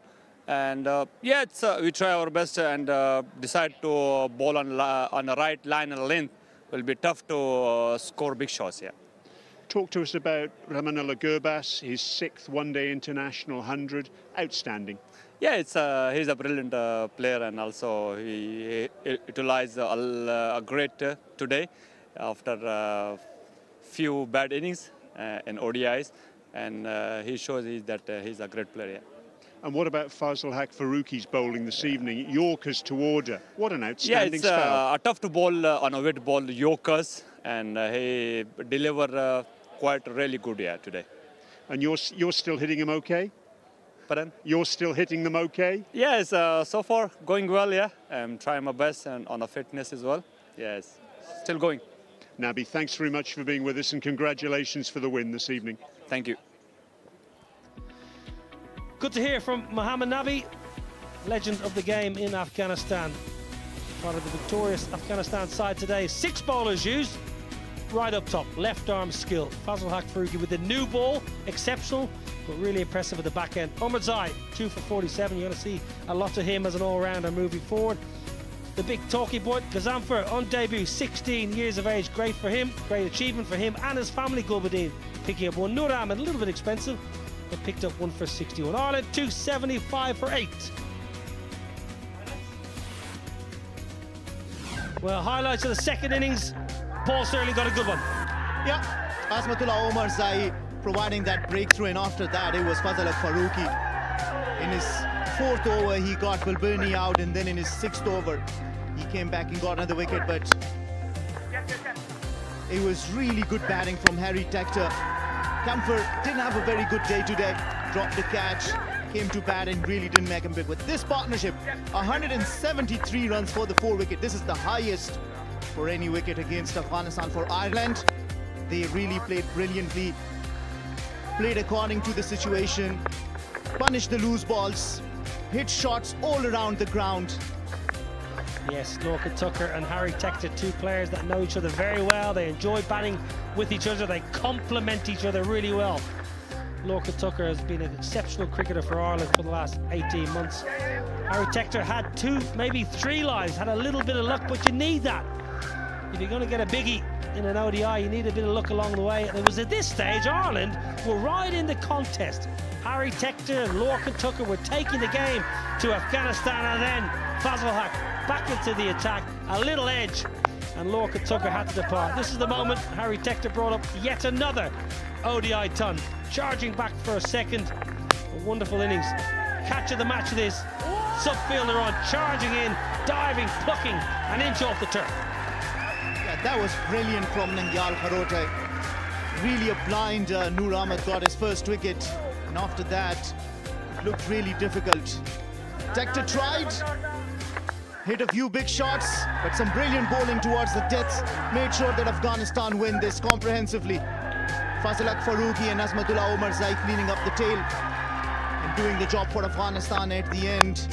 This is how the Centurion Tector fell after making 138 runs. Brilliant innings.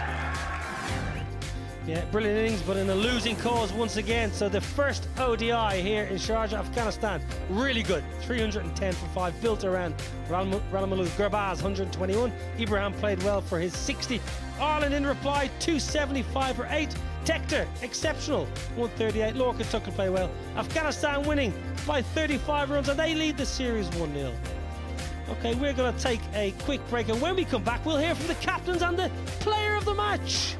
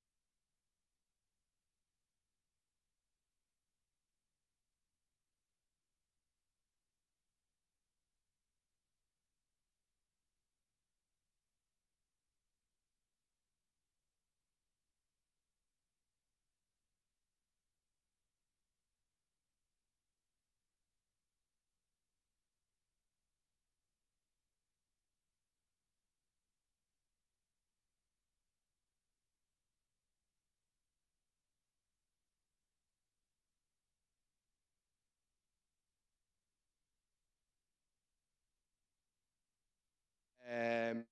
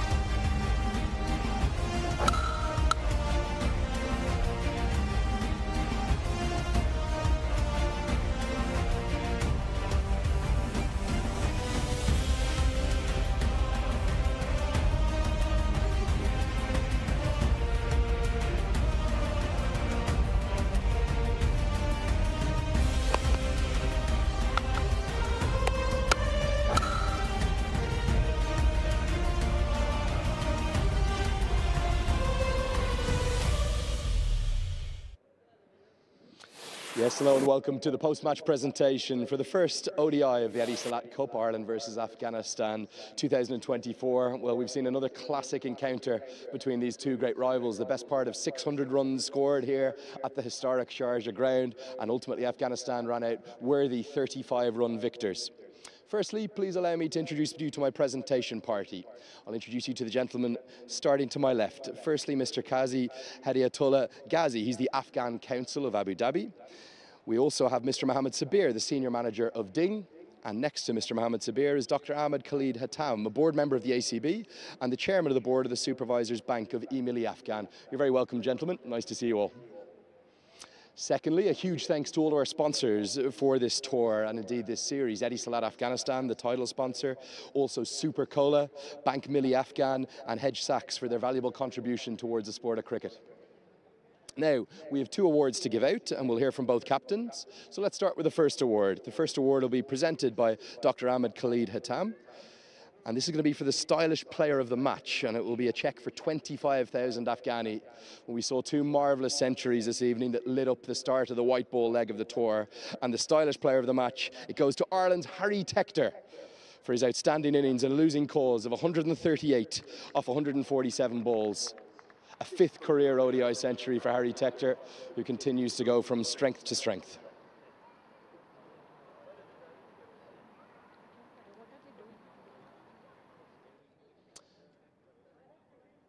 Now, our second award is the major award for the player of the match this evening. They're going to receive a cheque for 50,000 Afghani that will be presented by Mr.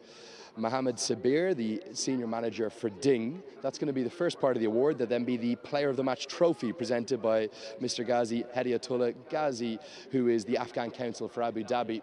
It is the second of those marvellous centuries that we saw a sparkling innings from Rahmanullah Gurbaz. 121 of 117 balls, 8 fours, 6 sixes, the player of the match. So he's going to receive his cheque for 50,000 Afghani. Presented by Mr. Mohammed Sabir. And Rahmanullah, the awards keep coming. If you could now come up towards Mr. Kazi Hediatullah Ghazi and receive the Player of the Match trophy, the official trophy, and pose for another photo.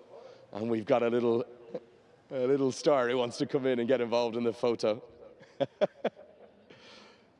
Ramanul, I'd ask you to come and have a chat to me now as well. Many congratulations. Thank you, gentlemen. Oh, I love this. We've got, we've got a special guest as well. Rahmanullah, firstly, you must be so happy with a victory for the team. Uh, Bismillah Rahman Rahim. Yeah, actually, you know, it was really good day for us, I think. Uh, but Ireland played really well. Um, they come back really uh, good. Uh, but yeah, happy. What did you want out there when you were batting with Ibrahim Zadran? Another fantastic partnership. You put on 150 with him. Were you always thinking of 300 plus? Uh, yes, always uh, feel excited to betting with Ibrahim Zadran. You know, the combination, the communication is so good with him. Uh, yeah, just uh, wicket was not easy in the start, but uh, we just thought we understand each other. So we should spend time in the wicket, and then we can catch up later. and we did the same. I think that was the result was in our hand. What about the chase for Ireland? Harry Tector and Lorcan Tucker really put it up to you with 10 overs to go. There wasn't much between the sides. Were you worried about maybe going down to defeat? Yes, honestly, they played really well. Um, the the way that we start the bowling, it was uh, brilliant. But uh, the way that they come back to the game, that was uh, that was also fantastic. But I can I can give the credit out to our bowlers. The dew was uh, too much on the ground, but uh, yeah, they were they were so consistent to the land, uh, line, to the plan. Um, yeah, I think uh, overall the game was really nice and enjoy. Okay, finally, I don't know how much you look at the records. That's your sixth ODI century. You're already the, the holder of the most centuries in ODI cricket for Afghanistan. Do you have your eyes set on 20, 30 throughout your career? You, have had a flying start. Um, exactly. I uh, feel excited with the 100, but uh, I never focus on the record that what I have. But yeah, I just always try to play positive for my country and uh, do something better for my country. I think, uh, yeah, that's the most important things for me. Um, yeah, but record will come when you play well. Rahmanullah player of the match. Many congratulations. Thank you so much. Okay, a delighted Rahmanullah Gurbaz and co. We'll wave goodbye. Okay, time to speak to both captains. We'll start with the captain of Ireland, that's Paul Stirling. Lovely moment for Rahmanullah as the player of the match. Sterlo, well, what a fantastic contest between two great rivals. Do you feel that they deserve that win tonight? I think so. I think they played better in patches of the game that we didn't necessarily go well in. So I think they deserved it in the end, but we've certainly got a few positives to take. What about the toss? I have to ask you about it. Do, do, you look back and maybe would you have liked to have had first use of that track? Would you like to have batted first? No, I don't think so. I think you've got your reasoning before the game, and with hindsight, that doesn't change. Okay, what about the makeup of this team? You seem to be quite set on, on going with five out and out bowlers, but as a consequence, it means Mark Adair's to bat up at seven, Andy McBrine at eight, and you have a little bit of a tail. Is that something you'll stick with, or you maybe look at some of your all round options throughout the series? It's just something we'll discuss as a side. It's, you know, the ODI spectrum for the next three or four years is actually. Uh, we've got a few, a few years to sort of take that in. You know, it's not something that we'll think about too drastically over the next couple of weeks, but it's something we talk about and discuss, and we'll we'll take that forward. Plaudits will obviously go to Harry Tector again, but that partnership taking Ireland from 34 to 3 to 207 for 4 between him and Lorcan Tucker, that was world class batting out there. That was outstanding, yeah. I think that's what we ask as a batting group is if you get in and you go big, those two lads batted out of their skin today, and it's something they've been doing for a long time now. Okay, finally, you think you can narrow that gap in, in the remainder of the series? Confident to maybe turn it around to win at 2 1? Hopefully, yeah, that's the plan, certainly. Um, I think, again, we, we went well in patches today, and we just need to be a little bit better next time. Stirling, hard luck today. See you in a couple of days. Thanks a lot. Cheers. Okay, uh, Paul Stirling, understandably a bit disappointed, but plenty of options for him on that road to the 2027 ODI World Cup where Ireland is trying to qualify for in due course. Okay, time to speak to Afghanistan's captain, Hashmatullah Shahidi. Well, Hashmatullah, firstly, many congratulations. Great to see you with a smile on your face. Do you feel you were comfortable in the end, or were you feeling a bit threatened as that Tector and Tucker partnership was really getting going in the second innings? Uh, Bismillah Rahman Rahim. Yeah, first of all, I'm uh, happy about uh, my team's performance. Uh, honestly, if I say to you that moment when they both were playing, they played really well. So I was a little bit uh, like, um, I was feeling that uh, they are doing good, so we have to do something special for that moment. And as a consequence, all the talk about the batting, Tector, Tucker, the brilliance of Ramanul Gurbaz, yourself with, it, with a marvellous 50, we probably haven't spoken about the bowlers, but Fazal Faruqi, sensational, particularly at the death, and also with a new ball, in fact. Yeah, yeah. Uh, we know about uh, dew factor that uh, it might be dew because in the practice sessions what uh, that we did uh, last time, there was dew, and uh, I told the boys at the beginning that maybe dew factor will come, but first 10 overs are very important that we bowl well. So our bowlers first 10 overs was very good, especially the way Fazal Haq bowled, and I'm very impressed with the blockers that they bowled in the death overs. he was nailing those Yorkers. Finally, that opening partnership for you, it's it's really transformative for the future of your ODI cricket and your, your T20I cricket. You have two real stars there, not just Rahmanullah Gurbaz, but Ibrahim Zadran too. Yeah, uh, they both are playing very good uh, since they are partners in the opening. So they are always uh, playing positive and uh, the, the, the positive thing for the team when they both are in in the match. So uh, I'm hopeful that they carry on the same momentum for the team in the future and also uh, win games for us. Hashmatullah, 1-0 up in the series. Many congratulations. Thanks for talking to us. Thank you very much. Thank you. So that's Hashmatullah Shahidi, and that will wrap up the post-match presentation.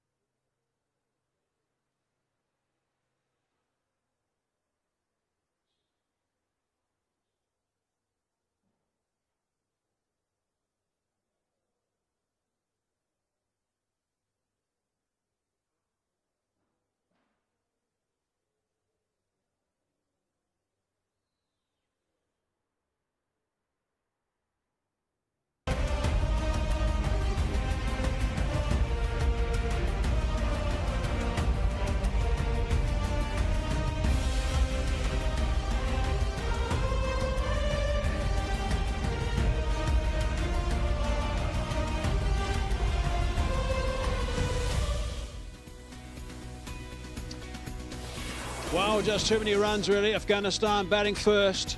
310 for five they got at one stage. It looked like around the 280 mark. Then it climbed a little bit. Then it dropped a little bit. And then they played really well at the end. 310 then up with Gurbaz was sensational. 121 off 117 deliveries, around 60, and uh, Hashmatullah was really good with 50 off 33 right at the end, and Woerkom picked up three for 55, so his work was good. And Ireland, in reply, they won the toss, by the way, remember that, and elected to bowl first.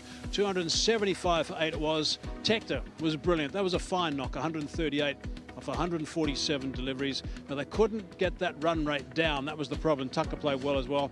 And Faruqi was outstanding with the ball, 4 for 51 for Faruqi. Omarzai picked up a couple as well. And Afghanistan won the first one by 35 runs, and they lead the series 1 0. 585 runs were scored, 13 wickets taken, lots of runs. Who wants to be a bowler in this sort of situation? There was uh, been pongoed all over the place, some of these bowlers. But the batsmen uh, certainly had a lot of fun, that's for sure. I got a couple of guys alongside me, Niall and also Tino. Gentlemen, welcome. Niall, what did you think about the game? I thought it was a good game, Hazy. I think it took a fairly um, a path that we expected. Slightly slow surface, not easy initially. A little bit old school how you go about your innings. I thought Afghanistan got used to conditions up front. Gurbaz was watchful to start. We're not used to saying that about Rahmanullah Gurbaz. Ibrahim Zadran was more fluent.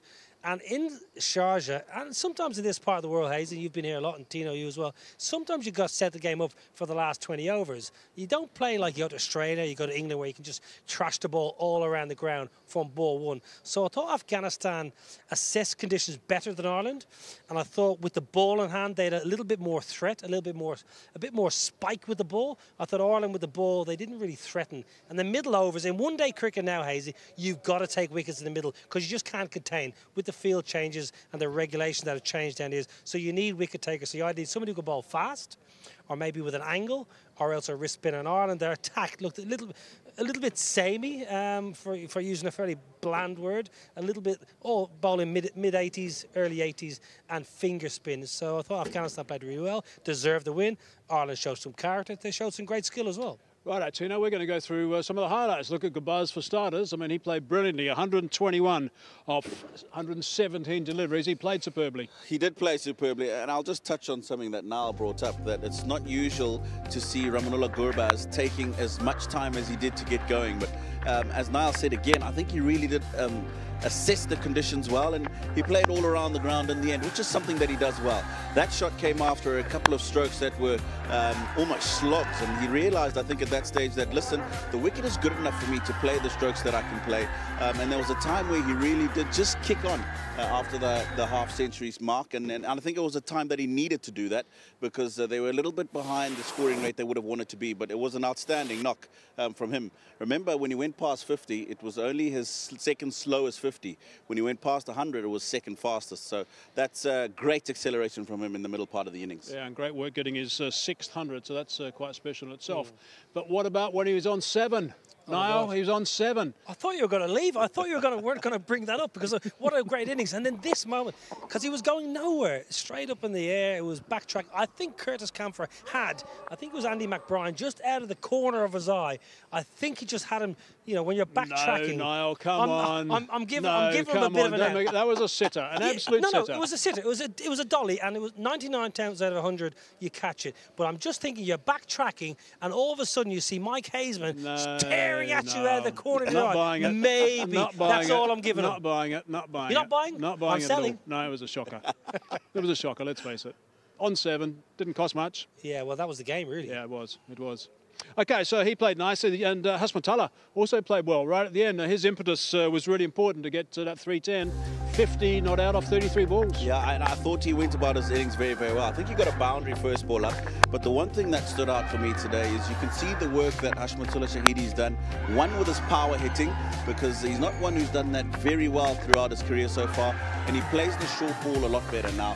He used to be bullied by the faster bowlers in terms of the short ball, but you can see today he's got something that he does. He's got the ramp shot out, sometimes gets inside the line of the ball, just tucks it down the leg side. So now that's something that he's added to his game, and he's making it very difficult for the faster bowlers to be effective against him. So kudos for him. He's done some good work on his game as well. But the only thing I say to you, the plans, the Ireland bowling plans against him, because you know he wants to put, he has to put the pace on the ball. So the Ireland bowling short into the surface. You saw him cut plenty.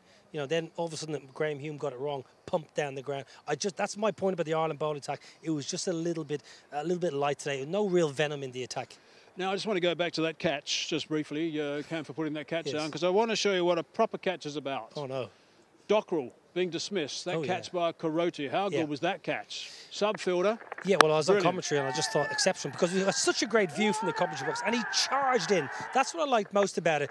It was his commitment because this could go wrong. If he gets this wrong and he bits the ball in the face, you can lose you can lose half a dozen teeth. On as a subfielder, making a mark, and he just charged in. That's what you want. Commitment. You see the ball and it's flat and it's hit hard, and they are the hardest to judge. He just tore in and got the hands on it. It was an exceptional catch. Right, I moved to Ireland. Uh, Harry Tector, brilliant 100. It's not often you get 138 and you don't win a game. Yeah, unfortunately, uh, he keeps getting hundreds, and maybe he shouldn't because then Ireland might win some of those games. But outstanding knock from him. And let's remember that he walked out at a time where they had lost a couple of early wickets. They lost another while he was there, and it wasn't just the way he played; it was the partnership as well with Lorcan Tucker. But he was outstanding. And I mentioned earlier before he came out to bat that he's matured so much over the years, learns has learned how to start off his innings, and he's done an outstanding job again today. And I think with wickets falling at the other end, with a run rate that they needed to keep up at a high level all the hmm. way through, would have made that innings a lot more complicated. But I thought he showed great maturity today, and I mean you can just see that the Ireland middle order in years down the line is well taken care of. a lot of the, the centuries that Ireland have lost those games, Hazy, going back 24 months, actually they were in positions to really win those games and should have won. A game against New Zealand should have won the game, should have got over the line. In some of those hundreds, and that's not Harry Tector's fault because those hundreds were exceptional. He didn't get the support. Today they were always a little bit. You know, behind the eight ball. So today's knock was absolutely sensational, and he got some good support. But they lost too many wickets early on. They're really under the pump. You mentioned Tucker. He played nicely. 85, played really nicely. No, he did, and and he's another one who uh, you've just seen his game go up a level over the last 18 or so months. Very controlled in how he goes about his work. Sometimes you feel when he needs to go at an extended rate. Sometimes he just plays the wrong shot at the wrong time, gets himself going, and then gets himself out with an unnecessary stroke.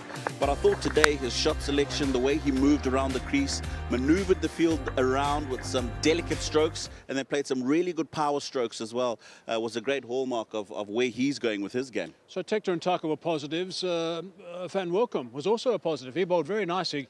Very different from the Test match. Yeah, he got the ball to turn. That was the that was the big thing. We were looking today. Will he turn the ball on a surface that's going to give him a little bit? And he did. I thought he had good control. It looked like he was a bit more relaxed actually today after getting that Test match um, scalp up in Abu Dhabi, and he bowled nicely. That was a good one actually. Pushed it through to get Gurbaz. I thought he had good flight, good guile, and he got a bit of grip out of the surface. And the big thing for both of these sides, Hazy, now they've had a look at the surface, and they're going to play five more games here, two more ODIs obviously, and three T20s. So now they're thinking, how do you adapt conditions? Now, let's look forward to that, uh, the second one day. We've got uh, in, two days' time on Saturday. What are your thoughts going into that, and how important is it that Afghanistan won the first? Well, very important, I think, to pick themselves up after a test match they would have come into thinking they're going to win. I thought they showed outstanding character. I think the decision to bat first today as well, um, if they had got to win the toss, because he said he would have done that, was also a really bold decision to make, seeing what's happened over the last few days. Um, and then I thought the way they went about their innings really showed that they thought about it. Must remember that they've played a lot of their one-day cricket here, and their results have been good here over the last uh, two or three years. So that's something that they've got in their feather.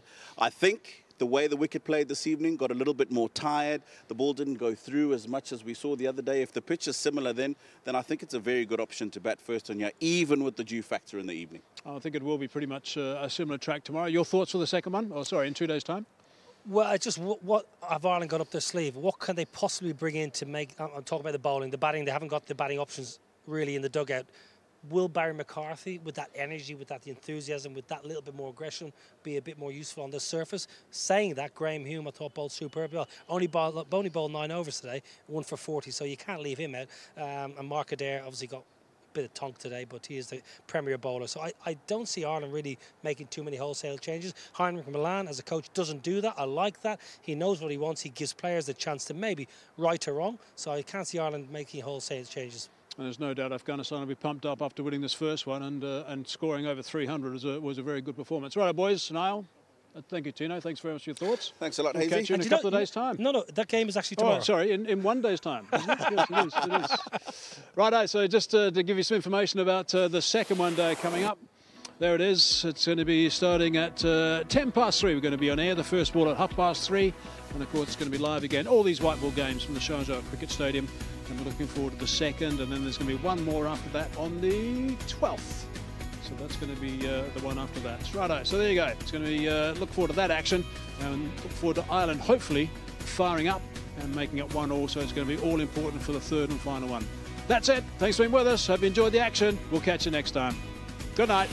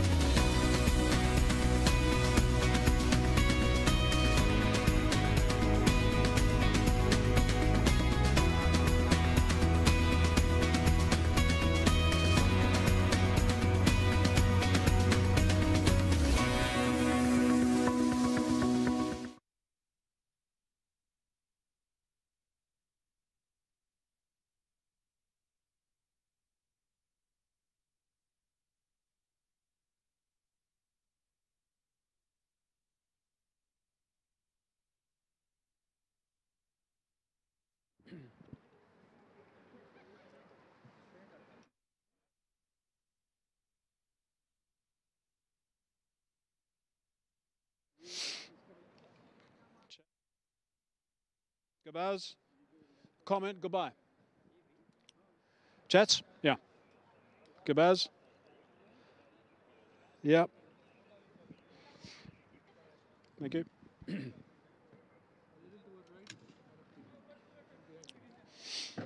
Back.